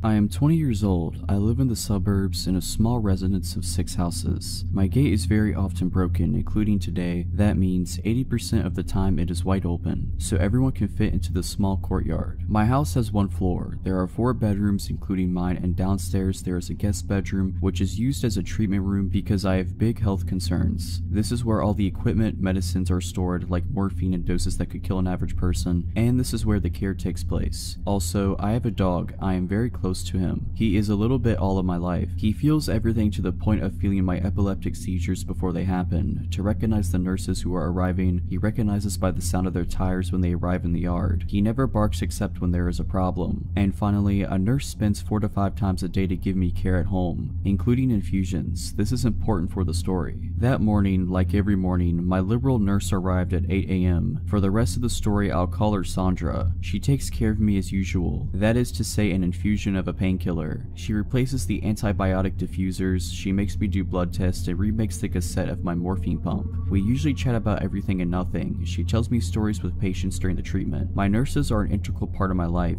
They have looked after me for six years now. She leaves after 40 minutes and says, see you later, I'm sure I'll be a little late, don't worry. That day, I have a medical appointment in the morning, and I'm alone all day because my parents are working, except the nurse's passage every four hours. Once back from my meeting, I sit on the sofa with my dog while waiting for my nurse. After a while, I hear the tire noises. I get up because I think it's the nurse, but my dog started to growl behind the door. I look at the time, 11.50 am. I tell myself that it is a bit early, but sometimes instead of going after, my nurse exchanges me with the patient from before. I hear a knock, surprised, I go to open it, usually the nurses come in like that, and I see a young woman standing, whom I have never seen. She said to me, hello, are you, my name, I'm Camille, a third year nursing student. Your nurse will be a little late so she told me to come and start preparing and she will arrive. I'm not wary at all, I'm used to students coming, but I'm just a little surprised that Sandra didn't warn me, because usually she warns me in the morning or sends me a message, and then she never leaves a student alone when it's the first time we see each other. I tell myself she must have forgotten to tell me. I bring her in and show her the way to the treatment room. I take out the things for treatment while she washes her hands. My dog is weird, he growls at her as soon as she approaches me and he turns around me. I was embarrassed so I left him in the living room and closed the door to be quiet. I don't really care what she does so I let her do it. I'm on my phone at the moment. She begins to put the IV on the infusion stand and takes a syringe. Normally, we rinse my central catheter with a syringe of serum already made. You just have to open the packaging, and there I see it's not a pre-made syringe, but a syringe that she has prepared. I look up and see that the ampules for my treatments are intact and have not been opened, yet I did hear the sound of the ampules breaking. I'm starting to think it's weird, and there she starts to approach me to inject the syringe when I get a message from my nurse. I'll be there in 5 minutes. Can you start pulling out the material?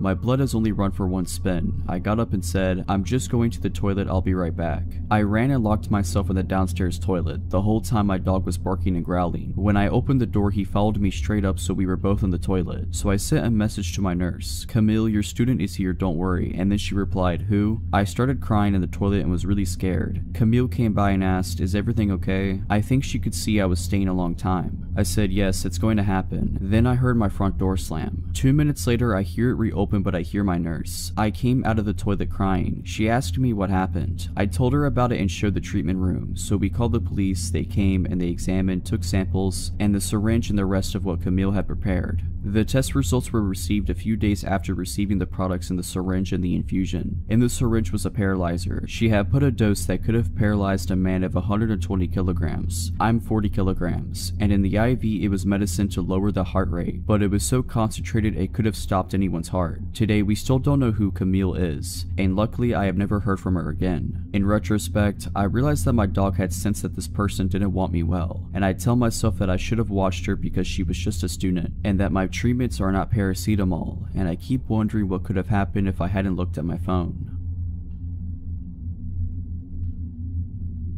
This happened about a year ago. There were so many terrible factors working against me that night. I am astounded I got away, at least physically. This all begins when I'm at my friend's apartment, who lives in a really rough part of town. In a series of poor decisions, that night I decided to get belligerently drunk and take a few pills of whatever knows what. I know, I know, safe to say, after a solid night of partying, around 4am I was not in the right state of mind. My drugged brain decides that instead of staying the night at my friend's apartment like I normally would, I wanted to Uber back to my own apartment. My friend's apartment had two separate entrances slash exits to the building, one in the back unlit parking lot of the building and one facing the street. They had two sets of keys for each door and I only had keys to the one in the back of the apartment. Since my Uber would obviously arrive at the street and the door in the front of the building locks itself behind you, I exited this way when the driver was soon to arrive. I'm not paying attention to my surroundings at all in this state, despite the fact that there was literally a bullet hole in the front door I just came out of. Not good. I remember checking to see what car I was getting picked up in, and was only able to pick out the fact that it was a black sedan. Soon after stepping outside, a black sedan pulls up to the curb and starts rolling down the window. So I step forward. Before this man even spoke, I could feel something was wrong. He had an expression like he was tearing me apart with just his eyes. After seeing that look, it gave me a new meaning to the word predator, to describe a criminal because I then knew what it felt like to be prey. He basically barks at me, I'm your Uber driver. This was the second red flag that somehow made its way through my brain. Normally Uber drivers just roll down the window and say your name. I think I just stared at him for a second, my brain slowly piecing together the situation I was potentially in, and I ask him, what's my name? He immediately is enraged and starts screaming about how he doesn't have time for this and just get in the car, etc. I don't think I've ever sobered up so fast in my life.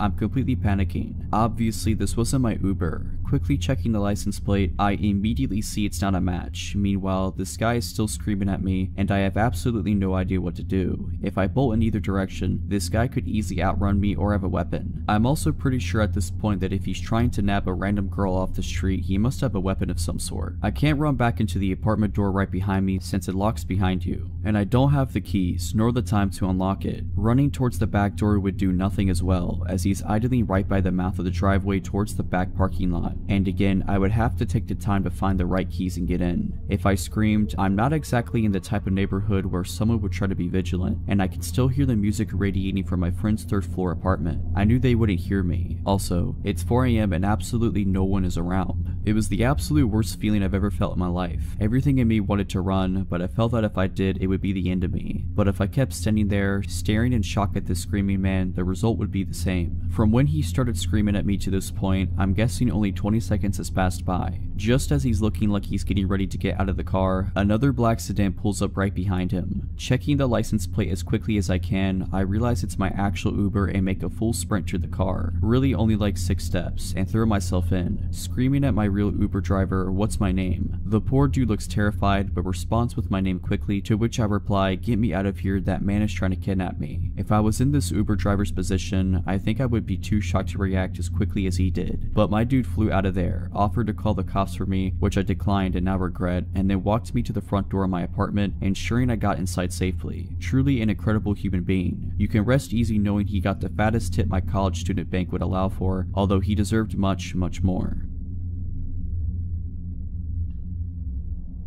I was one of those kids you see walking around zoos or amusement parks wearing a leash. Those were already a thing 20 plus years ago but less common, and were initially only tied around the wrist. In my case it was a necessity. I would always start wandering off from the rest of the family no matter what situation. This is one of the stories that led to me earning my leash. It happened when I was about 6 years old and I went to the zoo with my mom and sisters. Before every family outing my mom made sure to give me the talk about not walking off again or face the consequences. My mom was a strict parent that made good on her promises. She had to, being a single mother of three. I didn't try to disobey her per se, but I often just didn't pay attention to the world and people around me. No different this day, I behaved and followed the group for a while, but then a butterfly garden caught my attention and off I was. When I finally realized I separated myself from my mom and sisters again, I panicked and started walking around the zoo looking for them, being afraid for my mom's reaction more than anything else. After a while, I somehow got it in my head that if I could just walk out, find our car and wait there, my family would eventually find me. So I did. I got lost within a couple of minutes, walking around a strange neighborhood looking for either our car or the way back to the zoo. Nothing looked familiar. I started crying. Then this man came up to me, just normal looking, about 40 years old, asking if I'm lost. I explained I lost my family when we were visiting the zoo and I'm looking for the way back. I couldn't believe my luck when the man told me he had just come from the zoo and saw a family there standing near the entrance who were waiting for a little girl with blonde hair and a baseball cap. But it was still a few blocks away so he proposed I walked with him to his car and we could drive the rest of the way back. Just the mention of his car finally made me hesitant. I told him I wasn't allowed to get in a car with strangers. My mom would be mad. He then said something like, that was true but I looked smart enough to know that if I could trust someone. Don't remember the exact words but something like it. Also, he added, he spoke to my parents earlier when they were looking for me, so he's not a complete stranger. That didn't seem right. I asked him if he really talked to my dad, who had died a year before, and when he said he did, I broke down crying uncontrollably. I still didn't understand the situation I was in. I was just really confused about everything and scared of how angry my mom was going to be after all this. Finally, my crying caught the attention of the security guard of a parking building we were standing next to, asking if there was something he could help with. The guy stepped aside with the security guard and started explaining the situation, but made it vaguely sound like he was my father and we were looking for his wife. The security guard seemed to believe him, pointing us in the right direction towards the zoo. The man thanks the security guard and proceeds to take my hand to walk away. The security guard takes a last look at me and asks me, in a comforting, friendly adult to child kind of way, why I'm still crying. I tell him that my dad is dead. He looks really confused for a few seconds, then asks if the man is not my dad. I tell him again, no my dad is dead, In a split second, his whole face and posture changes and he turns to look at the guy, who's trying to explain he never actually said he was my dad, that the security guard must have misunderstood and he was just helping me find my mom. The security guard said he appreciated the man's help, but he would take me out of his hands now and the guy immediately took off. I don't think there was much else the security guard could have done. I explained the whole situation and after making a phone call, he walked me to the entrance of the zoo, which was just around the corner from the parking building, and from there we were brought to the security's office where my mom and sisters were already waiting. I feel extremely lucky for the security guard being at the right place at the right time that day, and very grateful for the extra second of time he took that could have made all the difference. I, a 24 year old female at the time, was 21 years old. I lived in a larger small city in the Midwest. At the time, I had no car, a bicycle, and hardly enough money for the public buses. I worked at a retail battery, lighting, and repair store. I worked full time and only lived a little over a mile from my job. Because of my willingness to learn and my close proximity to work, I often worked all sorts of hours, mostly by myself. This time I wasn't the person closing and had a coworker Joey, 22 year old male, who came in for a part-time shift after he wrapped up classes at the local college. We had a close friendship and we often stood up for each other and stood in when we were flustered or needed to go to the bathroom in the back. Joey received a phone call for a possible repair on a smartphone, possibly LG low tier phone though, and he wasn't 100% sure if it was a phone that we could repair. He asked the young female caller to stop by for a consult. She had quickly agreed and said that she would stop by at around 5.30 p.m. This was a night that I was supposed to get done at 6 p.m. and catch the bus at 6.12. It was a windy, drizzly, early fall night. I remember this because I had my bike with and it became my anchor that night. A little before 6 p.m. this frantic, terrified, bawling 19 to 20 something year old woman came into our tiny shop. I was at the counter switching out aging price tags and general store maintenance. I looked up at her confused and willing to help. She looked me deep in the eyes, asking if Joey was here. At the time, he was using the tiny bathroom in the back, so I had to step in and help out any customers. I told her that he was currently busy and that I was willing to help her. She handed me her smashed cheap phone very timidly. My customer service skills couldn't prepare me for what she was going to say next. She quietly told me that her boyfriend, who was out in his red mini truck in the small front parking lot, had gotten angry and smashed her phone when she tried to call her sister that afternoon. I took the backing off of the phone and tried to research the model for any possible screen repair. No results found. I tried to hand her back the destroyed phone and she pushed it back into my hands with a pleading look. Then the honking commenced. There was this light drizzle outside, so our front glass door was covered in beaded drops and was slightly fogged over. I couldn't see who was honking out there. I told her again that I couldn't help and for her to try our cell phone repair competitor down the road. The tears started to really flow down her cheeks and I was freaked out at this point. She kept throwing glances behind her and the honking would not stop. I shook with fear and rage at this point. I myself was in a domestic abuse situation at the time and knew what this girl was experiencing. I broke my lock stare at her and tried to look in our system a second time for a replacement screen. Nothing again. I looked up from my computer and saw a shadowy figure of a young man pacing in front of the store. I was just happy that the honking stopped, but I was increasingly shook up. My whole body vibrated with fear, and I whispered across the counter if she needed me to call 911. She slammed her hands down on the counter and said that I couldn't do that, she begged me not to. At this point, Joey came out from the back and asked me what all the honking was from. We had a lot of elderly, farmers, lazy, and disabled customers that would honk their horns for us to pick up heavy battery cores from their cars. He thought that it was one of those situations, but with the looks on our faces, he knew something horrifying was happening. The young guy stopped pacing outside and began banging on our front door. Joey took the girl's phone from my hands and said for me to go in the back and lock the back employee only doors. I did what I was told and grabbed my bag, my bike, and my jacket. I looked at the clock in the back and it read 6.14. I spent 15 minutes with this girl, both of us feeling like trapped animals. Joey did bodybuilding during his free time and was a gentle, non-confronting, short but stocky guy. I was a short, obese, kind lady that would respond either of two ways, like a doormat or ready to stand my ground. I knew that I couldn't fight a customer and neither could Joey. Not because of physical reasons, we'd lose our jobs and we had no idea what to do. The young guy threw the door open, and the wind kept the door open. He had this manic, hateful look about him. A total predator he was. He was slim but muscular, early to mid 20s and was soaked by the rain. He took the broken phone off the counter and took the girl in tow. He hurled insults at us and I gave the girl a pitied look.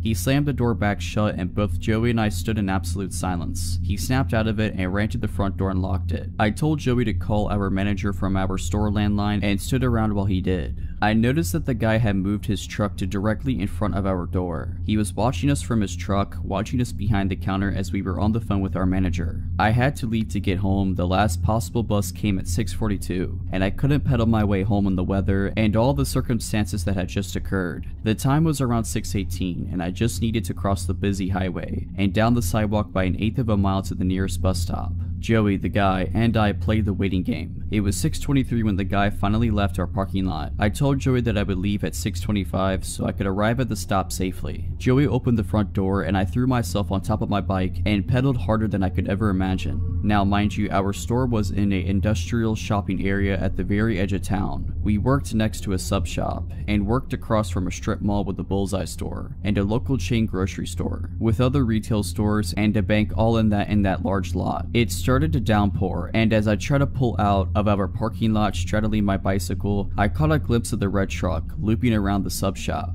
The highway had dual lanes each way, and I had to play real life Frogger. If I wanted to make it my destination in one piece, there was a few cars that slowed for me as I hauled myself to the other side of the road. I jumped off on my bike and threw it on top of the curb. I promptly hopped back on and tried to pedal off. My front wheel was stuck in the grassy strip and my right foot had slipped off of the pedal. My shin struck the pedal and I had to act quickly. I grabbed the frame of my bike and jogged awkwardly to the bus stop.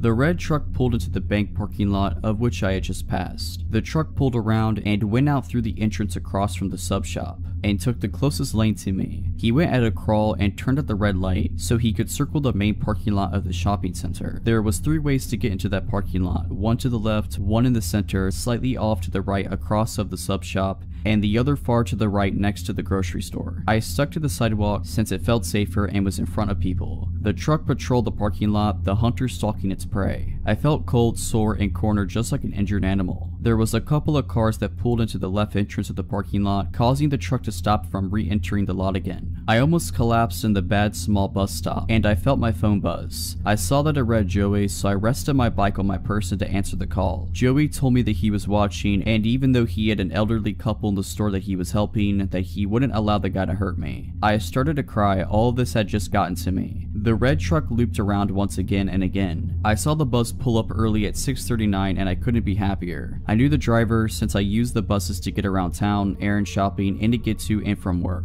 I had my stupid bike to worry about. I hung up the phone with Joey, putting my phone in my jacket pocket, and strapped down my bike in the rack that was in front of the bus. I struggled since I shook, and my bike was slick from the rain. I got on the bus and turned to the open bus doors, and saw that the truck took a left at the center entrance of the lot. I could finally let my guard down. I sat at the front of the bus, and my hands shook at trying to get the $1.25 for the fare. The driver said that it was okay and that I could take my time with the change. I kept my backpack on and pulled my damp phone from my pocket, dialing Joey's number letting him know that I was fine. In under 15 minutes I made it to my apartment safe, but deeply disturbed. I took my bike in so it wouldn't draw any attention to where I lived. All this gave me an idea to leave my own domestic abuse situation. To this day I wonder about that girl and hope that somebody more daring and stronger than me called the cops on her abuser. That she had the strength to leave that violent man for her to write her own story and to recover from all of it. I'm currently doing significantly better in life and finally have my own car. And I live a couple states away safely from my past life. Even though I'm states away and it's been three years now. For a little background, I'm a 27 year old female and I recently just moved into a nice apartment in a safe neighborhood with my two dogs, Charles and Wigwam. Charles is a Corgi slash German Shepherd mix and is the most loving but overly obnoxious dog, while Wigwam is a Lhasa Apso who is quiet, sweet, and most definitely scared of his own shadow. I've only been in my new place for about a month and after this experience, I highly doubt I'm gonna make it here for the duration of my year long lease. The way these apartments are set up is that each floor has its own set of doors that lead to four apartments and a fire escape door that only opens from the inside. I'm on the back side of the building, which places my patio about 10-ish feet from the fire escape stairs. I take my dogs out three times a day, midnight being the latest I will go out by myself, and every time I leave my apartment, I put the bar lock on my patio door and lock my front door without fail. About a week ago, we had a snowstorm and I cracked my patio door because, well, I love cold weather and I'm a adult and if I want to watch the snowfall, then I can do that. It was around 11 p.m. and I decided that since it was getting late, I should take the dogs out for the night and since they both hate snow, this would be a quick trip.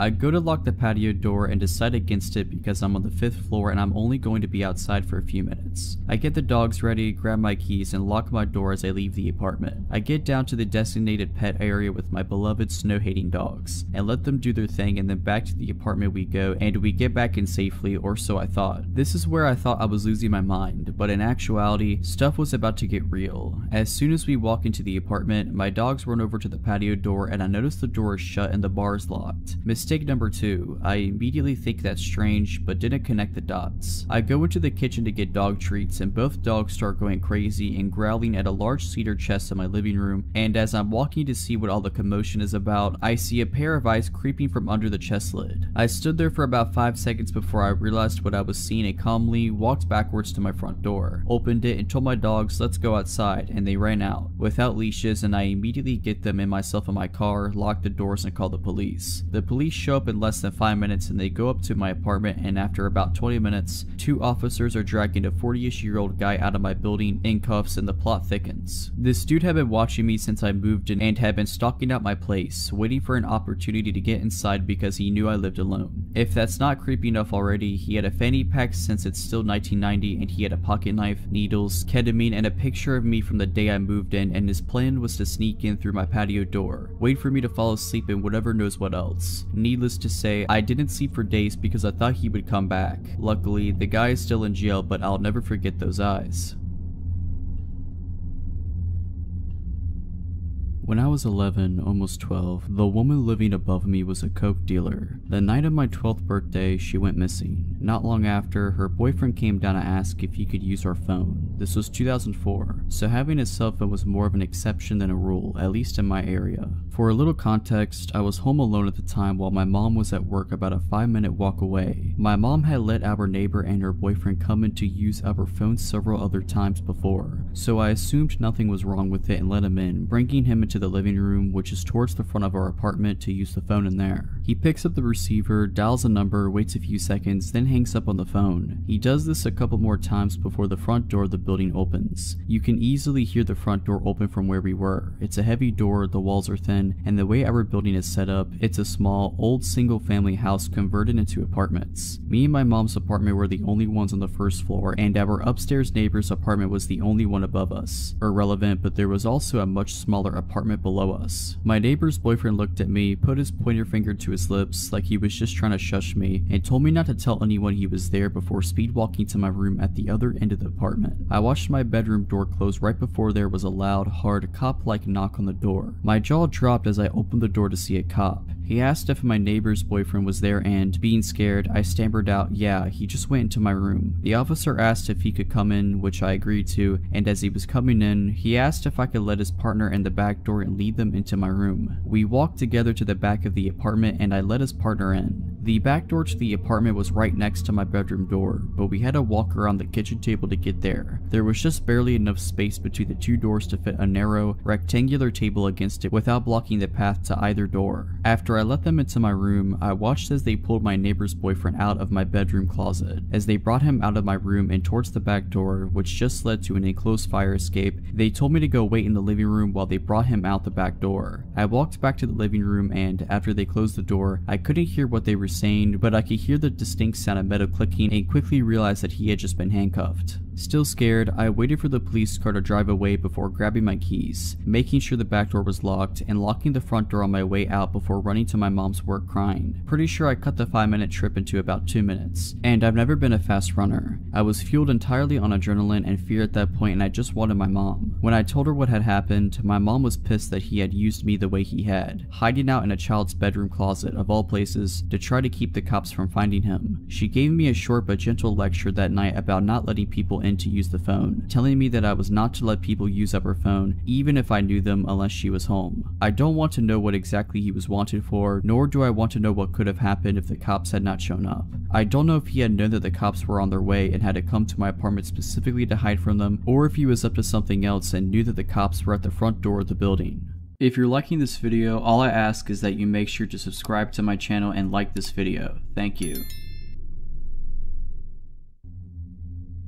This happened back while I was in college a couple years ago. Me and my roommate moved into a beautiful apartment our junior year of college. Our parents made it extremely clear that us living alone together was not ideal for some of the cheaper, shady neighborhoods close to our college. We attended a college in our state capital, so we were in a city environment and had certain criteria we had to meet in order for us to live there and for them to co-sign our leases. Lit sidewalks, keyed entry into the apartment building, lit parking lot, X amount of blocks from campus, etc etc. So we finally found one that fit our parents' criteria. Our apartment building had a keyed entry for both the front of the building and the back gate that led to the fire escape. Our apartment was an end unit that led to the fire escape, so there was two deadbolt locks on it. We loved our apartment, we felt safe, we had fun, truly living the college experience. And then my roommate's boyfriend starts slowly moving his things into the apartment and staying there way more often than he should. I finally tell my roommate if he wants to stay here and use the water, electric, and food I help pay for, then he needs to pay for it too, including our rent. I tell her a three-way split, or I'm paying only my rent and he can pay the entire electric, water, and trash bill. I think I'm being pretty fair and even though her boyfriend doesn't have a job, that's not my problem. I work and go to college, your I don't want to work at McDonald's, yes he actually said that excuse is completely garbage. If you want a place to stay, then to the Golden Arches you shall go. So instead, my roommate starts sneaking him in really late at night after I go to sleep, and he leaves on days I'm home. While I'm in class, he's there, then leaves before I come back. My schedule is extremely routine. Well, he can't have a key, so if my roommate is in class or at work, how is he getting in? He can't take my roommate's key because if he decides to leave halfway through the day, how will she get her key back? All good questions. The solution they came up with was to leave the back door unlocked that leads to the fire escape,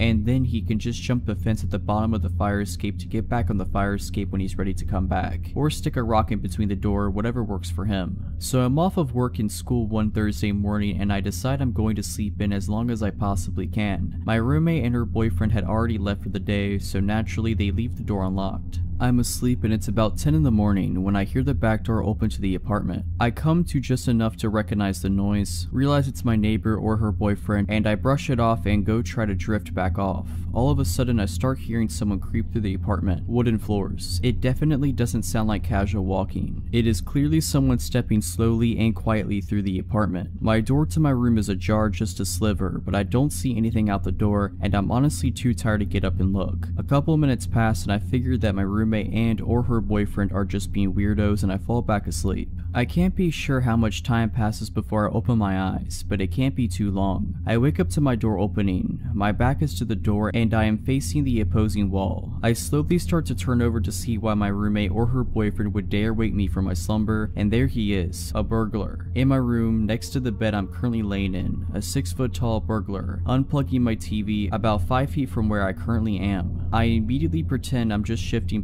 positions in my sleep and continue to roll over with my eyes as shut as I can make them seem, still open enough to watch what was going on. He hears me shuffling as I turn over, stops, looks dead at me, and luckily doesn't realize that my eyes are open just a tiny bit. He goes back to unplugging my TV, my DVD player, shoves it in his bag he's brought, like those bags from Ikea, and steals my change jar and casually starts walking out of the front door to my apartment, like he came in for a cup of tea or something. After I hear the door shut, I immediately spring out of bed, grab my phone, start dialing 911, all while locking the back and front doors. The dispatcher is trying to calm me down. At this point, I am hysterical. I can't even catch my breath to tell her okay. Luckily, I told her my address before I started hyperventilating. I will take a second to commend the police department, both city and college, because they were there in less than 3 minutes. She tells me the cops are there, but they need me to go downstairs to let them in the building because they don't have the key to the front door of the building. I am so afraid to open the door to my apartment and even look down the hallway.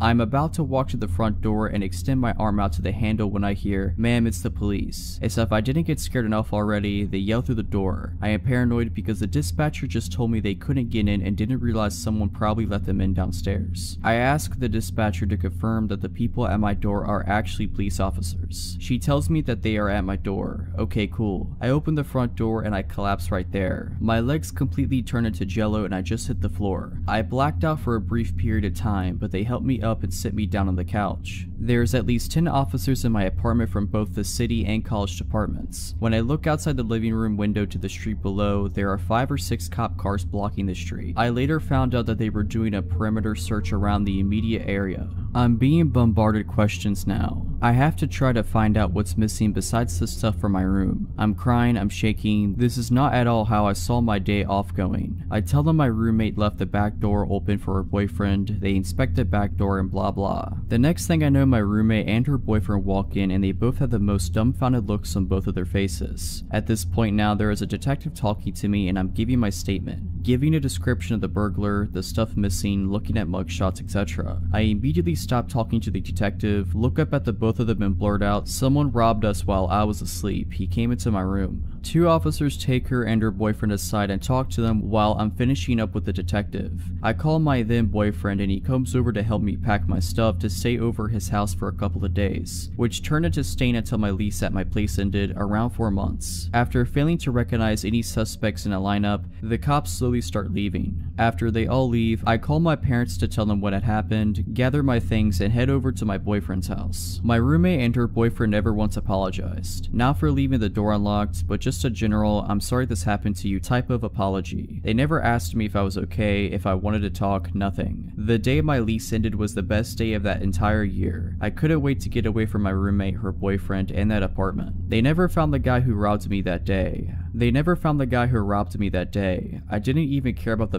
materialistic things. He robbed me of my safety and security and it took a good amount of counseling to get that back. I am also thankful he didn't try to attack me that morning. My friendship with my roommate was tarnished. I haven't spoken to her since. To this day, I don't sleep with my back to the door and I always have a knife under my mattress. This happened to me two to three years ago. I was around 23 at the time. I am a female and I live in Romania. One night I was coming home from class, masters. Classes start after 6 p.m. and end at 10 p.m. At around 11 p.m. I had to take the subway for about 12 stops. The destination I have to get off at was the end of the line for the subway. At the time, there wouldn't be many people in the subway. All I need is my headset and my music and I am good to go. Said and done, I plug in my music, I pick the furthest chair in the subway, away from the only two people that were taking the subway with me at the time. So far so good, until I see, with the corner of my eye, a silhouette approaching me and sitting right next to me. It was a man, fairly built, dark hair, wearing glasses, a black shirt with a black hoodie, and a sickening smile. He doesn't engage in talking with me, but would just stare at my phone as I would browse through my music. I can hear him breathe heavily, not like painfully, but still like he was feeling something very strong. I feel uneasy, so I decide to change my seat and go even further behind, trying to avoid him. I pick a new chair, sit down, plug my headset again, and proceed with the remaining 6 to 12 stops on my way home. I see the silhouette growing bigger and bigger and a breeze running on my skin as I realize the guy is again sitting right next to me. Glancing in midair, dead eyes, a big smile staring right into my phone. I panic, there are still 4 stops to go. I have nowhere to hide. I look after the other person in the subway trying to sit next to her, thinking that strength comes on numbers. She is no longer there. I start shaking a bit, but not allowing the creeper to notice me being vulnerable. I stand up, go to the door, and just decide to stand until my stop comes. This way he won't sit next to me, right? Wrong. He comes straight after me and sits on the chair right near the door because he couldn't see my phone, on which he was so focused so far from that angle. He fixates me right in my soul with his eyes and says, Hi gorgeous, why are you avoiding me? I am freaking out as I look at my phone trying to call my boyfriend or message him and he stops me by saying, I know no one will help you. You would have sent an SOS message by now. I know you didn't. That moment I realize I am cornered. He has been focusing on my phone to see who I was talking to, trying to figure out if I panicked, trying to see if I would ask someone for help. He cornered me bad. I had the luck to reach my stop as I would delay any reaction or ignore him so that he would repeat whatever he wanted to say. I drop off and run for the exit, not looking back. I get out at the surface and I don't see him anymore. At this moment, I put my phone in my purse and realize I had pepper spray with me all along. My heartbeat comes back to normal as I know at least I have something to defend myself with, but still a long way to get home, and who knows if he is alone or not. I walk rather fast for maybe 5 minutes from the metro and feel a hand grabbing my wrist hard and pulling me back. Another hand covering my mouth disabling me from screaming my lungs out. It was him, the same black hoodie, dark hair, and dead-eye stalker. He was furious and said, how dare you run away from me? You should be honored I give you attention. Now, my phone is in my bag, I can't call the police, and I can't reach for the pepper spray. I panic, I can't punch him in the crotch, his hand is still in my mouth. What do I do? I did the most desperate and disgusting thing I could think of just to save my life. I played along. I used my other hand to touch the inside of his thigh and mumble a I'm sorry while his hand was on my mouth. He took his hand off my mouth and repeated that I'm sorry, I didn't realize he was just flirting. He let his guard down and took his hand off my wrist. He asked me for my phone number and address to drop me off, but I refused saying I'd rather add him on Facebook and he agreed. I told him I'd reach for my phone but instead picked the pepper spray and got him sprayed all over his face. Made sure I'd cover both his eyes, nose, mouth, even his ears and hands. He instantly got all red, suffocating from the pepper and swelling. I called the police, told them what had happened and what I did. They asked me if he is immobilized and I said yes as the effect wears off in 45 minutes. The police arrived there 5 minutes later to see me shaking like a leaf and a man on the ground, swollen like a pumpkin, throwing up and swearing me between gasps of breath. He was arrested and the police told me they had been looking for him for the past week as they discovered the body of a 24 year old woman in his apartment. A lady with red hair. I have red hair too. The woman was his girlfriend and ever since he's never gotten back to the apartment. I do not know what he wanted to do with me. I can understand why he targeted me due to the similarities but I just hope I don't ever have to meet him again. I used to live in a townhouse, duplex by myself with my dog and two cats near a train station. There were often commuters who parked outside my place and passed by through the day and night. Occasionally, I had cigarettes or stuff stolen from my front veranda, but none of this scared me like the night I was watched. My dog lives indoors and I would take him out for a last pee before bed. My backyard light was broken and was up too high to change the bulb so I always took him out the front. That night, it was around 11pm and I took him out the front. It was a hot summer night and I was mindlessly standing on the footpath when I saw movement across the road from me. Out of nowhere, a man had appeared and was walking diagonally across the street away from me. I thought it was odd because I hadn't seen him come from the other direction. I continued to think about it. Where he came from was from outside of a house that was being renovated. I knew the owners weren't living there and thought maybe he was trying to steal some stuff. So I kept looking down the road to where he had gone. He had turned the corner down the next street. I kept watching and then I suddenly see his head pop around the corner to see if I'm still outside. This gave me the absolute creep so I grab my dog and go inside. I turn off all my lights and go upstairs to my bedroom which is at the front of the townhouse and faces the street. I thought I would keep watch of my neighbor's house and call the police if he came back.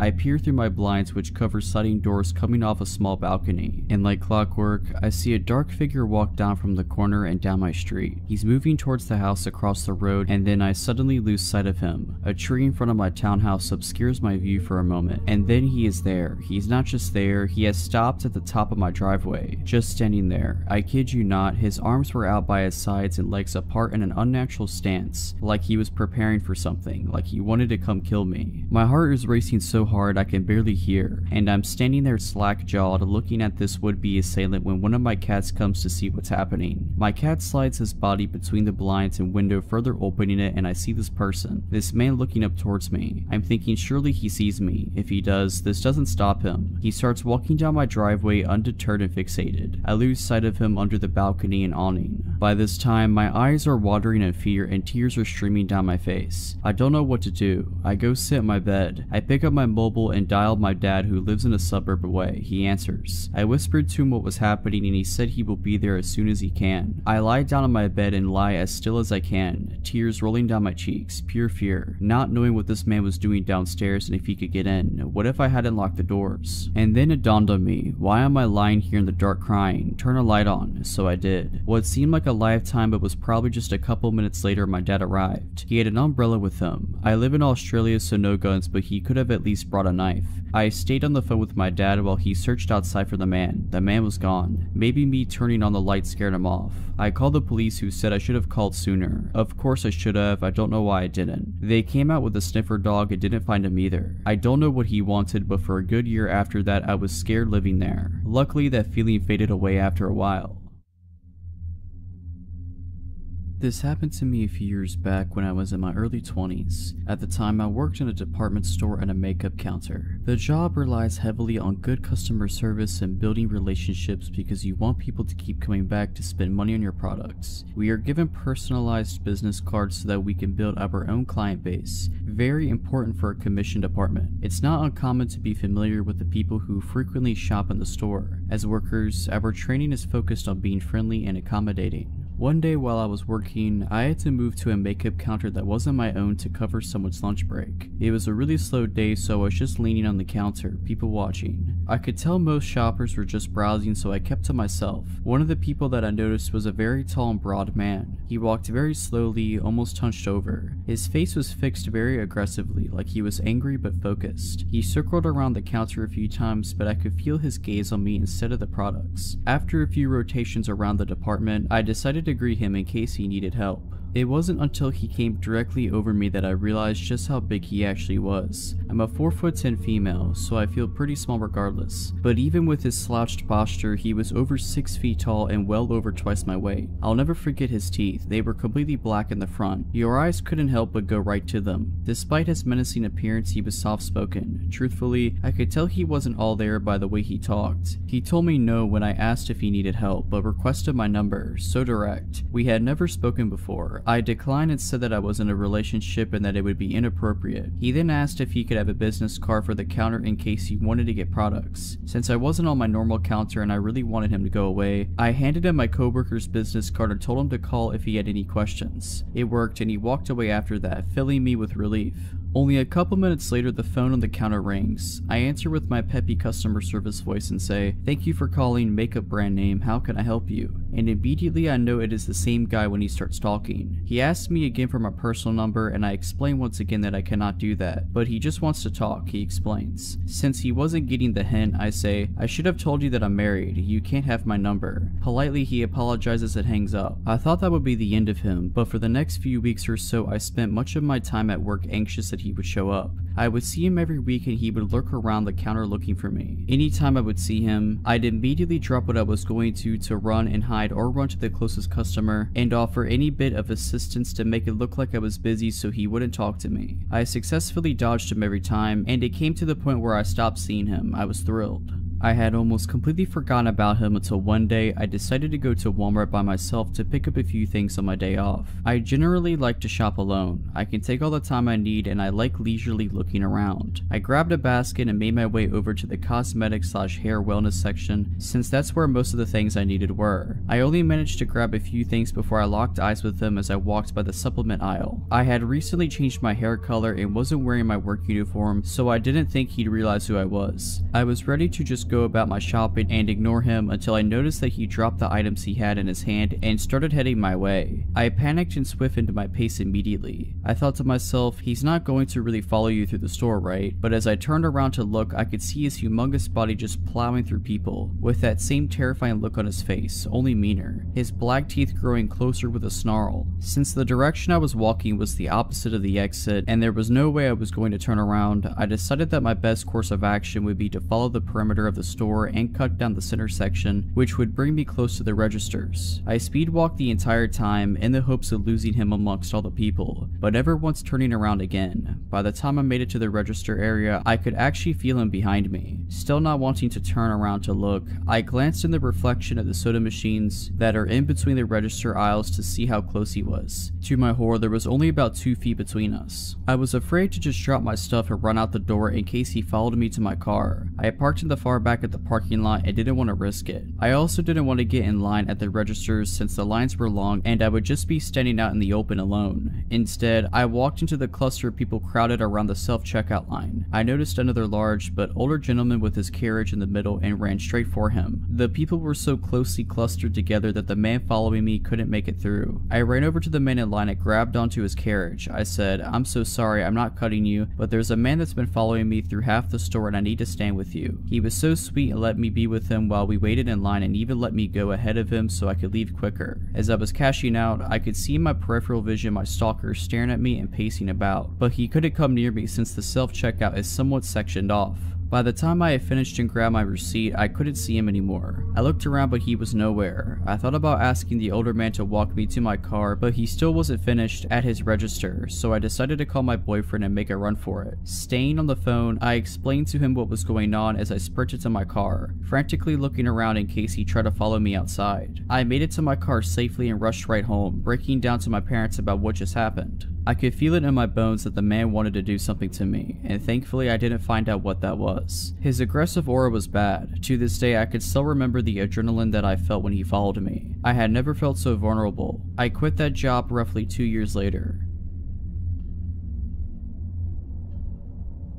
This incident happened in the summer of 2015. I lived by myself in a nice house inside a small town. Low crime, but still the occasional shady person. Anyway, at work that day on a smoke break, I watched a dog get thrown from a moving vehicle, four lane city traffic during the start of rush hour. I ran right out there, scooped his little self up, and booked it back to my workplace. He was not injured, amazingly. As a bleeding heart animal lover, I decided to take him home with me until I could figure out what to do with him. I have a large amount of cats, and always have. This was my first experience with a dog that I was solely responsible for. This guy was very shy, head hung, tail tucked, jumpy, just looking at me like I was about to beat him. I was clueless on the subject of dog personalities and tendencies. I just knew that they needed to be taken out frequently. His first night with me, we had been out about 15 times, as I did not want him using the bathroom in my house, obviously. I was having my final cigarette of the day on my porch. The dog was on a lead, chilling under my chair as I smoked and chilled. I see a man walking on the sidewalk that runs by my house. He kept glancing up at me before passing. Shortly after he passed my house, he stopped, turned on his heel and approached. Hey, can you tell me where 302 Church Street is? he asked. I told him I would search the address on my phone, which, of course, was taking a minute to pull up. He explained he didn't have a phone of his own and was attempting to get to a friend's house, taking small steps toward me the whole time. Finally, the address I summoned came up. It's exactly two blocks north of here, right on the southwest corner of the cross street, I told him, pointing in the direction. He kept his eyes locked on me, continuing to slowly move closer. The dog starts growling very softly at this point. I forgot he was even there until now. Mind if I take a look at the map? He grinned sheepishly. I'm bad with directions. I rose from my seat, pointing again. It's truly just two blocks up the road. Just follow the road. Two blocks. The house will be on your left, making it very clear that I wasn't going to just hand him my phone. Well, can I call them? I need to let them know I'm coming, he said, still creeping closer, extending his hand. No, I curtly replied. How about text them, pushing forward still. Dude, no. I started toward my door. Just let me see your phone. He was visibly becoming pissed off, clearly trying to contain it and getting way too close to my porch. As a last ditch effort of getting this dude to screw off, I say, you need to get out of my yard. My dog's protective, he will screw you up. I didn't know the first thing about this dog, let him know whether he had the capacity to screw someone up. I just hoped Sane would intimidate pushy phone guy. Like I had said the magic words, Pupper springs into action. The dog emerges like a bullet from under the chair, growling, snarling, and barking his head off. He jerks me near off the porch trying to get at this guy. He sounded and acted like an 80 pound attack dog, not a 40 pound timid beagle mix. I was afraid. I didn't know if the pup would turn on me. As stated previously, at the time I knew absolutely jack nothing about dogs. He backed his hindquarters into my legs, almost nudging me to the door. Still carrying on, eyes locked on Phone Dude and baring his teeth. Phone Dude holds up his hands and backs off, stammers something like, uh, two blocks north, yeah? And begins walking that way. I go inside, cut off my lights and peek out the window at him. He glances at my house, assured I'm inside, turns and begins walking the completely opposite direction I pointed him in. Icing on the cake, he pulls a phone from his pocket and raises it to his ear to make a call. The dog secured his place as a member of the family that night. He is incredibly protective of me and has frightened away another creeper since this incident. He is attached at my hip and has made it known that he is grateful to be in a safe, loving home, wherein he will never again become a projectile from a moving vehicle. His name is Hank, and I truly believe that night would have ended very poorly for me had he not been there.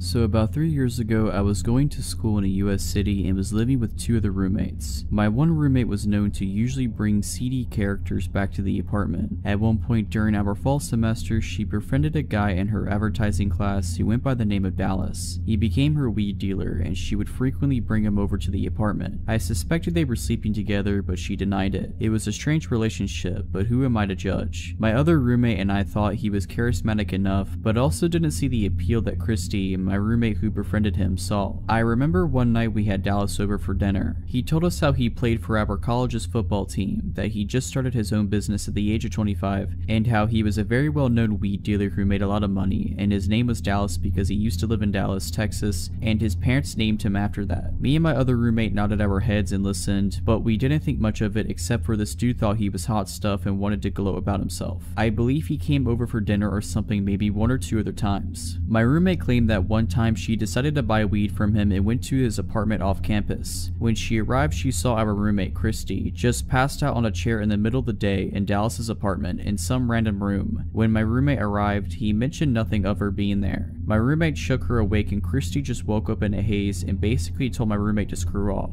My roommate recounted the story to me and we both agreed it was weird and Dallas was probably not the safest person to hang with. After a couple of months, Christy stopped hanging with him. I remember her saying he got pissed she didn't want to sleep with him. I also found out that a friend of hers, who knew him for a long time, was engaged to him. Oh also, his real name wasn't Dallas. Yeah, real shocker there. Fast forward two years, me nor my roommate talk to Christy anymore. We are living elsewhere in said city doing our own thing. We get an alert on our phones that a girl who had just transferred to our college went missing after leaving from one of the campus bars the previous night. It doesn't take long, maybe a few days when this huge story breaks. This girl was killed by someone she left the bar with that night. My roommate calls me and goes, do you remember what Dallas's real name was? I go, yeah, I believe it was said name. She goes, go online and read this article. He killed that girl who just went missing. Sure enough, I go online and there's the most horrifying mugshot of Dallas with a photo of the girl he had just slain. It gets crazier. Apparently he had taken her home that night and attempted a one night stand and he killed her by blunt force and strangulation. If that isn't terrible enough, he cleaned up the evidence-ish in his apartment, threw her body in a storage container, took a lift to his grandma's house hours away, and buried the storage container with her remains in it on the property somewhere. After obtaining a video of the two of them leaving together from the bar, it didn't take cops long to bust him. Weeks after the story broke, so many girls came forward and shared similar creepy stories about Dallas. The guy who played for State College's football and ran a successful business. You can guess that none of this was ever true. Also, he was like 28 years old, claiming he was still a student at our college when this happened, prying on younger women. I just hope he rots in prison for the rest of his life.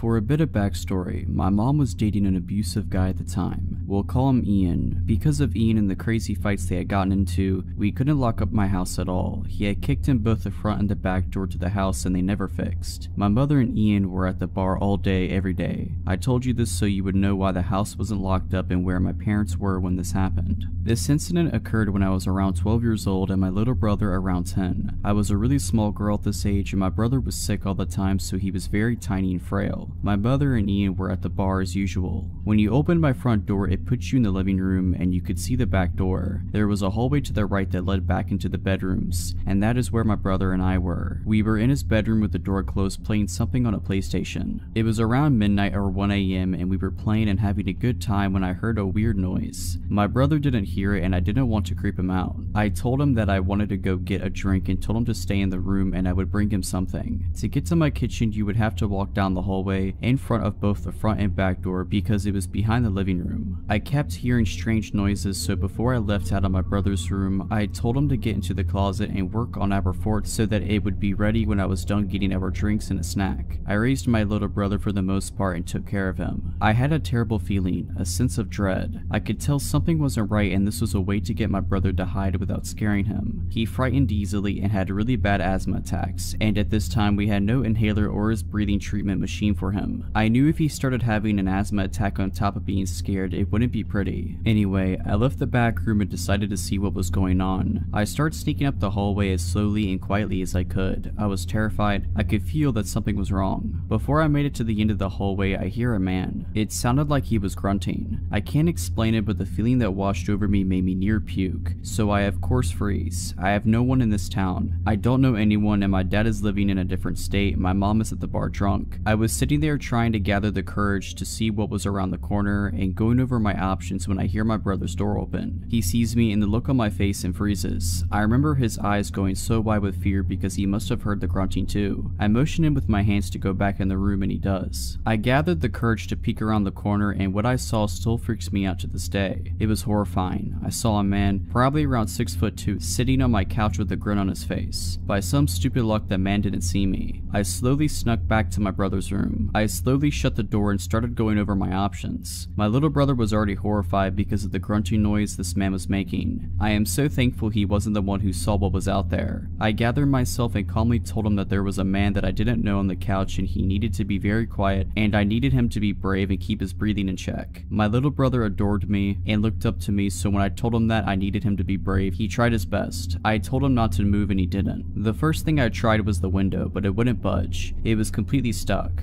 Making myself stay calm for my brother's sake, but I know what's sitting out there. So since the window was stuck, I decided to start looking for a weapon. My oldest brother lived here and I knew he had swords somewhere. I don't remember where he was. As I'm looking for a weapon, I hear the man saying, I know you're here. My stomach knotted up, the hair on the back of my neck raised, and I instantly got a cold sweat. And then I hear it. My little brother had started wheezing. Asthma attack. I hugged him, reminded him about being brave, and told him to sit still and focus on his breathing. I started frantically trying to get my window open, but it was stuck. I looked around and started moving blankets when I find my older brother's cell phone that he always forgot. I remember thinking that I was lucky and felt a bit of relief. I immediately called the police and told them what was going on, hysterical at this point but still remaining quiet. The dispatcher told me to remain on the phone so she could hear what was happening when the man started banging on our bedroom door. It had been about 5 minutes into the phone call when this happened and I could no longer remain calm. I had lost it. I started screaming. I forgot to mention that our bedroom had the only working lock, so the door was locked, he was trying to get in and banging on the door. His banging got louder and louder. He was screaming to let him in when it went completely silent. Then he did the creepiest, most terrifying thing ever. He started laughing. He then says, you know I could just bust down this door in about 2 seconds right little girl? He then starts lightly knocking on the door and asking me to open it. Then I hear the police start screaming at him to get on the ground, put his hands up, etc.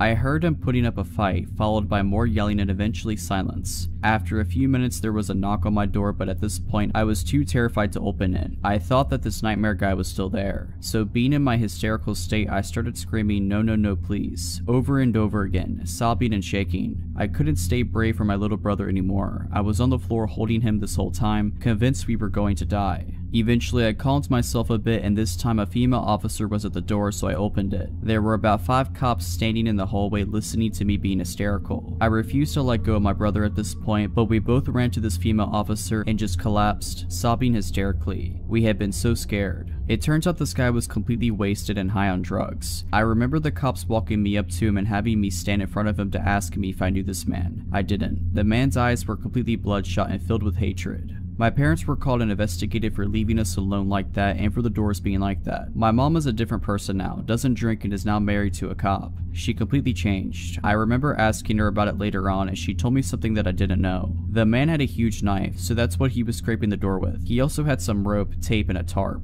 I still don't know how he didn't get to us, or why he didn't just bust the door down to get us. It would have taken one half kick from him to kick the door down. It was super thin. So hopefully I will never have to endure that horrible experience again. This story starts around the fall of 2017. I was walking back to work from lunch when I passed this girl and noticed she got up and started walking behind me. She took a different route and didn't follow me. A few days later it happened again but this time she was following me. I assumed she wasn't following me at the time because where my office building is situated you have to go up a set of stairs and pass a few other buildings and she did not follow me up to my building. After a while I noticed we took the same train home. A lot of the time she would be watching me. When we made eye contact she'd look away then she'd continue looking when she thought I wasn't looking. There's a Whole Foods across from my office. I went there for lunch a couple times during the week. I started seeing the girl sitting in the window for lunch and she would almost always get up as soon as I left and walk the same way I did. Around this time, I began seeing her more frequently. During lunchtime or when I got to the metro, she was almost always there. After a couple of months of this, I started noticing that she would get off at the same station as me sometimes. Sometimes she would walk the same way as me. Once I got to my place, place, I live in a condo with my brother. She would always pass by but never follow me up to the entrance. During this time, I started receiving phone calls at work from random phone numbers that at the time I assumed was spam. There would either be silence on the other end or the person would hang up immediately. I also started receiving fake Facebook requests from people I already knew or were already on my friends list. December of 2017 comes. By this time, I'm not going to Whole Foods as often. If she gets off at the same station as me, I go into a restaurant or go shopping for groceries before I go home. Around this time, an old friend I went to high school with contacts me kind of out of the blue, said she wanted to follow me on Instagram. We text a couple of times and I accept her follow request. She contacts me again about a month later from a different number, but this time she's texting me frequently. I'm talking about every day slash every other day. I'm not one to be mean or show when I'm annoyed too often, but after months of this when she asks me if she's texting me too frequently, I don't hesitate to tell her that she could lay off a bit. She stops for a week or so, then starts texting frequently again. This whole ordeal should have sent red flags up for several reasons. During this time, she would ask me so many random questions, like what would you do when you're trying to get to know someone? She would ask for selfies, which I declined because I don't like taking pictures of myself, and I would tell her that there are plenty of pictures of me on Facebook. She would ask what I'm doing on the weekends and the names of my friends on occasion, which I wouldn't tell her because I thought it was weird that she'd want to know my friends' names. I only sent her a couple of videos of fun things I do, but that's it. August 2018 rolls around. I am still seeing creepy girl everywhere during the week. I get pulled into my boss's office. He says that a few coworkers received fake screenshots from Facebook of me talking badly about them. Now, I never post on Facebook and would never talk bad about my coworkers on social media. I don't have a grudge with anyone, nor do I know of anyone who has a problem with me. I managed to clear things up with everyone involved and still had my job. Of course, my friend is still texting me fairly frequently and I tell her what happened a couple days later when I got home from work. I tell her I don't want to get much into it, but she keeps pushing for details. I finally told her I was going to go to bed and she got the message. The more I thought about all the time she texted me, the more uneasy I got. Some things that she said just didn't make sense, especially from the way I remembered her. We had kept in touch over the years, just not as frequently and we hadn't touched base for a while before I heard from her in December. A couple of weeks later, I decided to reach out to my friend on Instagram, but the Instagram she last messaged me through wasn't there. However, there was still an Instagram for her I followed and that follows me back. I reach out to her and ask what her phone number was. Phone number is completely different and it turns out that she was never the one texting me nor did she request following me on Instagram. I track the number and it turns out to be one of those fake phone number apps. I request to be blocked from the service and I never hear from my friend again. After talking about it with my brother and a couple of friends, I'm almost 100% certain it was the girl that's been following me. These things only started after she appeared. The phone calls to my office, the fake Facebook requests, etc. A few days before I was pulled aside by my boss, my friend texted me and told me that she had a weird feeling about me and wanted to make sure I was okay. I just thought that she was being weird at the time and didn't think much to it. This whole ordeal is really scary when I look back on it because I sent videos of myself and my address at one point. My friend even confirmed a post my brother made with pictures he tagged of me on Facebook. I was texting a stranger for 8 months about my life and they also apparently have access to my Facebook page. She doesn't follow me anymore but when she did see me on the metro, she would always sit somewhere that she was able to make eye contact with me. I'm always careful now if anyone texts me from an unrecognizable phone number. I just hope that she decided to forget me and move on. About 5 or so years ago, I was 23 at the time and had just gotten out of my first and only serious relationship a year prior. That guy was my first love, so needless to say when things ended and he had zero interest in trying to work things out, I was heartbroken. After about a year of moping around, I decided to try actual dating. I met this guy Rick on a dating website. He was a couple of years older than me, was an ex-marine, and good at making conversation. After a few days of talking online, he asked for my number and we decided to meet up. I drove to his house and come to find out he lived with a few other guys who looked really shady. Now, he actually lived in a good neighborhood, but the way they kept their home and the way his roommates looked was my first red flag that a inexperienced, naive girl would not fit in his crowd, but I decided to stay and give it a chance. Once he saw me, he came up, gave me a hug, and handed me a helmet to his motorcycle. Now, I have never in my life rode a motorcycle before, but I had always wanted to, so I thought why not and hopped on. Now, the street he decides to take me up is known to be a very long and windy road that is pretty secluded. It's also important to note that this is the springtime and it's about 5 p.m. when we go on our ride. I didn't realize at the time he had decided to take me on that specific road, but once we got on it, my red flags started to kick in. I began to realize that 1. It is dead silent and there are no other cars on this road right now, 2. It's starting to get dark, and 3. Yeah, I don't know this guy so what am I doing, and my alarm bells start ringing. Once my anxiety kicked in, I told him that I think we should turn around and go home. He started laughing and asked if I was scared and I said no, I just need to head home because my parents are expecting me for dinner soon. He kept riding forward, more alarm bells ringing, pictures of me lying dead in a ditch came up.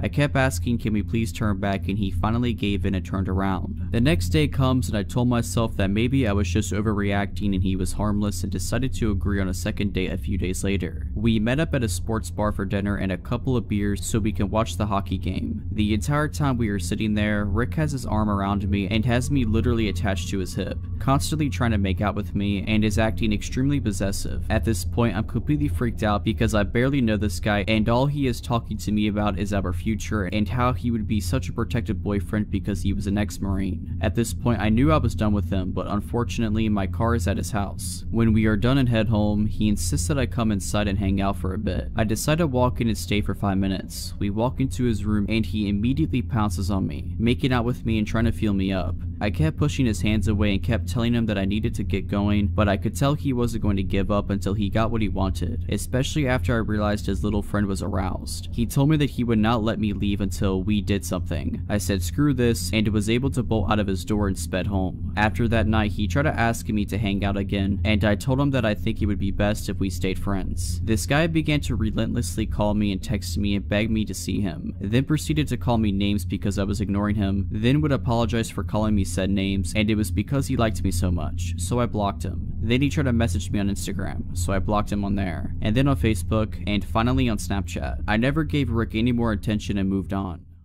If you're liking this video, all I ask is that you make sure to subscribe to my channel and like this video. Thank you. This story happened to me about 6 months ago. I have lived where I lived for 3 years. It's a nice apartment in an amazing location, but they were built in the late 90s. In the last few years, the city I live in has had a massive population boom and people have been non-stop pouring in. Good weather, amazing economy, cool place to do stuff always. Because of this, I have seen the landlord staff start to do heavy maintenance on the apartments to bring them up to date to attract more people to them. My neighbor lived in his apartment for something like 6 years before he ended up buying a house and moved. When he moved, the landlord immediately started redoing his apartment as one to bring up to date. The way that the apartment layout is, is that there are two stories. Where my bedroom is, on the direct other side of the bedroom wall is the staircase in my neighbor's apartment. The way my bedroom layout is, has my bed right up against the wall. They were completely stripping this place clean. It was one of the first ones that they did such heavy remodeling to. For weeks I would always see the workers over there painting and redoing the floors, etc. A few days before this happened was no different. I left and saw them doing maintenance in the kitchen and when I came home from work, they were gone for the day. Nothing unusual for a single bit. The part that is unusual though is what happened one particular night. I was awake around 1am watching TV in my room when I heard someone on the other side of the wall slowly walking up the stairs, and very obviously stopping halfway up. Where the person was stopping was directly where my head laid on the other side of the wall. I could feel him listening to me breathing. I immediately turned the TV sound off and sat there extremely quiet and still. I heard nothing for a few minutes, and then after what felt like an absolute eternity, I heard the person start walking the rest of the stairs to the second floor. It was very obvious that someone was on the other side of that wall listening to me. I also knew that it was only a few days before this happened that I saw the maintenance redoing that apartment's kitchen. I knew that there was no way someone already moved in that fast. I quietly got out of bed and went to a room where I had a better view of the outside of the apartment. I obviously couldn't see if there was movement in there from the window, but I had a good angle to see if anyone walked out. I sat there for around 15 minutes just staring outside to see if I saw anything at all, nothing. I went back into my room and laid down in bed again. I didn't play the TV, I just sat there waiting to hear something again. I was messing around on my phone for around 20 minutes in silence until I heard movement in the stairs again. This time though, the movement didn't start from the top or the bottom. The movement started in the middle of the staircase, meaning that the entire time I was sitting there in silence, this person was just on the other side of the wall listening to my every move.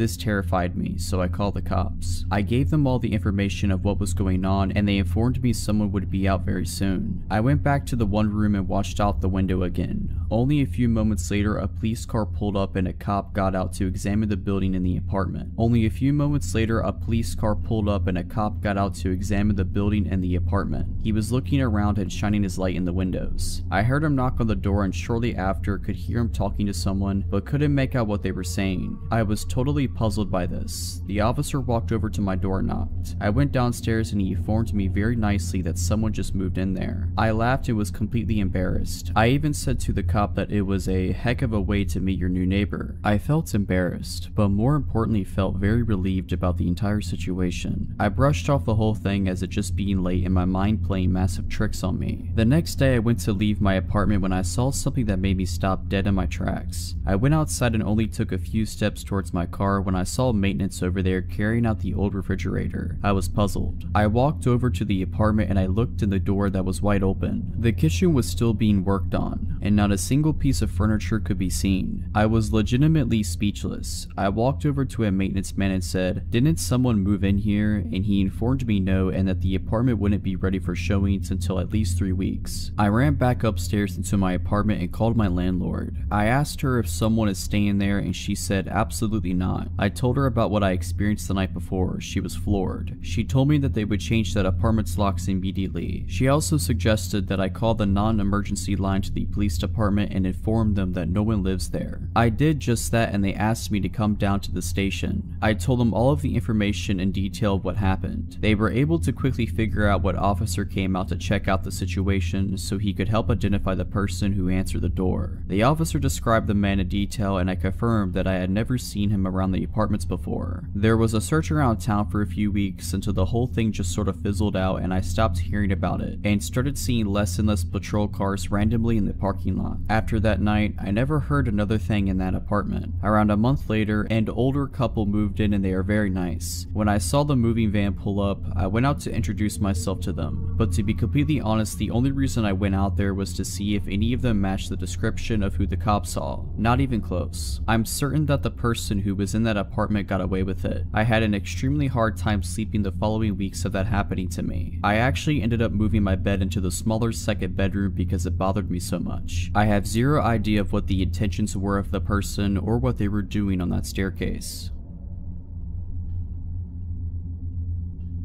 I am a proud Floridian. At the time of this story, early 2000s, I was going to college in South Florida and lived with my family in my hometown in the Florida Panhandle. It's about a 7 hour drive up through Central Florida to get between the two places, so I mostly only went home for the holidays. It was the Thanksgiving in my junior year, and I was excited that I had managed to rearrange my midterms to be able to leave campus three days ahead of everyone else. I was expecting to beat the masses of traffic and was hoping for a quick trip back home. My roommates wanted to have a last meal together before we all left for break, so I ate in the campus dining hall around 4 p.m. and I set off on my journey around 5.30 p.m. Around 10 p.m. I had just passed my two-third mark, where I always stopped at this little mom and pop's type of diner by the side of the highway to grab a snack, use the restroom, and call my dad to let him know I was okay, I didn't have a cell phone yet. Well, I hadn't been there since summer and the place was out of business, so a little bummed out that I wasn't getting my chocolate chip pancakes, I just kept going. There really wasn't much built up around there at the time, so when I saw signs for a rest stop in, of all the places on this green earth, some town called Alachua, so I went for it. So I went and parked directly under the street light for safety and used the facilities, called my dad, etc. I didn't see anyone else there, except for a very exhausted looking woman who approached me asking for directions, saying she was with her husband and two small children from Virginia and they had made a wrong turn trying to get to Disney. So I left the rest area and was walking back to my car when I noticed a beat up, unmarked, gray or bluish work van parked very close to the driver's side of my 95 Honda Civic. Yeah, okay, I thought that's pretty weird. It had Florida tags on it, so it couldn't have been the ladies I talked to in the bathroom. I distinctly remember she said she was from Virginia. I turned around and hightailed it back to the rest stop promptly running into some random middle-aged guy with two little boys. Getting to talk to him, it turned out it was his wife I had spoken to as she emerged from the bathroom a second later, and I felt comfortable speaking to him. I told him what was going on with the van and how I didn't know what to do. He said he'd go check it out, so he left the kids with his wife and strutted up to the driver's side of the van. He stood there for a moment before speaking, his voice awkwardly quivered, but we could hear him yell it from where we were standing some a hundred feet away. Excuse me gentlemen, we already called called the police, so I'm gonna have to politely suggest that you get out of here. And then he ran back to us, grabbed his wife and kids, pointed to me with a swift you, and said, come on, let's all get in the car now, and we ran together. So here I was, confusedly sitting in the back of the stranger's SUV while he went and used the payphone to presumably call the police. Meanwhile, the van peeled out of there. Like, I have never seen someone get out of there quite like they got out of there. They ran up on the curb on their way out. They burned rubber. It was almost comical. The cops got there and I found out what happened. The man went to go check out the van and he could see in it pretty well because I had parked under the street light. The first thing he noticed was that all the seats except for the driver's seat had been removed. There was a guy sitting in the driver's seat and a guy sitting in the back. A tarp laid out in the back and a bunch of other random items back there he couldn't immediately identify. Neither the guys were reading a newspaper or a map or anything. They were apparently both just sitting there. I'd say I was around 8 at the time this took place. At the time, we had to get mail from the post office in town, and so seeing my mom get the mail, my brain decided, wow, I want to be cool and get the mail like mom. That childish need to prove that I was mature. Eventually, after time and time of begging, my mom let me get the mail.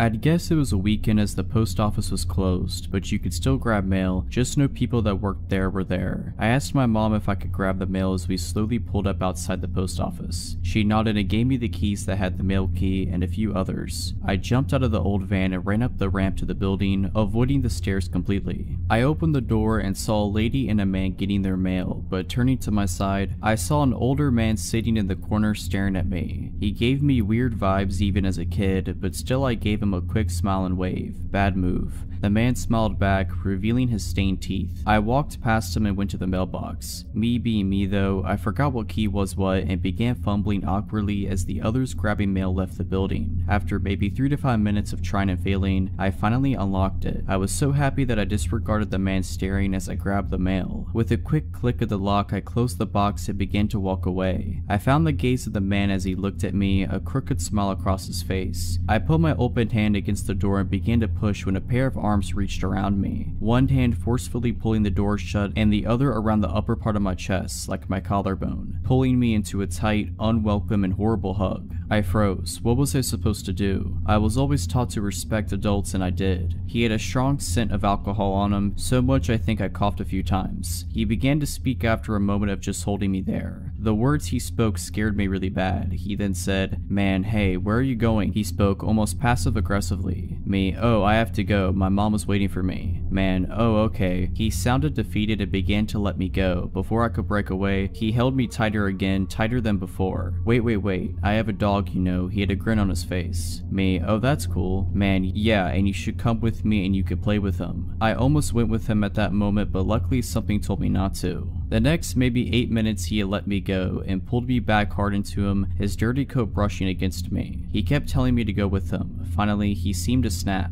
Man, alright, you're coming with me. Me, what? But I need my mom. I have her keys and she's waiting for me, please. That was still my priority, her keys and mail. Man, nope, you're coming with me now. He opened the door and began to pull me out. In a moment of his weakness, I broke away, running to my mom in her car. I slammed the door shut, scaring my brother and my mother. I began shaking and crying, dropping the mail on the car floor. I picked it up and handed everything to my mom as she demanded to know what happened. I'd told her everything and she looked pissed. I was so glad that she was on my side. I looked outside, tears still streaming down my face, and noticed the man look at me through the car window from the top ramp of the building. I began to cry harder and panic as he started coming over. My mom stopped me as she noticed him coming. He fell at the bottom of the ramp and tripped. My mom laughed at the creep and started driving away, while she tried to comfort me saying things like, he was a harmless old drunk man and he didn't hurt you. I'm pretty sure I knew what his intentions were towards my younger self, and I'm just glad that I was able to get away from the man.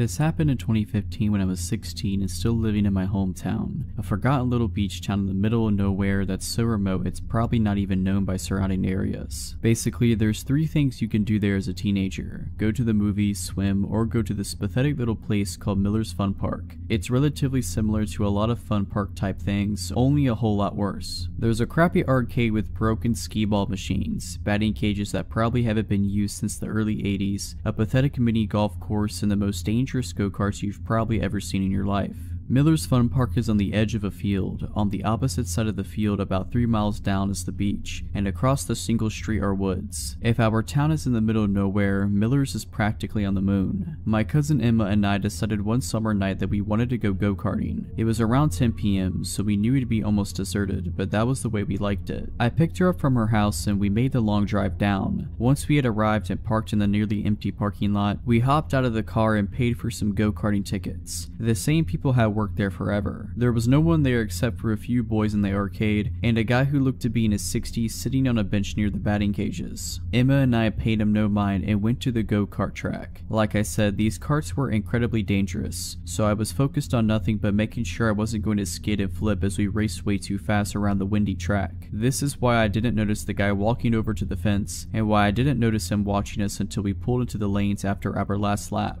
He was standing on the other side of the fence right where I parked. He stared at me with the most unsettling expression, a weird smile with dark eyes. I managed an uneasy smile back, handed another ticket to the guy running the go-karts, who was obviously higher than a kite, and Emma and I went off again. This time I couldn't focus. The dude gave me the worst type of feeling. My eyes were constantly finding their way to the metal fence where he stood, unmoving and watching us every time we were in his view. And the thing that was bothering me the most was we only had bought three tickets. We were on our second to last run and he was standing directly next to the exit gate. I was just praying that he'd move before we were done. But of course, no such luck. Our last go came and went, and I had no choice but to pull in next to him, unbuckle my seatbelt, and get out of my go-kart. I glanced over at Emma a few feet away as I opened the exit gate to see if she was as scared as I was, but she didn't seem to notice as she bounced over and bragged about how she had beat me the last two times. I was barely listening. I opened the gate and the guy stepped in front of me just as I was leaving. Hey there, he said. His voice was dry and he smelled of cigarettes. What are you girls doing all alone here? My eyes darted over to Emma, who was looking at the dude with both confusion and annoyance. Uh, what? She said, pushing past the gate so she stood beside me. It's so late. His tone was as hungry as his eyes, and he reminded me of a snake. Do your parents know that you're out? Yes, I answered quickly. They're waiting for us actually. We need to get going. This was a lie and probably sounded like it from my tone, but I tried to push past him anyway. It didn't work. He grabbed my shoulder to keep me in front of him. Nonsense. I saw you girls pull up alone. My heart dropped to my stomach.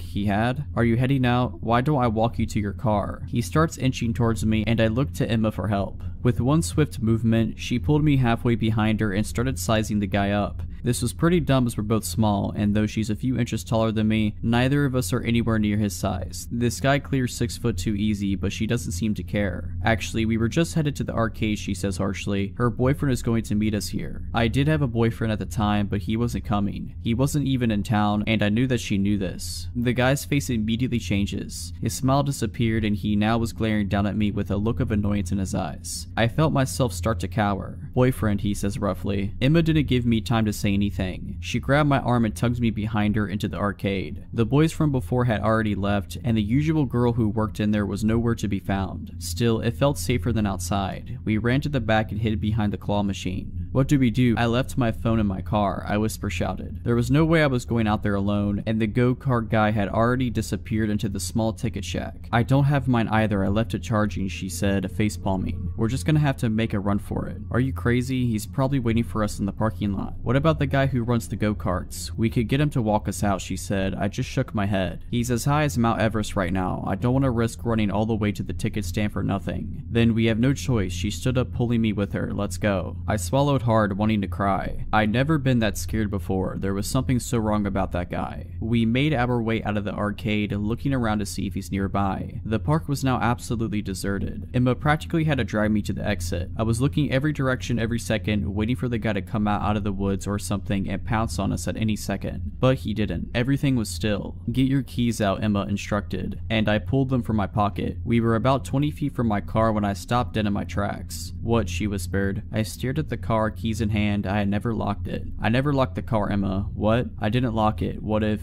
I trailed off, but she knew what I was saying. She started inching towards the car, and I grabbed her arm to stop her, but she pulled me away. I'm just going to peek. If I say run, you run. Her voice is quiet. I nodded shakily. She eventually made it close enough to see inside, but by the way she was squinting, I knew it was too dark to make anything out. My heart was beating out of my chest. What if he's in there? All these thoughts almost drown out the unmistakable sound of shoes slamming against the pavement. My head whipped around instantly and there he was, sprinting at us at full speed out of the woods. I screamed bloody murder and broke for the car, jiggling the handle as I realized I had locked it. Emma was already on the other side screaming at me to unlock it. I fumbled with the keys but managed not to drop them as I unlocked the door, flung it open and practically threw myself inside. I just managed to close the door when he was there, slamming his fist against the window and shouting incoherently. I was sobbing at this point and barely managed to lock the doors as he goes for the handle and yanks on it as hard as he can. Emma was screaming at me to go, and through my tears I shoved the key into the ignition and flew into reverse. He was still chasing us and yelling as I veered backwards out of the lot and turned as fast as I could while slamming on the gas. I was driving like I was still in a go-kart, but I didn't care. I could barely see the road through the flood of tears, and Emma had to grab the wheel several times to keep us from crashing before I regained some composure. Though obviously shaken up, she managed to keep her tears and be the same one out of the two of us as we drove at least 30 miles over the speed limit the whole way back to my house. We kept this encounter a secret between us for a long time, but me and Emma decided to tell this encounter we had experienced on here. We didn't talk about it until months after the horrifying encounter. Safe to say we never went back to Miller's Fun Park after that. I urge all of you to be extremely careful when going out at night. I just hope that me and Emma never have to see that lunatic again.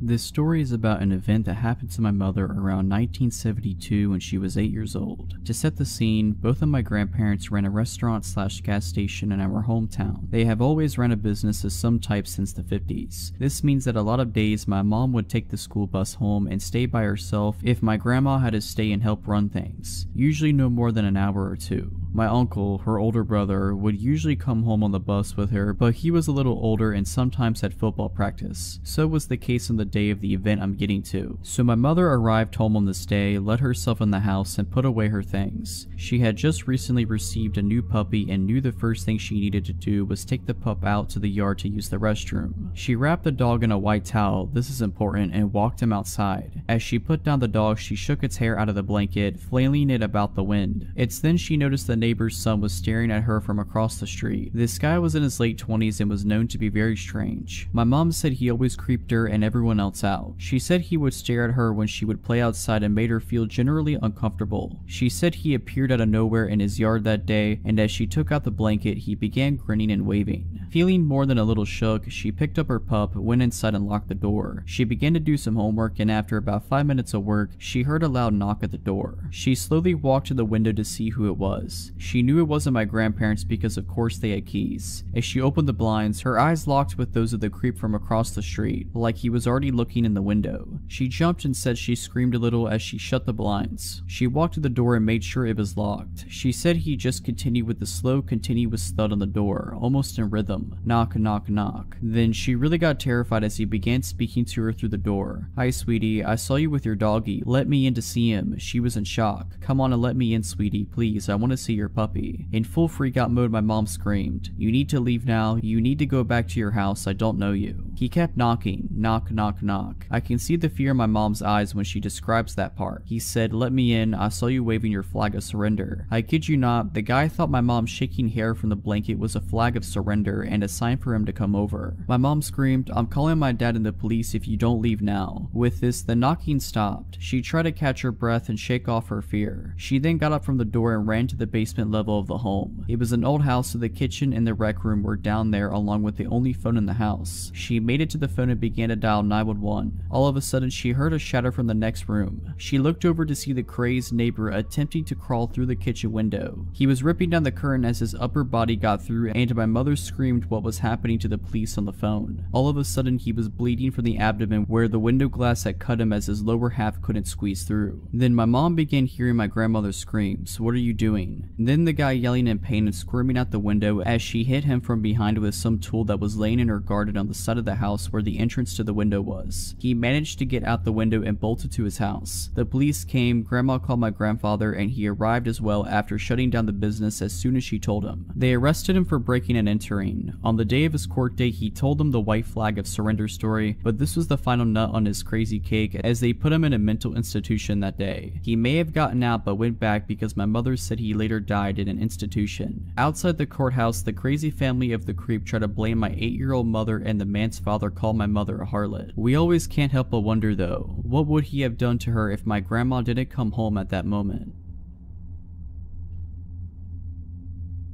This took place when I was about 16. My aunt was in town visiting and we were coming back from the grocery store. We were driving back to my mom's house, my parents are divorced, and she lived way out in the country. Like, it's a 10 minute drive from anywhere. We pull up at our driveway and a red car pulls in behind us. My aunt and I stay in the car and the man approaches the driver's side door. I can't rightly tell you why he looked like a creep, but he looked like a creep. Very pasty skin, eyes that were staring down too hard, just overall weird. He claims he is lost and looking for his way to a fitness center in the town next over. The exact fitness center that is about a minute away from where the grocery store is, i.e. the opposite direction of where we just came from. Super odd, but I give him directions. He thanks me, but continues to stare at me. He asks if we know each other and I reply no. He gives me his name and I again repeat no, I do not. A couple of seconds of awkward staring and he asks me what my name is. Well, being an idiot and feeling anxious, I tell him that was a mistake. He confirms we don't know each other. Oh really, and heads back to his car and we watch him leave.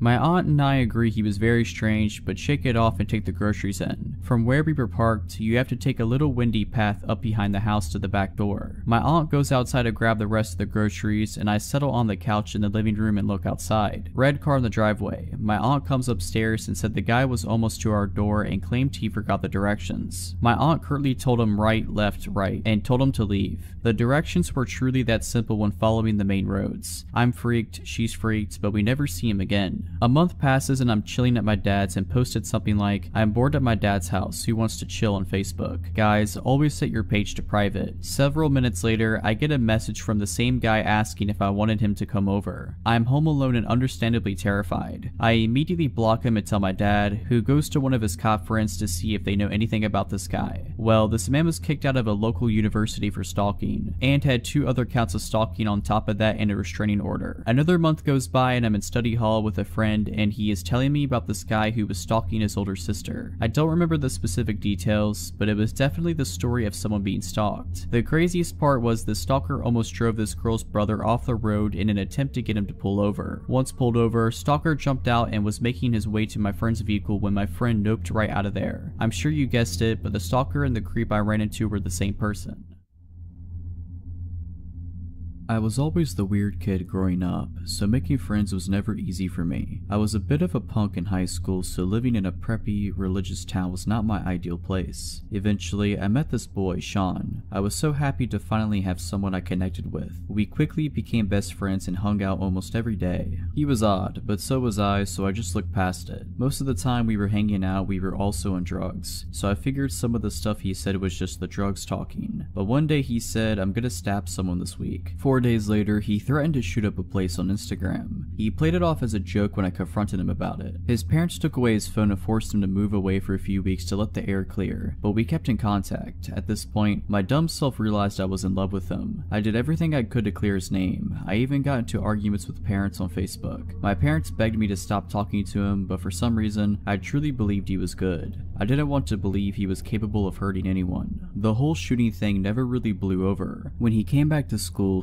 students would run from him in the hallways, people were sending him threats, his reputation was ruined. After all of this, something in him changed, he was angrier. We would be talking and joking around about something, and he would start attacking me with words. If I made a new friend, he'd go out of his way to ruin my new friendship and for some reason, I saw this as him being protective. About a year went by after this, the verbal abuse continued, and I continued to do nothing about it. I was still in love with him, but I didn't act on it since he was my closest friend. To keep my mind off of Sean, I started dating a boy named Alex. Sean hated Alex, not for any particular reason, he just didn't like that I spent time with someone that wasn't him. Alex was also a weed dealer and Sean knew this. Sean asked if Alex would front him some weed since he knew we were best friends, and Alex did. I don't remember the exact exact amount of weed, but it was a decent amount, enough to be mad about if you don't get paid for it. Sean never paid Alex. Alex tried to talk to him about it, but Sean always put him off and avoided him. After about a month of this, Alex saw Sean's car in a Taco Bell parking lot and pulled up. He saw Sean in his car and began to get out. Since Alex had anger issues, he also pulled out his baseball bat. Sean saw him and freaked out. He pulled out of his parking spot quickly, drove off, and called 911, calling it a drug deal gone wrong. Alex was then arrested for assault with a deadly weapon. Three days later, later, when Alex got out of jail, he was driving to his friend's house, who lives in Sean's neighborhood, when he saw Sean standing in his front yard. Alex rolled out his window and called him a coward, then drove away. Sean called the police again and Alex was arrested for stalking.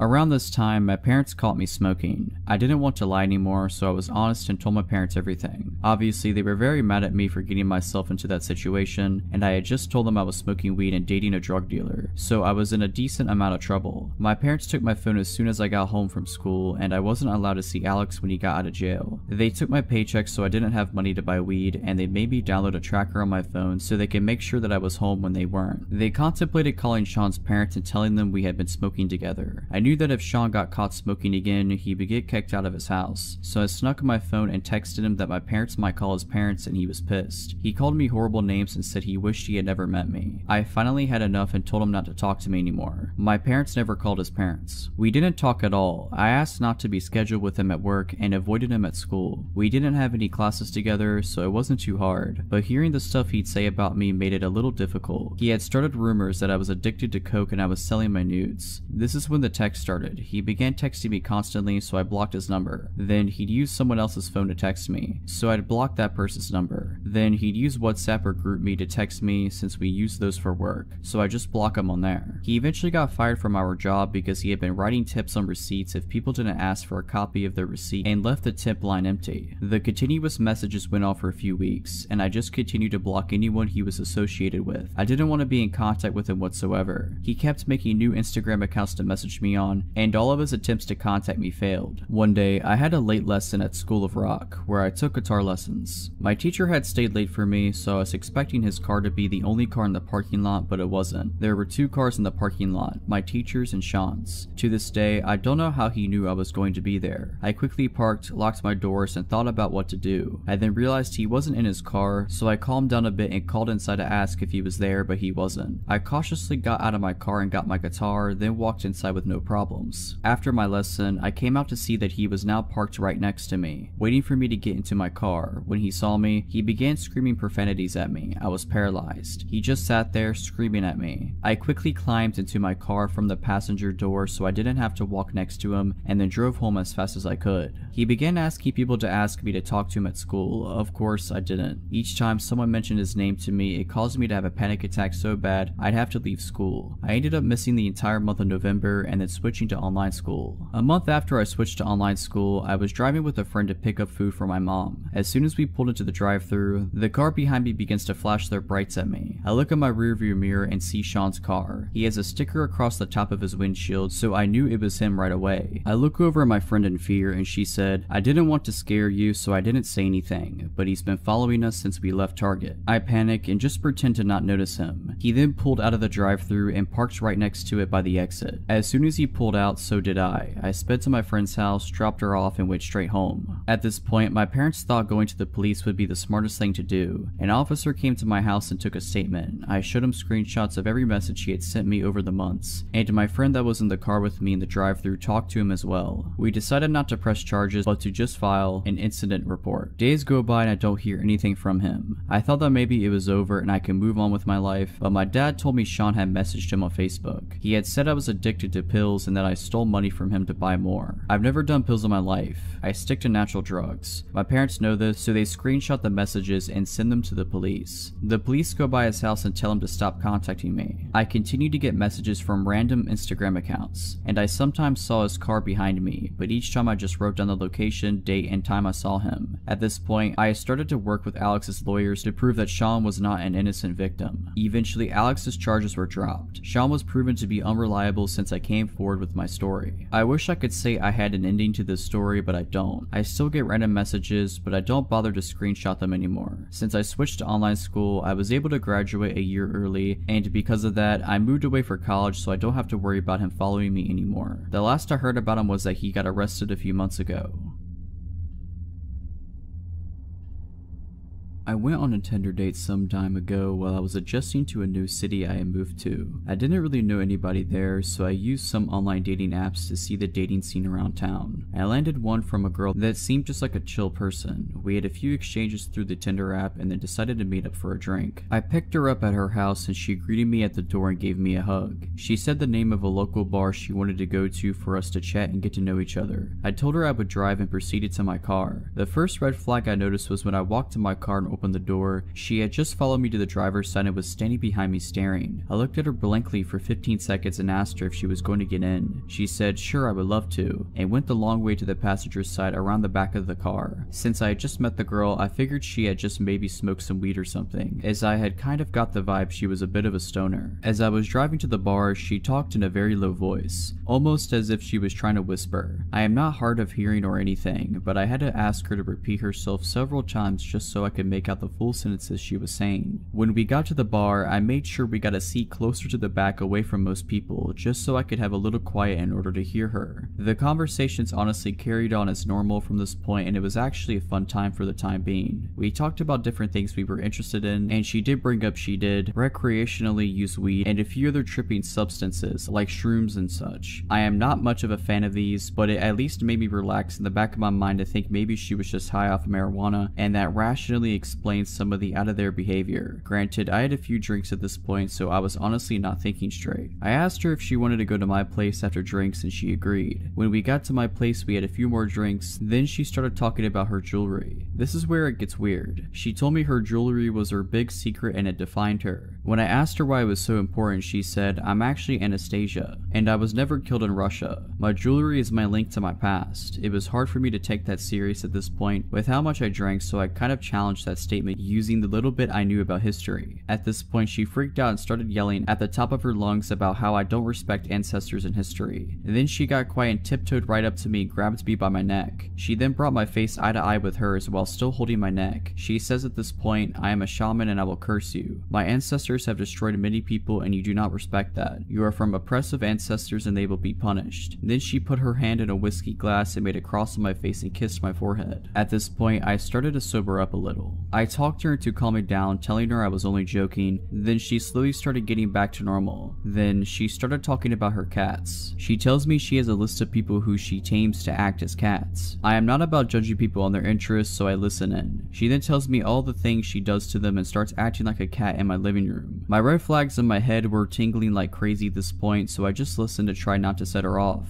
She noticed sage on my kitchen counter and asked me to let her light it and bless the house. Side note, I use sage to make my house smell better occasionally. It's kind of a ritual I like to do, but it's mine and mine alone. Something I take very personally and I like to do myself. I tell her no, she can't light it and that it's my thing to do on my own. Then she freaks out telling me I am a horrible human being and screaming all over the place. I tell her I can take her home now and she runs to the door and goes outside. As I get outside, she is screaming at the top of her lungs that I am a horrible person and I should go die. I tell her she can walk herself home then and I go back to my place and lock the door. She then starts banging on the door hard and about 10 minutes saying she left her phone in there. I grab her phone off the kitchen counter and open the door to hand it to her. She tries to barge inside and I block her with my forearm. She then acts like she's about to punch me. I just hold my ground and tell her she is not coming in. She screams she wanted the whiskey bottle we were drinking from. I told her no, because I paid for the thing. I slam the door at that point and lock it. I hear her bang on the door for a minute. I then hear her footsteps going down the stairs. I waited about an hour and then went walking outside to see if she was still hanging around. I didn't see her, nor did I ever see her again after that.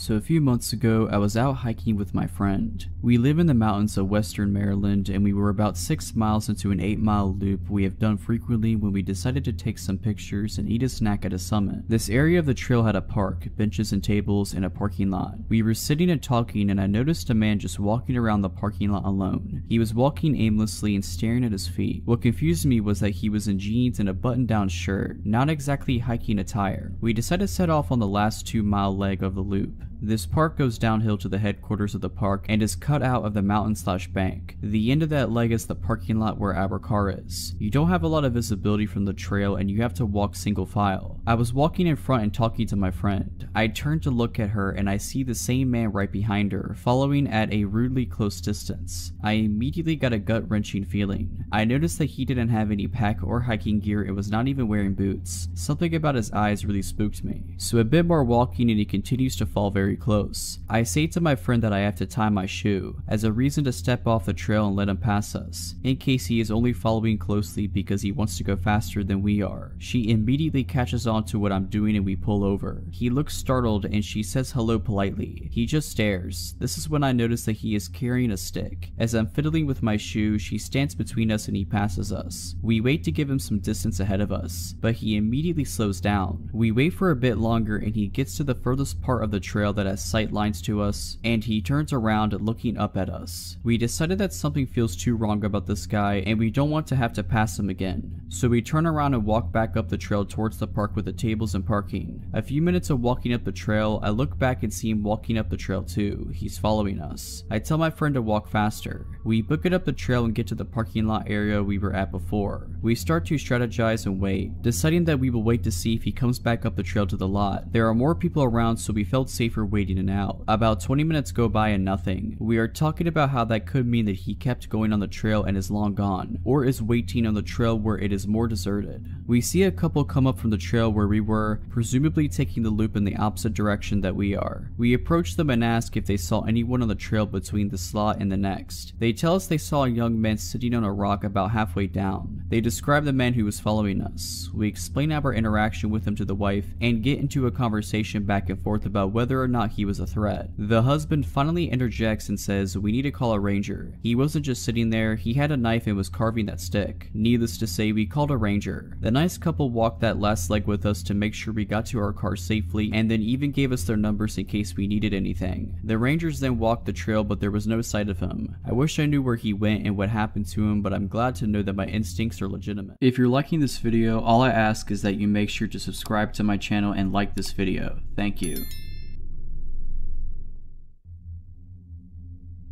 The events of this story happened 13 years ago and it still messes with me to this day even though I'm not in any sort of danger. When I was in college, I got super depressed and stressed out near my junior year. I was always super into school and just started slipping near the end of my college terms so it threw me off bad. Never experienced failing at subjects before and it threw me into a ridiculous stress. I graduated and figured everything would go away with that, but I found myself still feeling very mentally foggy. My sister knew how bad off I was from the last few years of school school, so she hatched a plan to surprise me. I always wanted to go to Miami growing up. I know how lame that sounds, but being a girl who grew up in the Midwest and even went to college there, it was always super exciting looking to me. Up to this point I traveled but never went anywhere as lively or big as Miami always seemed. My sister planned a five night vacation with me as a way to get me out of this mental fog and also celebrate in our own way me graduating college. I was super excited. The few months passed and it was time for the trip. We get there and the first few nights were incredible. We hit up the restaurants I had on my little list of places to try and spent many hours by the ocean. I was never a big party girl. Up to this point in my life, I was drunk maybe twice. My sister was the opposite who was at every party that happened in our hometown. She got bored of going back to the room so early every night and convinced me to go to a nightclub with her for the first time. I fought it a bit but let my guard down because I was feeling great for the first time in a long time and was ready to try new things. It was a Saturday night downtown in the middle of summer. We get to this nightclub and the line is legit wrapped around the building. It was massive. We waited in line for what felt like forever and were let in finally. I walked in the door and felt like I got shot because of the loudness. My sister dragged me to the bar and ordered some shots of some drink with a funny name. Again, I decided to just let my guard down and try new things. As more shots went down, I decided that would be the theme of the night, trying new stuff out. I was aware how boring I was and was, in my opinion, in the most exciting place in the world. Around 45 minutes into dancing and drinking, I became very drunk. Borderline blackout. I was very sloppy drunk and was aware of it. I found myself laying on a couch thing in the upstairs area, overlooking the dance floor as my sister was dancing with some guys. As I stayed there trying to consciously sober myself up, I realized how badly I had to pee. So I brought myself up to a sitting position on the couch to stand up and walk to the nearby bathroom. As I sat up, a massive man quickly sat so close to me I could feel his leather pants pressed on my leg. Absolutely over 6 feet tall and looked like some sort of bodybuilder. Admittedly, he was very good looking, but I was so drunk that I wasn't even trying to flirt and just get up to find the bathroom. He smiled at me and yelled over the music something like this, leaving so soon. I remember nervously laughing and attempted to get up but he grabbed onto my dress and pulled me back to a sitting position next to him. His smile went away and he said in a very deep tone, I don't remember telling you that you were allowed to leave.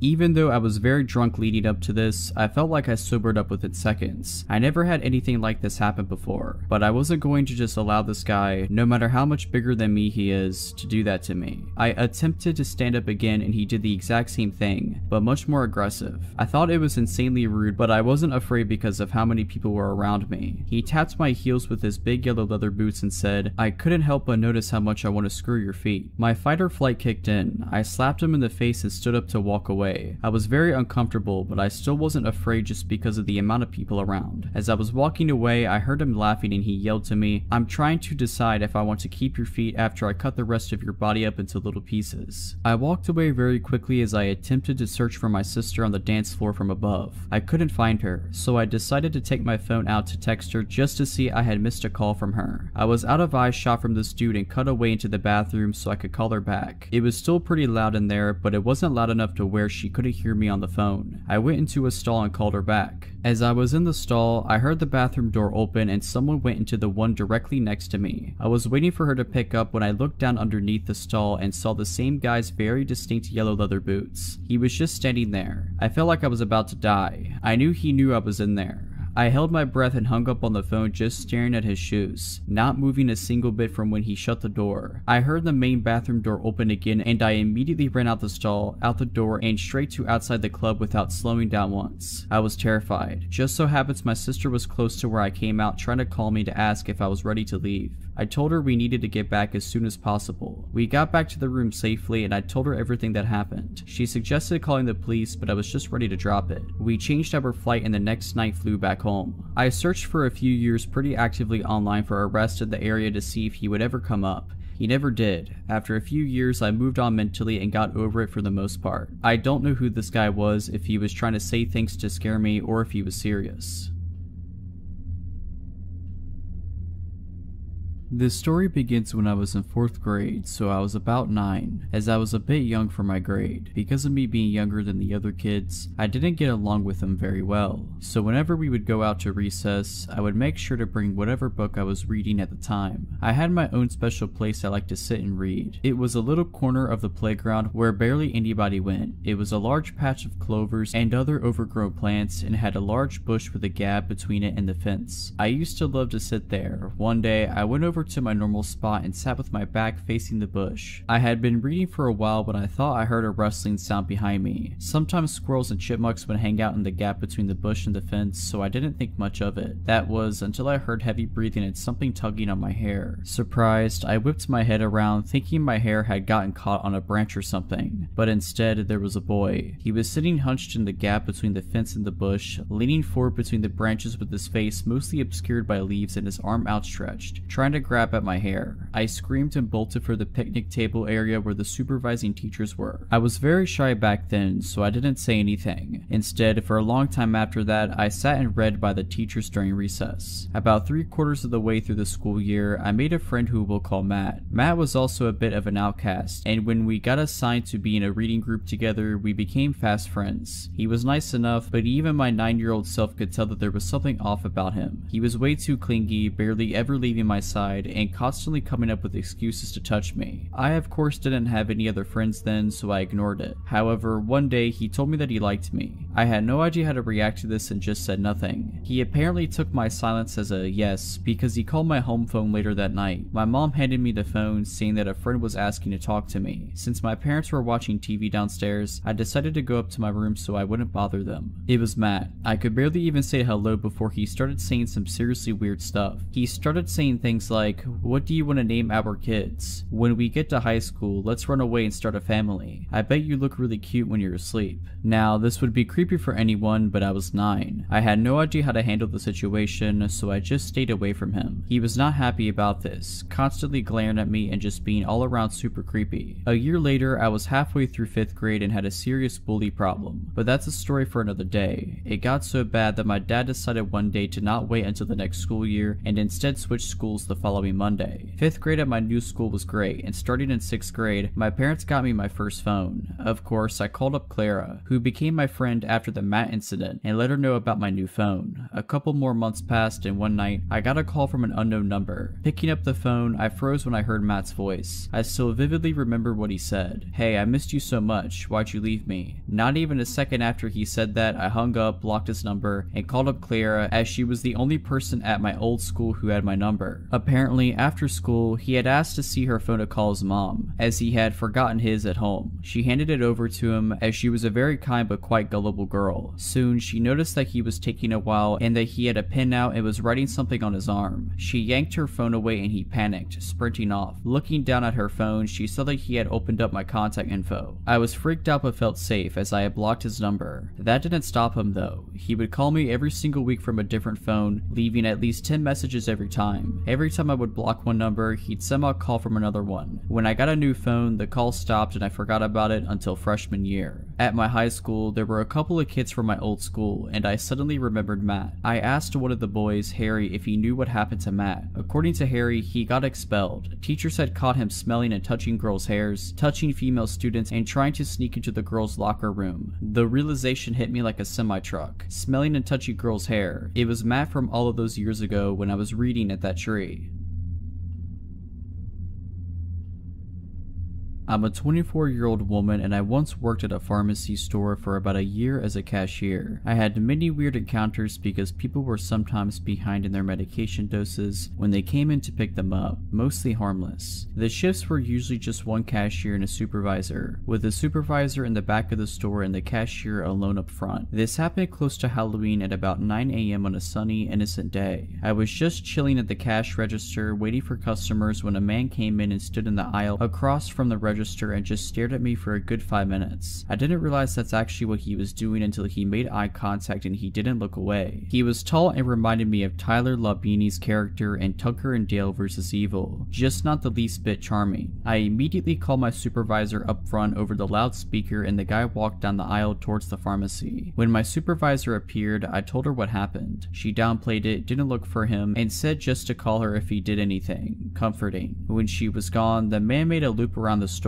and came right to my register with a bag of Halloween candy and nothing else. I tried ringing him up quickly, but he started asking me ridiculous questions about our savings card program and insisting he sign up. I slid him a pamphlet to fill out his information because I did not want to speak to him more than I had to. He just stood there holding the pen and staring at me, then suddenly asked if I knew how trick-or-treating originated. I didn't have time to answer him before he started describing how, back in the day, the men that ruled the country would go house to house every year on Halloween and demand the daughters of every age to be handed over so they could, you know, that was trick-or-treating in his mind. As soon as I heard that, I said, get away from me, and walked to the other register and called my supervisor loudly over the speaker because he was blocking my way to the back. He didn't flinch as he followed me to the next register and started talking about how all women are bad and are meant to serve men. He noted my wedding ring and said my husband could also rent me out because it was his right and on and on. I was considering jumping the side of the register to put some distance between us so I could run. Luckily, the male pharmacist heard the panic in my voice and rushed over to the front of the store. He saw the man and shouted, Jake, get out of here. The man, Jake, just stared at him as he calmly walked out and it was so scary and stupid at the same time. Turns out that Jake had been a regular customer until he stopped picking up his medication. Instead, he would just come in and harass female workers and he'd been on a police enforced ban for over a year. My savior Mr. Pharmacist called the police and the store manager to cuss her out for still scheduling girls alone after everything Jake did in the past, such as ripping a toilet seat off of one of our toilets and threatened to beat a girl with it who used to work there. I quickly transferred to a different location because I just could not get over it and the manager kept scheduling us alone. The police only watched the store for a week. I'm going to tell you the story of a terrifying old creep that had stalked me since I was 16 years old. I'm currently 20 years old. I worked in a restaurant which was inside a bigger shopping center. My stalker, an old man named Eric, worked for the actual shopping center itself and not a store inside it like me. I had one other friend at my job who was my age, and her name was Jessica. Jessica had worked there for longer than I had, and one day she asked if I heard of this guy who worked in the shopping center called Eric. Jessica described Eric as very strange she didn't describe him as frightening or unsettling, or even someone to be afraid of, just as a very eccentric man. Jessica has also told me that Eric had brought her a present on Valentine's Day, chocolate. Anyone would think this was friendly behavior or harmless flirting, if he wasn't a 50-something year old man bringing chocolates to a 16-year-old girl he barely knew. I began to see for myself that Eric wasn't just an innocent old man with a slight crush, he had other intentions. The first time I remember Eric approaching me was when I was filling up a machine near the entrance of my work. This machine was out of the view of all the other employees and the restaurant was empty. Eric wasn't supposed to enter my place of work when he was working at the shopping center, so he had deliberately gone out of his way to come and speak to me. To describe his appearance, he had gray hair with bald patches, and had beady little eyes which he never averted from yours. Eric must have sneaked up on me, as I looked up and he was standing right next to me, a little too close. My name is Lucy. Eric asked me, Lucy, are you married? He almost laughed after he asked me this. He had a smirk on his face. Eric liked to ask me questions that he already knew the answer to, just to see my reaction. I began to clock on to the fact that Eric had been going a little further than just approaching me at work, and instead stalking my social media accounts in the weeks following this first encounter, such as Twitter and Instagram, when he began asking me very specific questions about things I had posted about in the days before. For example, I had posted on Instagram about a tattoo I got, which was in homage to my favorite band. I was serving a customer one day only to be interrupted by a shrill but quiet voice. It was Eric. His eyes were huge and he had a look of pure excitement and menace on his face. He had yet again entered my workplace when he wasn't supposed to, just to talk to me. He asked me, Lucy, what's your favorite insert band here song? I felt creeped out. The tattoo I had gotten was covered by my work uniform, so the only way he could have seen it was going through my Instagram page. I forced myself to forget all about it and carried on working. Over the course of a few months, Eric would come into my workplace more and more frequently, asking me bizarre questions and still reciting back to me things that I had tweeted about or posted on Instagram. Every time I would see him, I would get visibly uncomfortable and he liked it when I got uncomfortable. All while this was happening, Jessica approached me and let me know that Eric had followed her in his car on her walk home from work, slowing down to ask her where she lived. I had also been told other disturbing news about Eric from multiple different people. It seemed as if he was becoming more invested in whatever his intentions were towards me and Jessica. News had traveled to one of my managers about Eric's unsettling actions towards me and this manager informed me that a few years ago, Eric was rumored to have followed a young girl who used to work for our restaurant into a toilet. Things didn't quite make sense to me. He was known for being a creep yet still employed at the shopping center. On one hand, I was glad to know I wasn't just creeped out for no reason, but on the other hand, I was frightened as he'd been doing this for years yet no one had stopped him. There was a woman who worked at the same place as me called Rebecca, and she had some sort of disability which caused her to befriend and be trusting to people without knowing anything about them. It seems that Eric took advantage of her, as he had asked for her phone number and she gave it to him. Rebecca had shown me her text with Eric. He had texted her things like, Rebecca, are you alone? And Rebecca, are you sat on the bus alone? But the most unsettling part of it all was the text from Eric that read, Rebecca, could you please let me know any information on the girls that work at insert restaurant name here? I was stunned. I was constantly questioning why this old man was so bent on finding out everything I do in my life. He had gone out of his way to source information about me through a vulnerable person I worked with, and I was scared he was going to go further. One night I was watching the movie Grease with my family, and I tweeted something stupid like, Grease is my favorite film because it's a great film, right? Anyways, the morning after my tweet, Eric approaches me in his usual way and utters, Do you like the film Grease, Lucy? The same usual smirk lit up on his face. I tried to carry on with my day, but spent the entirety of my shift feeling a little shaken up.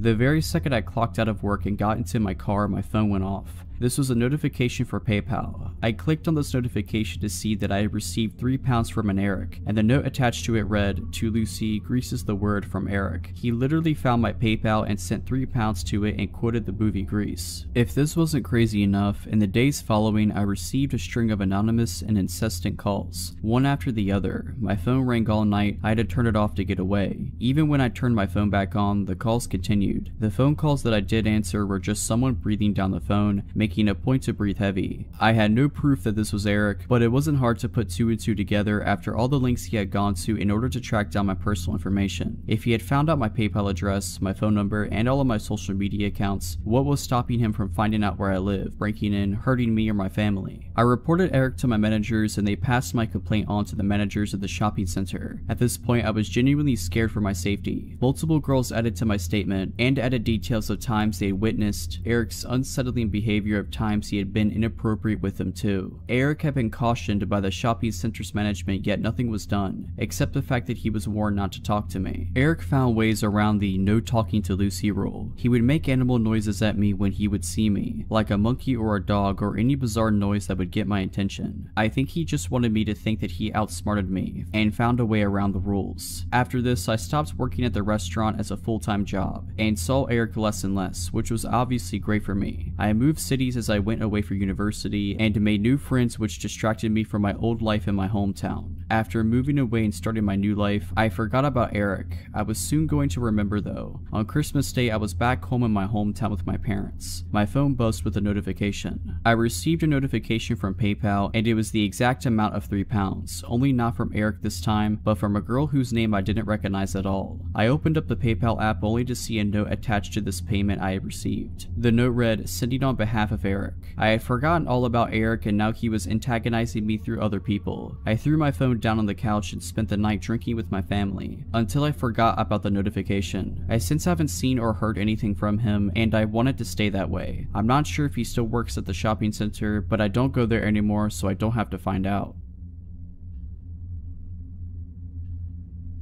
So this was back in 2011. There were four girls living in the house including myself. Parents' Place and I would sublet rooms. First girl was a child friend who moved in to get away from an abusive ex. Second girl applied via online ad and was normal enough except for telling everyone her daughter was actually her niece. Party girl. Third girl was a run-of-the-mill insurance claim processor and quiet type who kept to herself and usually declined any invitation from the rest of us when going out or socializing. Quiet girl. So party girl and I buy tickets to go to a concert at of town. Childhood friend can't get the time off of work and opts to stay behind as does Quiet Girl, no surprise there. So Party Girl and I leave on our trip and spend the night dancing away. Meanwhile, childhood friend comes home from work to find Quiet Girl sitting in the shower screaming slash crying with the bathroom door wide open. She asks if she's okay and calms her down. Quiet Girl says she wanted to make dinner for all of us and Party Girl and I have ruined her cosmic plans. Childhood friend sees spoiled chicken breasts in the sink and thinks, oh she just wanted to do something nice, and offers to go out to dinner together as Party Girl and I will be back tomorrow night and we can all do dinner then. While at the all-you-can-eat Chinese food restaurant, childhood friend notices Quiet Girl is stuffing her purse with food. This is odd. She's not wrapping it in napkins, just shoving it in there. When they get home, Quiet Girl started talking all this crazy stuff that made no sense, and childhood friend gets a little nervous and goes to bed early, locks herself in her room, and nopes out for the night. When Party Girl and I get home the next afternoon, we notice a few things. Childhood friend is already at work, but Quiet Girl is sitting on the living room couch completely naked and has covered her body in the stuffed animals that belong to the rest of us. Rotten chicken is still in the sink and smells strongly of bleach and other chemicals. Knives are laying around it, pictures have been removed from the walls. I go to my room and see all the pictures of my dad have been piled up in the middle of my bed. I ask Quiet Girl about this and she explains I need to be reunited with my father. He died in 2003. Party Girl emerges from her room wondering why her underwear is piled up in the middle of her bed and several other possessions have gone missing. Quiet Girl says she needed them for the ritual and explains we can find what we are looking for in the backyard. We find the charred remains of our things in the smoldering fire pit. We are both angry at this point and demand she explain this behavior. This is where she goes full crazy and explains how our souls are all linked and only through death can our bonds be truly realized. She explains that her and my cat are one soul and that he has been telling her about all of our sins and bad behavior. Also that it's actually her cat. She then full on threatens to end our lives as soon as the last member, childhood friend, has arrived. I grab the largest knife I own while Party Girl and I barricade ourselves in my room in the basement. She calls childhood friend telling her not to come home as it isn't safe and I call 911 as my life has been officially threatened by someone who has clearly lost her grip on all reality. Cops arrive within minutes and ask Quiet Girl her name. At this point she just starts screaming her first, middle, and last name repeatedly, over and over again, will not stop. My cat is trying to sneak out the front door and I ask one of the officers to grab him. She begins to scream that it is her cat and not to touch him. I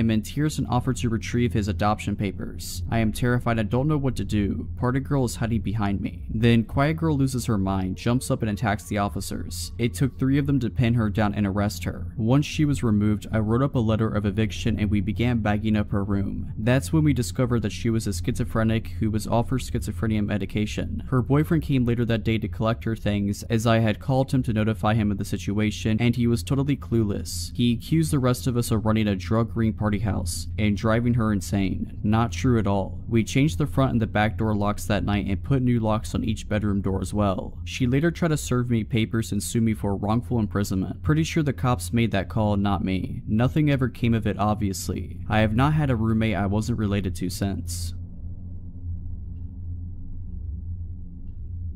This happened about two years ago when I was 22. After work, I stopped at a local convenience store to buy beer. The cashier looked familiar, but it's a very small town, population of 6,000. He acted odd. I asked how he was doing to make small talk and he just stared at me. I instantly felt uncomfortable, so I only glanced at him a few times before I left. I arrived home 10 minutes later and decided to browse Facebook. I had a friend request. The guy looked familiar. He was a local, so I accepted him. A few hours later, I realized it was the cashier. He'd got my name off of my ID and added me not even 5 minutes after I left. I told my boyfriend we agreed it was weird. A few days later he came into my work. I asked my boss, she'd never seen him in there before. He grabbed milk and initiated small talk with me. I felt uncomfortable. He asked if I remembered him, told me his name and that we'd been good friends in high school. We never said two words to each other. I was trying to be polite, told him yes, I remembered. After a few minutes, my boss pulled me in the office. She was watching through the window and could tell I was uncomfortable. It was a small pharmacy pharmacy and we were all close. He started coming in every few days. If I wasn't there, he'd ask for me. After a few weeks, my boss would pull me in the office whenever he'd walk in. All the managers were briefed and did the same. That was all they could do until something happened. Then he stopped coming in. We didn't see him for a few weeks. I was relieved and went about my business. I was allowed to carry my cell phone on the floor. My mom was very sick, so if she needed anything, the managers were fine with her calling me. I got a text from a random number shortly after. I asked who it was and they replied, replied, You don't remember? You gave me this number. It's my stalker. I'll call him George. My heart started pounding. I sent a polite, short message back. After I work, I checked to see if my phone number was anywhere on my Facebook. It wasn't. George started messaging me daily, calling me babe. I was freaked out to say the least. My boyfriend was working out of town with limited cell reception, so I couldn't let him know what was going on. A few days later, I got a message from an old classmate I still talk to once in a while. Hey, did George ever get a hold of you? He said there was an emergency and needed contact you. Is everything alright? I broke down crying, finally acknowledging that yes, I was being stalked. I didn't know if he was violent and he knew where I worked, so I sent him something like, hey, I just wanted to let you know that I have a boyfriend. I didn't want there to be a misunderstanding between us. That's when it got bad. He called me a liar, telling me he doesn't know why my ugly self would even think he was interested in me. No man would be interested in your nasty self. I asked him to leave me alone. The insults got worse. I shut my phone off and tried to ignore him. A few hours later, after calming down, I turned it back on. The last message he sent read, I know where you work. I know where your house is. I could kill you in your house. Try to call the cops on me. I'm in New York right now. Do it. They can't protect you. Obviously not as legible. I could tell he was mad and wrote it in haste. I called a friend and explained, show, showed her the text. She took me down to the police station where I showed them the text. I filed a report and later got a restraining order against him. Turns out he already had two other restraining orders from girls he'd done this to as well. My boyfriend came back a week later and I told him what happened and had to stop him from hunting him down. Last year, he tried getting my number from a friend over Facebook. She blocked him. I haven't seen or heard from him since thankfully. There have been very few times in my life I've been that scared. For some context, I'm a 32 year old female. This happened to me when I was about 25 or 26. I work full time as a researcher at a university, which is where these encounters took place. I'm not a professor or anything, and because of my age at the time, I could have easily been mistaken for just another student wandering around campus. On some days, when the weather was nice, I would prefer to spend my lunch hour strolling around the university grounds outside, or sitting underneath a shady tree on a bench, enjoying the time I was not sitting in a cramped corner of a lab lab. On one of these days, I was sitting on a bench enjoying the fresh air, and a male student walking by asked if he could sit next to me. I'm a pretty shy and awkward kind of person, so even though I really would have preferred sitting alone, I said sure. He initiated simple conversation to which I obliged, but being careful not to be too forthcoming. He mentioned he had seen which department building I came and went from, which slightly alarmed me, given I had never seen this person in my life but I pushed the thought from my mind. After all, the weather had been decent lately, and I had nearly spent all of my lunch hours for the past week outside. He asked if I was studying within the mentioned department, to which I told him I was not a student, but rather I worked there. He told me he was an engineering student and then followed up with asking me out to coffee sometime. I apologized and told him that I had a boyfriend and would have to decline. We parted ways after that, and I assumed I probably wouldn't see him around again. About a week or two went by, and I was spending another lunch hour outside on campus, sitting on a different bench somewhere, seemingly out of nowhere. The same man from before asked if he could sit next to me again. Admittedly, I don't remember what he started talking to me about at first. My mind was reeling and I was rather uncomfortable having to potentially turn this guy down a second time. Sure enough, he asked me again if we could go out for coffee sometime. I apologized and reminded him that I had a boyfriend and I would not be meeting him for coffee. And again, he left after that. I was feeling rather anxious now, but it still hadn't reached a level where I felt I had to be too concerned. A few days later, I had finished work and was leaving the building to walk to where I had parked my car. The university charges a fortune for parking passes, even if you're employed by them, so I had always opted for free street parking about a 10 minute walk away from campus. My walking route would take me down several quiet residential streets, with minimal car traffic. Even pedestrian traffic was pretty sparse on the busiest of days. It wasn't until I was about halfway to my car, down one of these quiet back streets, that I noticed someone walking directly across the street from me, but keep keeping a few faces behind. I noticed him from my peripheral vision and didn't want to flat out turn around to stare at him. It wasn't uncommon to see someone else by any means, I was just always trying to be aware of my surroundings when walking the streets alone. I had to make a few turns coming up anyways, and the chance that they would be going the same way as me was slim, but he did. He made all the turns I did, still walking on the sidewalk across from me, a few steps behind. I still did not want to look at whoever this was. I didn't want him to know that I was aware of what I thought he was doing. I quickened my pace to a speedy walk.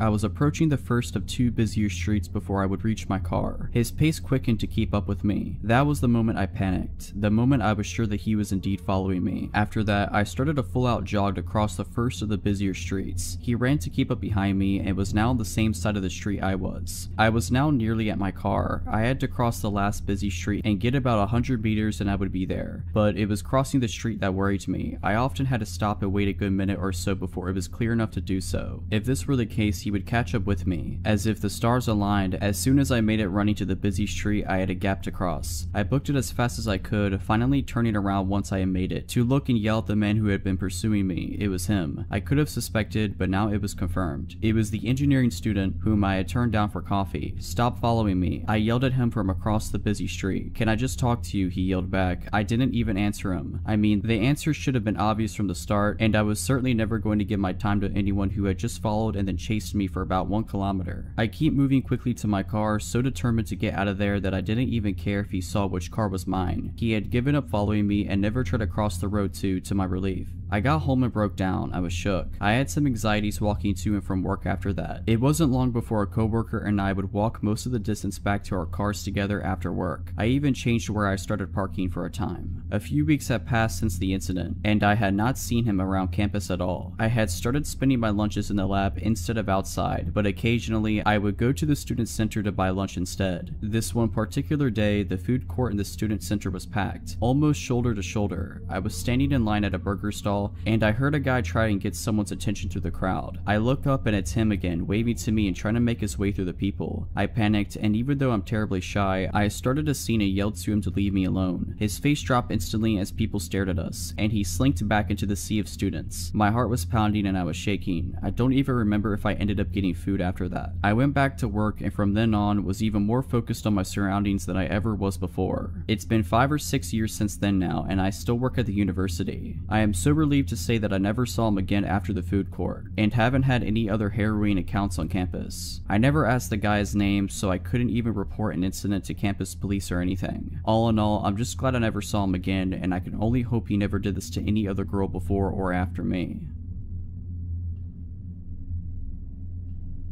When I was in my early 20s, I moved to Southern California with my aunt. Once I had a job established and steady income, I found an apartment that was super affordable at $350 a month, plus utilities, the first red flag because California is not cheap. The other residents in the apartment was a 45 year old male named Zach and a 45 year old female named Tina. They weren't a couple. Tina was a little difficult to deal with, very OCD on a lot of things, and we mostly avoided each other. But this story is about Zach and his friend Mike, also 45 years old. Mike and Zach were childhood friends, and Mike lived in the same apartment complex as us, so he was over a lot. Every time I would come home from work, they would be polishing off a handle of vodka and then would go out. I wasn't super comfortable in the living situation, but it was cheap, and I was in school, and I tried to make the best of it. I got along with Zach for the most part if it was just him around, but Mike was just a time bomb. Here are just a few instances that just gradually got worse over time. The first incident. Zach invited me out with Mike and another friend of theirs out to a local bar a couple miles away. I was comfortable around Zach and I got into the passenger side of the truck. I didn't have any negative interactions with anyone until this point. Mike went ballistic in our complex parking lot about how I was selfish and had no business in the front seat because I wasn't Zach's girlfriend, etc. It was weird because a man the same age as my dad was throwing a tantrum over the passenger seat, so I just got out and went back to my apartment. My first rent check bounced. I apologized to Zach and discovered that my checks had misprinted the account number. I paid in cash and paid off the bounce check fee and thought all was okay. Until I got home one evening and Mike was over as normal, but starts interrogating me on why I couldn't pay my rent. I was only 22 at the time and didn't really want issues, so I was just like, hey, I apologized and took care of it. Even though Mike didn't live in the apartment, he would not let this go. He would just scream at me saying I was lazy, that I should be evicted and on and on. It's also important to note that Mike and Zach both had two DUIs. Zach was a school teacher and ended up being let go because of the DUIs. However, both men continued to drink excessively all the time. I also had to have a key made for the lock on my bedroom door because it would get violent a lot and that was my safety net. A lot of other instances happened, but this one takes the cake and is the point to the story. Zach and Mike had gone out and took an Uber to whatever local bar. I had gotten home and went straight to my room as always. I hear the front door swing open and Mike was pissed drunk screaming his head off about how he lost his new iPhone. This guy starts beating on my bedroom door demanding to be let in because he knew I had his phone. I cracked my door open and he had stepped away from the door with his fist balled up like he was going to hit me. I told him I didn't have the phone. Mike circles back to the one time, months prior at this point, that my rent check bounced and I obviously need money. He demands that he come into my room and tear my room apart looking for said phone.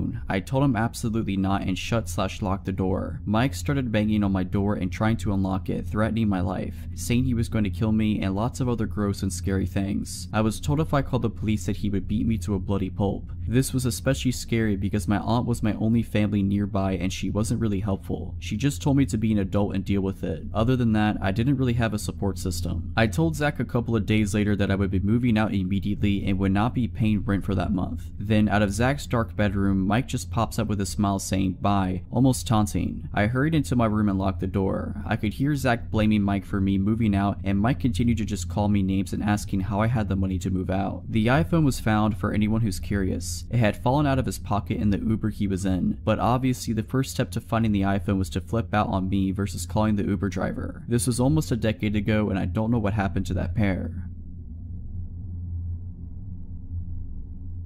About two years ago, I worked at a movie store inside a mall. I was 20 at the time. This guy was over 6 foot, late 40s, very hefty, and always had this weird zombified expression on his face. He came in about once a week. One of my coworkers had even warned me about him, how he was a little off, but I still treated him with as much respect as I did everyone else. One day, he came in and we talked for a bit, but it got a little awkward and I kept trying to end the conversation and look busy by tagging items behind the counter. He stood there in silence, watching me for about 20 minutes and finally left. A few days later, he comes back in and walks up to me, holding a large container. He says, I made 4 pounds of enchiladas at home today, just for you. I remembered you like Mexican food. I don't remember at all telling him that I liked it, but I do know that I went to the Mexican restaurant across the way every lunch break. I just politely accepted it and put it in the back office. Another few days later, he came back in and had a drawing for me of a dragon. Now, I love dragons, but I never told him that. This drawing looked like it took took hours to make, and at this point I was a little freaked out. I had him leave it on the counter so I could just throw it away later. Later on, I was given about a week vacation. During that week, I cut my hair about 12 inches. The day I came back, I got a shift with my manager. I told her all about the guy, and immediately she was weirded out for me. A few minutes later, I see the dude walking around in the mall. He was going towards the exit and didn't look at me once. My manager tells me to go back to the office. I go and wait until she comes to get to me, and when she does, she tells me I need to make a report to mall security immediately. Apparently, when I ran back there, he turned around to come in and walked all throughout the store. When she asked him if he needed help with something, he said, I can't believe she cut her hair, and briskly walked out. I go to the mall security office to make a report, and we went through all the videos from the cameras of when the guy came to visit me, but there was one video that really stood out. The video shows him pull into the parking lot of the mall, and about 3 minutes later I arrive. This was really early in the morning and no customers were here yet, but there were cars in the lot. I didn't notice him at all. It shows me walking through the entrance and him following me. Right as I open the entrance door, the man starts sprinting towards me. I walked inside just in time. It shows him stop and just stand in front of the door, watching me through the glass walk a little further away. He begins walking normally inside the mall. I never noticed him behind me. That part really screwed me up. The video gave the security every reason to ban him from the mall and they did. They later told me they gave him a background check and he had 4 counts of stalking with restraining orders from different girls on his person and was on probation. If you're liking this video, all I ask is that you make sure to subscribe to my channel and like this video. Thank you.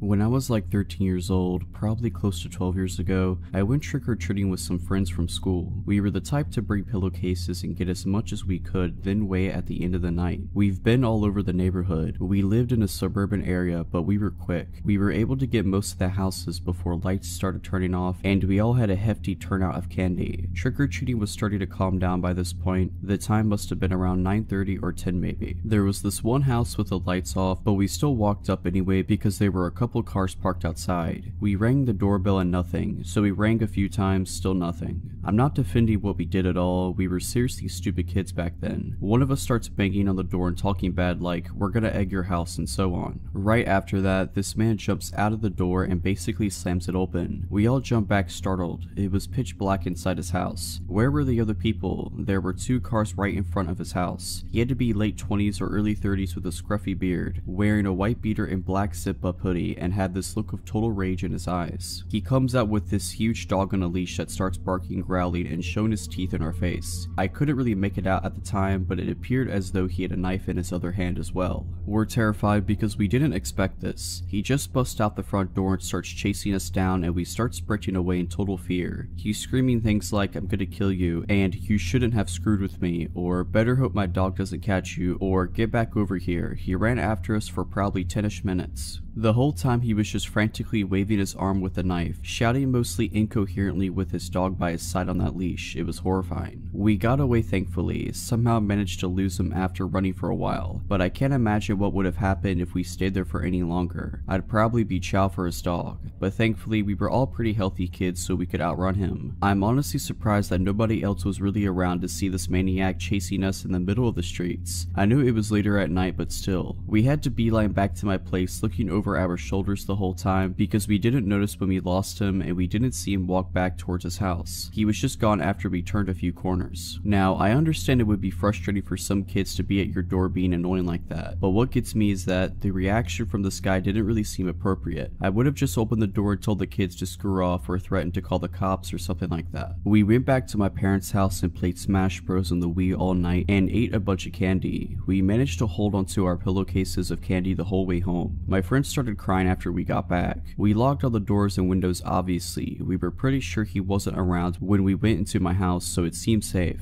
That guy's house was right in front of the middle school I went to and I had to walk right by his house to get to school every day. So fearing for my safety, I told my dad. We went back to that house the next day to knock on the door. In hindsight, we probably should have called the cops and let them handle it, but my dad is a confrontational no BS type of guy, so we went over and knocked on the door. This time there were three cars in front of the house. This mother opens the door and we could see inside their kids watching TV. When we told her what happened, her face went pale and she immediately rounded up her family and got got them outside, fearing this crazy person might still be in her house. She told us that her family went out to another friend's house in the city next to ours for Halloween that night to do all their trick-or-treating. They didn't get home until the next morning because they stayed the night there. It was at that point that cops were called to search the house while we all stood outside. They didn't find anything though, no trace of him turned up. He must have been long gone by then. It turned out that the guy was able to get into their house because there was a window unlocked in the daughter's room on the bottom floor near the front door. Luckily, nobody was in the house that night. The only notable thing the woman could tell the police was that she noticed a car with dark windows parked down the street for a while but didn't think anything of it. He must have been posted up in there with his dog scoping out houses and noticed this whole family get in a car and leave and figured that would be a good opportunity to make his move. So who was this guy? Nothing was stolen from the house, and nothing looked ransacked or the family obviously would have noticed. The family said the front door was still locked when they got back too, so he must have locked it again and went out through that same window to cover his tracks. I'm pretty sure this was before those ring doorbell cameras were popular and I don't think they had any security cameras set up either. I'm not sure to be honest, maybe he was just a drug addict and didn't have a reason for any of it. His eyes did seem pretty crazy and wide open, like he was strung out on something.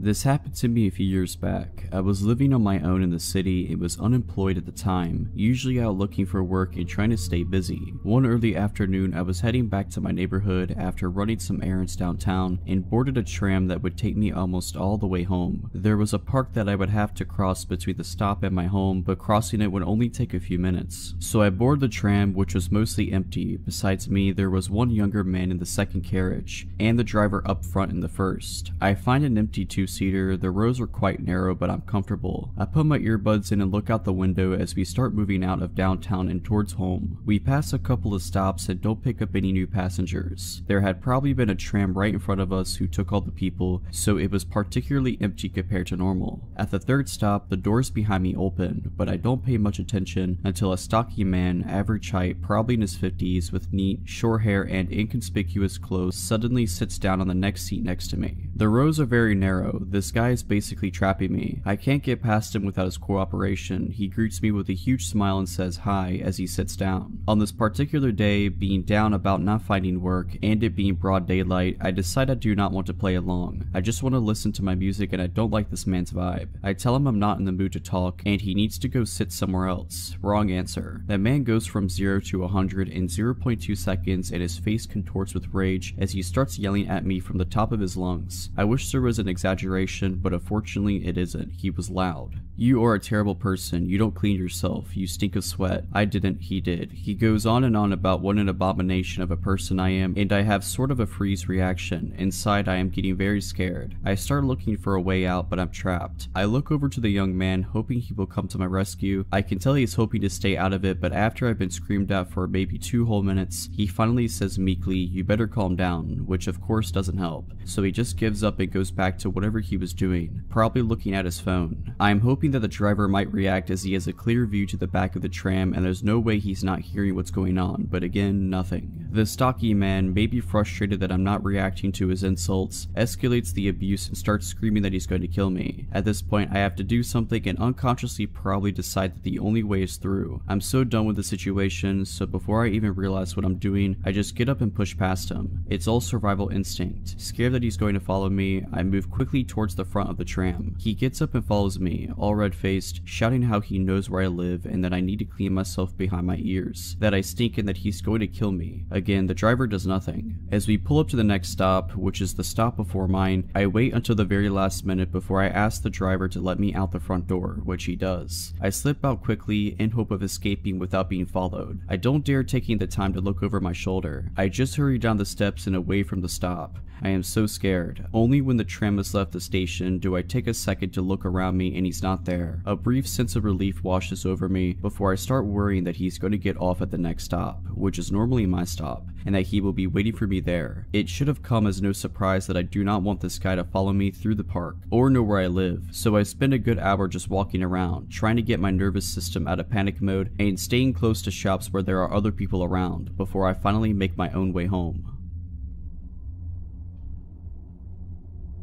This happened when I was 21 years old, and I am fully aware I made a lot of poor decisions in my younger days. I am very lucky to have survived, and here's one of my stories. I have just met with a cousin at the mall I hadn't seen in a long time. At this point, I had been living in South America for about a year and had started feeling overly confident. I have been told many times about the dangers of taking a taxi from the street. Some people always take them and some people never do. It's obviously never worth the risk, but I look obviously foreign and I should have known better. My cousin says, I always take street taxis, I'll find us a good cheap one. This was my first time ever taking a street taxi. She finds one and waves me over, looking back, I am flabbergasted as to how I got into an all black car. Again, these cars could just be normal taxis, they exist, but it's even more riskier than taking the yellow ones. The first red flag was how silent he is. After chatting away for some time, we realized it was taking far too long. I could see the smile in my cousin's eyes fade as we both realized at the same time that we are nowhere near home. She asks him, where are we going? And he mumbles under his breath, not really saying anything. We both know at the same time that something is very wrong. I remember vaguely thinking we had just went into a circle and wondering why he'd waited so long to rob us. It had to have been over 30 minutes. He finally gets off a highway and stops the car just past the ramp and we are on a very quiet street. He opens his dashboard and pulls out a gun. I'm terrified to say the least, in that moment all you think about is surviving. A car drives by and he yells, don't turn your head. He then tells us to give him everything we have. I take off my backpack and even my jacket out of panic. He orders us to hand over our phones, which we oblige. He then says, I will let you go, but if you turn around to look at my license plate, I will come and kill you. He lets us out of the car and we run for it, but we are in a very, very bad area. I'm dressed inappropriately for the area, especially after handing over my jacket. A foreigner wouldn't dare come here. Everyone on the streets was staring at me up and down and one man yells, aren't you going to get cold? I try to cover myself with my hands as I felt so unsafe. We ask a couple of people to try and contact for help, but what do you know, they have no more minutes on their phone. In South America, it can be very dangerous and very poor. We find no police, but we do find security patrol people. They take us back to their office to contact the police, only for them to tell us we have no data and the phones are broken. So my cousin and I keep walking. It's the middle of the night and we are again in some obscure area. An hour must have passed by now. Then we see a police car and we are running for it. We tell them we had just been robbed and they ask, did you get a license plate number? I reply, no. The police officers shrug and say, he's probably at the club now celebrating all the money he made and proceeded to laugh. I then asked to use their phone to have someone come pick us up to which he says, hurry up, I don't have much data. We get home, but I find out that the person who robbed us used my cousin's phone to contact her family. Luckily, she was already with her parents at the time when they called, but there was a woman in the background crying hysterically, faking to be my cousin and they were trying to get a ransom from her parents. He was never found and nothing was done. I wonder what would have happened if it had just been one of us, and I am grateful that nothing more sinister happened. A week later, my friend and I are ordering a taxi, the safe way of course. While we are waiting, a similar black car pulls up next to us, asking if we need a taxi. We immediately say no. As he drives off, I turn to look at his car, and what do you know, he has no license plate in broad daylight. I'm not insinuating it was the same person, of course it wasn't, there are over 10 million people in the city. My point is that it happens a lot in South America and never to get too comfortable. This experience made me realize what it's really like to live in a developing country, even if you have money and stay in good areas. You always need to be high alert and no one is immune to the constant fear of, will I be robbed today?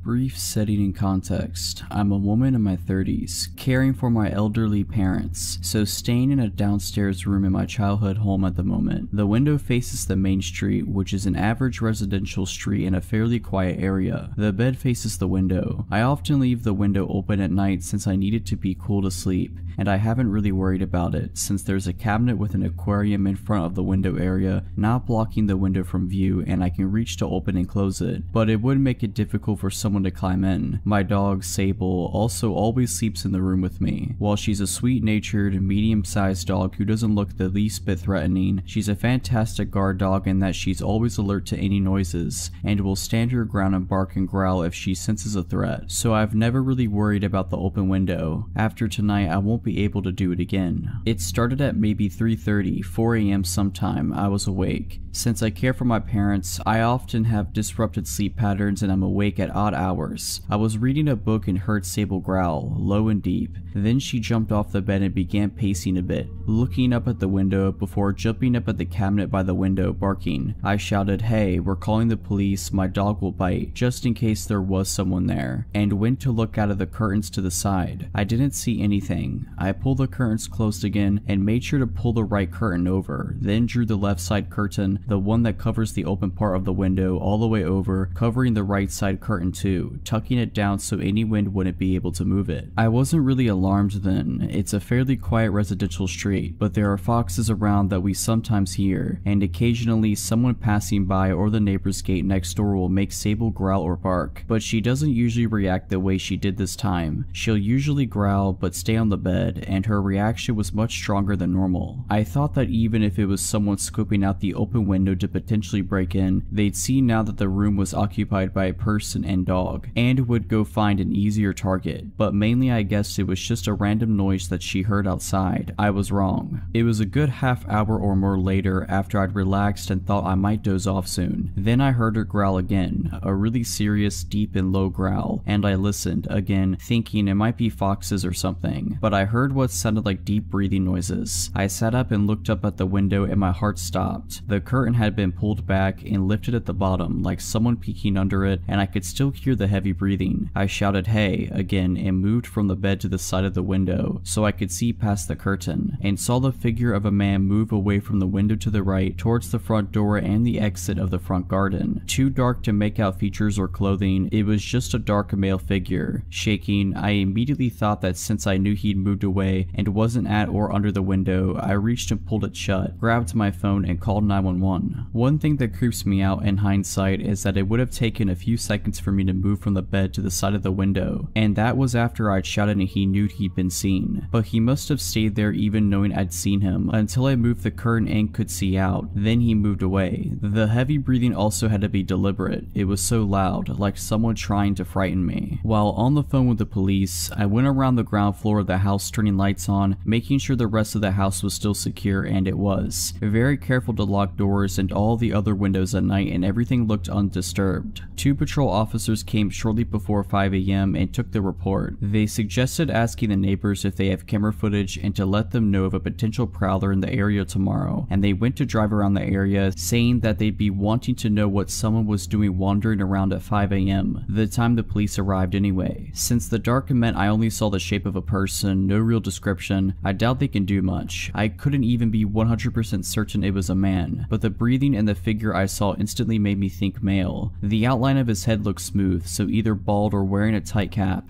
and height would have been probably around 5'8 to 5'10. I'm still shaken but feeling angry and violated, and wishing we had a camera system now. We'll be looking into that. I never thought anything like that would happen. Don't have any enemies, no recent exes, no one I know of harboring any grudges, since I'm caring for my parents full time now. I'm not out socializing or making any enemies, nor are my elderly and disabled parents. I have to think it was someone who was looking to break into a house, but for the fact that they came back so much later, maybe someone on drugs or having a mental health episode. There's a passage around the side of the house to go from the front to the back of the garden with only a small side gate, meant to keep the dog confined, not designed to keep others out. It would be easy for someone to access against the back of the house. They were bold enough to come back a second time, even knowing a person and a dog were in the room, perhaps hoping I would have fallen asleep by then maybe.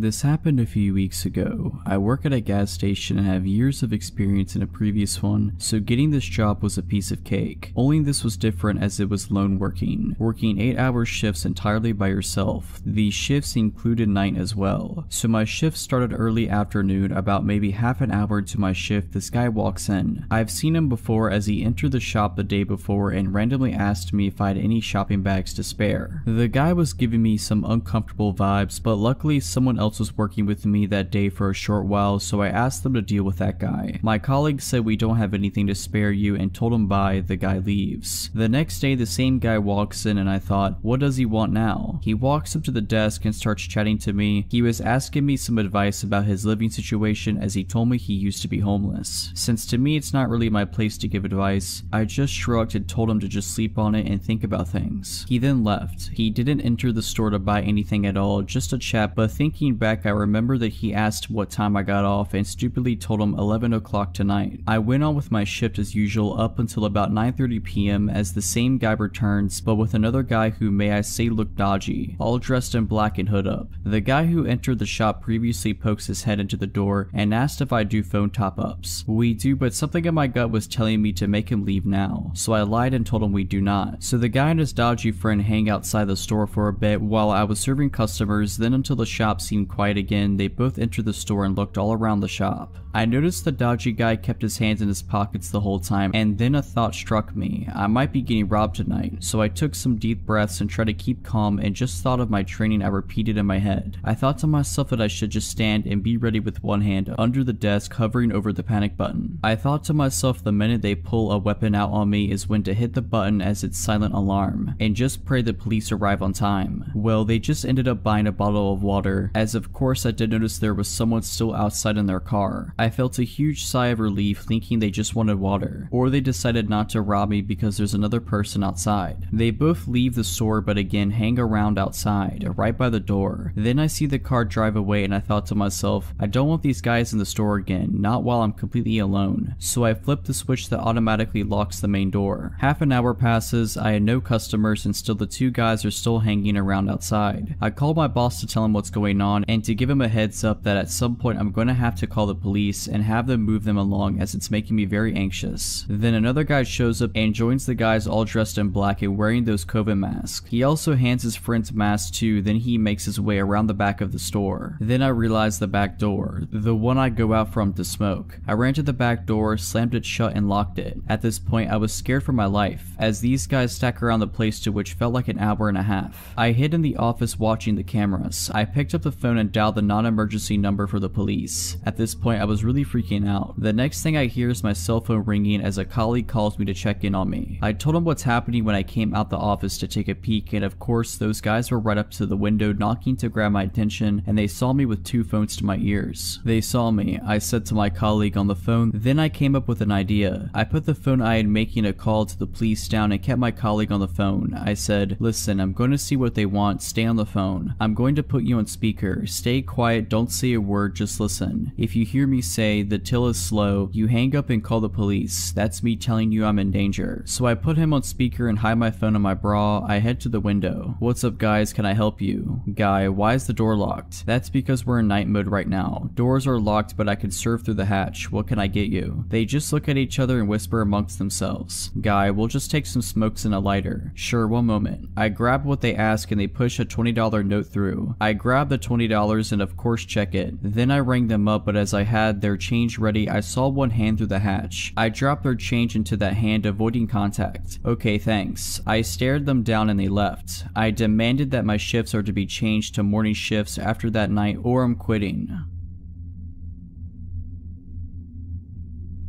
Back when I was around 17 or 18, I would go out to parties with my friend at night. It was my best friend at the time, Ivan, and his cousin Caesar that would invite me out that night. I had been talking to a friend of Ivan on Facebook about meeting each other. This girl had a birthday party that day and invited us all to join her. So I took a bath, got ready, and my friends pulled up for me in a small car. I said bye to my mom and got in, and we went to buy beer for the night and a pack of smokes for everyone. Back then I would smoke a lot. My friend told us that he had been in contact with this girl on Facebook and that she accepted to come to the party with him tonight. We were all impressed and happy for him. We pulled to her house and parked near a park to wait for her. I remember a group of people walking around the park, but since they seemed our age, we weren't too bummed out. My friend called her to come out and my friend Caesar stepped out for a smoke. I was sitting in the back not wanting to come out because of these guys outside. They seemed to be asking for trouble because they begun to argue about something really dumb with him. So my friend Ivan told me to step out just to have his back in case anything went down. We went to the party and had a great time. I hit it off with the girl I was talking to and later found out she kissed pretty much every dude that was there before me. Nevertheless, I was still grateful for the opportunity and said goodbye. As we headed back to my house of my friend's date, she seemed very quiet. I knew they hit it off during the party but now looked stiff and even scared. My bud and I were riding in the back to let them have the front to themselves but she was just nervously looking at her phone. When we arrived, she wanted to get out and my friend trying to score points said, wait I'll walk you in. She did not like this and said just go. We were a bit buzzed in the back and wanted to have a smoke so we all stepped outside and watched them go to her door. I remember laughing about something with my friend when the mood suddenly became so dark. She started screaming go now, get out of here. A car pulled out nearly in front of us and people with bats and blunt instruments got off so fast I barely remember how I got back into the back seat. The girl said something along the lines of leave them alone and held him while a bunch of dudes got out. My friend Ivan got into the driving seat and started the car. Thankfully it started right up without trouble but a big bottle of liquor then hit the windshield cracking the top corner. I saw some guys come from the right side of the car where we were standing and quickly went to the other side to let my friend have easy way in into the back right seat. As I turned the corner I saw this massive looking guy come up to me and barely had time to close the door and pull the lock down. Dude was punching my window. My other friend wasn't so lucky since he actually got hit in the head and had barely made it in the car. He couldn't even close the door because one guy was grabbing his leg. All of this happened in the span of 6 seconds. I acted all out of instinct and thankfully we got in and my friend stepped in the gas while zigzagging in case they would shoot at us. We were all scared and wondered what had happened. As we got back to our neighborhood my friends were fuming. Both of them knew their way around the fight and could hold their own. Thankfully I still had some cash left and told them we should go buy some illegal beer at midnight and tried my best to calm them down and convince them to not go back. My friend Caesar had actually woken a dude up in the middle of the night with a phone call and the man was ready to show up and throw down. After a few beers and a lot of talking, I convinced them it wasn't worth it and to just let the night end. I got home and my parents never found out and I just fell asleep. The next few days my friend Ivan called me and told me that the girl's ex-boyfriend was actually a lead gang member. My heart dropped out of my chest. We had been seconds away from getting beat down and maybe killed by a bunch of people for a date. If it wasn't for our quick reaction and her backing them up a bit, we may have not made it. All I can say is trust your gut and your instincts in the end. It can all happen so fast. Many years ago, before kids, rescue animals, a mortgage, and a husband, I was a travel writer in Europe. I did most of my trips alone. This story is about the first time I visited Prague. I had never been to Prague and the trip was last minute so I had little time to prepare. My travel partner had dumped me in another country and I was determined to make the best out of my trip by visiting a place I'd never been. Upon arrival at the train station, I visited the accommodation office and asked for a hostel not far from the center. In my early 20s, winging it was part of the fun. These days, I'm far less adventurous. The hostel they sent me to was a sprawling, crumbling, slate gray, art decoration building on a nondescript street about a 10 minute walk to Stare Mesto. The inside was probably beautiful at one time, but by the time I checked in it was full of shabby, mismatched furniture and cheap stained carpet. Most of the light fixtures were broken, leaving everything but the lobby dark and gloomy. It smelled of standing water and dust. I found my room, a double for $12 per night, and made note of the fact that I had a roommate. She wasn't there, but on her side of the room there was a suitcase, dressed neatly folded across the back of a plastic chair, a scattering of makeup containers on the beat up desk, and a stack of German fashion magazines on the bed. As I had no plans or goals on this impromptu trip, so I spent the afternoon exploring Old Town Square, the Jewish Quarter, and Wenceslas Square. I purchased some Czech crystal for my mom and painted eggs from a street vendor for myself. I also made reservations for a sunset dinner cruise for one. At around 6 p.m. I returned to my room to shower, change clothes, and unload my purchases. When I left my room about an hour later, there was no indication that my roommate had returned at any point during the day. After the cruise, I stopped at a tiny bar in Tinska and had a glass of wine. It was nearly midnight when I returned to my hostel, so I was surprised to find that my roommate still hadn't returned. That wasn't uncommon though. Backpackers are a fickle lot. She could have gone on a short overnight trip and just left her stuff behind, hooked up with someone and was holed up at their place, or hanging out at another hostel, so I was surprised but not concerned. I took another shower before bed, however, and was surprised to find that things in the room had changed up in my return. Her bed was neatly turned down, the magazines had moved to the nightstand, and the dress was gone. The strangest thing though was the addition of a pink silky nightgown spread across the bed, my bed. Maybe she thought she still had the room to herself. I didn't see how, my shopping bags, clothes, and toiletries were in plain view. I gently moved the nightgown over to her bed and then settled in for the night as I wrote in my journal. I assumed she was in the shower or somewhere nearby, so I expected her to return shortly. After about an hour though, her side was still empty.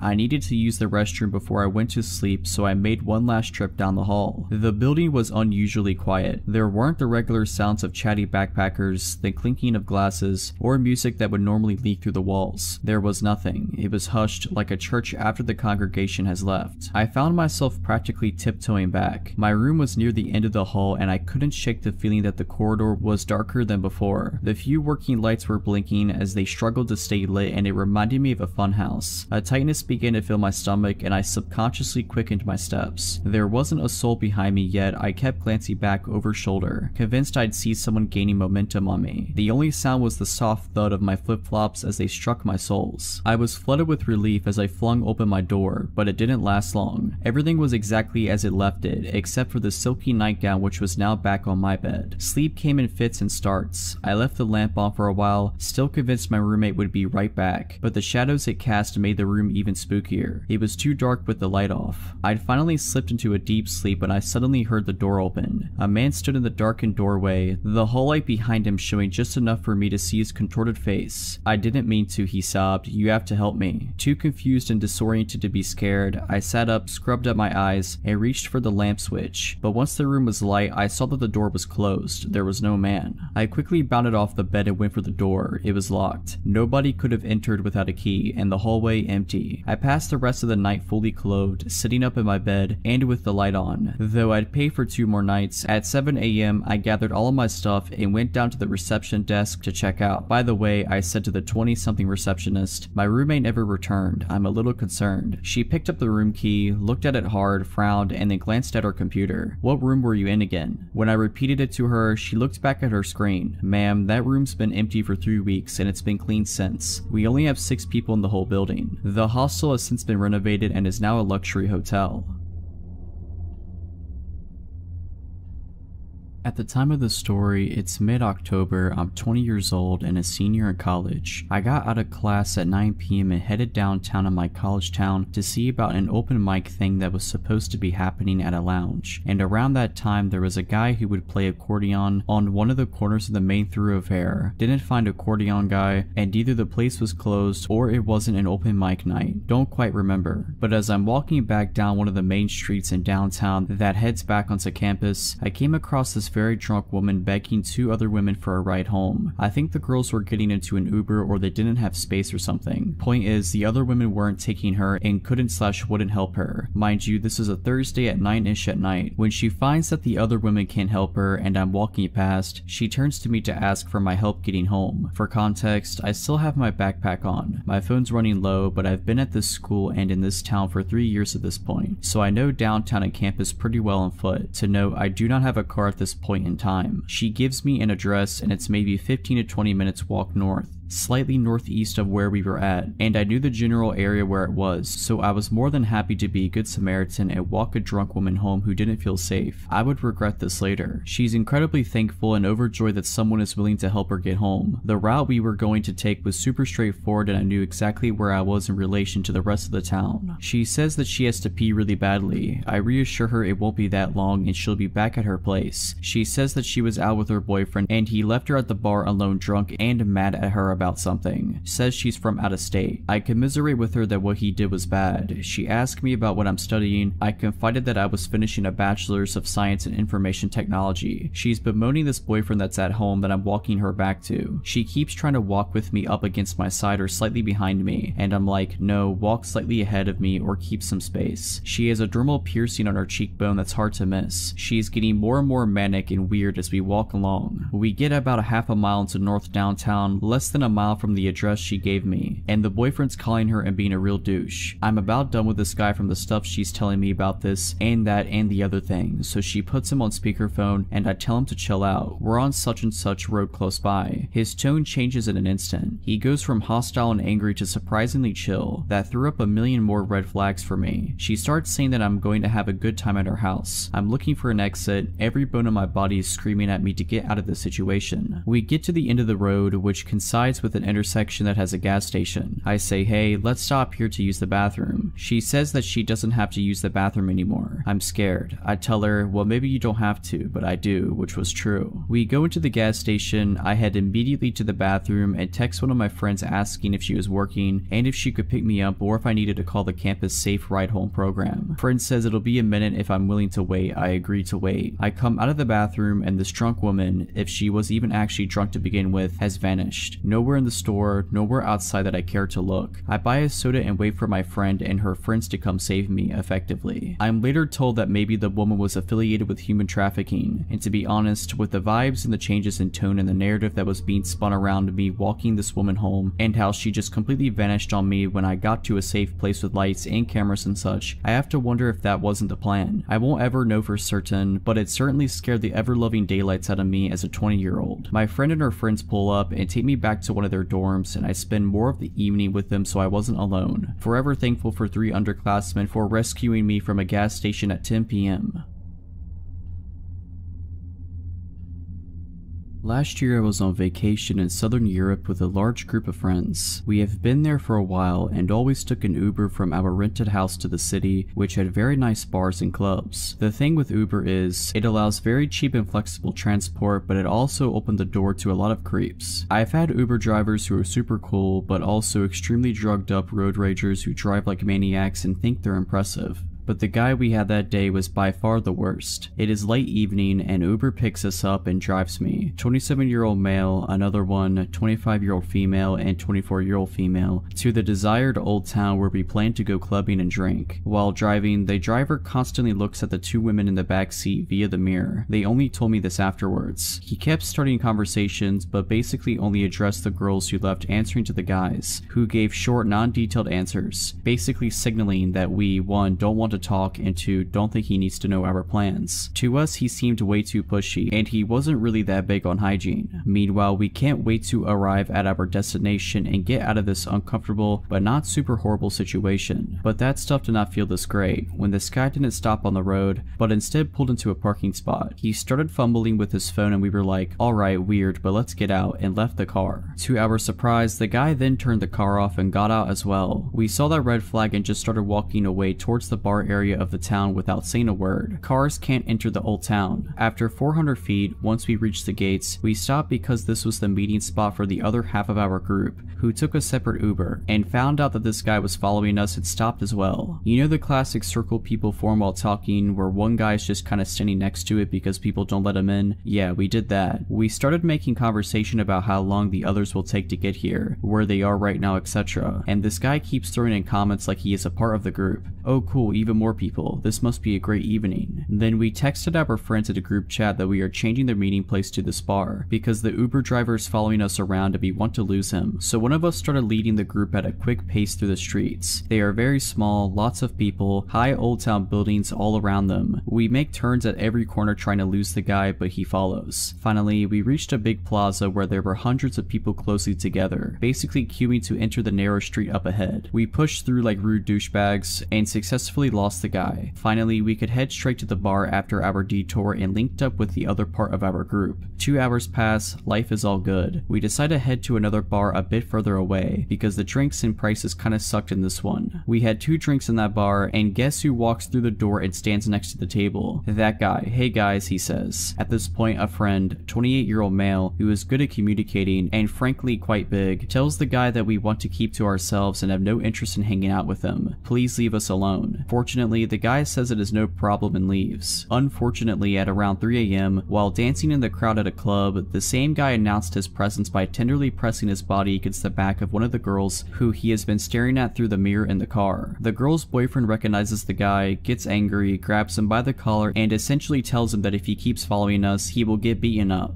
A bouncer sees this and approaches them. I start talking to the bouncer, who is super annoyed by anyone intervening at first, but after hearing how this guy stalked us from this car to this club, he just asks the Uber guy a few questions, then proceeds to throw him out. We stayed a bit longer than we wanted, in hopes of him not waiting for us. After that, we reported the guy for being a creep in the app and called another Uber, which thankfully wasn't him. Alright, but that's it. I hope you enjoyed this video. If you did, make sure to subscribe to my channel, like this video, and comment something down below. But as always, Have a nice day.